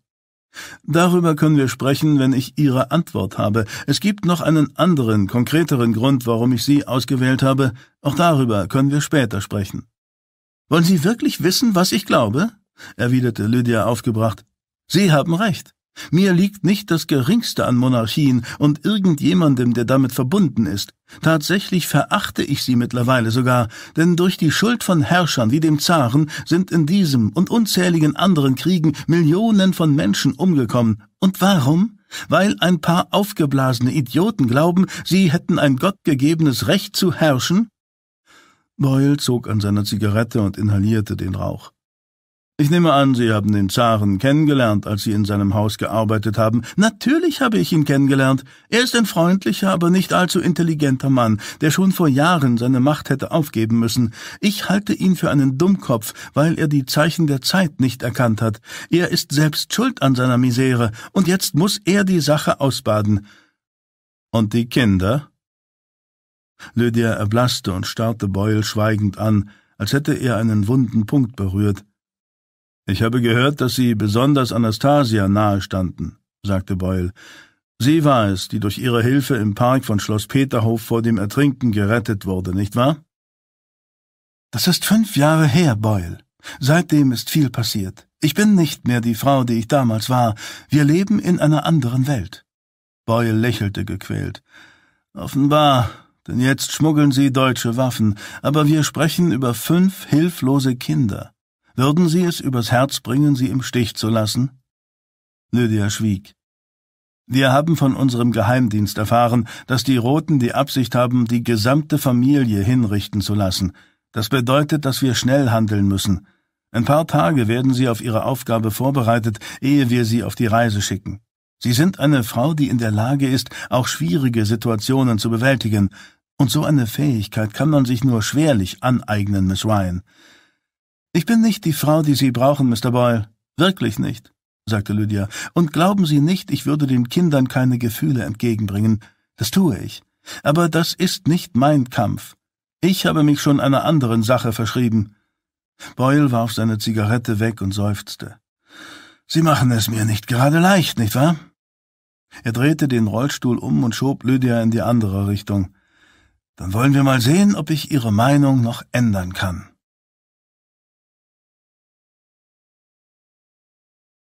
Dublin Boyle schob Lydia in dem Rollstuhl einen Gang mit weißen Fliesen an den Wänden hinunter, bis sie zu einem Krankenzimmer gelangten, das von zwei uniformierten Polizisten bewacht wurde. Was hat man Ihnen über den Zustand Ihres Bruders gesagt? Nichts, außer dass er lebt. Warum? fragte Lydia ängstlich. Einer der beiden Polizisten öffnete die Tür, nachdem Boyle ihm ein Zeichen gegeben hatte. Er schob Lydia in ein Krankenzimmer. Ihr Herzschlag setzte aus, als sie Finn bewusstlos in einem Metallbett liegen sah. Sein Kopf war auf die Schulter gesunken und seine verletzten Arme waren verbunden. Eine Hand hing mit Handschellen gefesselt am schmiedeeisernen Kopfteil des Bettes. Er sah so jung und verletzlich aus. Dann fiel Lydias Blick auf die Mulde in der Decke, wo das linke Bein ihres Bruders hätte liegen müssen. Finn! rief sie heiser. Boyle schob sie näher heran. Sie mussten das Bein heute Morgen amputieren. Der Junge hat viel durchgemacht. Er ist noch nicht aus der Narkose aufgewacht. Auf Lydias Gesicht breitete sich Entsetzen aus. Sie öffnete den Mund, um etwas zu sagen, doch die Worte blieben ihr im Hals stecken. Er ist noch nicht über den Berg, sagte Boyle, aber die Ärzte sagen, er wird überleben. Lydia kämpfte mit ihren Gefühlen. Boyle schob sie noch näher an Finns Bett heran. Sie streckte den Arm aus und strich ihrem Bruder eine Strähne aus der Stirn. Finn, kannst du mich hören? Lydia drückte seine Hand, doch er reagierte nicht. Verzweifelt legte sie eine Hand auf seinen Arm und fragte Boyle mit feuchten Augen, Was haben Sie mit ihm vor? Das hängt von Ihnen ab. Wenn Sie uns Ihre Hilfe verweigern, richten die Briten Sie beide hin. War es nicht einer Ihrer republikanischen Führer, James Connolly, der auf einer Bahre zum Exekutionskommando getragen wurde? Da machen Sie mit Finn keine Ausnahme. Er ist doch noch ein Kind. Ich bin nicht der Henker, sagte Boyle in freundlichem Ton. Ich sage Ihnen nur, wie es ist. Was genau wollen Sie von mir, Mr. Boyle? fragte Lydia aufgebracht. Ihre uneingeschränkte Kooperation. Ich brauche Details. Unsere Zeit ist eng bemessen, darum müssen wir alles schnell in die Wege leiten. Wir werden ein Cottage auf einem Privatgrundstück nördlich von Dublin beziehen. Es liegt abgelegen und ist wie geschaffen für unsere Zwecke. Wir brauchen ein paar Tage, um Ihre neue Identität durchzusprechen, damit Sie Ihre Rolle glaubhaft spielen können. Während dieser Zeit machen Sie und Ihr Begleiter sich miteinander vertraut. Dann schicken wir Sie auf die Reise. Ein Frachtschiff verlässt in sechs Tagen Belfast in Richtung Ostsee und St. Petersburg, und wir werden an Bord sein. Wer ist mein Begleiter? Ein russischer Armeeoffizier, ein ehemaliges Mitglied der Leibwache des Zaren, der aus einem Gefangenenlager der Bolschewisten entflohen ist. Und keine Sorge, Ihr Bruder bekommt während Ihrer Abwesenheit die beste Pflege. Wenn Sie zurückkehren, sind Sie beide frei und können das nächste Schiff nach Amerika nehmen. Vorausgesetzt, ich kehre zurück. Ich würde lügen, wenn ich behauptete, dass die Reise keine Gefahren birgt. Lydia betrachtete das Gesicht ihres schlafenden Bruders und seine gefesselte Hand. Schließlich hob sie den Blick und sagte wütend Sie sind ein gefühlloser, kaltherziger Scheißkerl, Mr. Boyle. Wollen Sie die Wahrheit wissen? Ich hatte Glück, dass die Briten zugestimmt haben. Seien Sie froh, dass Sie und Finn wenigstens eine Chance haben. Zur Hölle mit Ihnen! Lydia schickte sich an, ihm eine Ohrfeige zu verpassen, doch Boyle verfügte über die schnelle Reaktion eines Boxers und ergriff ihren Arm. Er sah ihr in die Augen und erkannte die Qualen, die furchtbare Angst, und irgendetwas stimmte ihn milde, als er sie wieder losließ. Ich gebe Ihnen eine Stunde, um über das Angebot nachzudenken. Anschließend kann ich nichts mehr für Sie tun.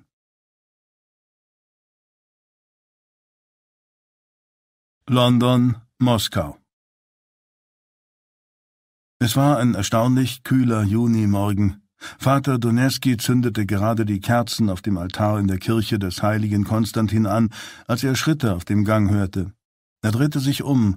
Ein untersetzter Mann mit den groben Gesichtszügen eines Bauern musterte ihn mit hinterhältigem Blick. Guten Morgen, Vater, sagte er auf Russisch. Was wollen Sie? fragte Doneski zornig. Der Mann grinste und schob seinen Hut ein Stück zurück. Ein ruhiges Gespräch unter Freunden. Doneski blies die kleine Kerze aus, mit der er die anderen angezündet hatte. Wir werden niemals Freunde sein. Und nehmen Sie Ihren Hut in diesem Gotteshaus ab, bevor ich ihn Ihnen vom Kopf reiße. Der Mann grinste. Sie sind sehr mutig, nicht wahr, Vater? Doneski ging auf den Mann zu und zog ihm die Leinenmütze vom Schädel. Der Besucher konnte es gegen den großen Priester mit dem muskulösen Körper nicht aufnehmen und musste zusehen, wie seine Mütze auf den Boden flog. In meiner Kirche tun Sie, was ich sage, stieß Doneski böse aus. Mit mürrischer Miene hob der Mann die Mütze auf und klopfte den Staub ab. Ich wäre an Ihrer Stelle respektvoller, sonst wird es jemand ausbaden müssen. Ich habe Ihnen alles gesagt, was ich weiß erwiderte Donerski, dessen Gesichtsmuskeln plötzlich zu zucken begannen in gequältem Ton. Der Besucher stopfte die Mütze in seine Tasche. Nicht alles, Vater. Ich bin Hanna Volkova gestern den ganzen Tag gefolgt. Sie hat im Connaught Hotel übernachtet. Es stellte sich heraus, dass sie sich mit dem amerikanischen Botschafter und zuvor hier in der Kirche mit einem anderen Mann getroffen hat. Ich bin ihm zu einer Druckerei in Whitechapel gefolgt. Was hat das zu bedeuten? Was hat dieser bourgeoise Schlampe vor? Doneski schwieg. Haben Sie unsere Abmachung vergessen? Der Priester ballte wütend die Fäuste. Er musste sich zusammenreißen, um sich nicht auf den Mann zu stürzen und ihn zu erwürgen. Ich habe immer gesagt, dass ihr Roten nichts anderes als Teufel in Menschengestalt seid. Sie wollen doch nicht, dass Ihrer lieben alten Mutter oder Ihren Verwandten in Moskau etwas zustößt, nicht wahr? Sagen Sie mir, was Wolkowa im Schilde führt, bevor ich meine Meinung ändere und Sie alle in Ihren Zellen verrotten lasse. Donirski ließ die Schultern hängen. Er wusste, dass jeder Widerstand zwecklos war. Der Mann, mit dem Hanna Wolkowa sich getroffen hat, heißt Andrew. Er ist russischer Immigrant. Ich habe ihn vorher schon mal in unserer Suppenküche gesehen. Der Mann grinste. Ausgezeichnet. Und jetzt strengen Sie Ihr Gehirn mal an und erzählen mir alles, was Sie wissen, und lassen Sie nichts aus. Um kurz nach sechs Uhr am nächsten Abend bestieg der untersetzte Mann den Nachtzug nach Edinburgh, der kurz darauf den Bahnhof King's Cross verließ. Er fuhr dritter Klasse und trug einen Seesack bei sich. Am nächsten Morgen passierte der Zug in aller Frühe die schottische Grenze und fuhr schließlich in den Bahnhof von Edinburgh ein. Der Russe hatte kaum geschlafen und war erschöpft. Die Informationen, die er sich eingeprägt hatte, verstärkten seine nervöse Anspannung. Er betrat ein Telegrafenamt in der Stadt und schickte ein kurzes, verschlüsseltes Telegramm nach Paris, von wo aus es anschließend nach Moskau weitergeleitet wurde. Der Mann betrat ein Geschäft und kaufte mit seinen Lebensmittelmarken Marmelade, Dosenschinken, Zwieback und Sardinen für die lange Reise, die vor ihm lag. Außerdem nahm er eine Flasche Buttermilch und etwas frisches Brot und Käse fürs Frühstück mit. Er verschlang es gierig, als er zum Hafen ging. Der Russe legte seine Fahrkarte vor und bestieg kurz vor Mittag die Baltic Prince. Sein schwedischer Reisepass auf den Namen Lars Westens wurde überprüft und nicht beanstandet. Die Schiffsreise war recht angenehm, die Nordsee war spiegelglatt und am hellen arktischen Nachthimmel leuchteten die Nordlichter. Vier Tage später ging der Russe in Helsinki von Bord und nahm eine Straßenbahn zum Marktviertel. Im Haus einer älteren Frau, einer Parteigenossin, konnte er ein heißes Bad nehmen und bekam ein Essen, ein bisschen Bargeld, neue Reisedokumente und eine Zugfahrkarte nach Moskau. Nach mehreren Verzögerungen an der russischen Grenze, an der die Wachposten der Roten Armee die Papiere aller Reisenden peinlich genau überprüften, erreichte sein Zug 72 Stunden später endlich Moskau. Um Viertel nach neun an diesem Morgen stand der Mann vor dem Tor des kleinen, runden Kutafja-Turms am Eingang des Kreml. Dieser eigentümliche weiße Turm war durch eine Brücke, die sich über einen alten Burggraben spannte, mit der Festung verbunden. Der Russe reichte dem Soldaten seine Papiere, der sie mit selbstgefälliger Miene prüfte. In welcher Angelegenheit sind Sie hier? Einer privaten. Rufen Sie die Sekretärin des Genossen Lenin an und sagen Sie ihr, dass Semjaschko mit dringenden Nachrichten aus London gekommen ist. Beeilen Sie sich. Der Wachsoldat ärgerte sich, dass ein unrasierter Landstreicher mit verschwommenem Blick in zerknitterter Kleidung und mit einem lumpigen Seesack so mit ihm sprach. Doch etwas in dem Ton des Mannes sagte ihm, dass es klug wäre, der Aufforderung nachzukommen. Er rief die Sekretärin an und kurz darauf schlurfte ein hübsches Mädchen mit kleinem Buckel in einem dicken grauen Wollrock, einer schwarzen Strickjacke und flachen braunen Schuhen den gepflasterten Weg vom Kreml auf ihn zu. Lydia Alexandrowna Fodjewa war Lenins Chefsekretärin. Sie kannte alle Geheimnisse des roten Diktators und genoss sein absolutes Vertrauen. Der Mann mit dem Seesack rief Lydia, sagen Sie diesen Dummköpfen, sie sollen mich passieren lassen. Ich verbürge mich für diesen Bürgergenosse, lassen Sie ihn eintreten, sagte sie zu dem Wachsoldaten. Als Lydia Fodjewa den Besucher zum Kreml führte, sprach sie mit ihm vertraulich wie mit einem alten Freund. Lenin hat Ihr Telegramm gelesen und ungeduldig auf Ihre Ankunft gewartet. Wir sollten uns beeilen. Er hat um zehn Uhr eine wichtige Sitzung im Kriegsministerium. Tun Sie sich selbst einen Gefallen und sagen Sie Lenins Sitzung ab, Lydia. Wie bitte? Sobald er meine Nachrichten hört, wird er nirgendwo mehr hingehen. Zwei Meilen entfernt stieg Jakow im Arbat, einem bekannten Moskauer Stadtviertel, aus dem Fiat-Lastwagen. Soba saß auf dem Fahrersitz. Komm doch mit zu uns nach Hause, dann siehst du deine Tochter auch einmal. Meine Frau kann für uns alle etwas kochen. Dafür ist keine Zeit. Ich muss in einer Stunde im Kreml sein. Du musst dir Zeit nehmen, wenn es um Kinder geht, Leonid. Weißt du, warum Trotzki dich in den Kreml gerufen hat? Darüber mache ich mir erst Gedanken, wenn ich da bin. Jakow hob das in braunes Papier eingewickelte Paket vom Boden des Lastwagens auf und drückte es Sober in die Hand. Ich habe eine Aufgabe für dich. Überleg dir eine andere Möglichkeit, Nina Andrev die Lebensmittel und die Kleidung zukommen zu lassen. Dann nahm er eine prall mit Rubel gefüllte Lederbörse aus der Tasche und legte sie auf den Beifahrersitz. Sie braucht Medikamente für das Kind. Solche Dinge bekommt man heutzutage nur auf dem Schwarzmarkt, und sie sind teuer. Sie hat deine Hilfe doch abgelehnt. Versuche es über den Priester in Ihrem Viertel oder den Arzt, der das Kind behandelt. Sie sollen sagen, dass Sie ihr in ihrer Notlage helfen möchten.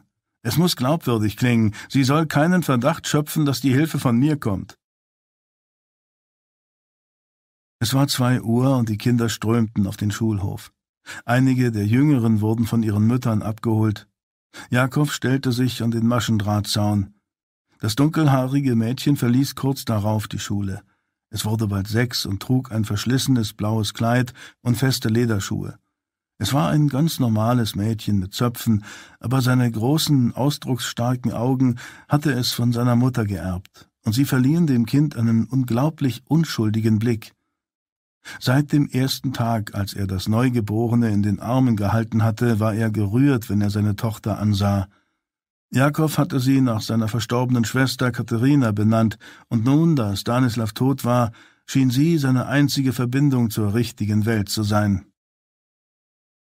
Katharinas Blick glitt ängstlich über die Köpfe der Menge, bis sie Sobers Frau entdeckte, eine lächelnde Bäuerin mit dickem Busen. Sie schloss Jakobs Tochter in die Arme, drückte sie an sich und küsste sie. Dann nahm sie Katharina an die Hand und verließ mit ihr den Schulhof. Die Kleine hüpfte glücklich neben ihr her. Jakob spürte das übermächtige Bedürfnis seiner Tochter zu folgen, sie fest zu umarmen, zu küssen und nicht mehr loszulassen. Er sehnte sich danach, ihr kindliches Lachen zu hören und das Strahlen in ihren großen, unschuldigen Augen zu beobachten, und er kämpfte verzweifelt gegen das Verlangen an, den beiden hinterherzulaufen. Auf ihn wartete die Arbeit für die Partei, persönliche Belange kamen an zweiter Stelle. Eine Revolution ist für alle Menschen schwer. Ohne Opfer und Leid kann sie nicht gewonnen werden. Jakob erinnerte sich an Ninas Erwiderung. Und welche Opfer bringst du, Leonid?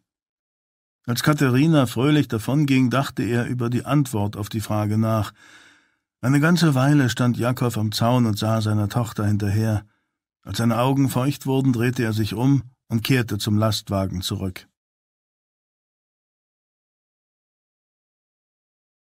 Kreml, Moskau Jakob hasste den Kreml den blutgetränkten Mauern aus dem zwölften Jahrhundert, dem Ort, an dem Iwan der Schreckliche seine Opfer an der ursprünglich hölzernen Einfriedung gerne hatte pfählen lassen, haftete etwas Bedrohliches an. Er fuhr mit dem grünen Lastwagen auf den großen Platz vor dem Gebäude der Rüstkammer. Ein Rotarmist erwartete ihn. Folgen Sie mir, Kommissar Jakow. Der Rotarmist stieg Jakow voran eine Granittreppe zu einem gemauerten Torbogen hinauf. Auf einem Platz weiter unten standen eine Reihe von Lastwagen und Geschützen und zahlreiche bewaffnete Wachen der Roten Armee. Der Soldat öffnete eine Eichentür mit Eisenbeschlägen. Kommen Sie, Kommissar, passen Sie auf, der Boden ist glatt.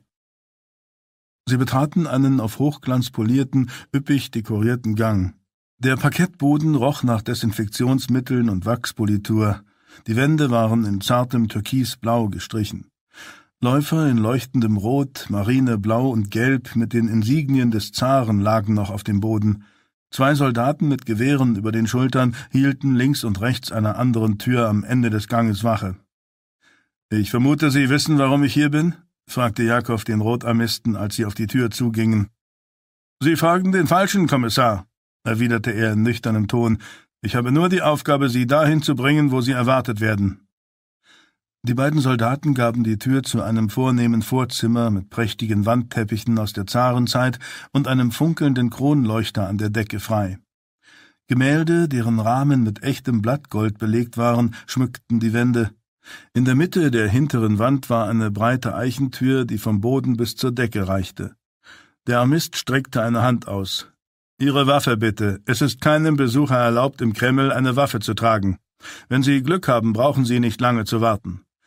Jakob zog den Revolver aus dem Holster und gab ihn dem Rotarmisten, der die Waffe in die Schublade eines Schreibtisches legte. Fast wie aufs Stichwort sprang die große Eichentür auf, und ein Mann mit hochmütiger Miene betrat den Raum. Er strotzte nur so vor Energie, trug eine schwarze Militäruniform und kniehohe polierte Stiefel. In der einen Hand hielt er seinen Offiziersstab, in der anderen einen Briefumschlag aus festem Papier. Sein volles, gewelltes Haar, der schwarze Van Dyke-Bart und die Drahtgestellbrille verliehen ihm das exzentrische Aussehen eines Akademikers. Jakow stand Leo Trotzki gegenüber, dem Verteidigungsminister und Lenins skrupelloser rechter Hand. Er hatte die funkelnden, dunklen Augen eines Fanatikers und strahlte eine Kälte aus, die man beinahe körperlich spüren konnte. Jakow begann in seiner Gegenwart immer leicht zu frösteln. Er nahm Haltung an und schlug die Hacken zusammen. Genosse Trotzki, kommen Sie herein. Vom Balkon hatte man eine gute Aussicht auf Moskau. Die großen Balkontüren waren geöffnet und Trotzki trat hinaus. Er steckte eine Zigarette in einen langen Zigarettenhalter, zündete sie an und nahm einen Zug. Jakob stellte sich neben ihn. Ein Stück weiter sah er hinter einer Balkontür einen anderen Raum, in dem sich ein glatzköpfiger Mann über Papiere beugte. Er erkannte die unverwechselbare Gestalt Lenins. Sie sind ein tüchtiger Mann, Genosse Lenin ist sehr zufrieden mit Ihnen, Jakow. Ich frage mich dennoch, ob Sie der Aufgabe gewachsen sind, die ich Ihnen übergeben will. Herr Minister? Trotzki hielt den Zigarettenhalter zwischen seinen schlanken, gepflegten Fingern. Er öffnete den Umschlag und reichte Jakow ein Foto. Es war ein Bild des Zaren und seiner Familie, diese Art von Erinnerungsfoto, die vor dessen Abdankung überall an Straßenkiosken und Geschäften verkauft worden waren. So viel ich weiß, war Ihre Frau eine der ersten, die während des Aufstandes erschossen wurde, sagte Trotzki. Was fühlen Sie, wenn Sie das Foto betrachten, Jakow? Hass, Wut, Bitterkeit? Beantworten Sie meine Frage ehrlich. Wenn ich die Kinder und die Frau auf dem Foto sehe, fühle ich nichts. Um das auszudrücken, was ich ihrem Gatten gegenüber empfinde, ist Hass ein zu schwaches Wort. Ich verabscheue ihn. Ich freue mich, das zu hören. Mir persönlich wäre es lieber, wenn der Zar in einem öffentlichen Prozess zum Tode durch den Strang verurteilt würde, aber Genosse Lenin hat andere Pläne. Jakow schickte sich an, Trotzki das Foto zurückzugeben, doch dieser schüttelte den Kopf. Behalten Sie es. Es soll Sie immer an Ihren Hass erinnern und dafür sorgen, dass Ihre Abscheu niemals nachlässt, nicht einmal eine Sekunde lang. Warum? Weil wir möchten, dass Sie die Hinrichtung der gesamten Romanow-Familie überwachen.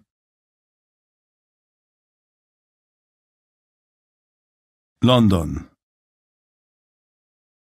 An diesem Abend hätte man meinen können, dass der brutalste Krieg der Weltgeschichte eine Million Meilen entfernt tobte.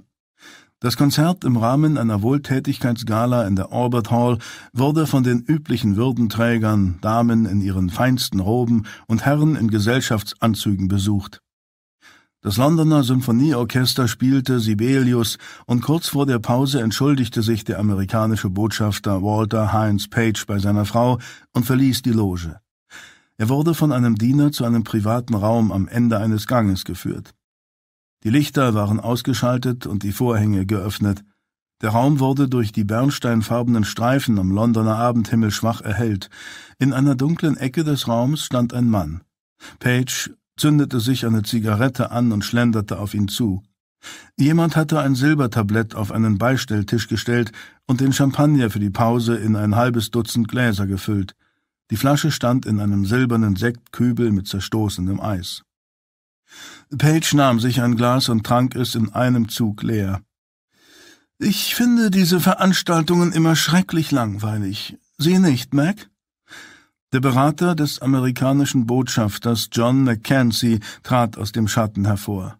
Er war groß, gepflegt und tadellos gekleidet. Sein Haar war mit Pomade frisiert und sein Anzug von Brooks Brothers sorgfältig gebügelt. Was soll ich sagen, Herr Botschafter? Es ist eine Ablenkung. Page nahm ein paar Tabletten aus seiner Tasche und schluckte sie mit dem nächsten Glas Champagner hinunter. Von der Musik bekomme ich immer höllische Kopfschmerzen. Was machen Sie hier? Ich möchte mit Ihnen über unseren Agenten in Russland sprechen, Sir. Hat das nicht bis morgen Zeit? Ich fürchte nein. Was wissen Sie über Philipp Sorg, Sir? Nur das, was mir unsere Freunde vom Außenministerium gesagt haben. Ich weiß, dass er die Romanows seit ihrer Gefangennahme beobachtet. Er ist ihnen von Zarskoje Sielo nach Tobolsk und dann nach Jekaterinburg gefolgt. Seine Bemühungen sind für unseren Plan von größter Bedeutung. Warum? Was wissen Sie über Sorg persönlich? Sehr wenig, nur dass man ihm seine Nerven chirurgisch entfernt haben muss, um zu ermöglichen, dass er das tut, was er tut. Mackenzie blickte auf die Dächer von London. Ich bin ihm einmal begegnet, als ich in Washington gearbeitet habe. Er ist ein sonderbarer Mensch. In Gefahrensituationen scheint er über sich hinauszuwachsen. Ich habe Gerüchte gehört, dass er 1913 für uns in Russland spioniert hat, als wir den Aufstieg der sozialistischen Gruppierungen verfolgt haben, und dass er von der Okrana geschnappt und gefoltert wurde. Nach allem, was man hört, muss er schlimme Zeiten durchgemacht haben, ehe er aus der Gefangenschaft ausbrechen und aus dem Land fliehen konnte. Und Sie haben ihn wieder in das Land geschickt? Warum um alles in der Welt? Er hat sich freiwillig gemeldet, Sir. Aber jetzt kommt es. Er ist psychisch am Ende. Offenbar schafft er es nur noch, mit der Situation zurechtzukommen, indem er massenhaft Laudanum nimmt. Page warf ihm einen Seitenblick zu. Das ist nicht Ihr Ernst. Können wir uns auf den Kerl verlassen? Das Außenministerium sagt ja, aber jetzt komme ich zu unserem Problem. Mackenzie faltete ein Blatt auseinander, das mit Schreibmaschinenschrift beschrieben war. Das ist über unsere sichere Telegrafenleitung gekommen, Sir. Ich habe das Original entschlüsselt, hier ist die Abschrift.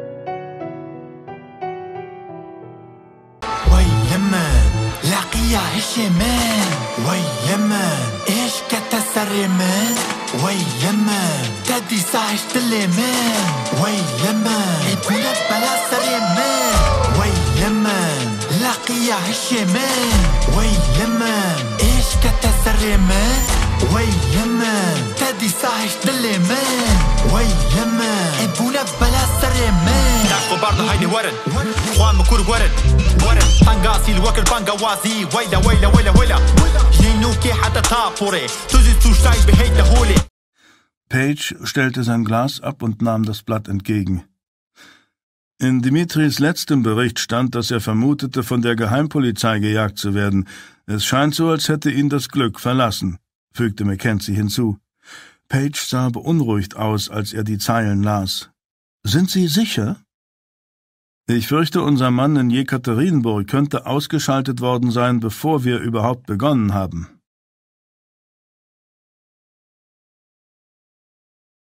Dritter Teil Jekaterinburg Alles lief gut, bis Sorg gezwungen war, die Frau zu erstechen. An diesem Morgen zog er einen Holzkarren hinter sich her, dessen Räder über die gepflasterten Seitengassen sprangen. Er trug einen einfachen Arbeitskittel aus Baumwolle, eine abgetragene Mütze, eine grobe Wollhose und abgestoßene Stiefel. Mit dem vollen Bart und den fettigen Haaren sah er aus wie ein russischer Bauer. Den Handkarren hatte er in einem Krämerladen im Marktviertel gebraucht gekauft. Ein Rad war beschädigt und einer der Griffe locker, aber für acht Rubel hatte der Mann ihm noch einen Hammer und Nägel dazugegeben. Damit war das Geschäft besiegelt. Sorg hatte den Karren repariert, ein paar Holzstücke und rote Ziegelsteine hineingelegt und seinen durchgescheuerten schwarzen Mantel über die Griffe gehängt.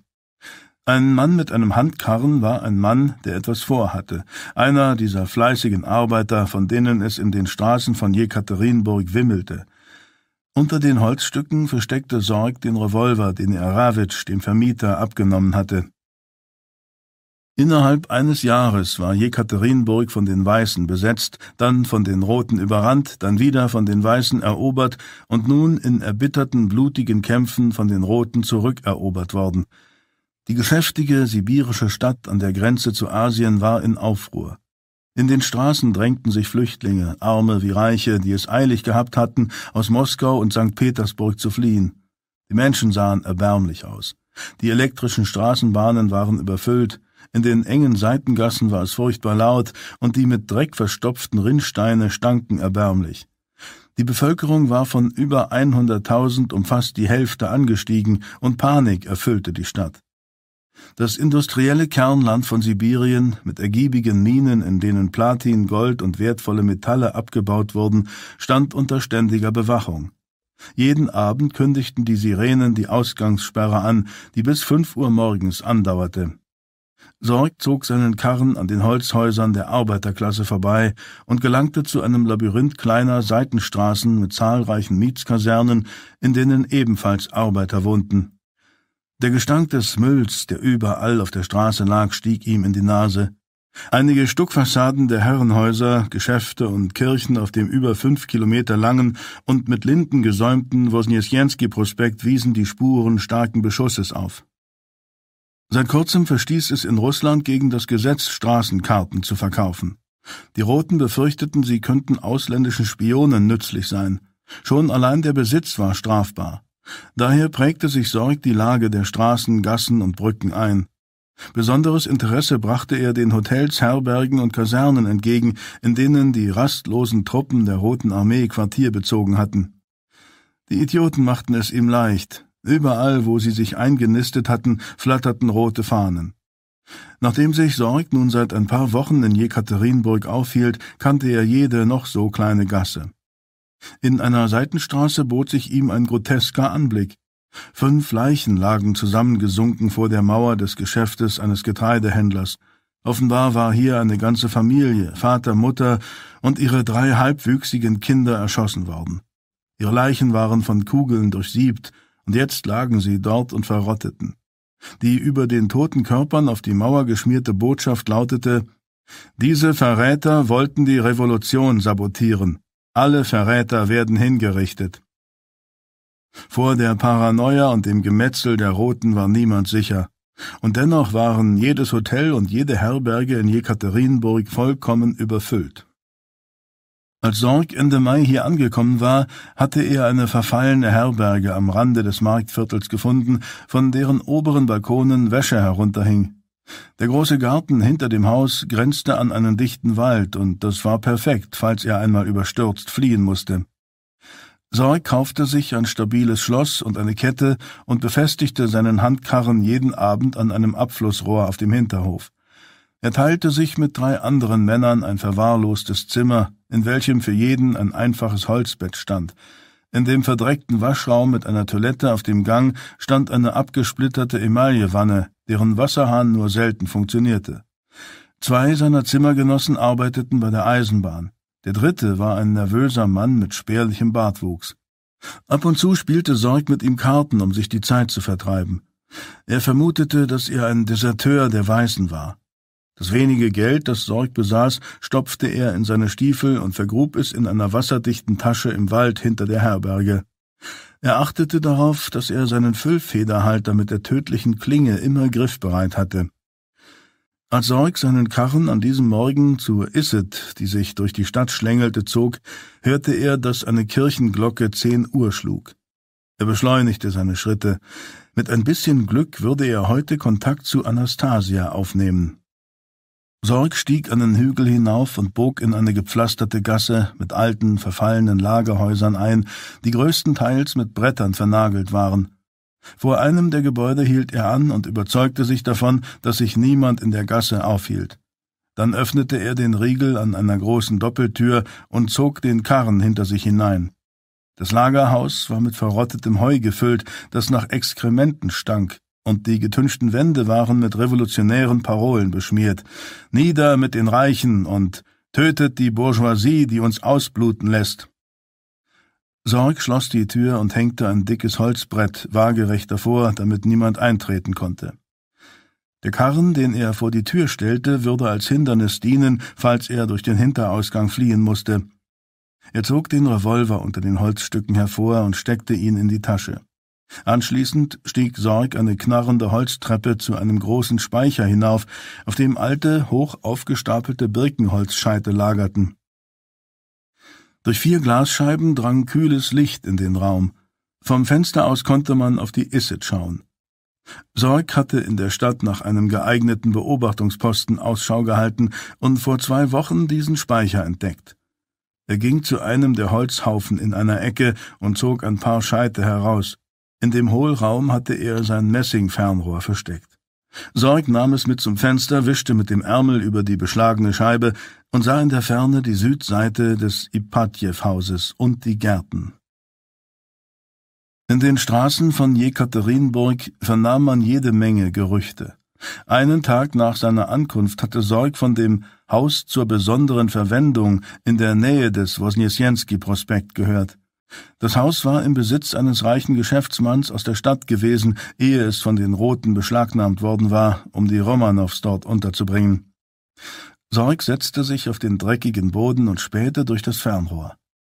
Rings um das zweistöckige Ipatjew-Haus hatte man eine doppelte Holzpalisade errichtet, die teilweise über drei Meter hoch war. Er entdeckte drei Wachen mit gelangweilten Mienen, die mit Gewehren bewaffnet über das Grundstück spazierten. Der hohe Zaun schränkte den Blick so weit ein, dass Sorg nur die Köpfe oder die Oberkörper der Männer sehen konnte, die durch den Garten schlenderten.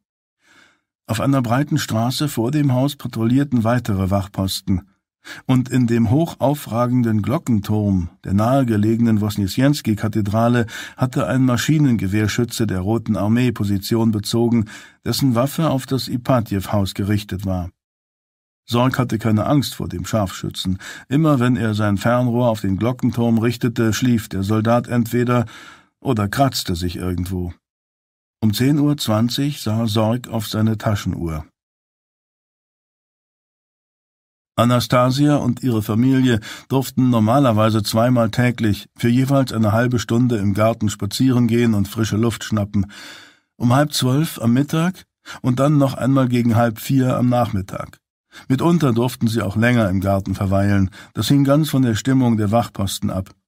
Über ein Jahr war es jetzt schon her, dass er mit Anastasia gesprochen hatte. Es kam ihm vor wie eine Ewigkeit. Heute hoffte Sorg, das zu ändern, und er konnte es kaum erwarten, seine Nerven waren angespannt. Er machte es sich bequem, um die Wartezeit zu überbrücken. In seine Hosentaschen hatte er eine Flasche Bier, ein in Fettpapier eingewickeltes Stück Hartkäse und seine Laudanum-Tinktur gestopft. Er nahm die kleine Flasche heraus, schüttelte sie und drehte den Verschluss mit der Pipette daran ab. Damit seine eiserne Reserve länger hielt, hatte Sorg sie mit Wodka vermischt, so dass eine wässrige, bräunlich schimmernde Mixtur entstanden war. Und wenn ihm das Laudanum doch einmal ausging, rauchte er eine Zigarette nach der anderen und trank Unmengen an Tee und Kaffee. Doch sogar Kaffee und Zigaretten wurden durch die Rationierung knapp. Sorg drückte mit der Pipette ein paar Tropfen auf das Zahnfleisch im Unterkiefer und schraubte den Verschluss wieder auf die Flasche. Dann massierte er die Tinktur mit dem Zeigefinger kräftig in das Zahnfleisch ein. Wenige Minuten später fiel die Unruhe von ihm ab. Er sah Anastasias Bild vor Augen, und seine Gedanken kehrten zu ihrer letzten Begegnung zurück.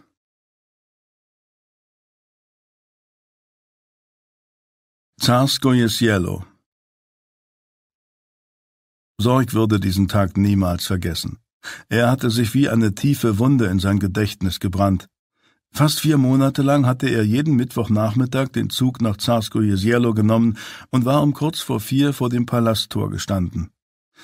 Die Wachen überprüften wie jeden Tag seine Papiere, Sorgs Passierschein, der einen Stempel mit dem Romanow-Wappen trug und einen Brief, in dem stand, dass er vom Zaren als Klavierlehrer angestellt worden war. Ein Diener des Palastes begleitete ihn über den Innenhof und ein paar Stufen hinauf zu den Privatgemächern der Familie. Zwei Stunden saßen er und Anastasia dann auf zwei Hockern vor dem Klavier in einem kalten Raum des Palastes mit Holzfußboden. Die Familie lebte bescheiden. Sorg erfuhr, dass der Zar nichts davon hielt, dass seine Kinder ein leichtes Leben führten. Sie schliefen auf harten Betten und waren verpflichtet, täglich einige Arbeiten zu übernehmen. Trotz Anastasias Enthusiasmus entdeckte Sorg schon nach einer Klavierstunde, dass sie eine entsetzliche Schülerin war. Sie zog es vor, ihn mit Grimassen, dem Tratsch, der im Palast kursierte, und Neuigkeiten über ihre Familie und andere Verwandte zu unterhalten, auf diese Weise erfuhr Sorg immer etwas, das er in seine Berichte schreiben konnte. Ich habe mich entschieden, verkündete Anastasia, nachdem Sorg ihr einen Monat lang Klavierstunden gegeben hatte. Ich habe nicht das Talent zu einer guten Musikerin, aber das können wir doch für uns behalten, nicht wahr, Philipp? Ich genieße Ihre Gesellschaft sehr. Das Leben ist so langweilig hier. Meine Schwestern sagen, dass wir niemals ein normales Leben führen werden. Es ist so, als würde man in einem goldenen Käfig leben. Wir kommen fast nie hier raus. Bei ihrem nächsten Treffen legte sie einige neue Regeln fest. Bitte nennen Sie mich nicht Prinzessin oder Großfürstin. Ich hasse Formalitäten. Nennen Sie mich einfach Anastasia, und ich nenne Sie Philipp. Wie gefällt Ihnen das? Sie verstummte kurz und fuhr dann fort. Erzählen Sie mir mehr über Amerika. Meinen Sie, es würde mir dort gefallen? fragte sie ihn und legte eine Hand auf seinen Arm. Ihre Finger fühlten sich an wie Samt. Er ließ sich von ihrer guten Stimmung immer mitreißen, doch an jenem Nachmittag spürte er, dass etwas anders war als sonst. In St. Petersburg hatte die ganze Woche über Chaos geherrscht. Die Regierung befand sich in Aufruhr und überall sah man Truppen. Als Sorg sich am folgenden Tag dem Wachposten näherte, fielen ihm die Soldaten auf, die sich auf dem gesamten Grundstück des Palastes aufhielten. Nachdem er seine Papiere vorgelegt hatte, durfte er passieren. Doch es begleitete ihn niemand, und so schlenderte Sorg allein zu dem Innenhof mit der Treppe, die zu den Privatgemächern der Zarenfamilie führte. Ein älterer Palastoffizier mit einem Monokel hielt ihn auf. Was tun Sie hier? fragte er. Ich werde erwartet. Sorg zeigte ihm seinen Passierschein und den Brief. Der Offizier spähte durch sein Monokel auf die Dokumente, als handelte es sich um altes Zeitungspapier. Es gibt keinen Klavierunterricht mehr. Damit ist es jetzt vorbei. Haben Sie die Nachricht nicht gehört? Der Zar hat abgedankt. Er steht unter Hausarrest. So ist es also. Jetzt hatte er endlich Klarheit. Seit Tagen kursierten in St. Petersburg Gerüchte, der Zar würde möglicherweise abdanken. Sorg wurde urplötzlich von der Angst überwältigt, dies könnte seine letzte Gelegenheit sein, Anastasia zu sehen. Wenn Sie ein Mitglied der Zarenfamilie rufen würden, werden Sie sicherlich. Der Offizier schickte sich an, seinen Revolver zu ziehen. Sind Sie taub? Nein, bitte, tun Sie ihm nichts. Mit einem braunen Lederbeutel in der Hand eilte Anastasia die Stufen hinunter. Sie trug ein einfaches Musselinkleid, eine Perlenkette, schwarze Schuhe und weiße Strümpfe. Bitte, dieser Herr ist mein Lehrer, und ich muss unter vier Augen mit ihm sprechen, sagte sie und warf dem Offizier einen flehentlichen Blick zu. Ich danke Ihnen, dass Sie so gütig sind, es zu erlauben. Besänftigt durch ihre Schmeicheleien salutierte der Offizier. Wie Sie wünschen, Großfürstin. Bleiben Sie aber bitte auf dem Hof, damit ich Sie sehen kann. Ich wusste, dass Sie kommen, und ich habe schon auf Sie gewartet. Papa hat gehört, dass wir vielleicht in den Ural gebracht werden, daher wollte ich mich verabschieden. Als sie durch den hinteren Teil der Gärten spazierten, erblickte Sorg den Zaren. Er trug seinen alten Waffenrock und den passenden Hut dazu und schob einen Rollstuhl, in dem sein schwerkranker Sohn Alexei, der Zarewitsch, saß. Warum in den Ural? Sie meinen, dort sei es sicherer für uns, wer auch immer Sie sein mögen. Mama macht sich große Sorgen, dass es so weit entfernt ist und wir dort keinen guten Arzt für Alexei haben werden. Er ist doch so krank. Hat der Offizier nicht gesagt, wir sollen in der Nähe bleiben? Anastasia lächelte, als sie ihn zu einem kleinen Garten mit einem Steinbrunnen führte, wo der Offizier sie nicht sehen konnte. Sie schwenkte den Lederbeutel, den sie in der Hand hielt, pflückte eine Blume und erfreute sich an ihrem Duft. In diesem Augenblick fiel Sorg auf, dass sie noch nie sein leichtes Hinken kommentiert hatte. Sie meinen das alte Schielauge? Er weiß, dass ich mich nicht an die Vorschriften halte, aber er würde deshalb niemals Krawall machen. Ich wollte jedenfalls, dass wir miteinander sprechen. Als sie zu einer Bank kamen, bedeutete Anastasia ihm, sich zu setzen. Ich werde Sie nicht wiedersehen können, und Ihre Freundschaft und die Gespräche mit Ihnen werden mir fehlen. Es tut mir leid, dass ich so eine entsetzliche Schülerin war, Philipp. Ich habe schon schlechtere kennengelernt, doch noch nie jemanden, der so unterhaltsam war. Wirklich? Ihre Besuche haben immer dazu beigetragen, die Monotonie zu durchbrechen. Sie kicherte. Maria findet die Förmlichkeiten hier so schlimm, dass sie den Palast am liebsten in Brand setzen würde. Was werden Sie tun? Bleiben Sie in Russland?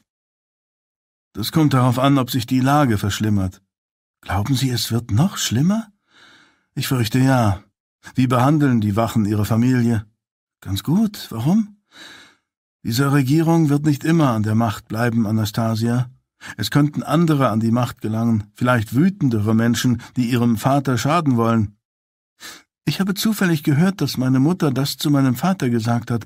Papa meint, das wird nicht passieren, denn die russische Bevölkerung würde es niemals zulassen. Sie musterte Sorg intensiv. Papa hat immer auf Gott vertraut. Er sagt, dass er Russland niemals verlassen wird. Er liebt dieses Land. Ich verstehe nicht, warum irgendjemand meinen Vater hassen könnte. Er ist ein so freundlicher, liebenswerter Mann. Nicht alle denken so, Einige glauben, dass er in der Vergangenheit furchtbares Unrecht begangen hat. Ich bin nicht dumm, Philipp. Ich habe Leute über diese Dinge sprechen hören, vor allem die Palastwachen. Sie haben gesagt, Papa habe zugelassen, dass sehr schlimme Dinge passieren. Einige Menschen nennen ihn den blutrünstigen Nikolaus. Wie denken Sie darüber? Diese Frage traf Sorg vollkommen unvorbereitet. Einerseits wollte er Anastasia beschützen, aber dennoch konnte er die bittere Wahrheit nicht verbergen. Darf ich ehrlich sein? Natürlich. Sorg erzählte ihr alles. Als er verstummte, herrschte Schweigen. Schockiert presste sich Anastasia eine Hand auf den Mund und kämpfte mit den Tränen. Ich, ich nehme an, Sie müssen meinen Vater hassen für das, was er Ihrer Familie angetan hat. Eine Zeit lang habe ich es getan. Anastasia dachte kurz nach. Ich zweifle nicht an Ihren Worten, dennoch liebe ich ihn. Ich weiß, dass er versucht, ein besserer Mensch zu sein. Das tun wir alle. Maria sagt, wir begehen alle Sünden, aber Kaiser können größere Sünden begehen als die meisten anderen. Und meine Mama sagt immer, wir sollen anderen gegenüber rücksichtsvoll sein, wir sollen zuletzt an uns selbst denken und immer ein liebendes Herz zeigen. Aber sagen Sie mir, hassen Sie mich auch? Wie könnte ich? Es ist nicht Ihre Schuld. Einige Leute könnten jedoch Rache nehmen wollen für das Unrecht, das Ihr Vater Ihrer Meinung nach begangen hat. Wissen Sie, was Rasputin zu meinen Eltern gesagt hat, ehe er ermordet wurde? Was? Er hat uns prophezeit, dass kein Romanow überleben und das russische Volk uns töten wird. Ich weiß, dass einige behaupteten, Rasputin sei verrückt gewesen, und Papa würde ihnen bestimmt zustimmen, aber er war immer gut zu Alexei. Leider ist meine Mutter abergläubisch, und sie fürchtet sich vor seinen Prophezeiungen. Sorg befürchtete ebenfalls, dass sich die Worte des Mönchs bewahrheiten könnten, doch er versuchte Anastasia zu trösten. Vielleicht macht sich ihre Mutter zu große Sorgen. Ich hoffe, Sie haben recht. Ihr Gesicht hellte sich auf. Ich werde Ihre Gesellschaft vermissen, Philipp, vertraute sie ihm an. Darf ich Ihnen ein Geheimnis verraten? Maria vermutet, dass mehr hinter Ihnen stecken könnte, als ich glaube. Ich verstehe nicht. Was hat sie noch gleich gesagt? Stille Wasser sind tief. Sie meinte, Sie könnten sogar ein Spion sein. Sie sind doch kein Spion, nicht wahr, Philipp? Die scherzhafte Frage versetzte Sorg einen mächtigen Schreck. Macht sie nur Spaß oder verdächtigt sie mich? fragte er sich. Ehe Sorg etwas erwidern konnte, griff Anastasia in den Lederbeutel auf ihrem Schoß und zog eine Kodak-Kamera heraus. Es war eine dieser kleinen Kameras in Taschenformat, die sich großer Beliebtheit erfreuten. Mögen Sie Schiffe? Warum? Ach, nur so. Es gibt ein paar Dinge, die ich sehr gerne mag. Mich auf Schiffen herumzutreiben gehört auch dazu. Und ich mache gerne Fotos. Darf ich ein Foto von Ihnen machen? Ich hätte gerne ein Foto von Ihnen, damit ich eine Erinnerung an Sie habe. Ich werde es in mein Album kleben. Gewiss. Sie lächeln nicht. Lächeln Sie. Es fällt mir schwer, da ich nun weiß, dass ich Sie niemals wiedersehen werde. Dann stellen Sie sich einfach vor, dass wir uns wiedersehen. Sorg blickte verlegen in die Kamera. Er bemühte sich um ein Lächeln, doch es fiel ihm schwer. Jetzt machen Sie nicht so ein Gesicht, als wollte ich Sie erschießen, Philipp. Das ist keine Hinrichtung. Nun konnte er sich ein Grinsen nicht verkneifen. Eigentlich wäre es mir noch lieber, wenn ich ein Bild von uns beiden hätte, sagte sie mit strahlender Miene. Hätten Sie etwas dagegen? Nein. Anastasia rutschte ein Stück näher und lehnte sich an ihn, so dass er ihren Lavendelduft riechen konnte. Dann streckte sie einen Arm nach vorn, richtete die Kamera auf sie beide und drückte auf den Auslöser. Danke, Philipp. Jetzt fühle ich mich besser, weil ich weiß, dass ich eine Erinnerung an Sie habe. Der Offizier, der sich unbemerkt an die beiden herangeschlichen hatte, rückte sein Monokel zurecht, hüstelte verlegen und kam dann auf Sorg und die Zarentochter zu. Anastasia sprang auf und steckte die Kamera in den ledernen Beutel zurück. Ich muss gehen. Mama macht sich sonst Sorgen. Sie macht sich in letzter Zeit immer Sorgen. Papa meint, sie sei ein Nervenbündel. Darf ich etwas sehr Persönliches sagen? Natürlich. Ich weiß nicht, ob wir einander jemals wiedersehen, aber Sie sollten wissen, dass ich unsere Treffen immer ungeheuer genossen habe. Maria behauptet sogar, ich wäre ein wenig in Sie verliebt. Anastasia errötete und reichte ihm die Hand. Sorg verschlug es die Sprache, und sein Herz klopfte so stark, als wollte es zerspringen, als er ihre zarten Finger umfasste. In diesem Augenblick sah sie aus wie das hilflose junge Mädchen, das sie in Wahrheit war, und das versuchte, ihren Weg in der rauen Welt der Erwachsenen zu finden. Ihr haftete etwas unglaublich Naives und Rührendes an, eine fast kindliche Offenheit, die in ihm das starke Bedürfnis weckte, sie zu beschützen. Und dann beugte Anastasia sich unvermittelt vor und küsste ihn auf die Wange. Auf Wiedersehen, Philipp. Es tut mir leid, was mit Ihrem Vater passiert ist. Wirklich. Vergeben Sie meiner Familie bitte. Mit diesen Worten drehte sie sich um und rannte an dem Offizier vorbei durch den Garten und die Steintreppe hinauf. Sorg blickte ihr nach und legte eine Hand auf seine Wange, wo er die Berührung ihrer Lippen noch spürte.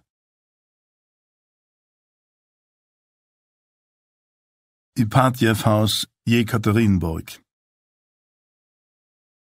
Als Sorg das laute Dröhnen eines Motors hörte, wachte er auf. Ein Lastwagen fuhr durch die Gasse vor dem Lagerhaus. Auf der Ladefläche saßen mindestens zehn Soldaten der Roten Armee. Es waren auch ein paar Frauen darunter, junge Bauernmädchen mit derben Gesichtszügen. Die Roten rekrutierten jeden, der ein Gewehr tragen konnte.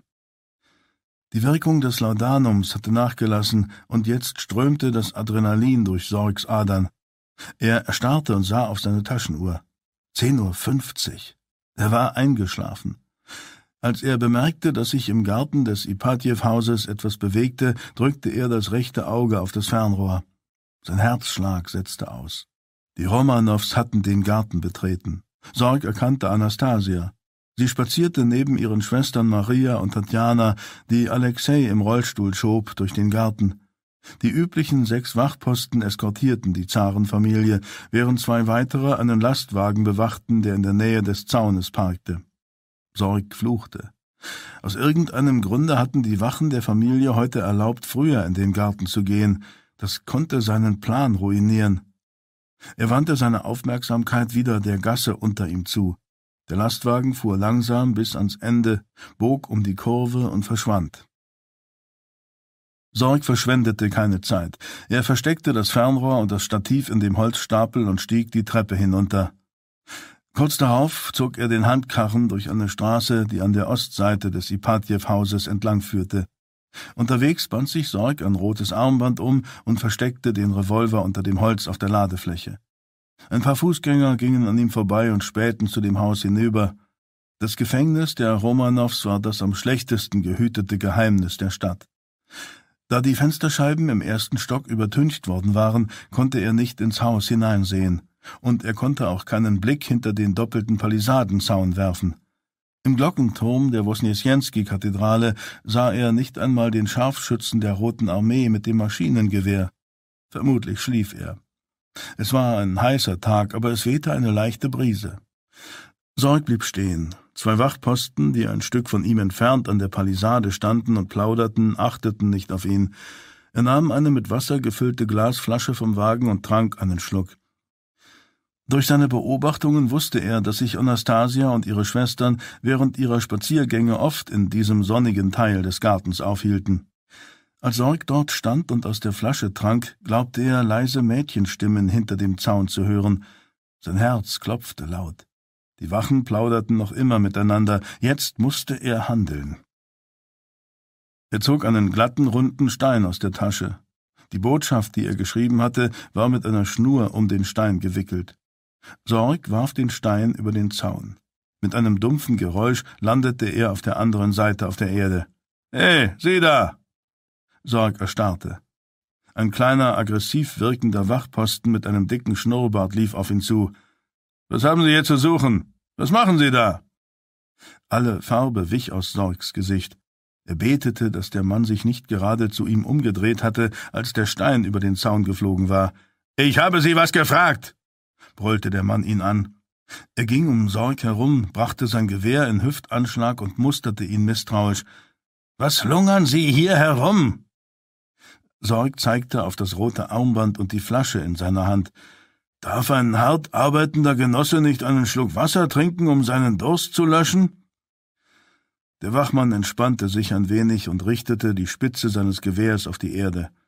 Dann beeilen Sie sich, Bürger, und treiben Sie sich hier in Zukunft nicht mehr herum, verstanden? Sonst müssen Sie damit rechnen, erschossen zu werden. Sorg zog seinen Handkarren in eine kleine Seitenstraße und machte sich so schnell wie möglich aus dem Staub. Er war heilfroh, dass der Wachposten nichts mitbekommen hatte, sonst hätte das Risiko bestanden, dass er verhaftet oder erschossen worden wäre. Es wurde immer schwieriger, sich dem Ipatjew-Haus zu nähern. Es machte ihm große Sorgen. Dadurch wurde es fast unmöglich, seine Pläne zu realisieren. Als Sorg seinen Handkarren durch die belebten Gassen zog, warf er einen Blick über die Schulter. Niemand folgte ihm. Hatte Anastasia oder jemand aus der Familie den Stein bemerkt? Und wenn einer der Wachposten ihn gefunden hatte? Tausend Fragen stürmten auf ihn ein, und die Enttäuschung darüber, die Antworten nicht zu kennen, brachte ihn fast um. Nach einer Viertelstunde erreichte er die Einmündung der Jentowstraße gegenüber von seiner Herberge.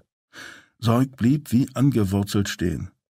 Vor der Herberge hatte sich eine Gruppe Soldaten der Roten Armee versammelt, deren Lastwagen auf der Straße parkte. Ein Mann wurde in Handschellen abgeführt. Es war Sorgs Zimmergenosse, der junge Kerl mit dem spärlichen Bartwuchs, mit dem er mitunter Karten gespielt und den er für einen Deserteur der Weißen gehalten hatte. Sorg drehte sich der Magen um, als er erkannte, wer der dicke, glatzköpfige Mann in einem langen schwarzen Mantel war, der seinen Zimmergenossen abführte. Kasan. Die Erkenntnis traf ihn wie ein Schlag, und dann hörte Sorg plötzlich hinter sich jemanden rufen Hände hoch.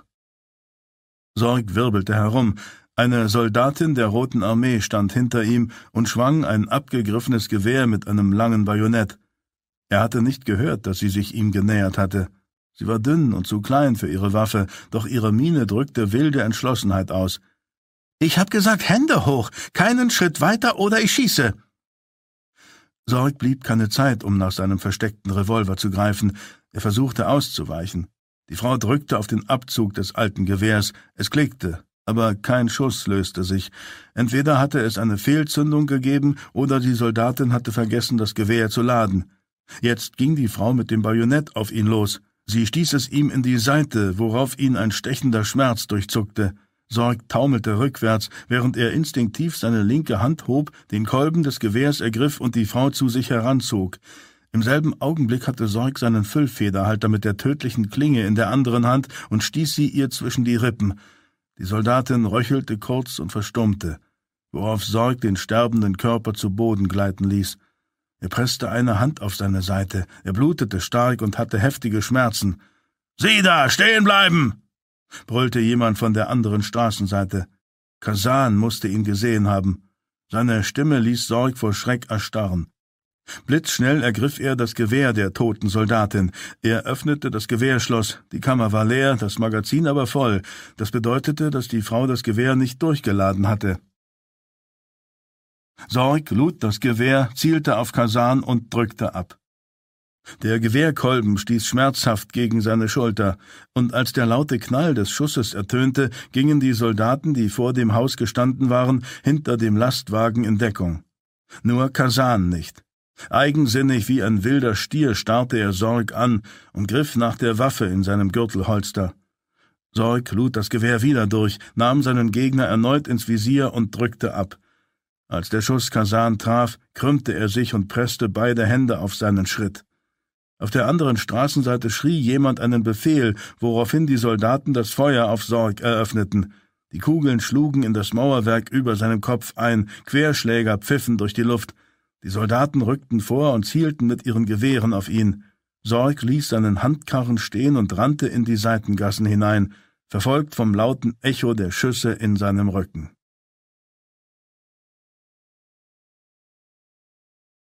Hauptbahnhof Jekaterinburg der von Kugeleinschlägen übersäte Zug mit dem roten Stern auf der Stirnseite fuhr donnernd in den Hauptbahnhof von Jekaterinburg ein. Mit quietschenden Bremsen hielt der Zug inmitten einer Dampfwolke an. Jakob sprang von seinem verdreckten Wagen herunter. Der Bahnhof war das reinste Tollhaus. Passagiere und Soldaten rannten in alle Richtungen. Ein dicker, glatzköpfiger Mann näherte sich ihm vom Bahnsteig. Er war kalkweiß und sah aus, als litte er unter starken Schmerzen. Ein Finger der rechten Hand war dick verbunden. Kommissar Jakow, hatten Sie eine angenehme Reise? Was machen Sie hier, Kasan? Der ehemalige Agent der Okrana, der nun im Dienste der CK stand, erinnerte Jakow immer an eine Schlange. Ich wollte Ihnen etwas mitteilen, was die Romanows betrifft. Was haben Sie denn mit den Romanows zu schaffen? Ein Fall, an dem ich arbeite, Kommissar. Er hat oberste Priorität. Das ist mir neu. Was ist mit Ihrer Hand passiert? Jemand hat versucht, mich umzubringen.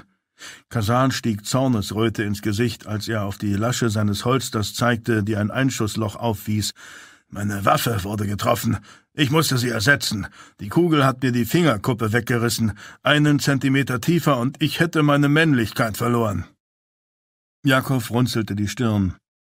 Das macht den Tag gewiss noch ein wenig interessanter. Was haben Sie für eine Information? Es hat eine beunruhigende Entwicklung in Bezug auf die Romanows gegeben. Vielleicht können wir gemeinsam fahren und ich erkläre es Ihnen unterwegs.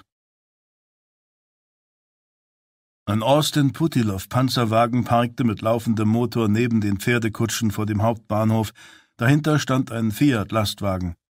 Als sie in den Lastwagen stiegen, brüllte Kasan einen Befehl.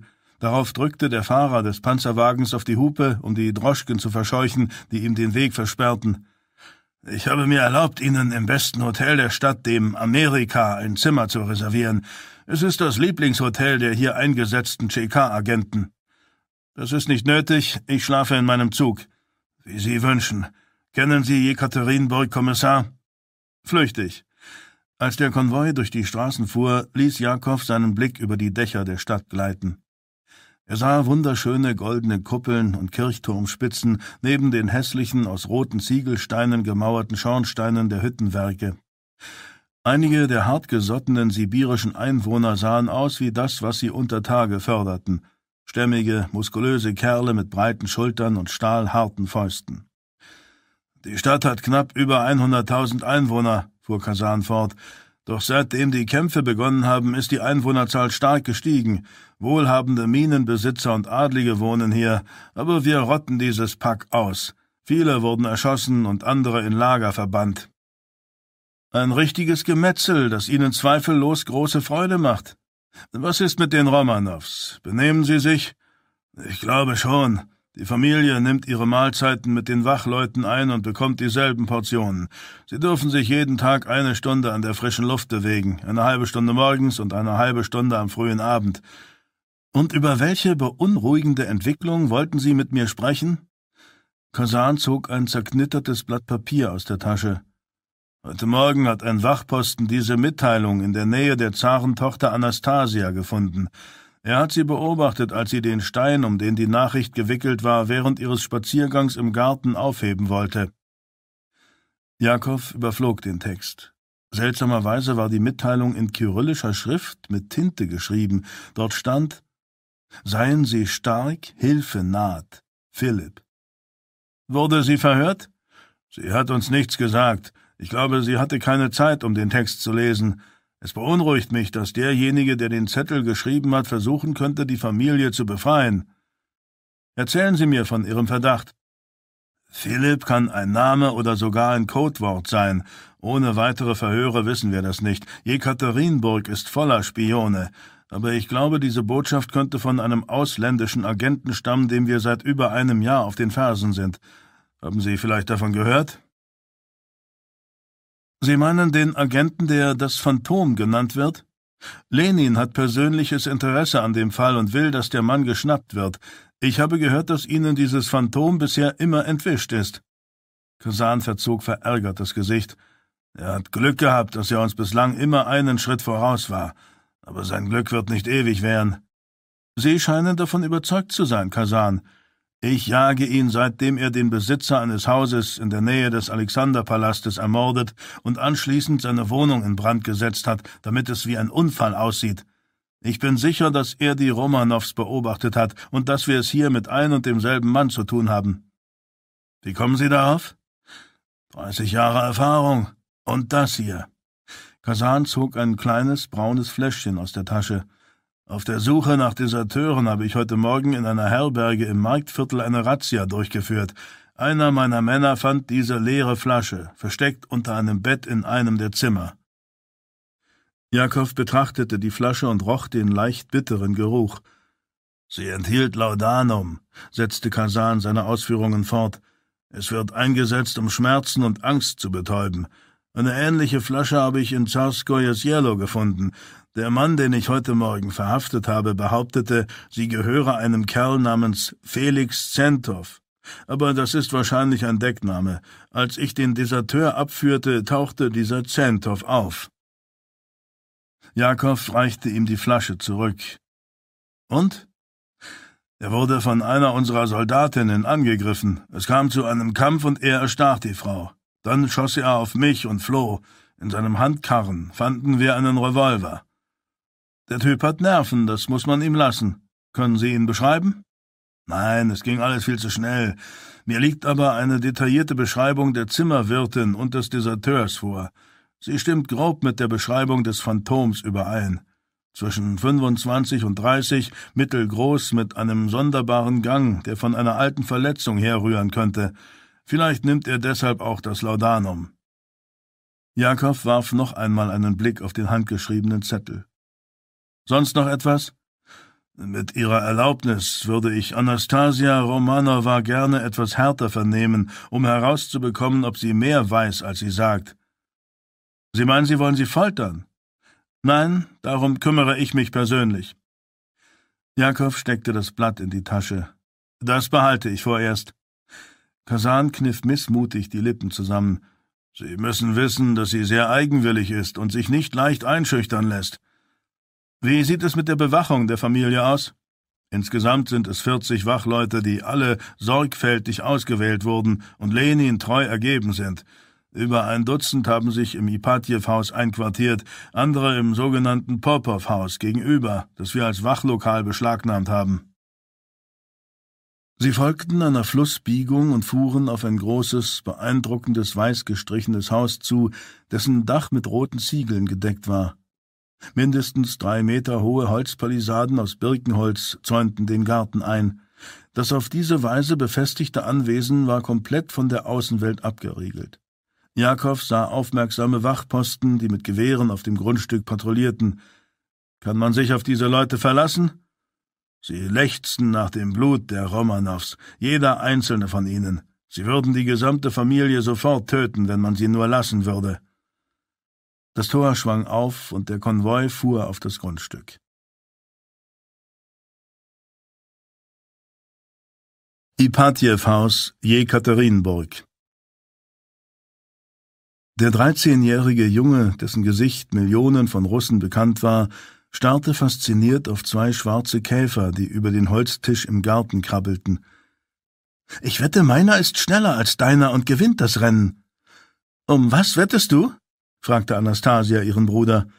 Alexei runzelte die Stirn. Er wühlte in seiner Tasche und zog einen glatten Kieselstein heraus. Wie wär's damit? Das ist mein bester Stein. Ein Stein? Streng deinen Grips doch mal ein bisschen an, Alexei. Mein Gott, was soll ich denn mit einem Stein? Mit einem unschuldigen, übermütigen Funkeln in den Augen neigte er den Kopf zur Seite und grinste verschmitzt. Du weißt nie, wann du ihn mal gebrauchen kannst. Um damit zu werfen zum Beispiel. David hat Goliath mit einem Stein getötet. Steine können sehr nützlich sein. Das ist ein Kiesel und kein Stein. Willst du ihn oder nicht? Ich biete ihn dir kein zweites Mal an. Natürlich tust du das. Du wettest immer um irgendwelches nutzloses Zeug. Anastasia schüttelte lächelnd den Kopf und zerzauste Alexeis Haar. Mama hat recht, wenn sie dich ihr Rebjonochek nennt. Du bist ein richtiges Baby, Alexei. Ich bin dreizehn und der Stein ist nicht nutzlos. Du bist nutzlos. Alexei schlug seiner Schwester verspielt auf den Arm. Anastasia wollte den Schlag schon erwidern, doch dann überlegte sie es sich anders. Alexei trug nicht wie sonst seinen khakifarbenen Waffenrock, sondern ein geflicktes graues Hemd und eine Matrosenhose, die an vielen Stellen gestopft und dreckig war. Mit den feinen Gesichtszügen und den großen, traurigen blauen Augen, die tief in den Augenhöhlen lagen, sah er noch ausgemergelter aus als sonst. Der Junge ähnelte immer mehr einem Skelett, er tat ihr so leid, Ihre Mutter, die am anderen Ende des Gartens in ihrem Rollstuhl saß und sich angeregt mit ihrem Mann unterhielt, beklagte sich ständig, dass ihr Baby nicht einmal 80 Pfund wog. Du hast Glück, dass ich keine Lust habe, zurückzuschlagen. Ihr Bruder lächelte. Glück? Du wirst immer nachgiebiger, Anastasia. Die beiden Käfer blieben am Ende des Tisches stehen, obwohl Alexei sie mit dem Finger anstieß. Du könntest ebenso gut Schnecken nehmen, sagte seine Schwester gelangweilt. Alexei nahm die Käfer vom Tisch und setzte sie in eine Streichholzschachtel. Die Wachen, die durch den Garten liefen, kamen an ihnen vorbei und warfen ihnen aufmerksame Blicke zu. Als sie außer Hörweite waren, flüsterte Alexei Was glaubst du, hat auf dem Zettel gestanden? Ich hab dir doch gesagt, dass ich keine Zeit hatte, ihn zu lesen. Maria meint, er muss von einer Gruppe gewesen sein, die Papa treu ergeben ist und uns retten will. Meinst du wirklich, sie werden uns retten, Sestritschka? fragte Alexei und sah sie mit großen, traurigen Augen an. Ich glaube, sie werden es tun. Irgendwann, erwiderte Anastasia. In diesem Augenblick hörte sie ihre Schwestern singen. Tatjana, Olga und Maria spazierten nebeneinander durch den hinteren Teil des Gartens und sangen ein Schlaflied. Die Wachen beobachteten sie immer mit besonderem Interesse, vor allem wenn die Zarentöchter ihre hübschen Kleider trugen. Doch auch Olga und Tatjana wurden wie ihr Bruder immer magerer. Die Gefangenschaft, das armselige Essen und die Anspannung, nicht zu wissen, was als nächstes mit ihnen geschehen würde, zerrten an ihren Kräften. Alexei steckte die Streichholzschachtel in seine Tasche.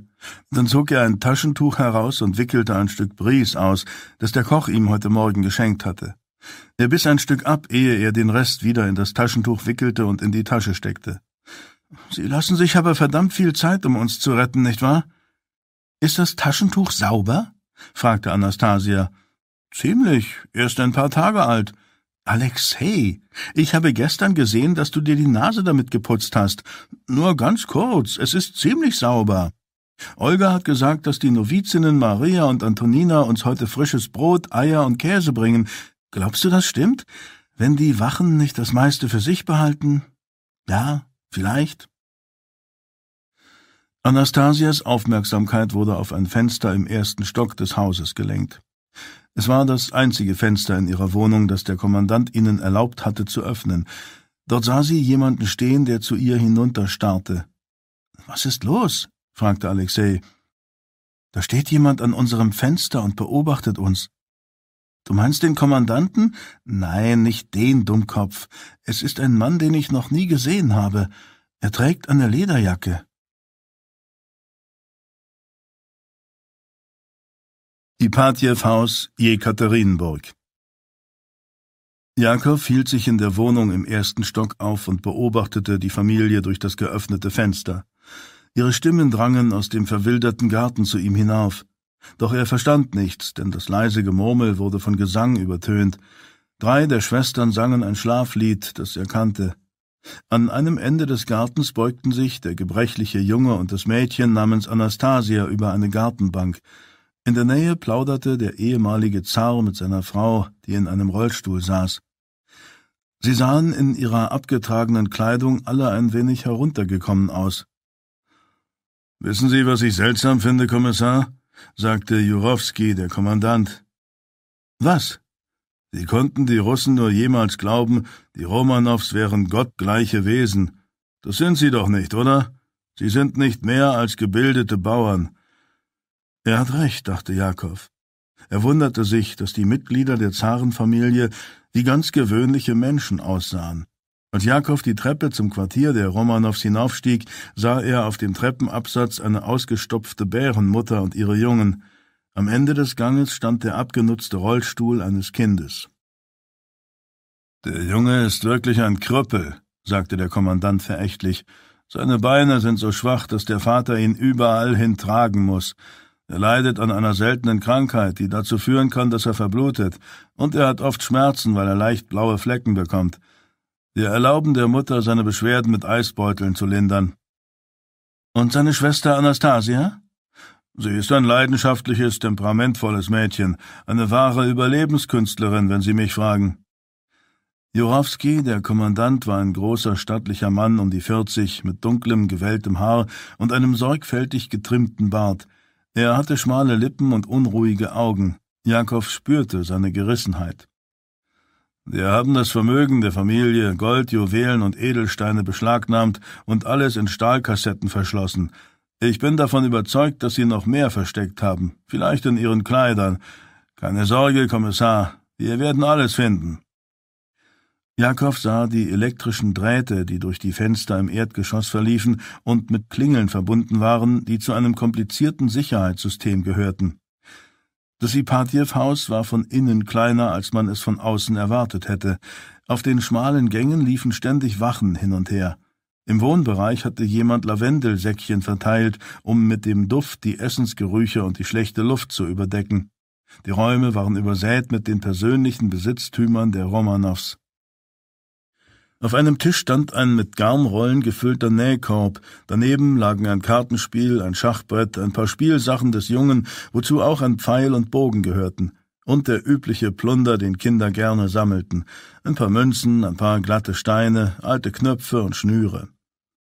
Jakobs Blick wanderte zu einem glänzenden Gegenstand, einer fein gearbeiteten religiösen Reiseikone, die auf einem kleinen Beistelltisch in der Nähe stand.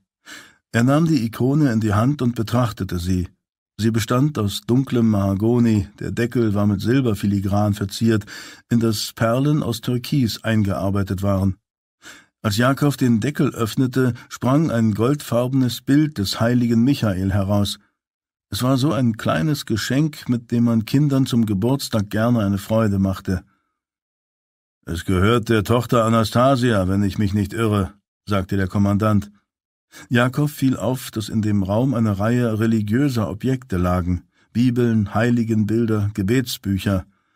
Die Dummköpfe beten den ganzen Tag, erklärte ihm der Kommandant. Sie teilen ihre Wohnung mit ihrem Arzt, Dr. Botkin, und den drei Bediensteten, die beschlossen haben, ihren Herren treu zu bleiben. Treue Dummköpfe, denn sie müssten gar nicht hier sein. Warum? Wir lassen die Romanows ihre Hausarbeit selbst machen, um sie in ihre Schranken zu weisen. Die Zeiten, in denen der Vater Zar Nikolaus genannt wurde, sind längst vorbei. Hier wird er wie jeder normale Bürger mit seinem richtigen Namen angesprochen. Nikolaus Romanow. Jakob legte die Reiseikone wieder aus der Hand und starrte hinunter in den Garten, in dem sich zahlreiche Pfützen auf dem Rasen gebildet hatten. Ein unbändiger Hass auf den ehemaligen Zaren erfüllte ihn. Schon allein bei seinem Anblick geriet er in Rage. Für die deutsche Frau des Zaren empfand er nichts. Die Kinder zogen seine Aufmerksamkeit beinahe magnetisch auf sich. Tatjana, Olga und Maria waren reizende junge Damen. Anastasia sah ebenfalls hübsch aus, aber sie schien burschikoser zu sein. Ich hatte das Gefühl, dass zwei der Wachen in die Mädchen verknallt waren, und daher habe ich sie ersetzt, sagte der Kommandant. Jakow beobachtete den Jungen, Alexei und Anastasia. Allen Kindern haftete etwas Weltfremdes an, eine Unschuld, als wären sie zu lange vor der rauen Realität ringsherum beschützt worden. Jakow lief ein kalter Schauer über den Rücken. Kann ich wirklich so hübsche, unschuldige Wesen hinrichten? Fragte er sich. Doch er kannte die Antwort auf diese Frage. Er würde seine Befehle befolgen. Als Jakob das Fenster schloss, fröstelte er erneut. Er nahm das Blatt Papier aus seinem Waffenrock und legte es auf den Tisch. Kazan hat mich über diese Mitteilung informiert. Jurowski nickte. Ehrlich gesagt vergeht kaum eine Woche, ohne dass eine Mitteilung oder etwas anderes von Romanow-Anhängern oder Feinden über den Zaun geworfen wird, Manchmal sind es Beleidigungen oder Drohungen, und in anderen geheimen Botschaften steht, dass Hilfe unmittelbar bevorsteht. Einige habe ich selbst schreiben lassen. Was? Jurowski grinste hinterhältig. Diese hier nicht. Es ist eine Taktik von mir, um die Familie aufzumuntern, bis wir keine Verwendung mehr für sie haben. Wenn sie die Hoffnung verlieren, brechen sie zusammen, und das würde mir nicht gefallen. Außerdem sind meine Wachen immer vorsichtig. Diese Rettungsversprechen werden niemals zu etwas führen. Jakob faltete das Blatt zusammen. Das ist beruhigend. Dennoch möchte ich mit der jüngsten Tochter sprechen. Sie kann sehr eigensinnig sein. Darf ich vorschlagen, dass Sie in Anwesenheit Ihres Vaters mit ihr sprechen? Dann wird es einfacher sein, die Wahrheit aus ihr herauszubekommen. Er hat einen gewissen Einfluss. Gut. Rufen Sie die ganze Familie. Jakob wartete im Büro. Bald hörte er Schritte auf der Treppe und kurz darauf eine Tür, die geschlossen wurde. Der Kommandant kehrte zurück. Sie haben sich alle versammelt. Als sie die Wohnung der Romanows erreichten, drückte der Kommandant auf eine elektrische Klingel an der Wand neben der Tür. Es klingelte drinnen, dann öffnete Jakob die Tür und betrat mit dem Kommandanten einen L-förmigen Salon, dessen Wände mit gelb gemusterten Tapeten bezogen waren. Fünf Personen drängten sich in dem Raum zusammen, und Jakob kannte jedes Gesicht. Rings um den Tisch hatten sich der ehemalige Zar und seine Frau Alexandra, ihr Sohn, Olga und Tatjana versammelt. Alexei saß auf einem Stuhl. Sie schienen alle überrascht, dass ein Besucher gekommen war. Als Jakob eintrat, standen bis auf den gebrechlichen Sohn alle auf. Die Mutter, die ihr leicht ergrautes Haar zu einem strengen Knoten frisiert hatte, sah wie eine ängstliche Schuldirektorin aus. Die Arroganz, für die sie berühmt gewesen war, war aus ihren Zügen gewichen. Jetzt zitterten ihre Hände und ihr Blick wanderte unruhig hin und her. Viele Russen misstrauten der aus Deutschland stammenden ehemaligen Zarin wegen ihrer engen Beziehung zu Rasputin. Andere hielten sie für eine Spionin. Jakob fand, sie sah aus wie eine Frau, die kurz vor einem Nervenzusammenbruch stand. Aus der Nähe betrachtet wirkte der ehemalige Zar schwach und nervös. Doch da er den Jungen oft tragen musste, hatte er breite, muskulöse Schultern. In seinem einfachen grauen Waffenrock, der geflickten Uniformhose und den abgenutzten Reitstiefeln konnte man kaum glauben, dass dieser Mann einst mit eiserner Hand ein Sechstel der Welt regiert hatte. Jakob wunderte sich, dass Menschen mit so unschuldigen Gesichtern zu einer solchen Tyrannei fähig waren. Ich bin Kommissar Leonid Jakob. Das Ziel meines Besuches ist es, mir ein Bild von Ihrer Sicherheit zu machen. Ich muss Sie warnen, dass ausländische Spione in Jekaterinburg aktiv sind. Aus diesem Grunde könnte es notwendig sein, Sie alle kurzfristig zu einem anderen Ort zu bringen. Darf ich fragen, wohin dieses Mal? fragte die ehemalige Zarin in einem erschöpften Flüsterton. Ihre wässrigen blauen Augen waren vollkommen ausdruckslos. Diese Entscheidung treffen andere. Im Augenblick möchte ich, dass nur zwei Personen in diesem Raum anwesend sind, Anastasia Romanova und ihr Vater. Alle anderen verlassen den Raum, befahl er. Der Junge klammerte sich an die Hand seines Vaters. Papa, ich möchte bei dir bleiben, bettelte er. Der Vater befreite sich behutsam aus der Umklammerung des Jungen. Nein, bitte tu das, was man dir sagt, Alexei. Gehorche wie ein guter Soldat. Sei ein braver Junge. Aber Papa, kein Aber. Du musst tun, was ich sage. Der Junge drehte sich um und sah Jakob flehentlich an. Jakob ignorierte den Blick und fragte seinen Vater stattdessen, Wo ist Ihre Tochter? Nebenan, bei ihrer Schwester Maria. Holen Sie sie her. Alle anderen raus hier.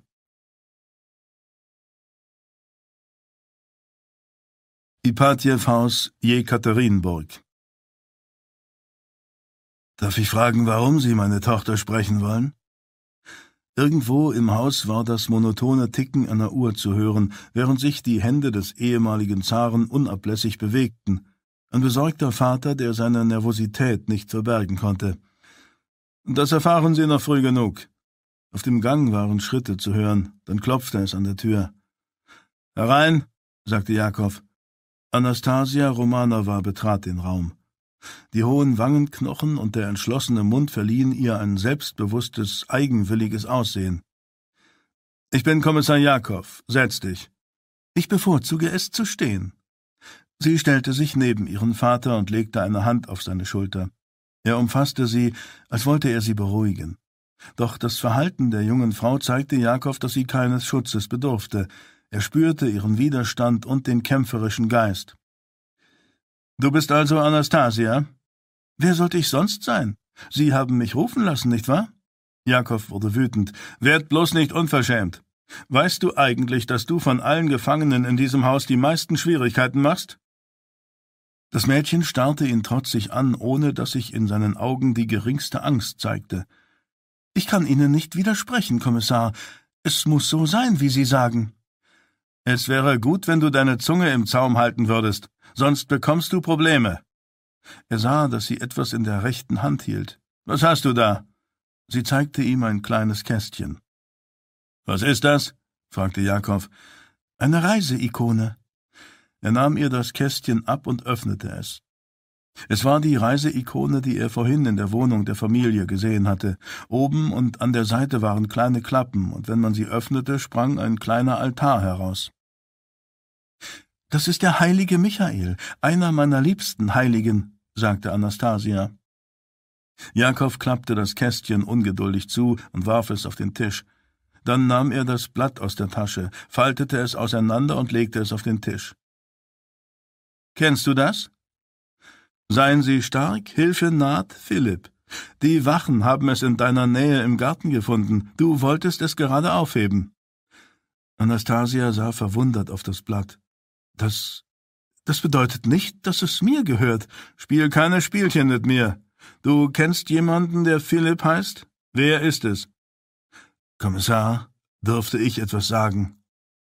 Jakow musterte den ehemaligen Zaren spöttisch. Halten Sie den Mund, Bürger Nikolaus Romanow. Ich spreche nicht mit Ihnen. Er wandte sich wieder der Tochter zu. Ich warte auf eine Antwort. Ich weiß nicht, von wem Sie sprechen. Jakow ging um den Tisch herum und blieb vor Anastasia stehen.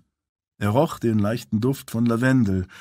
Es könnte dich interessieren, dass der Mann, der das geschrieben hat, ein ausländischer Spion sein könnte, den wir jagen. Das Mädchen sah aus, als würde es sich wirklich wundern. Ein Spion? Du hast ganz richtig verstanden. Was bedeutet diese Mitteilung? Welche Hilfe naht? Wer ist Philipp? Ein Freund der Familie? Ich. ich habe nicht die geringste Ahnung. Jakob nahm das Blatt in die Hand und hielt es dem Mädchen vor die Augen. Allmählich verlor er die Geduld. Es ist offenbar jemand, der versucht, euch zu helfen. Ach ja? Und wenn ich dir sage, dass wir diesen Philipp gefunden haben, dass wir ihn in der Nähe dieses Hauses verhaftet haben und er in diesem Augenblick verhört wird? Bildete Jakob es sich nur ein oder hatte Anastasia eine Reaktion gezeigt? Er glaubte, ein Flackern in ihren Augen erkannt zu haben, doch sie hatte sich schon wieder unter Kontrolle. Warum sollte mich das interessieren? fragte sie. Ich habe Ihnen bereits gesagt, dass ich nicht weiß, von wem Sie sprechen. Wenn Sie ihn, wie Sie gesagt haben, gefunden haben, müssten Sie wissen, wer er ist. Jakob schlug frustriert mit der Faust auf den Tisch. Jetzt hör mir mal gut zu. Entweder du sagst die Wahrheit oder euch werden die Privilegien entzogen, die täglichen Spaziergänge, die Essensrationen, alles wird euch genommen. Sehen Sie sich um, Kommissar, erwiderte sie halsstarrig. Sieht es so aus, als könnte man uns viel wegnehmen? Reicht es nicht, dass Sie uns schikanieren? Ich frage dich noch einmal. Wer ist dieser Philipp? beharrte Jakob. Kommissar, könnten wir unter vier Augen miteinander sprechen, von Mann zu Mann? mischte ihr Vater sich ein. Nein, Vater, du musst nicht, protestierte Anastasia. Sei still, Anastasia. Ich möchte mit dem Kommissar allein sprechen, wenn er es erlaubt. Jakob dachte darüber nach und nickte. Bitte geh, Anastasia sagte Nikolaus Romanow zu seiner Tochter. Aber Vater, sofort, befahl er ihr. Jakob wies mit dem Kopf zur Tür. Geh zu den anderen. Wenn ich dich noch einmal brauche, rufe ich dich. Mit trotzig funkelnden Augen nahm Anastasia die Ikone des heiligen Michael vom Tisch. Wagen Sie es nicht, meinem Vater weh zu tun. Mit diesen Worten lief sie hinaus und schlug die Tür hinter sich zu. Verzeihen Sie meiner Tochter. Die jungen Leute haben mitunter keine Angst. Jakob sah, dass Nikolaus Romanows rechte Hand unkontrolliert zuckte. Darf ich das Blatt sehen, über das Sie gesprochen haben? fragte er. Jakob reichte es ihm. Nikolaus Romanow las den Zettel durch und hob den Kopf. Seitdem wir gefangen gehalten werden, haben wir Gerüchte gehört, die unsere Befreiung versprechen. Von wem? Ich weiß es nicht. Es wurden eine Zeit lang viele Zettel über den Zaun geworfen, doch in letzter Zeit kaum noch. Ich bin sicher, einige sollen uns aufmuntern, doch andere hatten nur das Ziel, uns zu verspotten. Sie haben unserer Familie falsche Hoffnungen gemacht, vor allem den Kindern. Ihre Meinung? Diese Mitteilung ist zweifellos für mich bestimmt, aber ich habe keine Ahnung, von wem sie stammt. Ich kenne niemanden mit diesem Namen. Ich gebe Ihnen mein Wort. Ihr Wort zählt für mich nicht, fuhr Jakob ihn an. Ich glaube, Ihre Tochter lügt. Ich glaube, sie ist eine gute Schauspielerin, die mehr weiß, als sie zugibt, und ich gebe Ihnen einen guten Rat. Sobald Sie weitere Botschaften erhalten oder irgendjemand versucht, auf andere Weise Kontakt zu Ihnen aufzunehmen, informieren Sie umgehend die Wachen. Ich kenne meine Tochter, Kommissar. Ich glaube, sie sagt die Wahrheit. Es tut mir leid, wenn Anastasia Sie verärgert hat. Sie ist im Grunde noch ein Kind. Das verstehen Sie sicherlich, nicht wahr? Schade, dass es Ihnen nicht leid tat, als Sie auf Ihrem Volk herumgetrampelt sind, erwiderte Jakob in gehässigem Ton als Sie und Ihresgleichen den Menschen mit Ihrer Armee und Ihrer Geheimpolizei den Lebensmut geraubt haben. Nikolaus Romanow schwieg. Sein Gesicht war aschfahl. Jakow beugte sich vor und fuhr hasserfüllt fort. Ich hatte einst eine Frau, doch sie wurde von ihren Soldaten wie ein Hund niedergeschossen. Einst hatte ich eine Schwester und eine Mutter. Ihr Leben bestand nur aus Armut und Elend, während sie sie mit ihrem Reichtum verspottet haben. Sie haben Sie und unzählige andere durch Ihre dumme Arroganz zum Tode verurteilt. Auf Nikolaus Romanows Stirn schimmerten Schweißperlen. Es. Es tut mir wirklich leid. Es tut Ihnen leid? Ist das alles, was Sie dazu sagen können? Ihre Tochter hat gefragt, ob es nicht ausreicht, dass Ihre Familie schikaniert wird. Nein, es reicht nicht aus. Es wird niemals ausreichen. Ich werde nicht ruhen, bis Sie und Ihresgleichen niemals wieder eine Gefahr für Russland darstellen. Haben Sie mich verstanden? Jakob hob die Faust und schickte sich an, Nikolaus einen Schlag zu verpassen, doch in letzter Sekunde hielt er sich zurück. Nikolaus Romanow starrte ihn mit leerem Blick und zitternden Lippen an. Ich ich meinte es ernst. Es tut mir wirklich leid. Jakob schlug zu. Als der kräftige Hieb Nikolaus Romanow traf, prallte er rücklings gegen den Tisch. Er stand mühsam wieder auf und presste eine Hand auf die Wange. Jakob griff nach seiner Waffe im Gürtelholster und sagte wütend Gehen Sie zu Ihrer Tochter. Raus hier, ehe ich mich vergesse und Ihnen eine Kugel in den Schädel jage.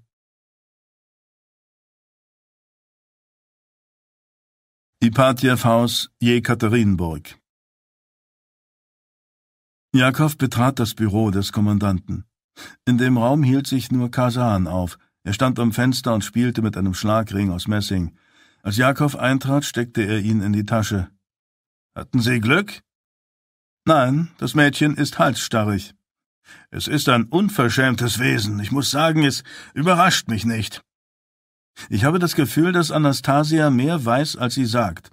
Die Familie muss intensiver bewacht werden, vor allem die Mädchen. Wenn irgendjemand versucht, ihnen eine Mitteilung zukommen zu lassen, möchte ich es wissen. Wo ist der Kommandant? Ich habe ihn gebeten, uns allein zu lassen, Kommissar, sagte Kasan. Ich möchte unter vier Augen mit Ihnen sprechen. Jakob nahm eine Zigarette aus seinem Zigarettenetui aus Metall. Ich kann mir nicht vorstellen, was wir beide zu besprechen hätten, Kasan, aber sagen Sie es nur. Es hat mit dem Mord an Ihrem Bruder zu tun. Jakob, der sich gerade die Zigarette anzünden wollte, verharrte mitten in der Bewegung und erstarrte, als die Erinnerung an den qualvollen Tod seines Bruders wieder lebendig wurde. Und was haben Sie damit zu tun? So ein schreckliches Unglück, eines, das Sie gewiss vergelten möchten, nicht wahr? Jetzt tun Sie nicht so, als hätten Sie ein mitfühlendes Herz, Kasan. Kommen Sie zur Sache. Ich habe gehört, dass Sie den Mörder, Hauptmann Juri Andrew, in St. Petersburg gejagt haben und es zu einer Konfrontation kam. Es gab einen Schusswechsel und er entkam. Worauf wollen Sie hinaus? Was brüten Sie wieder aus, Kasan? Ich versuche nur, Ihnen zu helfen. Wenn ich Sie dabei unterstützen kann, Andrew zu finden, umso besser. Jakob trat an die Wand, an der eine Karte von Jekaterinburg hing, und drehte sich zu Kasan um. Wie? Ich habe halb Russland nach ihm abgesucht. Er ist verschwunden und hat vermutlich das Land verlassen. Kasan zog eine flaschengrüne Mappe aus seiner Lederaktenmappe. Sie haben recht, und ich habe Grund zu der Annahme, dass Andrew nach England geflohen ist. Jakob drückte die Zigarette, die er noch gar nicht angezündet hatte, in dem Aschenbecher auf dem Schreibtisch aus. Was sagen Sie da? Einige meiner ehemaligen Kollegen der Okraner sind nach England geflohen, als die Revolution in Russland ausbrach. Ich stehe mit einigen in Kontakt, und sie haben sich als wertvolle Informanten erwiesen. Selbstverständlich sind ihre Informationen nicht billig.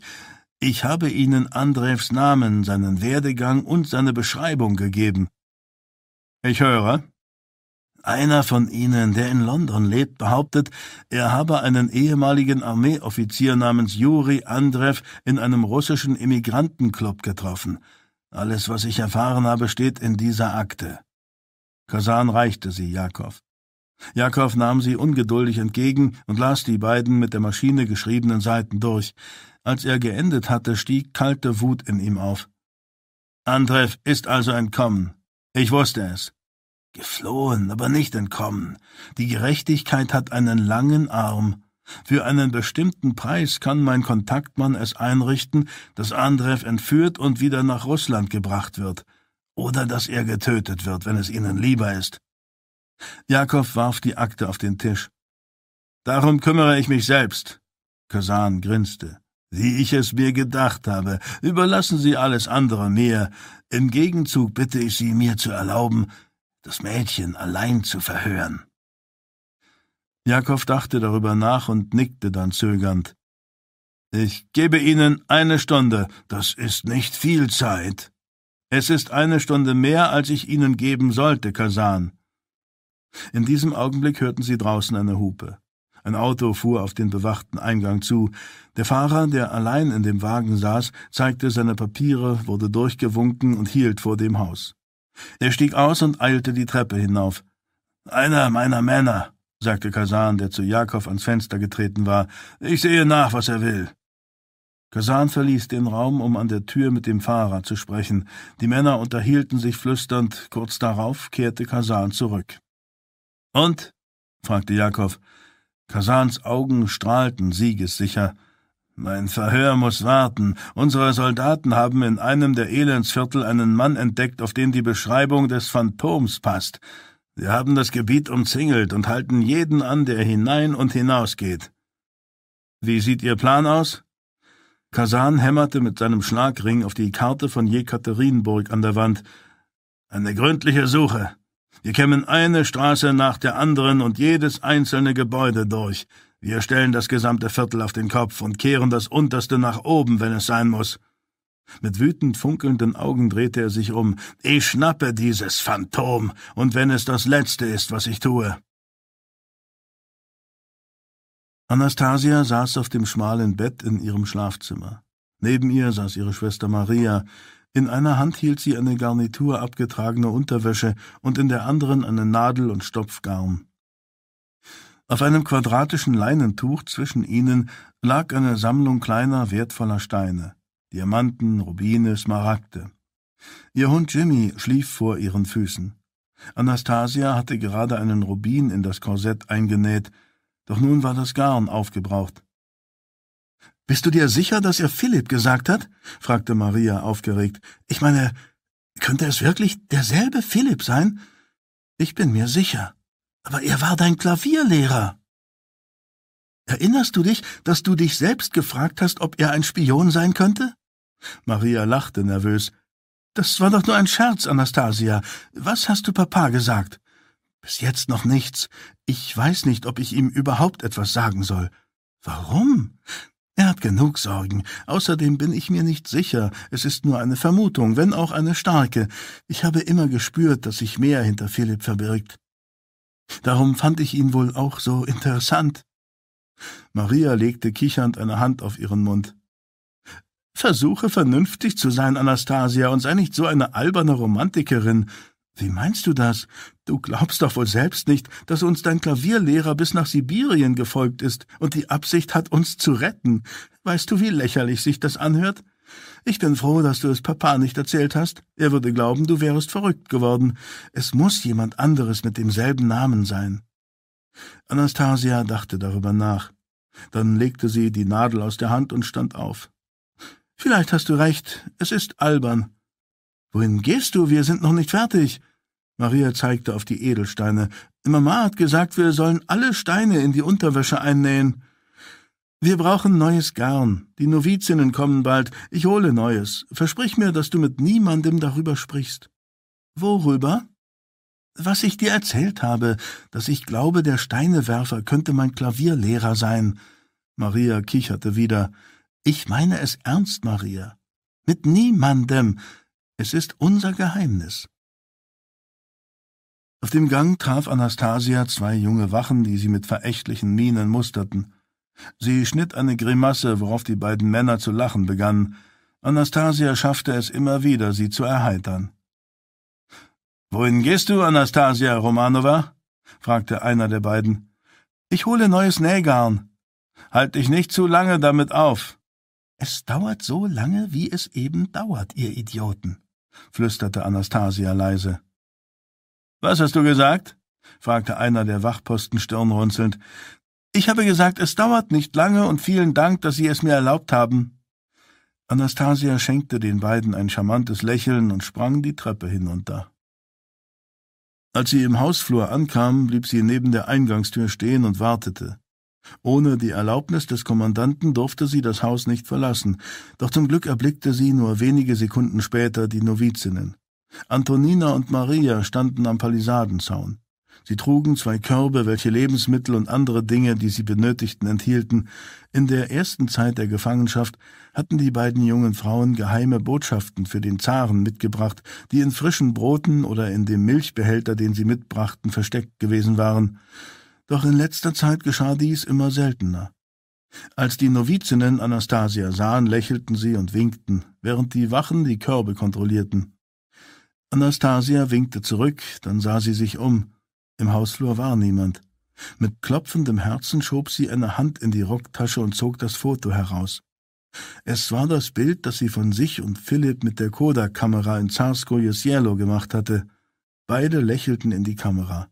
Obwohl die Qualität des Fotos mit den leicht verschwommenen Gesichtern nicht besonders gut war, hing sie sehr an dem Bild.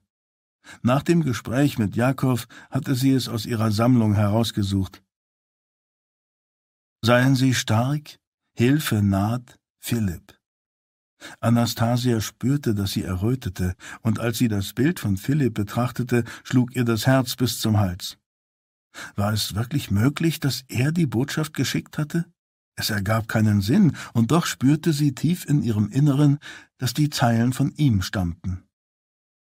Als Anastasia eine Tür im Haus knarren hörte, steckte sie das Foto hastig wieder in die Tasche. Anastasia wusste, dass Maria sich insgeheim damit abgefunden hatte, dass ihre jüngere Schwester den Ton angab. Daher würde Maria schweigen, wie Anastasia es von ihr verlangte, und sie konnte sicher sein, dass ihre Vermutungen vorerst ein Geheimnis blieben. Briar Cottage, Irland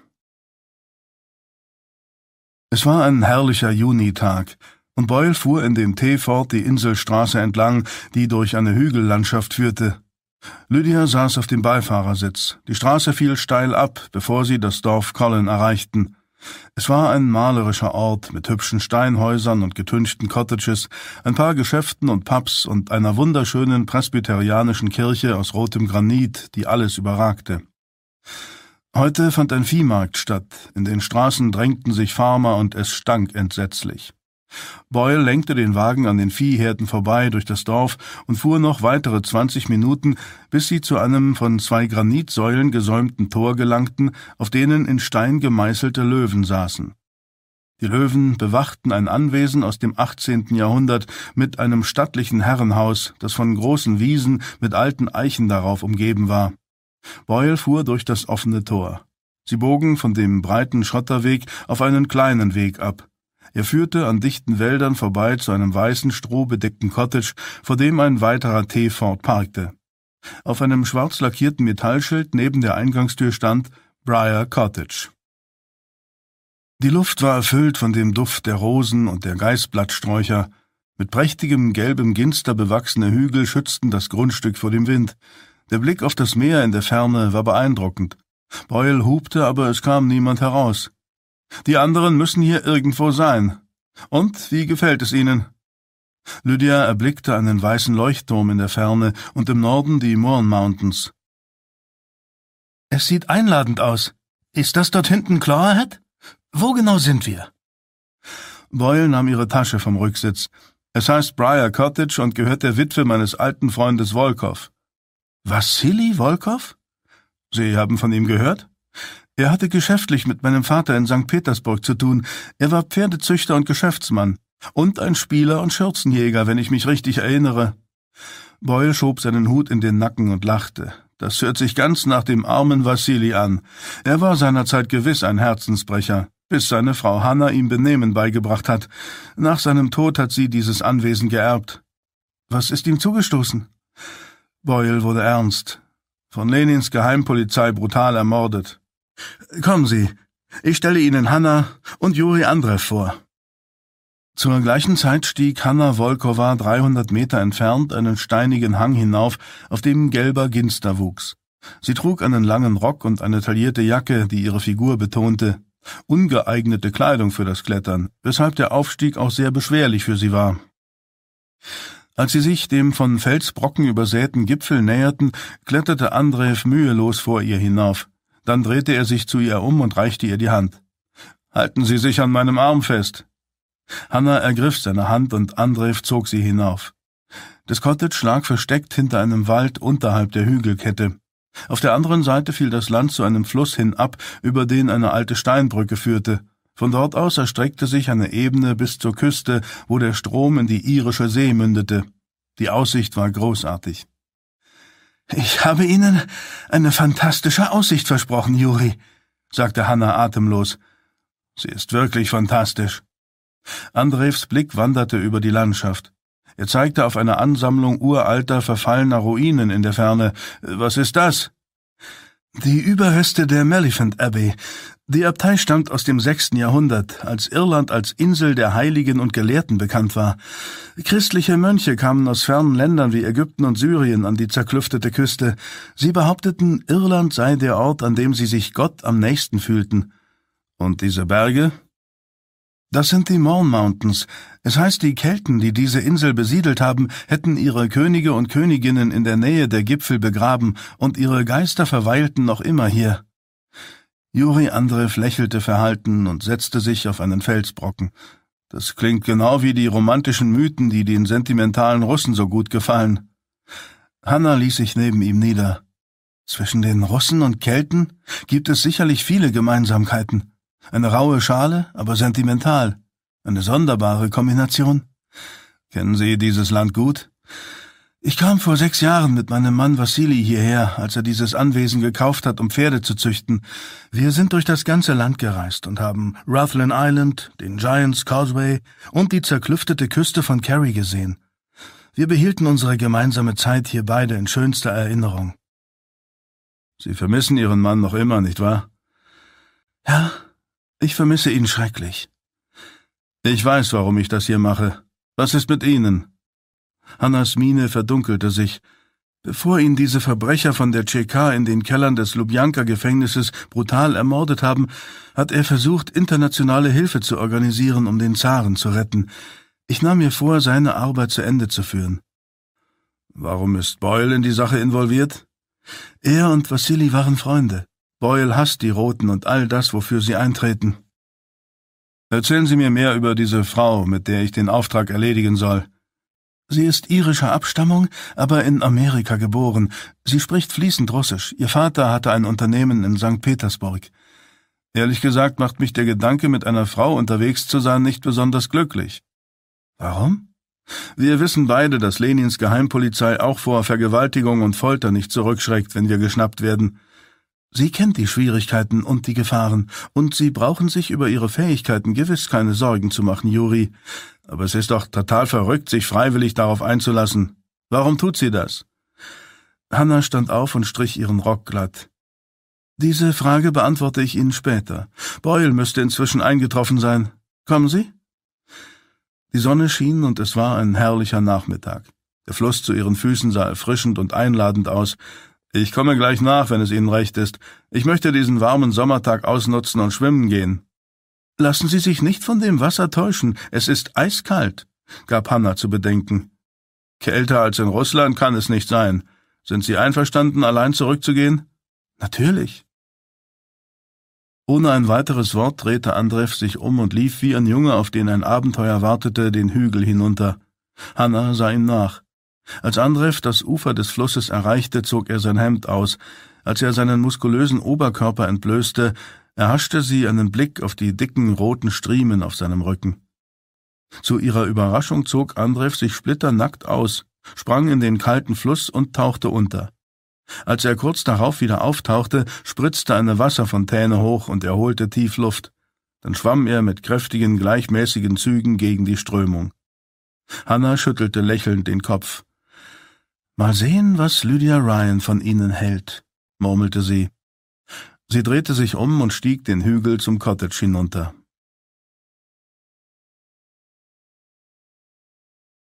Briar Cottage, Irland Boyle trug Lydias Tasche ins Cottage. Sie war überrascht, dass es so geräumig war. Ihr Blick glitt über die Balkendecke und den offenen Kamin, der nicht brannte. Grob geschnittene, schokoladenbraune Torfstücke waren daneben aufgestapelt und verbreiteten einen intensiven, erdigen Geruch im ganzen Raum. Boyle ging in die Küche, in der ein großer, schwarzer Eisenherd stand. Keiner zu Hause? rief er. Offenbar waren sie allein. Das Cottage wurde einst von dem Wildhüter genutzt, ehe Vassili es als Gästehaus umbauen ließ. Er hatte sich auch ein Arbeitszimmer hier eingerichtet. Boyle ging mit Lydia durchs Haus und zeigte ihr die beiden Schlafzimmer und das Badezimmer auf der Rückseite.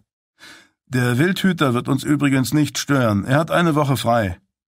Wo sind die anderen? Boyle hielt eine Hand über den Herd.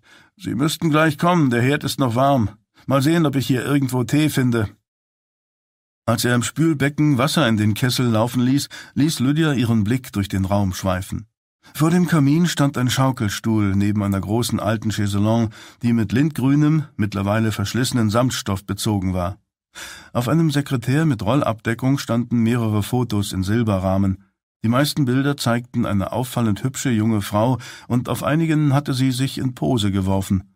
Auf einem Bild trug sie ein wallendes weißes Gewand. Das Foto war auf einer Bühne aufgenommen worden. Lydia nahm es in die Hand. Ist das Hanna Volkova? Ja. Tschechow hat gesagt, sie sei die einzige Schauspielerin, der er zutraute, die Hauptrolle in den drei Schwestern zu spielen. Sie sieht ein wenig selbstverliebt aus, wie eine Diva. Boyle lachte. Sie irren sich. Hanna ist eine unglaublich einfühlsame Frau und kein bisschen eingebildet. Auf der Bühne repräsentiert sie natürlich die Figuren, die sie spielt. Gehen Sie gerne ins Theater? Lydia stellte das Foto wieder zurück. Falls Sie es noch nicht bemerkt haben, Mr. Boyle, aber mein eigenes Leben ist dramatisch genug. Als Boyle den Kessel lächelnd auf den Herd stellte, betrat Hannah das Cottage. Ihr Haar fiel offen bis auf die Schultern und sie hatte rosige Wangen. Wir haben gerade von dir gesprochen, Verzeih mir, dass ich mich verspätet habe. Ich habe Juri Andrev ein bisschen herumgeführt. Hast du ihn nicht mitgebracht? Nein, er wollte den schönen Nachmittag nutzen, aber er wird gleich kommen. Hannas Blick wanderte von Boyle zu der Besucherin. Sie müssen Lydia sein, sagte sie und hielt ihr die Hand zur Begrüßung hin. Ich bin Hanna Volkova. Ich freue mich, Sie kennenzulernen. Lydia ignorierte die ausgestreckte Hand. Mr. Boyle hat mir gesagt, wer Sie sind. Wessen Idee war es, mich in diese Sache hineinzuziehen? Ihre oder seine? Hannah zog ihre Hand zurück. Sie spürte die Spannung, die in der Luft lag. Darüber können wir später sprechen. Hat Boyle Ihnen schon erklärt, wo Sie schlafen werden? Er hat mir noch gar nichts erklärt. Die beiden Schlafzimmer auf der Rückseite des Cottages sind für Sie und Juri. Ich habe saubere Handtücher und Seife in die Zimmer gelegt. Sobald Sie sich alle miteinander bekannt gemacht haben, möchte ich wichtige Dinge mit Ihnen besprechen. Kommen Sie also bitte ins Herrenhaus, Lydia. Um was geht es? Ohne es ihr zu erklären, ging Hanna auf die Tür zu. Ich erwarte Sie und Juri Andrev jeden Abend Punkt acht Uhr im Herrenhaus zum Abendessen. Hanna ging. Boyle sah Lydia stirnrunzelnd an. Ich würde sagen, das lief gut, nicht wahr? Soll das ein Witz sein, Mr. Boyle? Sind Sie nicht diejenige mit dem aufbrausenden Temperament? Er nahm zwei große Tassen und stellte sie neben einer Zuckerschale und einem Milchkännchen auf den Tisch. Was macht übrigens Ihr Arm? Alles wieder in Ordnung? Warum? In den Küchenschränken finden Sie Lebensmittel und Vorräte. Es könnte nicht schaden, wenn Sie Juri Andrev ein bisschen verwöhnen und ihm eine Kleinigkeit zu essen machen. Auf diese Weise schaffen Sie gleich eine freundschaftliche Atmosphäre. Lydia errötete vor Empörung. Wollen Sie mich provozieren, Boyle? Das tun Sie nämlich gerade. Es gefällt mir nicht, wenn Sie mich wie ein Dienstmädchen herumkommandieren, für das Sie und Ihre feine Freundin mich scheinbar halten. Boyle gab zwei Teelöffel Tee aus einer Pergamentpapiertüte in eine Emaillekanne und goss kochendes Wasser aus dem Kessel darüber. Das sollte in ihrem eigenen Interesse liegen. Da Hannah Schauspielerin ist und sich damit auskennt, in verschiedene Rollen zu schlüpfen, dachte sie, es wäre gut, wenn sie so viel Zeit wie möglich mit Juri Andrev verbringen, um sich kennenzulernen und ihre Geschichte einzustudieren. Ein paar gemütliche Abende, gemeinsame Spaziergänge, diese Dinge. Ich muss sagen, ich stimme ihr zu. Ach ja? Boyle ging auf Lydia zu und umfasste ihr dickes Haar mit der Hand, dann ließ er es los und trat zurück. Noch etwas. Sie sollten Ihr Haar hochstecken. Es sieht bestimmt besser aus. Und legen Sie etwas Puder auf, um die Röte auf Ihren Wangen zu überdecken. Sie steht Ihnen nicht. Lydia kochte vor Wut. Sie nahm einen Teller vom Tisch und warf ihn auf Boyle. Er duckte sich, worauf der Teller gegen die Wand prallte und zerbrach. Lydia griff nach dem nächsten Teller und wollte ihn gerade werfen, als eine Männerstimme hinter ihr sagte Ich wäre vorsichtig, es könnte vielleicht jemand verletzt werden. Lydia erstarrte und drehte sich mit dem Teller in der Hand um. Andrew stand in der Tür und lehnte sich gegen den Türrahmen. Er war vollkommen durchnässt. Sein Haar tropfte und das nasse Hemd klebte auf seiner Brust. Er betrat den Raum, nahm ein Handtuch von einer Stange in der Küche und frottierte sich das Haar. Als Lydia den Mann sah, war es um sie geschehen. Es war ein sonderbares Gefühl, köstlich und beängstigend zugleich, und sie bemühte sich, es zu unterdrücken. Sie müssen Juri sein, sagte Boyle. Ein charmantes Lächeln erhellte Andrevs Gesicht. Ich war noch kurz schwimmen. Es ist so ein schöner Tag heute, und das wollte ich ausnutzen. Aber offenbar habe ich etwas verpasst. Sie sind Boyle?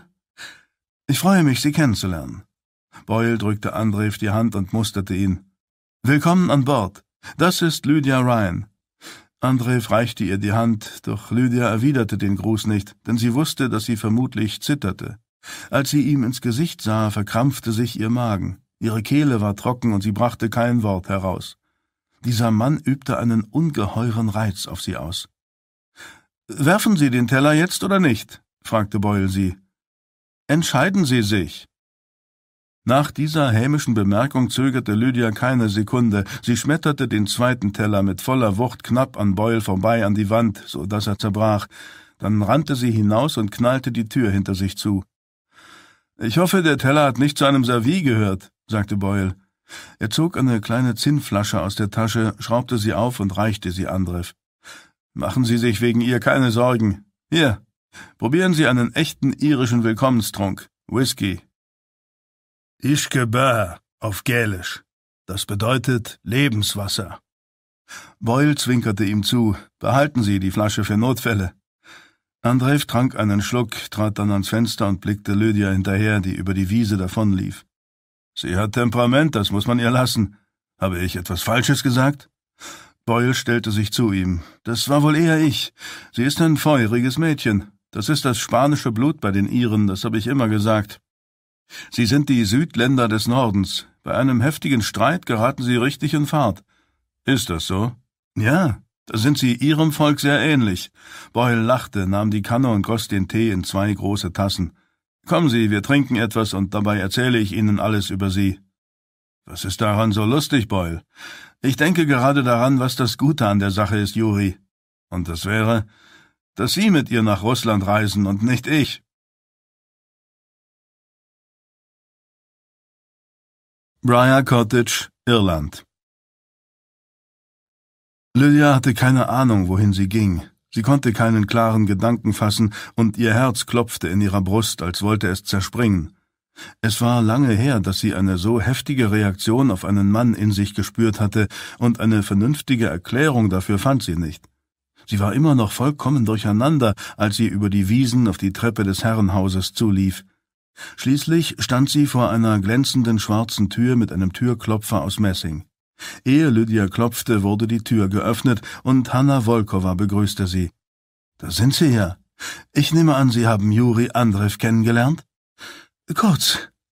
Ab jetzt werden Sie jeden Tag von früh bis spät Zeit miteinander verbringen, damit Sie sich an die Gesellschaft des anderen gewöhnen. Kommen Sie rein. Hanna führte sie in den mit schwarzen und weißen Fliesen ausgelegten Eingangsbereich, den eine geschwungene Treppe und ein riesiger Kronleuchter dominierten. Wie so viele irische Herrenhäuser wurde auch dieses vom englischen Adel erbaut, und zwar genau genommen von einem Earl aus dem 18. Jahrhundert. Aber Sie haben jetzt bestimmt keine Lust auf Geschichtsunterricht. Ich weiß genug über die Engländer, die den Iren das Land gestohlen haben. Vielen Dank. Hannah lächelte gequält. Ich dachte mir, dass Sie so etwas sagen würden. Hier entlang. Sie stiegen die Treppe hinauf. Boyle hat mir erzählt, wer Sie sind, sagte Lydia, als sie oben ankamen. Ich habe Sie auf der Bühne gesehen, als ich sechzehn war. Tatsächlich? Unsere Direktorin ging mit unserer Klasse ins Imperialtheater in St. Petersburg, als die drei Schwestern aufgeführt wurden. Sie haben eine Hauptrolle gespielt. Und wie hat Ihnen das Stück gefallen? Ich fand, das war ziemlich trübsinniger und altbackener Unsinn, wenn Sie mich fragen. Hanna lachte herzhaft und führte Lydia den Gang hinunter. Sie sind wenigstens ehrlich. Es war nicht meine beste Vorstellung, aber als ehrgeizige junge Schauspielerin von 23 hätte ich es niemals so gesehen. Wo gehen wir hin? Hanna blieb vor einer Tür stehen und griff nach der Türklinke. Ich hoffe, Sie haben bei Ihrem Theaterbesuch richtig aufgepasst, Lydia. Warum? Weil Sie für Ihre Reise ein wenig schauspielerisches Talent brauchen. Nutzen Sie die nächsten Tage einfach, um sich mit Ihrer Rolle vertraut zu machen. Ab sofort sprechen wir nur noch Russisch miteinander, wenn es Ihnen recht ist. Als Spion in Russland kann es einen das Leben kosten, eine andere Sprache zu sprechen. Sie betraten ein Schlafzimmer mit einem großen altertümlichen Kamin. In der Mitte stand ein Himmelbett aus Mahagoni mit Vorhängen in kräftigem Burgunderrot. Auf dem Bett lag ein billiger Koffer mit Ledergurten, er passte irgendwie nicht in diesen beeindruckenden Raum. Hanna schnallte die Gurte auf und hob den Deckel. Im Koffer lag Frauenkleidung, Blusen und Röcke, Unterwäsche, ein paar einfache Kopftücher und zwei Paar klobige Stiefel. Das ist Ihre Kleidung für die Reise. Es wurde alles in Russland angefertigt und müsste Ihnen passen. Probieren Sie die Sachen mal an. Meinen Sie jetzt gleich? fragte Lydia auf Russisch. Warum nicht? Lydia nahm ein paar Kleidungsstücke aus dem Koffer. Es war schlichte Kleidung, wie eine Bäuerin sie tragen könnte. Lydia zog sich bis auf die Unterwäsche aus und probierte einen Rock und eine Bluse an. Hanna begutachtete den Sitz. Nicht schlecht. Ihr Russisch ist übrigens ausgezeichnet. Was ist mit den Papieren? Darüber wollte ich gerade mit Ihnen sprechen. Hanna nahm einige Papiere und ein paar andere Dinge aus dem Koffer. Es waren Reisedokumente, ein Ausweis, ein Bündel russische Banknoten, ein paar Münzen in einem Geldbeutel aus Stoff und eine Taschenuhr. Hanna reichte ihr alles. Boyle bespricht mit Ihnen später Ihre neue Biografie. Machen Sie sich damit vertraut. Dank Ihnen und Boyle bleibt mir wohl kaum eine andere Wahl, oder? Sie haben mich gefragt, wessen Idee es war, Sie in die Sache hineinzuziehen, sagte Hanna in gleichmütigem Ton. Es war meine.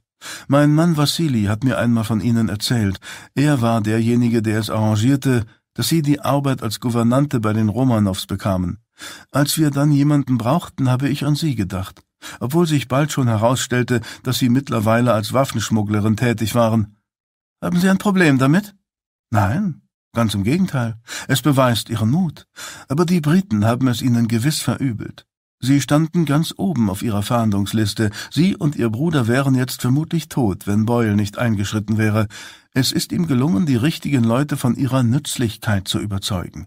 Und erlauben Sie mir eine Bemerkung. Finden Sie nicht, Sie sollten allmählich diesen Panzer ablegen? Wie meinen Sie das? Ich habe lange genug als Schauspielerin gearbeitet, um zu wissen, dass wir alle unser wahres Ich verbergen. Das gehört zu unserem natürlichen Abwehrmechanismus. Ich glaube aber, dass die Schutzhülle bei Ihnen noch stärker ausgeprägt ist. Tief in Ihrem Inneren gibt es eine Verletzung, die Sie verbergen. Das ist der Grund, warum Sie wütend auf die Welt sind und diese Abwehrhaltung einnehmen. Je eher Sie sich damit auseinandersetzen, desto besser. Lydia errötete. Sie wissen gar nicht, wovon Sie da reden. Nein? Gut, dann machen Sie, was Sie wollen. Und noch etwas, Lydia. Ich habe Juri Andrev schon denselben Rat gegeben, den ich Ihnen jetzt geben werde. Und welchen? Das Land, in das Sie reisen, gleicht der Hölle. In den Straßen von Russland herrscht Terror, überall wimmelt es von Polizeispitzeln. Unschuldige Opfer werden willkürlich verhaftet. Männer, Frauen und Kinder werden in Kerker geworfen, einige sogar hingerichtet. Worauf wollen Sie hinaus? Sobald Sie die Grenze passiert haben, vertrauen Sie niemandem mehr außer sich und Juri. Überlegen Sie sich jedes Wort, das Sie sagen, genau. Der kleinste Fehler oder eine falsche Antwort zu einem Soldaten der Roten Armee oder einem Geheimpolizisten kann die schlimmsten Konsequenzen haben. Ich bin nicht dumm, das weiß ich. Vergessen Sie es niemals. Es ist von größter Bedeutung, damit Sie und die Menschen, die Sie retten wollen, überleben.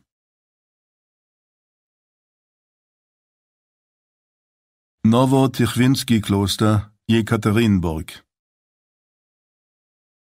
Die Wunde schmerzte höllisch. Sorg blieb in einer verlassenen Gasse stehen und lehnte sich gegen eine Mauer. Er hatte den schwarzen Mantel angezogen, damit niemand das blutgetränkte Hemd sah. Die Hitze war unerträglich. Er zog das Hemd hoch und untersuchte seine Verletzung. Aus einer klaffenden Wunde rann Blut. Sorg drückte das Hemd fest darauf, doch es gelang ihm nicht, die Blutung zu stillen. Die Schmerzen wurden nur noch schlimmer, so dass er beinahe ohnmächtig wurde. Er brauchte dringend ärztliche Hilfe, das wusste er, sonst würde er sterben. Doch in fast jeder Straße, die er betrat, sah er Rotarmisten auf den Bürgersteigen. Daher war er gezwungen, in kleine Gassen zu fliehen. Sorg eilte weiter. Seine Kleidung war schweißnass, seine Beine begannen zu schmerzen und die Wunde pochte. Er biss die Zähne zusammen, bis er sein Ziel erreichte und sich wieder gegen eine Mauer lehnte. Auf der anderen Straßenseite war ein riesiges Kloster mit getünchten Mauern und hohen blauen und goldenen Türmen, die von russischen Kreuzen gekrönt wurden. Auf der Straße parkte ein Krankenwagen des Roten Kreuzes. Das Nowo-Tichwinski-Kloster war berühmt, ein riesiger Komplex, der über tausend Nonnen beherbergte, die Armenhäuser, Waisenheime, Werkstätten, eine Schule und ein Krankenhaus betrieben. Das Krankenhaus stand auf der anderen Seite des Platzes, doch Sorg war zu schwach, um es bis dorthin zu schaffen. Er näherte sich einem breiten Torbogen mit einer alten, mit zahlreichen Rissen übersäten Eichentür. Über dem Torbogen hing ein schmiedeeisernes Kruzifix. Sorg zog mit letzter Kraft an einer Klingelschnur. Hinter der Tür ertönte eine Glocke, in der sich das Geschrei lärmender Kinder mischte. Dann hörte er Schritte. Ein Riegel wurde aufgeschoben und eine kleine Klappe in der Tür geöffnet.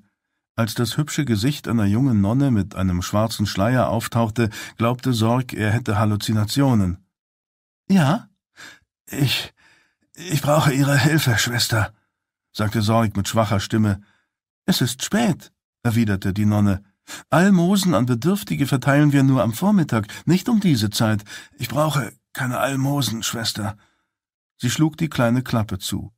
Sorg biss die Zähne zusammen, als erneut unerträgliche Schmerzen durch seinen Körper schossen. Er legte eine Hand auf das Hemd und spürte, dass Blut über seine Finger lief.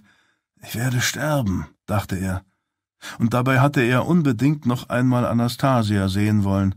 Eine Sekunde später schwanden ihm die Sinne. Seine Lider zuckten, und die Welt ringsherum wurde in Dunkelheit getaucht.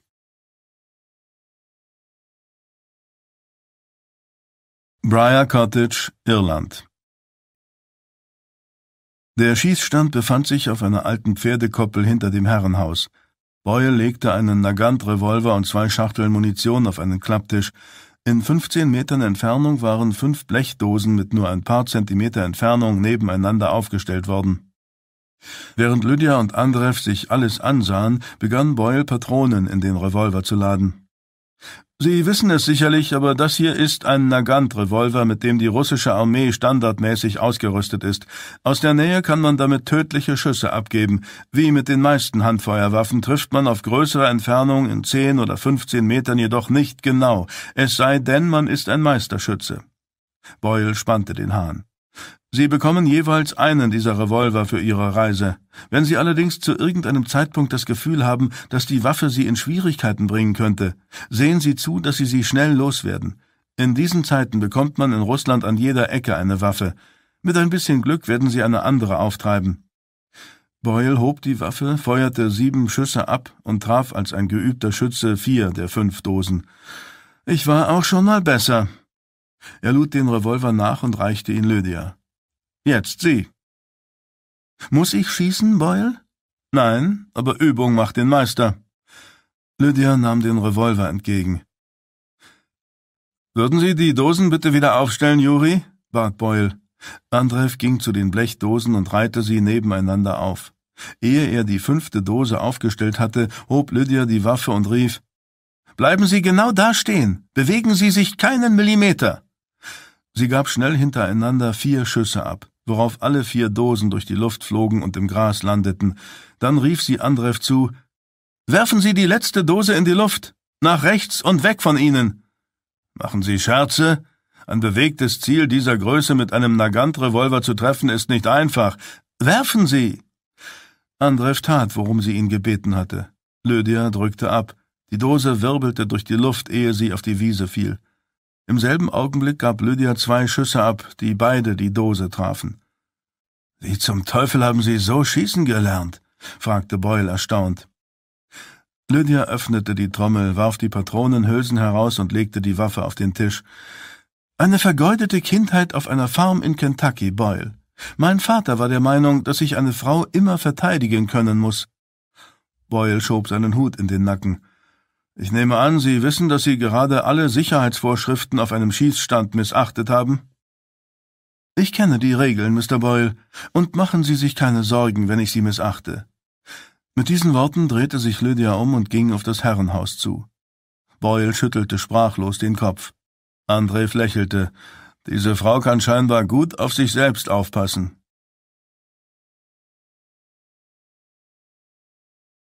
Briar Cottage, Irland Hannah servierte in der Küche des Herrenhauses ein einfaches Abendessen, gebratenes Hühnchen, Kartoffeln und Kohl. Zum Nachtisch gab es Apfelkompott mit Vanillesoße. Boyle öffnete eine Flasche Burgunder. Nach dem Essen stand er auf und goss den Wein aus einer Karaffe in die Gläser. Ich finde, dass wir schon so weit gekommen sind, ist Grund genug, um miteinander anzustoßen. Prost. Wer sind Sie, Boyle? fragte Andrew. Für wen arbeiten Sie? Ist es nicht Zeit, es uns zu verraten? Boyle stellte einen Fuß auf den Stuhl und legte eine Hand aufs Knie. Ich bin Geschäftsmann und Abenteurer, ein Mann, der sich mit mehr Dingen beschäftigt, als gut für ihn ist. Ich habe mein Vermögen während des Klondike-Goldrausches in Kanada gemacht und einen Teil davon in Eisenbahnen investiert. Dadurch erwarb ich beträchtliche Fachkenntnisse. Das führte dazu, dass mich die russische Übergangsregierung bat, ihr gesamtes Eisenbahnnetz zu verwalten. Diesbezüglich herrschte ein heilloses Durcheinander. Später habe ich dasselbe für die Bolschewisten gemacht. Sie haben für die Roten gearbeitet? fragte Lydia verwirrt. Boyle presste die Zähne aufeinander. Bis ich Zeuge ihrer Brutalität wurde und sah, dass ganze Städte zerstört, Dörfer ausgelöscht und ihre Bewohner hingerichtet wurden. Der Tiefpunkt kam, als ich eine Stadt besuchte, wo ein dreizehnjähriger Junge den Mut besaß, eine Fahne des Zarenreiches auf dem Marktplatz aufzuhängen. Der Kommissar der Roten ließ den Jungen an die Wand stellen und erschießen. Dann wurde der Leichnam als Warnung für andere an einem Telegrafenmast aufgehängt. Nach diesem Ereignis schwor ich mir, alles zu tun, damit den Roten genauso unbarmherzig die Macht entrissen wird, wie sie sie ergriffen haben. Im letzten Jahr habe ich ein Netzwerk von über 400 Agenten in Russland aufgebaut, um Informationen zu sammeln. Lydias Blick wanderte von Boyle zu Hannah. Sie haben noch immer nicht verraten, für wen Sie arbeiten. Man könnte sagen, dass wir nur die Spitze eines sehr komplexen Eisberges sind. Haben Sie schon mal von dem heiligen Johannes aus Russland gehört? Er war ein Priester, der heimlich Gutes tat. Richtig. Boyle nahm einen Stift und ein Notizheft aus der Tasche und legte beides auf den Tisch. Die Bruderschaft des heiligen Johannes von Tobolsk ist eine Art Vermächtnis, ein Geheimbund, wenn man so will. Die Mitglieder stammen aus allen sozialen Schichten. Er nahm den Stift in die Hand. In diesem Augenblick hat die Bruderschaft ein einziges Ziel, die Romanows davor zu retten, niedergemetzelt zu werden. Hanna und ich sind bereitwillige Komplizen. Ich zeige Ihnen etwas. Boyle schlug ein leeres Blatt in seinem Notizheft auf und malte eine sonderbare Skizze auf die Seite. Es war eine spiegelverkehrte Swastika. Das Zeichen der Bruderschaft ist ein Symbol für Liebe, Glaube und Hoffnung. Dem Zeichen werden Sie auf Ihrer Reise begegnen. Durch dieses Symbol können Sie Kontakt zu den Mitgliedern der Bruderschaft aufnehmen. Hanna stellte ihr Glas ab. In Tobolsk, wo die Zarenfamilie zuletzt gefangen gehalten wurde, wurden mehrere Rettungsversuche unternommen. Daher stammt auch der Name der Bruderschaft.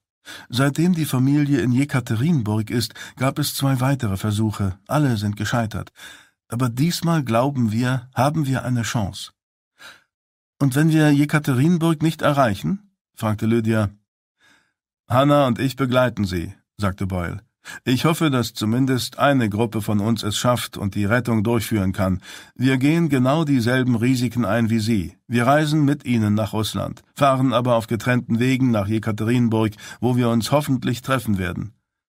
Haben Sie keine Angst, dass wir den Roten alles verraten, falls wir geschnappt werden? fragte Lydia. Boyle lächelte. Nein, denn ich bin sicher, dass Sie beide vernünftige Menschen sind. Was soll das heißen? Die Russen gehen mit ausländischen Spionen brutal um. Wenn es sich um eine Frau handelt, wird sie höchstwahrscheinlich vergewaltigt und gefoltert, ehe sie getötet wird. Wenn sie geschnappt werden, sind sie so gut wie tot. Aber ich helfe ihnen, zu viele Unannehmlichkeiten zu vermeiden. Hanna? Die Schauspielerin nahm zwei kleine Ampullen aus ihrer Handtasche und legte sie auf den Tisch. In beiden war eine braune Flüssigkeit. Für jeden eine, sagte sie. Andrew nahm eine der Ampullen in die Hand und schüttelte die Flüssigkeit. Was ist das? Zyankali. Es tötet innerhalb von Sekunden. Wenn Sie geschnappt werden, brechen Sie die Spitze ab und schlucken den Inhalt sofort hinunter. Andrew und Lydia wechselten schweigend Blicke. Gibt es nach dieser aufheiternden Mitteilung noch etwas, was wir wissen sollten, falls wir gefangen genommen werden? fragte Andrew. Boyle stand auf und hob sein Glas. Ich kann nur einen passenden irischen Toast aussprechen. Mögen Sie im Himmel sein, lange bevor der Teufel auch nur weiß, dass Sie da sind. Briar Cottage, Irland Als sie den Tisch abgeräumt hatten, breitete Boyle eine Landkarte von Russland aus und zeigte mit dem Finger auf einen Ort. Hier ist St. Petersburg. Hier beginnt Ihre Reise. Er zeigte auf einen anderen Punkt im südlichen Ural. Jekaterinburg ist ungefähr 1800 Meilen entfernt. Sie müssen versuchen, die Stadt möglichst schnell mit dem Zug zu erreichen. Seitdem Lenin die Macht übernommen hat, sind alle öffentlichen Verkehrsmittel kostenlos. Dazu gehören Züge und Straßenbahnen, und sie fahren alle. Sie können also nach Belieben überall ein- und aussteigen, ohne dass Sie einen Fahrschein kaufen müssen. Kostenlose Beförderungsmittel hat Lenin dem Volk versprochen. Es ist das einzige Versprechen, das er bis jetzt gehalten hat. Und die schlechte Nachricht? fragte Lydia. Die Hälfte der Güter- und Personenzüge in Russland fahren nicht, weil sie nicht gewartet werden. Und natürlich aufgrund des allgemeinen Aufruhrs. Darum müssen sie immer und überall mit Verzögerungen rechnen. Am besten nehmen Sie von St. Petersburg nach Moskau den Nachtzug. Von dort aus brauchen Sie mit dem Zug nach Jekaterinburg zweieinhalb Tage oder länger. Das hängt von den Verzögerungen auf der Strecke ab. Ich gebe Ihnen aber den Rat, so schnell wie möglich zu reisen. Je eher Sie ankommen, desto besser. Unterwegs finden Sie überall günstige Herbergen, falls Sie irgendwo übernachten müssen. Andrew zeigte mit dem Finger auf die Karte. Und wenn wir auf Kontrollposten stoßen? Mit Ihren Papieren ist alles in Ordnung und Sie sehen echt aus. Wir haben das für diese Zwecke in Russland übliche Papier verwendet. Niemand wird etwas zu beanstanden haben. Angenommen, wir erreichen Jekaterinburg. Was passiert dann? fragte Andrew. Das Nowotichwinski ist ein riesiges Kloster in der Stadt, das von orthodoxen Nonnen geführt wird. Es sind insgesamt über 1000 Schwestern. Sobald Sie in der Stadt ankommen, begeben Sie sich auf direktem Wege zu diesem Kloster. Zu der Einrichtung gehört eine kleine Kirche, die für die Öffentlichkeit zugänglich ist. Auf die Rückseite der Eingangstür malen Sie mit Kreide das Zeichen der Bruderschaft. Das ist der Hinweis, dass Sie angekommen sind. Wenn Sie nach zwei Stunden in die Kirche zurückkehren, müsste jemand neben Ihr Zeichen eine weitere Swastika gemalt haben. Das bedeutet, dass ein sicheres Treffen stattfindet. Warten Sie in der Kirche, bis sie eine Nonne anspricht. Sie wird Sie fragen, haben Sie sich verirrt? Brauchen Sie Hilfe? Und Sie antworten, ich muss zur Marktstraße. Alle Wörter müssen exakt übereinstimmen. Prägen Sie sich den Wortlaut also genau ein. Wenn niemand ein Zeichen neben Ihres gemalt hat, könnte das bedeuten, dass ein Treffen zu gefährlich ist. Dann versuchen Sie es am nächsten Tag am selben Ort. Wenn Sie noch immer keine Antwort bekommen haben, ist es zu gefährlich, den Kontakt herzustellen. Was passiert in dem Fall? In der Stadt gibt es einen Leichenbestatter, der zu unseren Leuten gehört. Er springt ein. Weitere Details erfahren Sie später. Und wenn wir uns unterwegs aus den Augen verlieren? Fragte Lydia. Sie treffen sich in Jekaterinburg und machen alles genau so, wie wir es besprochen haben. Gehen Sie zu der Klosterkirche und hinterlassen Sie dort das Zeichen. Boyle verstummte kurz. Ich kann Ihnen nicht sagen, wie lange es dauert, bis Sie Jekaterinburg erreichen. Sie könnten es in zweieinhalb Tagen schaffen, aber es könnte auch länger dauern. Das hängt davon ab, wie viel Glück Sie haben. Uns wurde berichtet, dass Züge von Bataillonen der Weißen angegriffen wurden. Daher können wir keinen genauen Zeitplan aufstellen, und Sie müssen gegebenenfalls spontan reagieren. Haben wir einen offiziellen Grund für die Reise? fragte Andrev. Sie fahren zu Verwandten ans Kaspische Meer, um zu genesen. Der Zug dorthin fährt natürlich über Jekaterinburg. Genesen? Boyle zog einen Ausweis und ein Blatt aus der Tasche, das er auseinanderfaltete. Er legte beides auf den Tisch. Lydia hat ihre Papiere auf den Namen Lydia Kuris bereits bekommen. Sie sind ihr Ehemann, ein Freiwilliger der Roten Armee namens Nikolaus Kuris. Ihre Papiere tragen einen Stempel und belegen, dass Sie aufgrund Ihrer Invalidität aus der Armee entlassen wurden. Was für Verwundungen habe ich? Granatsplitter im Rücken, in der Lunge und im Schädel, die Sie im Kampf gegen die Weißen abbekommen haben. Die Narben auf Ihrem Körper beweisen das. Sie neigen aufgrund der Kopfwunde zu epileptischen Anfällen. Das ist auch der Grund, warum Ihre Frau Sie begleitet. Wenn Sie jemand fragen sollte, warum Sie in Jekaterinburg einen Zwischenstopp einlegen, sagen Sie, dass sich Ihr Zustand verschlechtert hat und Sie sich ausruhen müssen. Die Roten zeigen ihren verwundeten Kameraden gegenüber in der Regel Mitgefühl. Boyle holte tief Luft. Keine Sorge, wir gehen alle Details und auch Ihre Biografien noch einmal in aller Ruhe durch. Nehmen Sie die Karte mit und studieren Sie sie. Sie entscheiden, welche Strecke Sie nehmen, aber ich habe den schnellsten Weg eingezeichnet. Er sah auf die Uhr, dann auf den Abendhimmel hinter dem Küchenfenster. Ehe es dunkel wird, möchte ich Sie beide bitten, die Kleidung anzuziehen, die Sie auf der Reise tragen werden. Warum? fragte Andrev. Wir haben noch eine wichtige Sache zu erledigen.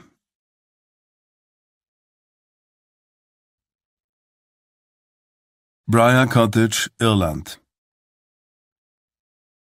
Draußen war es noch hell, als Boyle und Hannah Lydia und Andrev zum Cottage begleiteten. Boyle hatte eine Boxkamera auf einem Stativ und ein Blitzgerät dabei. Wozu die Kamera? fragte Lydia. Sie geben sich als Ehepaar aus. Ehepaare haben in der Regel Fotos voneinander bei sich. Ziehen Sie also diese Lumpen an, damit ich die Bilder machen kann. Sie schlüpften in die Bauernkleidung und traten dann vor das Haus.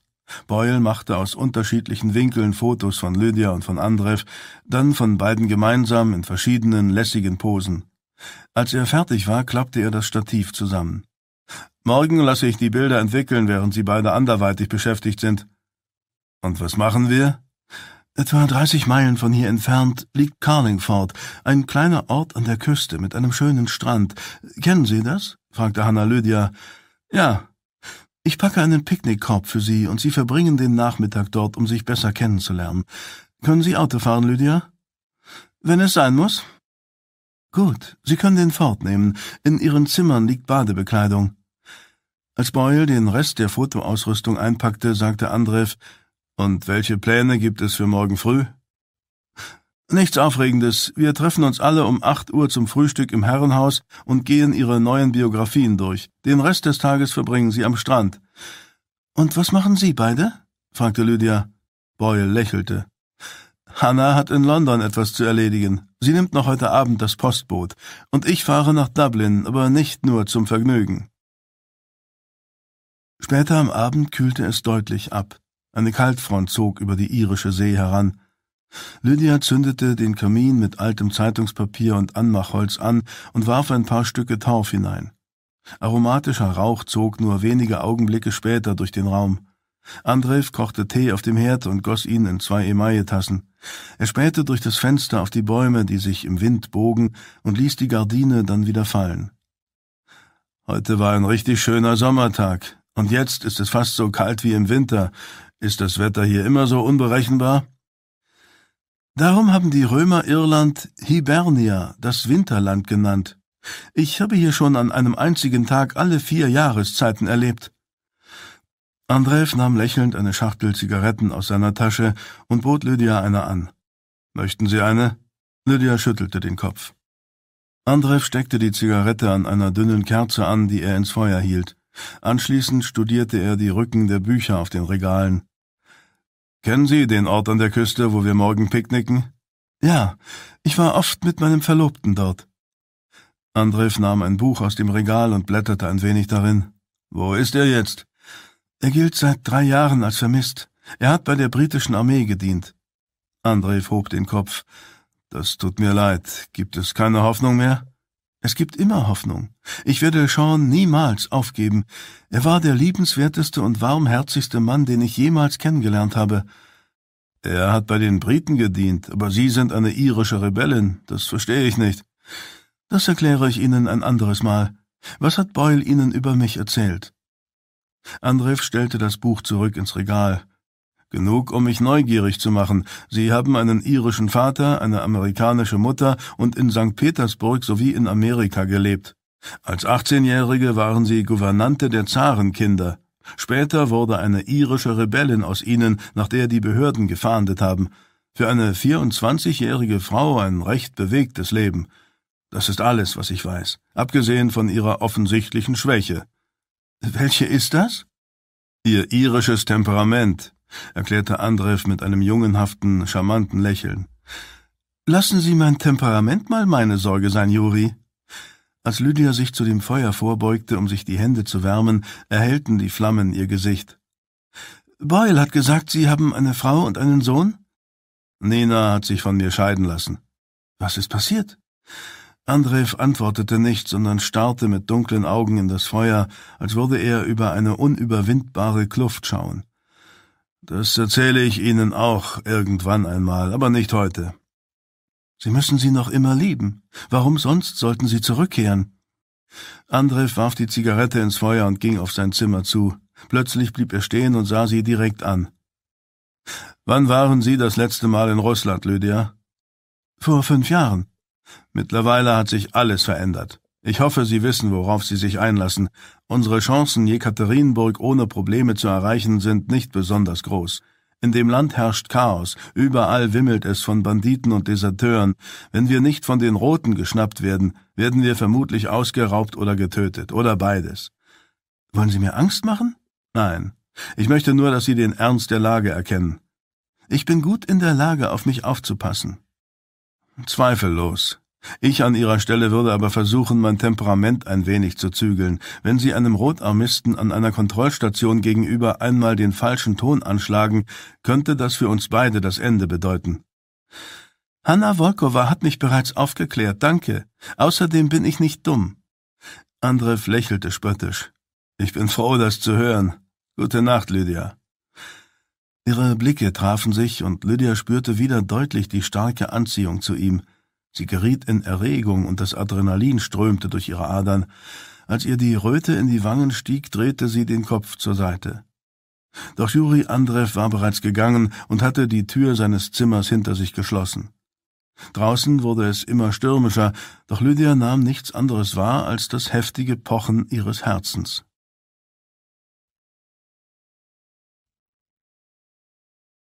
Dublin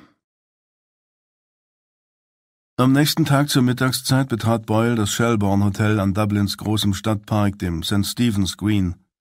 In der mit grünem Farn und Topfpflanzen dekorierten Lounge tönten Walzerklänge aus einem Grammophon.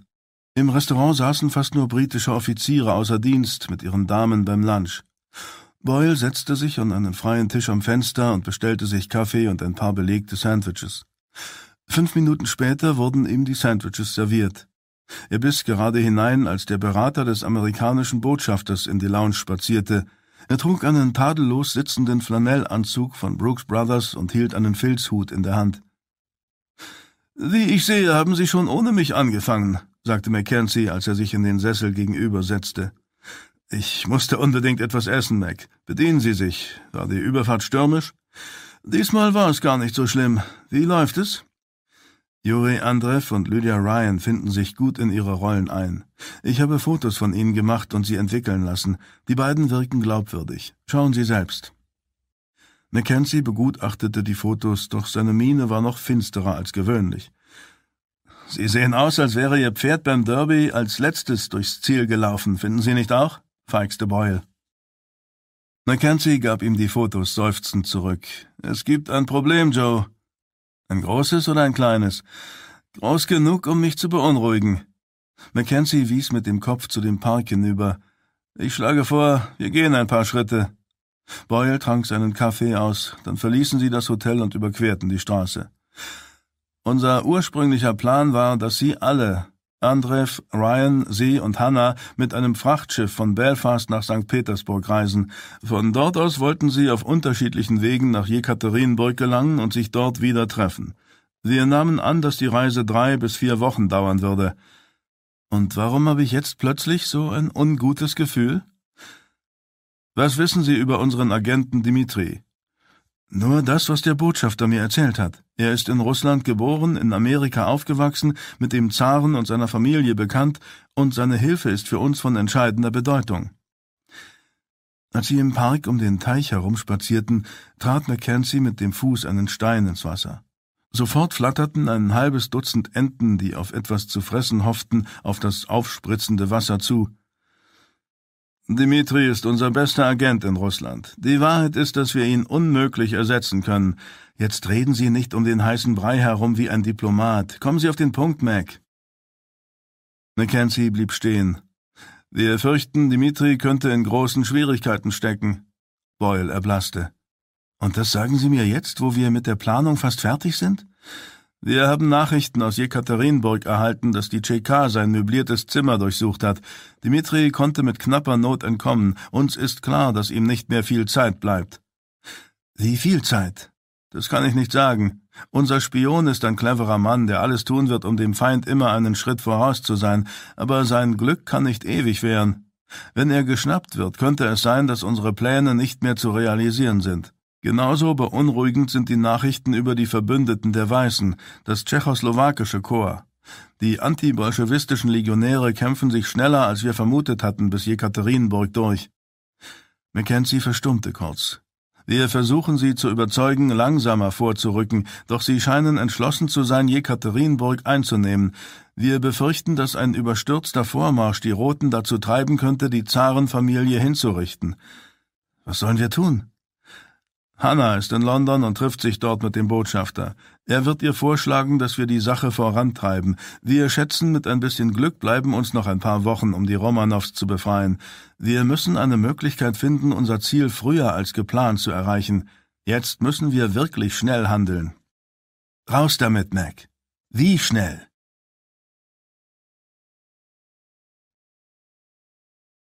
London an diesem Abend saß ein Mann mit hohen Wangenknochen und slawischen Gesichtszügen in einem schmutzigen Arbeitsanzug in einem schwarzen Ford-Lieferwagen, der in der Nähe des Carnot Hotels parkte. Der Motor lief. Er hatte seinen Hut tief ins Gesicht gezogen und rauchte eine Zigarette. Der Lieferwagen war geliehen und trug keine Aufschriften auf der Seite. Der Mann beobachtete Hanna Wolkowa, als diese die Hoteltreppe hinunterstieg. Sie hatte einen Sonnenschirm bei sich und warf einen Blick in die gut besuchte Teestube auf der anderen Straßenseite. Der Mann lächelte und warf die Zigarette weg. Vor zehn Minuten hatte er an der Rezeption eine Mitteilung für sie hinterlassen. Liebe Hanna, wir treffen uns in der Teestube gegenüber. Die Unterschrift des Mannes war nicht zu entziffern gewesen. Hanna Wolkowa spähte in alle Richtungen, ehe sie die Straße überquerte. Der Mann ließ die Handbremse los und trat aufs Gas. Als Hanna die Straßenmitte erreicht hatte, war der Wagen nicht mehr weit von ihr entfernt. Offenbar hörte sie das Dröhnen des Motors, denn sie sah unter dem Sonnenschirm hervor und riss entsetzt den Mund auf, als der Ford mit Vollgas auf sie zuraste. Als der Lieferwagen Hanna mit voller Wucht erfasste und ihr Körper gegen die Karosserie prallte, ertönte ein lauter Knall. Der Fahrer fuhr weiter. Hanna Wolkowa wurde in die Luft geschleudert, Röcke und Glieder wirbelten umher, als sie sich überschlug, ehe ihr Körper auf dem Bürgersteig aufschlug.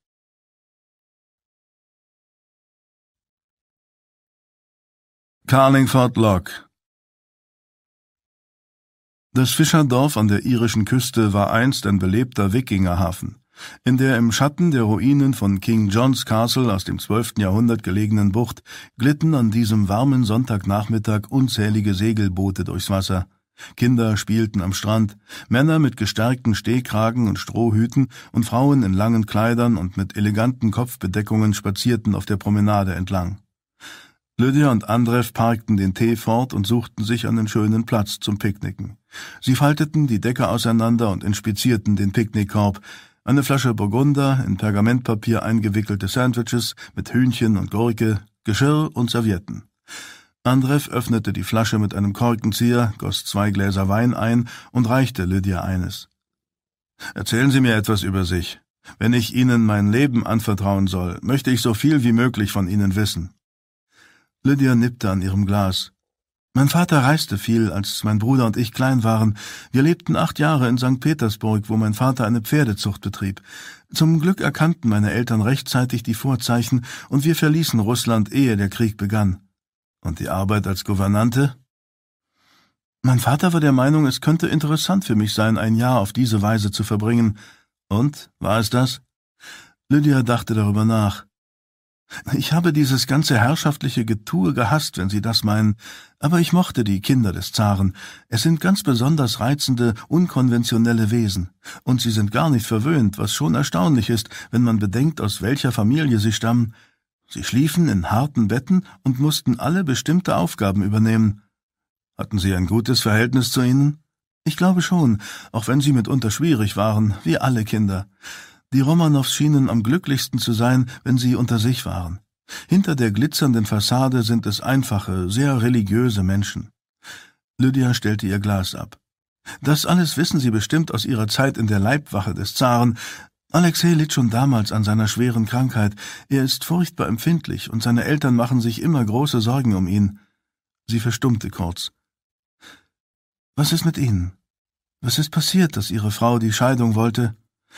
Andrew starrte mit finsterem Blick in die Ferne. Was immer in diesen Fällen passiert, die Menschen verändern sich. War das der Grund? Würde es Sie überraschen, wenn ich sagte, dass ich es nicht weiß? Ich weiß nur, dass man bei dem Versuch, es herauszufinden, verrückt werden kann. Sie müssen sie noch immer lieben. Ich bin nicht einmal sicher, ob ich überhaupt noch weiß, was Liebe eigentlich ist. Jedenfalls nicht die Liebe zwischen Mann und Frau erwiderte Juri Andrew mit betrübter Miene. Warum sonst sollten Sie zurückgehen? Weil ich mir vor allem wünsche, dass mein Sohn frei und ohne Angst aufwächst und nicht von einem Verrückten wie Lenin für ein irrsinniges, blutrünstiges, gesellschaftspolitisches Experiment missbraucht wird, stieß er aufgebracht aus und wechselte dann das Thema. Erzählen Sie mir etwas über Ihren Verlobten. Wie kam es, dass Sie auf unterschiedlichen Seiten gekämpft haben? Als die feindlichen Auseinandersetzungen begannen, machten alle den despotischen Kaiser verantwortlich. Sie nannten ihn einen Kriegstreiber, der es darauf abgesehen hatte, Europas Freiheit zu zerstören. Jedenfalls haben die Briten es so dargestellt. Darum wurde Sean wie so viele ihren Soldat.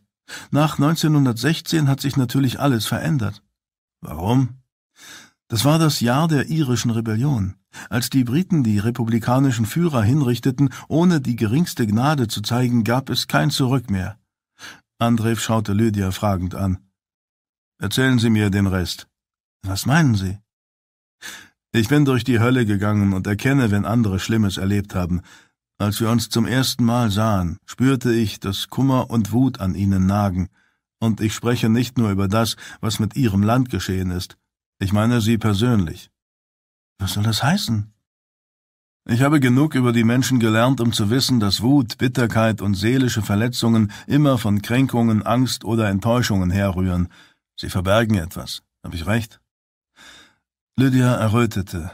Andrew schien einen wunden Punkt getroffen zu haben. Ich finde, ich habe Ihnen genug erzählt. Darf ich Ihnen sagen, was ich sonst noch gelernt habe? Wir offenbaren niemals unser wahres Ich. Wie Salome bei ihrem Tanz. Sie versteckte sich hinter sieben Schleiern vor der Welt. Die meisten von uns legen ihre Schleier niemals ab. Sie bieten uns Sicherheit und eine Möglichkeit, uns zu schützen. Und genau das tun sie jetzt. Ach ja? Sie sind wohl ein Experte, was? Lydia sprang auf und riss die Decke vom Boden hoch, worauf das Essen, die Teller und die Weinflasche in den Sand fielen. Ich finde, es ist Zeit, dass wir diesen Unsinn beenden und zurückfahren. Ich freue mich, dass Sie beide sich so gut vertragen. Genau wie ein richtiges Ehepaar, sagte eine Stimme hinter ihnen. Sie drehten sich um. Vor ihnen stand Boyle und lächelte sie an. Was machen Sie denn hier? fragte Lydia. Ich hielt es für das Beste, gleich hierher zu kommen, um es Ihnen mitzuteilen. Wir müssen unseren Plan ändern. Wir brechen morgen nach Russland auf.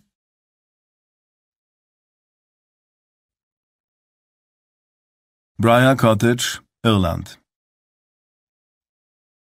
Am Abend zog plötzlich ein Gewitter auf. Es stürmte und der Regen prasselte auf das Strohdach des Cottage und peitschte gegen die Fensterscheiben. Andrew saß in seinem Bett und las. Auf dem Nachttisch lag ein Stapel Bücher. Die Petroleumlampe brannte und eines der Fenster war einen Spalt geöffnet. Als es an seiner Tür klopfte, hob er den Kopf und sah Lydia im Türrahmen stehen. Der abgetragene Pullover, den sie trug, war ein paar Nummern zu groß. Sie sah darin unglaublich jung und verletzlich aus. Darf ich reinkommen? Ich möchte mich entschuldigen. Wofür? Dass ich heute Nachmittag so wütend geworden bin. Schon vergessen. Was haben Sie da für ein Buch? Lydia hielt ein schmales Buch mit einem braunen Ledereinband in der Hand. W. B. Yeats, ein irischer Dichter, den ich sehr mag. Ich habe es auf einem der Regale entdeckt. Die Seite mit meinem Lieblingsgedicht habe ich markiert. Darf ich? Lydia setzte sich ans Ende des Bettes und reichte Andrew das Buch. Er schlug die mit dem Seidenbändchen markierte Seite auf und überflog das Gedicht. Ein paar Zeilen las er laut vor. Wie viele liebten dich wahrhaftig oder begehrten dich nur, wenn du vor Anmut und Schönheit erstrahltest, doch einer liebte deine unstete Seele und den Kummer auf deinem wechselvollen Gesicht. André verstummte und hob den Blick. Die Zeilen schienen ihn berührt zu haben. Ich weiß nicht, ob ich es verstanden habe. Auf jeden Fall hört es sich schön an. Er klappte das Buch zu. Haben Sie Angst, weil die Reise nach Russland nun beginnt? Lydia strich sich eine Strähne aus dem Gesicht. Ehrlich gesagt weiß ich nicht, was ich fühle. Ich wünschte einfach, alles wäre vorbei, verstehen Sie? Aber das ist nicht der Grund, warum ich mit Ihnen sprechen wollte. Sondern vielleicht hatten Sie recht mit den sieben Schleiern und dass Sie eine Möglichkeit bieten, sich zu schützen. Ich glaube, ich habe mich immer als Außenseiterin gefühlt, seitdem ich ein Kind war und meine Familie so viel gereist ist. Einige hielten mich für privilegiert, vielleicht sogar für verwöhnt, doch das war ich wirklich nicht. Ich war einfach einsam und nirgendwo richtig zu Hause, bis ich Sean traf. Zum ersten Mal in meinem Leben fühlte ich mich stark zu einem anderen Menschen hingezogen. Lydia zögerte kurz, als die schmerzvollen Erinnerungen in ihr aufstiegen. Es gibt eine alte irische Redensart. Mögest du mich bis ans Ende meiner Tage begleiten. Das drückt aus, was ich für ihn empfunden habe. Das Fenster klapperte im Wind. Die Flamme in der Petroleumlampe begann zu flackern und drohte zu erlöschen. André legte das Buch aus der Hand. Es ist gut, Lydia, sagte er in sanftem Ton. Wir haben alle ein Recht auf unsere Privatsphäre. Ich hätte nicht so neugierig sein dürfen, und Sie müssen mir nichts erklären. Ihre Augen wurden feucht. Nein, ich glaube, ich muss es jemandem erzählen. Manchmal, verstehen Sie, fühle ich mich so verloren und bin so wütend auf die Welt, weil sie so ungerecht sein kann. Ich habe es noch nie jemandem erzählt, und es quält mich sehr. Was? Bevor Sean an die Front ging, haben wir uns geliebt. Es ist ein menschliches Bedürfnis, vor allem wenn Krieg herrscht. Paare wollen einander ihre Gefühle offenbaren, weil sie Angst haben, sich niemals wiederzusehen. Das stimmt. Sean war noch nicht lange weg, da stellte ich fest, dass ich schwanger war. Tausend Gefühle stürmten auf mich ein, ich war wie gelähmt, aber auch glücklich und verwirrt, und ich wusste nicht, was ich tun sollte. Meine Eltern wären natürlich schockiert gewesen, wenn sie es erfahren hätten. In meiner Familie werden Töchter nicht schwanger, ehe sie verheiratet sind. Das gehört sich nicht. Lydia biss sich auf die Lippe. Ich bat Gott um Vergebung, und doch spürte ich, dass er verstand, was ich getan hatte. Ich wollte Seans Baby unbedingt, verstehen Sie? Vielleicht sagte mir mein Gefühl sogar, dass er niemals zurückkehren würde und es unsere einzige Möglichkeit war, ein gemeinsames Kind zu bekommen. Haben Sie es Ihren Eltern erzählt? Ich hatte keine Gelegenheit mehr dazu. Einen Monat später erhielt ich ein Telegramm, dass Sean vermisst wird. Die Nachricht traf mich wie ein Schlag. Ich, ich verlor das Baby. Der Regen peitschte gegen das Fenster und der Wind heulte. Lydia sah Andrev mit feuchten Augen an. Ich habe es niemals jemandem erzählt, nicht einmal Finn, meinem Bruder. Sie zog an ihrem Pullover. Dieses alte Ding gehörte Sean. Ich trage ihn, um mich an ihn zu erinnern, wenn ich mich einsam fühle. Albern, nicht wahr? Andrev sah ihr an, dass sie die Vergangenheit noch immer quälte. Sie wirkte vollkommen hilflos. Es tut mir leid. Ich glaube, plötzlich wird mir klar, was da eigentlich auf mich zukommt. Ich frage mich, was aus Finn wird, wenn ich nicht zurückkehre. Er ist im Grunde noch ein Kind. Ich habe mich um ihn gekümmert, seitdem er ein Baby war. Ich mache mir Sorgen um ihn. Lydia kämpfte mit den Tränen, und als sie diese nicht länger zurückhalten konnte, begann sie zu weinen. Heftiges Schluchzen erschütterte ihren Körper. Andrev zog sie zu sich heran und strich ihr behutsam übers Haar. Du arme, gequälte Seele. Wieder fegte ein heftiger Windstoß über das Cottage hinweg und drang durch das geöffnete Fenster in den Raum. Die Tür begann zu schlagen und die Dachsparren bebten. Die Petroleumlampe erlosch und die Äste bogen sich heftig im Wind. Lydia schmiegte sich an Andrevs Brust und er hielt sie in der Dunkelheit fest umschlungen, während draußen der Sturm wütete.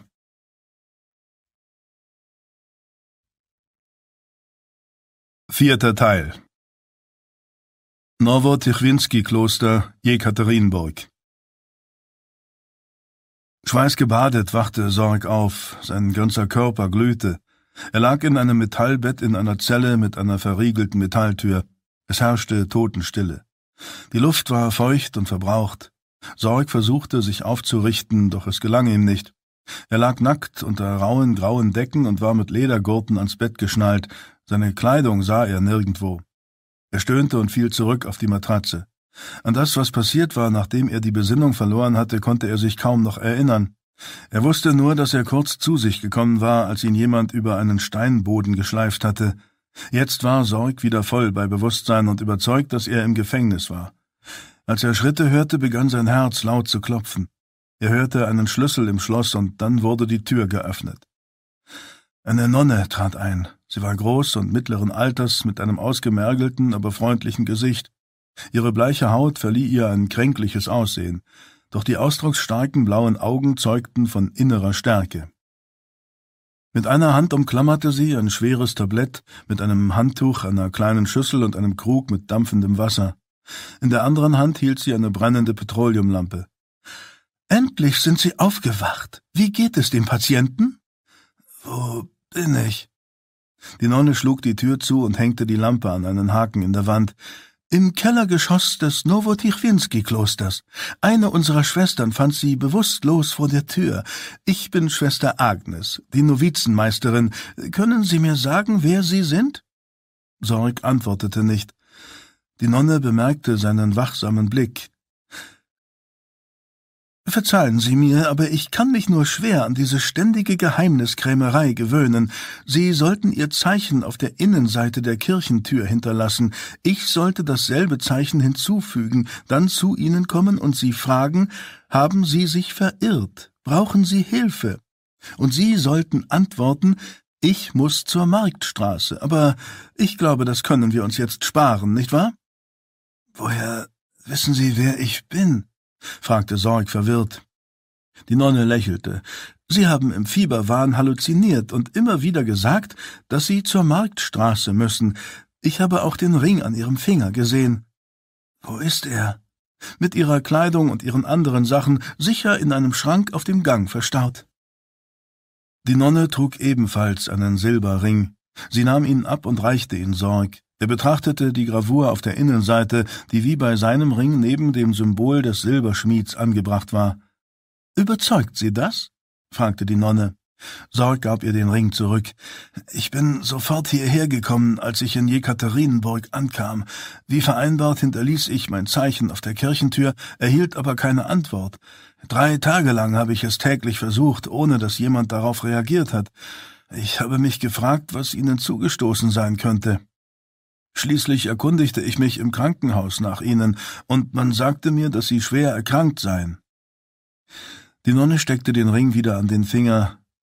In der Stadt grassierte eine Typhusepidemie und ich hatte mich angesteckt. Sie brachten mich ins Krankenhaus nach Perm. Mein Zustand war sehr kritisch. Daher gab ich einer Nonne Anweisungen, dass sie Kontakt zu ihnen aufnehmen soll. Doch sie erkrankte ebenfalls und starb. Ich bin wieder gesund und Sie haben überlebt. Das ist jetzt alles, was zählt. Wie fühlen Sie sich? als hätte eine Herde wilder Pferde auf mir herumgetrampelt. Hier sieht es aus wie in einem Gefängnis. Die Nonne lächelte wieder. Das war es auch tatsächlich einmal. Das Kloster wurde auf den Ruinen einer mongolischen Festung errichtet, die Genghis Khan genutzt hat, und dazu gehörten auch Kerker. Heute gibt es hier Schulen, ein Krankenhaus, ein Waisenheim und eine Bäckerei. Sorg versuchte sich aufzurichten. Äh, könnten Sie bitte die Gurte abschnallen? Schwester Agnes zog sich einen Holzhocker heran, setzte sich hin und stellte das Tablett auf den Boden, dann öffnete sie die Gurte. Die Wunde hat sich infiziert, und wie ich schon sagte, haben sie eine Zeit lang halluziniert. Wir mussten sicherstellen, dass sie nicht aus dem Bett fallen. Sorg massierte sich die Handgelenke. Wo sind die anderen Patienten? Auf Stationen in der Nähe. Hier sind wir ungestört. Ich hatte Angst, sie könnten im Fieberwahn etwas sagen, was sie nicht sagen sollten. Die Nonne faltete das Baumwollhandtuch auseinander, in dem eine Handvoll Kräuter und eine dicke Scheibe Brot eingewickelt waren. Der starke Duft von Thymian und Minze stieg Sorg in die Nase. Auf dem Tablett lagen auch Baumwollverbände und eine Schere. Schwester Agnes zerbröselte die Kräuter, indem sie sie zwischen den Händen hin und her rollte. Der Duft wurde intensiver. Sie gab die Kräuter in eine Schale und legte dann eine Hand auf Sorgs Stirn. Wahrscheinlich werden Sie sich noch ein paar Tage furchtbar schlecht fühlen. Sie haben viel Blut verloren und Ihre Temperatur ist noch immer sehr hoch. Hier, trinken Sie das. Sie reichte Sorg ein Glas. Er beugte sich vor und trank ein paar Schlucke von dem kalten, erfrischenden Wasser. Schwester Agnes legte die zerbröselten Kräuter auf das Brot. Was machen Sie da? fragte Sorg. Einen Kräuterumschlag. Medikamente sind knapp, darum müssen wir auf alte Hausmittelchen zurückgreifen. Der Kräuterumschlag zieht den Eiter aus der Wunde. Werde ich überleben? Die Nonne verteilte die Kräuter auf dem Brot, befeuchtete das Ganze mit dem heißen Wasser und wickelte es wieder in das Handtuch ein. Mit Gottes Hilfe. Was ist passiert? Sorg erzählte es ihr. Ich glaube nicht, dass innere Organe verletzt sind, aber genau wissen wir das erst in ein paar Tagen, sagte die Nonne. Sie müssen sich unbedingt schonen und dürfen sich nicht in der Öffentlichkeit blicken lassen. Wahrscheinlich sind die Roten auf der Suche nach Ihnen. Das ist unmöglich. Ich kann nicht warten. Wichtige Aufgaben warten auf mich. Das verstehe ich. Doch Sie müssen mir glauben, ich bin ausgebildete Krankenschwester. Wenn Sie zu schnell aufstehen, könnte Ihre Wunde aufgehen und sich erneut infizieren, dann könnten Sie sterben. Schwester Agnes zog das Betttuch zurück und schnitt Sorgs Verband mit einer Schere auf. Möchten Sie etwas essen? Ich sterbe vor Hunger. Schwester Agnes tauchte den Kräuterumschlag in das kochend heiße Wasser. Das ist ein gutes Zeichen. Ich lasse Ihnen etwas Brühe und frisch gebackenes Brot bringen. Wir hatten alle Hände voll zu tun. Nach den brutalen Gefechten zwischen den Weißen und Roten in den vergangenen Tagen ist das Hospital mit Kranken und Sterbenden überfüllt. Beugen Sie sich bitte vor. Es könnte wehtun. Schwester Agnes drückte den heißen Umschlag behutsam, aber fest auf Sorgs Wunde. Als die Hitze in die Wunde drang, biss er die Zähne zusammen. Seltsamerweise schien das Pochen nachzulassen. Könnten Sie mir etwas besorgen? Was? Laudanum. Die Nonne verzog keine Miene. Das nehmen viele, die in den Schützengräben gekämpft haben. Sind Sie auch auf diesem Weg dazu gekommen? Ja, so ähnlich. Es tut mir leid, aber wir haben kein Laudanum hier, und in der gegenwärtigen Situation wird es kaum irgendwo aufzutreiben sein. Die Roten haben in der letzten Woche unsere Vorräte an medizinischem Material geplündert. Wir haben kaum noch etwas. Vielleicht kann ich Kaffee und Zigaretten besorgen. Das wäre nett. Als ich die Nonne erhob, ergriff Sorg ihren Arm. Bitte, sagen Sie mir, wie es der Familie geht. Die Nonne befreite sich behutsam aus seinem Griff und strich ihm über die Hand. Ruhen Sie sich aus, schlafen Sie, solange Sie können. Dann sprechen wir über alles. London Es war kurz nach zwölf an diesem Nachmittag, als Boyle die Stufen der St. Andrews Privatklinik hinaufstieg. Seine Kleidung war zerknittert und er sah aus, als hätte er kaum geschlafen. Er hastete zur Station und nickte dem uniformierten Polizeibeamten auf dem Gang zu, worauf er die Tür zu einem Einzelzimmer öffnete. Botschafter Walter Heinz Page stand mit besorgter Miene am Krankenbett. Boyles Herzschlag setzte aus, als sein Blick auf Hannah fiel, die bewusstlos in dem Bett lag. Fast ihr ganzer Körper war mit Verbänden umwickelt, ihre Beine und Hüften lagen in einer sonderbaren Metallkonstruktion, ihr Gesicht war von blauen Flecken übersät, und sogar die geschwollenen Augenlider hatten sich bläulich verfärbt. Sie hat innere Verletzungen erlitten und viel Blut verloren, zahlreiche Knochen sind gebrochen, die Ärzte glauben, dass sie möglicherweise nicht überleben wird. Boyles Augen brannten, sein Gesicht war aschfahl. Wer hat das getan, Walter? Die Polizei hat weder den Lieferwagen noch den Fahrer ermitteln können. Laut Aussage einer Zeugin hatte der Mann slawische Gesichtszüge und soll gegrinst haben, als er sie überfahren hat. Ich bin überzeugt, dass das der lange Arm unserer russischen Freunde war. Boyle strich behutsam über Hannas Finger. Warum? krächzte er. Die richtige Frage muss sicherlich lauten, warum zu diesem Zeitpunkt? Ich habe das Gefühl, wir stecken in großen Schwierigkeiten. Dass Sie versucht haben, Hannah jetzt zu töten, bedeutet, dass sie beobachtet wurde. Und wenn sie beobachtet wurde, dann stellt sich die Frage, was unser Gegner sonst noch gesehen hat oder sich zusammenreimen kann. Boyle bebte vor Wut und hatte Mühe, die Fassung zu bewahren. Als er den Anblick der Schwerverletzten nicht mehr ertrug, wandte er sich ab. Page legte eine Hand auf seine Schulter. Ich finde, wir sollten die Sache abblasen, Joe. Wenn unser Plan verraten wurde, könnten Sie alle in eine Todesfalle tappen. Nur über meine Leiche, Walter. Boyle eilte die Stufen des Krankenhauses hinunter und stieg in einen grauen Packard, der mit laufendem Motor an der Bordsteinkante wartete. Andrew saß auf dem Beifahrersitz. Wie geht es ihr? fragte Lydia, die auf der Rückbank saß. Nicht gut, fürchte ich erwiderte Boyle mit grimmiger Miene und roten Augen. Aber durch den Anschlag ändert sich nichts. Wir halten an unserem Plan fest. Er schaltete in den ersten Gang und fuhr los. In der Nähe von Southend-on-Sea. Der Übungsflugplatz aus dem Krieg lag 60 Meilen von London entfernt und wurde seit Beginn des Frühlings nicht mehr benutzt. Gegen vier Uhr fuhr Boyle an diesem Nachmittag in dem Packard den schlammigen Weg hinunter. Der Flugplatz hatte einst zu einer mittlerweile verfallenen Farm gehört. Vor einem riesigen Kuhstall, der zu einem Hangar umgebaut worden war, hielt Boyle an. Das grün gestrichene Wellblechtor war geschlossen. Davor standen mehrere Autos und offene Lastwagen mit Planen. Ein stämmiger, energischer Mann Ende zwanzig mit einem auffälligen Zwei-Finger-Bart stand vor dem Hangar. Er trug eine Brille und eine senffarbene Arbeitsjacke, in einer Hand hielt er eine Taschenuhr, in der anderen eine Tasse heißen Tee.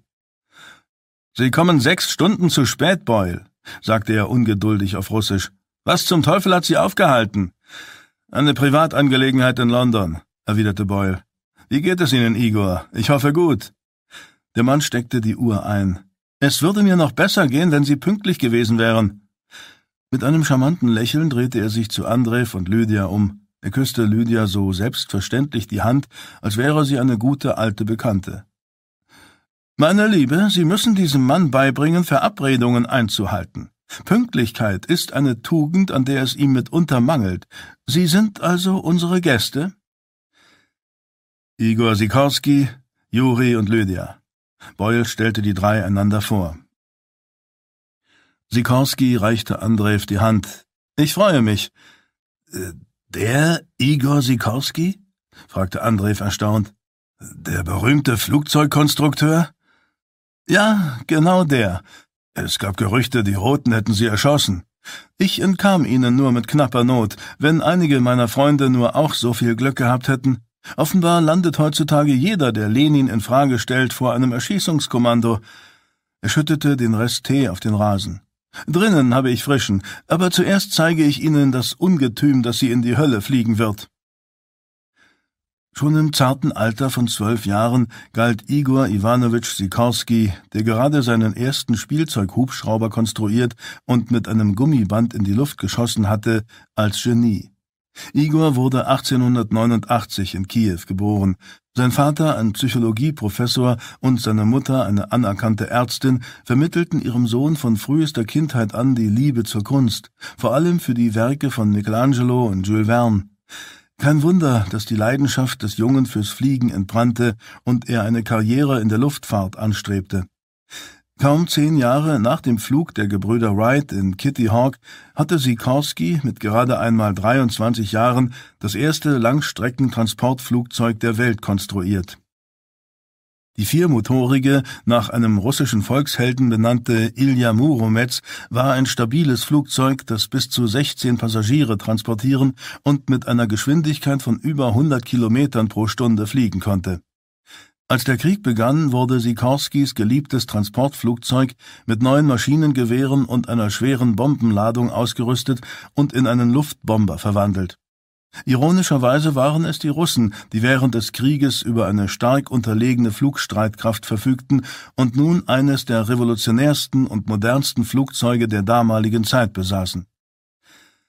Als Sikorski Boyle und die anderen in den Hangar führte, bot sich ihnen ein erstaunlicher Anblick. Mitten in der Halle stand ein riesiger, hellgrüner Doppeldecker mit einer langen, zigarrenförmigen Kabine und vier starken Motoren. Er verfügte über mindestens acht strategisch günstig positionierte Lewis Maschinengewehre. Sagen Sie der Ilja Murometz guten Tag, scherzte Sikorski. Oder der S-23V, wenn es Ihnen lieber ist. Sie ist 20 Meter lang und hat eine Flügelspanne von über 30 Metern. Sie stehen vor der Zukunft der Luftfahrt, Herrschaften. Es sah anders aus als jedes andere Flugzeug, das sie jemals gesehen hatten. Als sie es mit weit aufgerissenen Augen umrundeten, rief Boyle, Meine Güte, Igor, das ist es also? Ich habe Fotos in der Zeitung gesehen, aber sie werden dem Flugzeug nicht gerecht. In dem Hangar arbeiteten ein halbes Dutzend Mechaniker in schmierigen Overalls. Sikorski führte sie zu einer kleinen Trittleiter und gab Boyle und den anderen ein Zeichen, ihm in die geräumige Kabine zu folgen. Bei diesem Modell wurden einige Veränderungen vorgenommen. Trotz der Maschinengewehre blieben viele der ursprünglichen Annehmlichkeiten für die Passagiere erhalten. Die Ilja wurde ursprünglich für den Zaren konstruiert, doch er liebte Schiffe und fand nie Gefallen am Fliegen. Mit vier V8 Sunbeam Crusader Motoren, einer Schlafkabine, einer Heizung, elektrischem Licht, einer Lounge und der ersten Lufttoilette der Welt verfügt es über den größten Komfort der modernen Luftfahrt. Sie machen Scherze, sagte Lydia. Ich mache niemals Scherze, wenn es um meine Erfindungen geht, erwiderte Sikorski nüchtern. Mir gefällt der Gedanke, dass die Ilja eine Art Hotel mit Flügeln ist. Glauben Sie mir, in den nächsten 20 Jahren wird jeder in so einer Maschine fliegen. Wenn der Krieg nicht ausgebrochen wäre, hätten wir schon 1914 mit Passagierflügen begonnen. Ziehen Sie die Köpfe ein. Sie betraten eine geräumige Kabine. Das Cockpit bot mehrere Stehplätze für Passagiere, um den Piloten bei der Arbeit zu beobachten. Doch besonders beeindruckend war die Lounge mit einem Korbtisch und Stühlen. Im Heck des Flugzeuges befand sich eine kleine Kabine mit zwei schmalen Schlafnischen und elektrischem Oberlicht. Eine Tür führte zu einem Waschraum mit Toilette. Unglaublich, stieß Boyle aus. So etwas habe ich noch nie gesehen. Sieht aus wie in einem Roman von Jules Verne. Und das Ding fliegt tatsächlich? Sikorski schien die Frage ein wenig zu kränken. Er schob die Hände in die Jackentaschen. Es bricht tatsächlich den Weltrekord für den längsten aufgezeichneten Flug von über 3000 Kilometern in weniger als 26 Stunden von St. Petersburg nach Kiew und zurück, mit zwei Zwischenlandungen, um die Maschine aufzutanken. Das war im Juni 1914. Seitdem haben wir beträchtliche Fortschritte gemacht. Wir haben die Motorleistung verbessert und können entferntere Ziele anfliegen. Wie sieht es mit der Besatzung aus? Normalerweise haben wir einen Mechaniker an Bord, den Piloten und acht Maschinengewehrschützen, also insgesamt zehn Mann. Auf Ihrem Flug nehmen wir nur zwei Piloten und einen Mechaniker mit, dadurch sparen wir Gewicht. Boyle sah sich in der Kabine um und schüttelte den Kopf. Wirklich unglaublich, Igor. Sikorski schlug mit der Hand gegen die Wand des Flugzeugs. Ich habe 80 von diesen Prachtstücken gebaut. Vier haben wir aus Russland herausgeflogen, ehe die Roten sie beschlagnahmen konnten. Als sie staunend dort standen und die Kabine bewunderten, sagte Sikorski zu Boyle, ich nehme an, Sie werden mir nicht verraten, was Sie alle im Schilde führen, oder? Soll ich einfach Ihren Anweisungen folgen und das Flugzeug zur Verfügung stellen? Es tut mir leid, aber leider muss der Auftrag unser Geheimnis bleiben, Igor. Kein Problem, Sikorski zwinkerte ihm zu und zeigte auf die Trittleiter. Kommen Sie mit in mein Büro, dort können wir über unsere Flugroute sprechen, dann kläre ich Sie auch gleich über die Risiken auf, die Sie während des Fluges eingehen.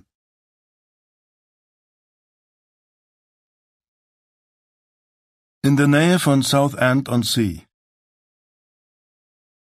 Sie betraten ein Büro mit Glasfenstern im hinteren Teil des Hangars, Sikorski goss frisch aufgebrühten Tee in große Tassen und reichte sie seinen Besuchern. In seine Tasse gab er ein paar Löffel Zucker. Bedienen Sie sich. Hat noch jemand Fragen, bevor ich beginne? Glauben Sie wirklich, wir können unser Ziel erreichen, Igor? Bevor Sikorski Boyle antwortete, ging er auf die Wand zu, an der eine Karte von Europa und dem größten Teil Russlands hing. Er schlug mit seiner großen, kräftigen Hand darauf, ich wüsste nicht, was uns davon abhalten sollte. Wenn wir die Ilja zwischendurch auftanken, ist sie in der Lage, diese Entfernung zurückzulegen. Es sollte also kein Problem sein. Sikorski zupfte an seinem Schnurrbart.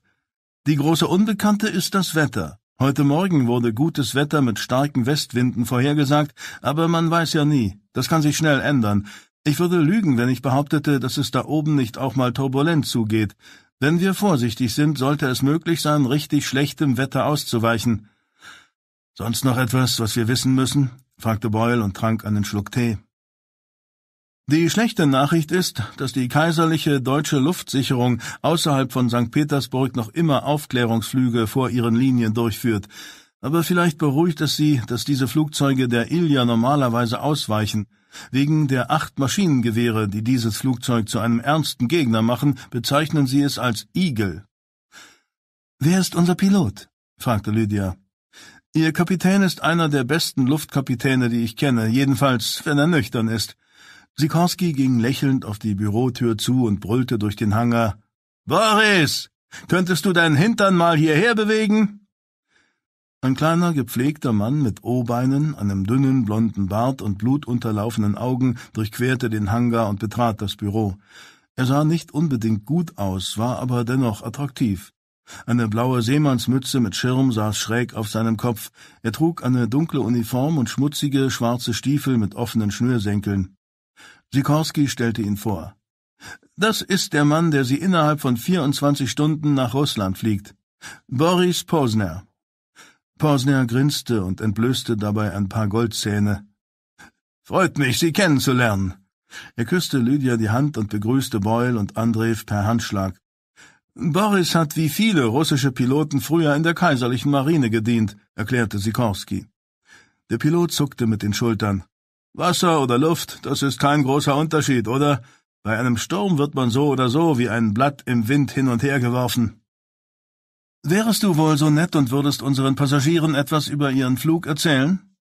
Posner ging zu der Karte an der Wand und zeigte auf die Südostküste Englands. Dann beschrieb er mit dem Finger einen Bogen bis St. Petersburg. Unser Plan ist es, in etwa sechs Stunden die Nordsee zu überqueren.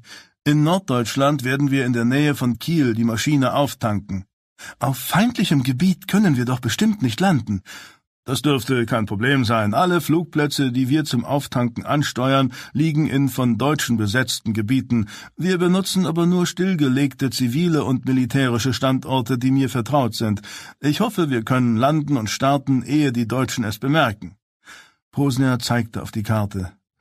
Nach Kiel haben wir die Möglichkeit, jenseits der Ostsee auf einem Flugplatz in der Nähe der Rigaer Bucht aufzutanken. Bei günstigem Wind wird es bis dorthin weitere acht Stunden dauern, und das liegt gerade noch innerhalb unserer Reichweite. Dort verabschiede ich mich von Ihnen und reise alleine weiter, warf Boyle ein. Posner fuhr fort. Wir tanken schnell auf und starten wieder. Nach weiteren sechs Stunden oder etwas mehr landen wir außerhalb von St. Petersburg. Woher bekommen wir den Treibstoff? fragte Lydia. Die Ilja hat Treibstofffässer an Bord, die für den gesamten Hinflug ausreichen, antwortete Sikorski. Falls jemand von Ihnen raucht, rate ich Ihnen dringend, diese Angewohnheit jetzt aufzugeben. Ein Funke, und Sie riskieren, dass das Flugzeug explodiert. Posner wandte sich Andrew und Lydia zu und zeigte auf der Karte noch einmal auf St. Petersburg.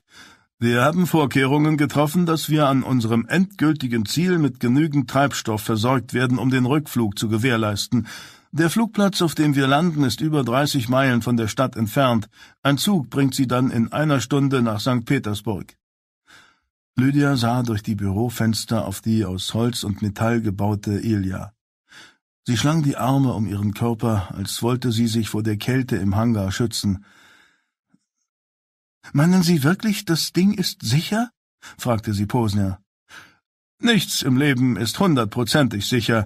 Sie können mir aber glauben, dass die Ilja eines der sichersten Flugzeuge ist, die es gibt. Beinahe unverwüstlich.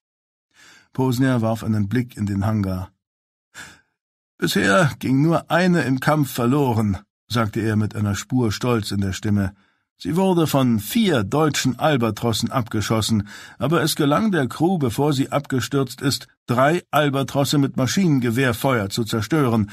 Das Flugzeug hat eine ausgesprochen gute Bilanz. Aber ist es denn nicht gefährlich, nachts zu fliegen und zu landen? Sie vergessen, dass wir im Ostseeraum gerade die Zeit der weißen Nächte haben. Zwischen der Abend- und Morgendämmerung liegt nur eine kurze Nacht, wodurch es einfacher für uns ist zu landen.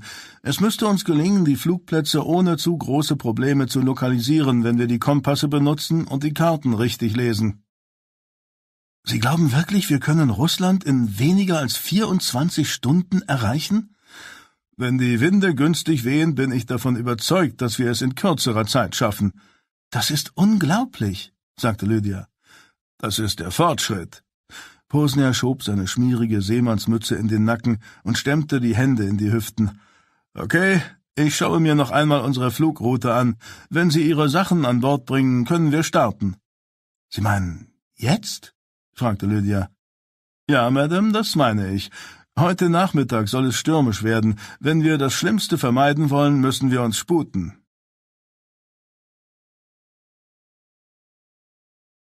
Siebter Teil Jekaterinburg Sie sind verrückt, ich sag's Ihnen. Am Ende werden wir beide noch erschossen. Markov ließ die Zügel schnalzen, woraufhin die Pferde in Richtung Wonskaja-Straße trabten. Hören Sie mir überhaupt zu? Boyle saß neben ihm auf dem Kutschbock. Er trug einen dunklen Anzug mit Kragen und Krawatte. Natürlich, aber ich bin nicht verrückt, sondern verzweifelt. An der nächsten Biegung links, nicht wahr? Markov seufzte unglücklich und bog links ab. Sie gelangten zum Stadtteich und fuhren unter einem Torbogen hindurch. Drei Rotarmisten bewachten die massive Eisentür. Sehen Sie? Es ist genau so, wie ich gesagt habe. Alle Tunneleingänge werden bewacht, stieß Markov mit finsterer Miene aus, nachdem sie an den Wachen vorbeigefahren waren. Ein paar Minuten später sahen sie noch mehr Soldaten vor einem gepflegten Haus mit Stuckfassade und Union Jack, der an einem Fahnenmast im oberen Stock flatterte. Das britische Konsulat, erklärte Markov. Im Garten ist auch ein Eingang zum Tunnel. Ich hab genug gesehen, erwiderte Boyle verärgert. Fahren Sie zum Hotel. Fünf Minuten später trabten die Pferde am Amerika-Hotel vorbei, vor dem ebenfalls Soldaten standen. Vier waren mit Gewehren mit aufgesteckten Bajonetten bewaffnet, ein anderer saß hinter einem Vickers Maschinengewehr, das durch einen Berg von Sandsäcken geschützt war. An beiden Straßenecken patrouillierten Wachen, mehrere Autos und Lastwagen parkten vor dem Hotel. Ein Opel mit offenem Verdeck überholte sie. Vor dem Hoteleingang trat der Fahrer auf die Bremse. Zwei Schläger in Lederjacken zerrten einen jungen Mann mit ängstlicher Miene aus dem hinteren Teil des Wagens und zogen ihn die Stufen zum Eingang hinauf. Sie werfen den armen Teufel zweifellos in eine Zelle, sagte Markov. Der Leichenbestatter wandte sich wieder Beul zu. Sie müssen verrückt sein, wenn Sie diese Höhle des Löwen betreten wollen. Ich hätte nicht die Nerven dazu. Fahren Sie um die Ecke. Ich will mir den Hintereingang ansehen. Markov folgte der Anweisung und trieb die Pferde mit der Peitsche an. Boyle sah, dass alle Fenster im Untergeschoss mit dicken Eisenstangen gesichert waren. Die Zellen? fragte er. Ja, erwiderte Markov. Fahren Sie zum Fluss. Markov lenkte den Pferdewagen in die gewünschte Richtung, und wenige Minuten später hielten sie am Wasser an. Wir sind da! Boyle nahm ein Notizheft und einen Stift aus der Tasche. Er schrieb auf, was er herausgefunden hatte, und fertigte ein paar Skizzen an.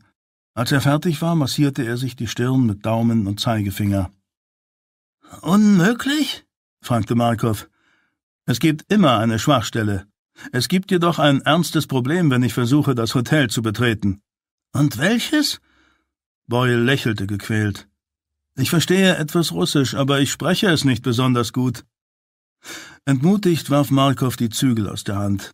Wunderbar. Und jetzt? Zwischen Moskau und Jekaterinburg. Der Zug fuhr ratternd durch die Nacht. Lydia klappte einen der stählernen Fensterläden auf, um frische Luft hereinzulassen. In der mondhellen Nacht zogen die riesigen Wälder an ihnen vorüber. Sie drehte sich zu Andrew um. Ich weiß, dass es dich fast umbringt, aber du brauchst keine Schuldgefühle zu haben. Juri Andrew saß hinter Jakobs Schreibtisch und hatte das Gesicht in den Händen vergraben. Darum geht es nicht, erwiderte er niedergeschlagen. Es ist dennoch meine Schuld. Es war ein Fehler, nach Russland zurückzukehren, das begreife ich nun. Wenn ich wenigstens Nina und Sergei in Ruhe gelassen hätte, wäre ihnen nichts zugestoßen. Ich hätte sie beschützen müssen. Lydia ging zu ihm und legte die Hände auf seine Schultern. Mach dir keine Vorwürfe, Juri. Jakob hat gesagt, dass er ihnen nichts antut. Ich bin mir nicht sicher, wozu er fähig ist. Jedenfalls steht fest, dass er Nina und Sergei als Druckmittel einsetzen wird. Lydia musterte ihn. Seine quälenden Sorgen und die Erschöpfung setzten ihm arg zu. Er stand kurz vor einem Zusammenbruch. Wir haben seit zwei Tagen nicht geschlafen. Du musst dich ausruhen, Juri. Er stand auf und nahm den Streckenplan in die Hand. Ich kann jetzt nicht schlafen. Hol Pavel her. Versprichst du mir dann etwas zu schlafen? Ja, aber zuerst muss ich mit Pavel sprechen. Lydia ging in das Schlafabteil und kehrte mit dem jungen Heizer zurück. Sind Sie und Ihr Vater Bolschewisten? fragte Andrew gerade heraus. Nein, Herr, erwiderte der junge Mann nervös. Wir haben bei der Eisenbahn gearbeitet. Kommissar Jakow hat uns für seinen Zug abkommandiert. Andrew winkte ihn zu sich heran. Kommen Sie mit, sagte er und fügte an Lydia gewandt hinzu, Warte hier, ich komme gleich zurück. Sie umfasste seinen Arm. Was hast du vor?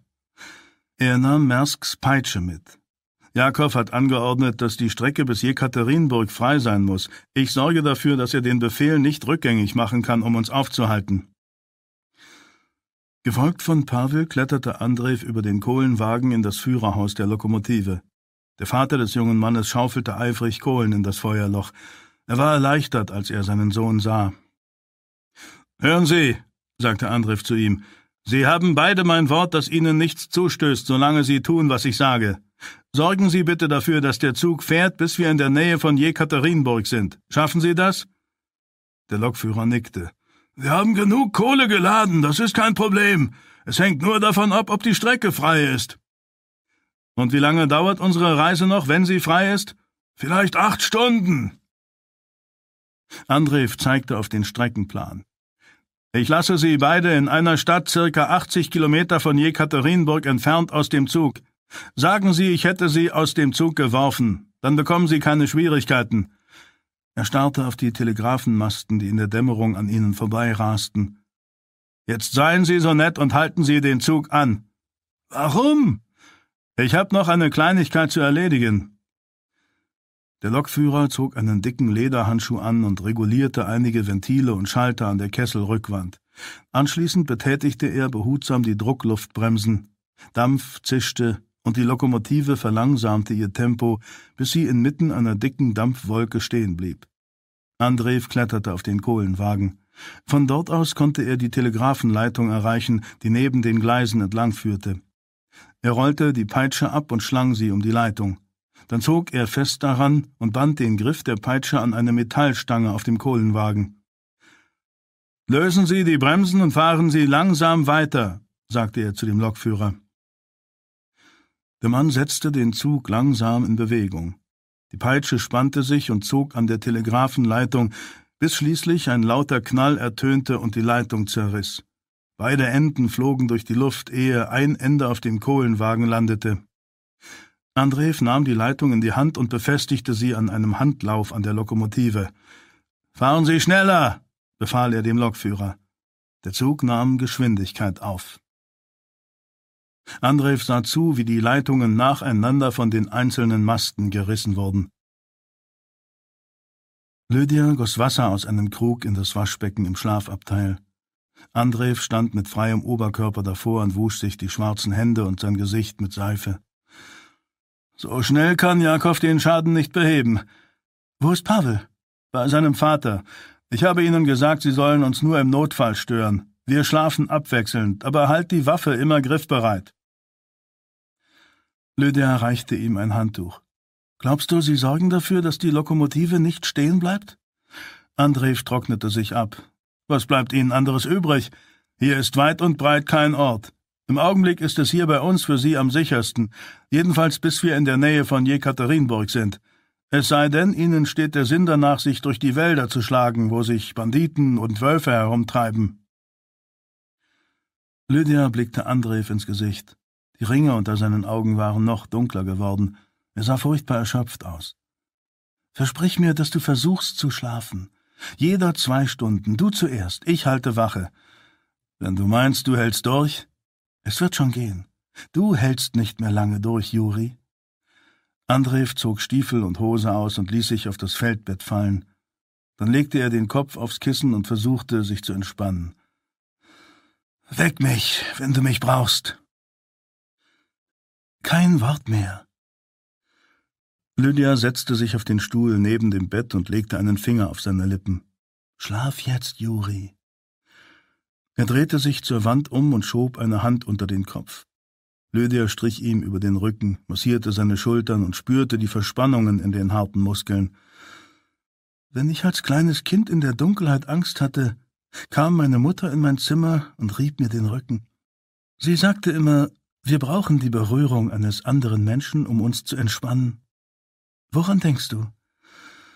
dass ich mir genau in dieser Minute wünsche, ich könnte die Augen schließen und alles wäre vorbei, und ich könnte eine Woche schlafen. Das Gefühl kenne ich, sagte Lydia. Man möchte die Welt ausblenden und warten, bis die Dunkelheit vorübergeht, aber wenn man die Augen wieder öffnet, sieht man, dass sich nichts verändert hat. Es ändert sich nie etwas. Lydia bemerkte, dass Andrevs Finger sich unablässig bewegten. Offenbar fand er keine Ruhe. Woran denkst du noch? An Nina und Sergei und an unsere letzte Begegnung. Nina holte die Wäsche von der Leine und Sergei klammerte sich an ihren Rock. Es brach mir das Herz, dass ich nichts tun konnte, um meinen Sohn zu trösten. Ich fühlte mich so hilflos.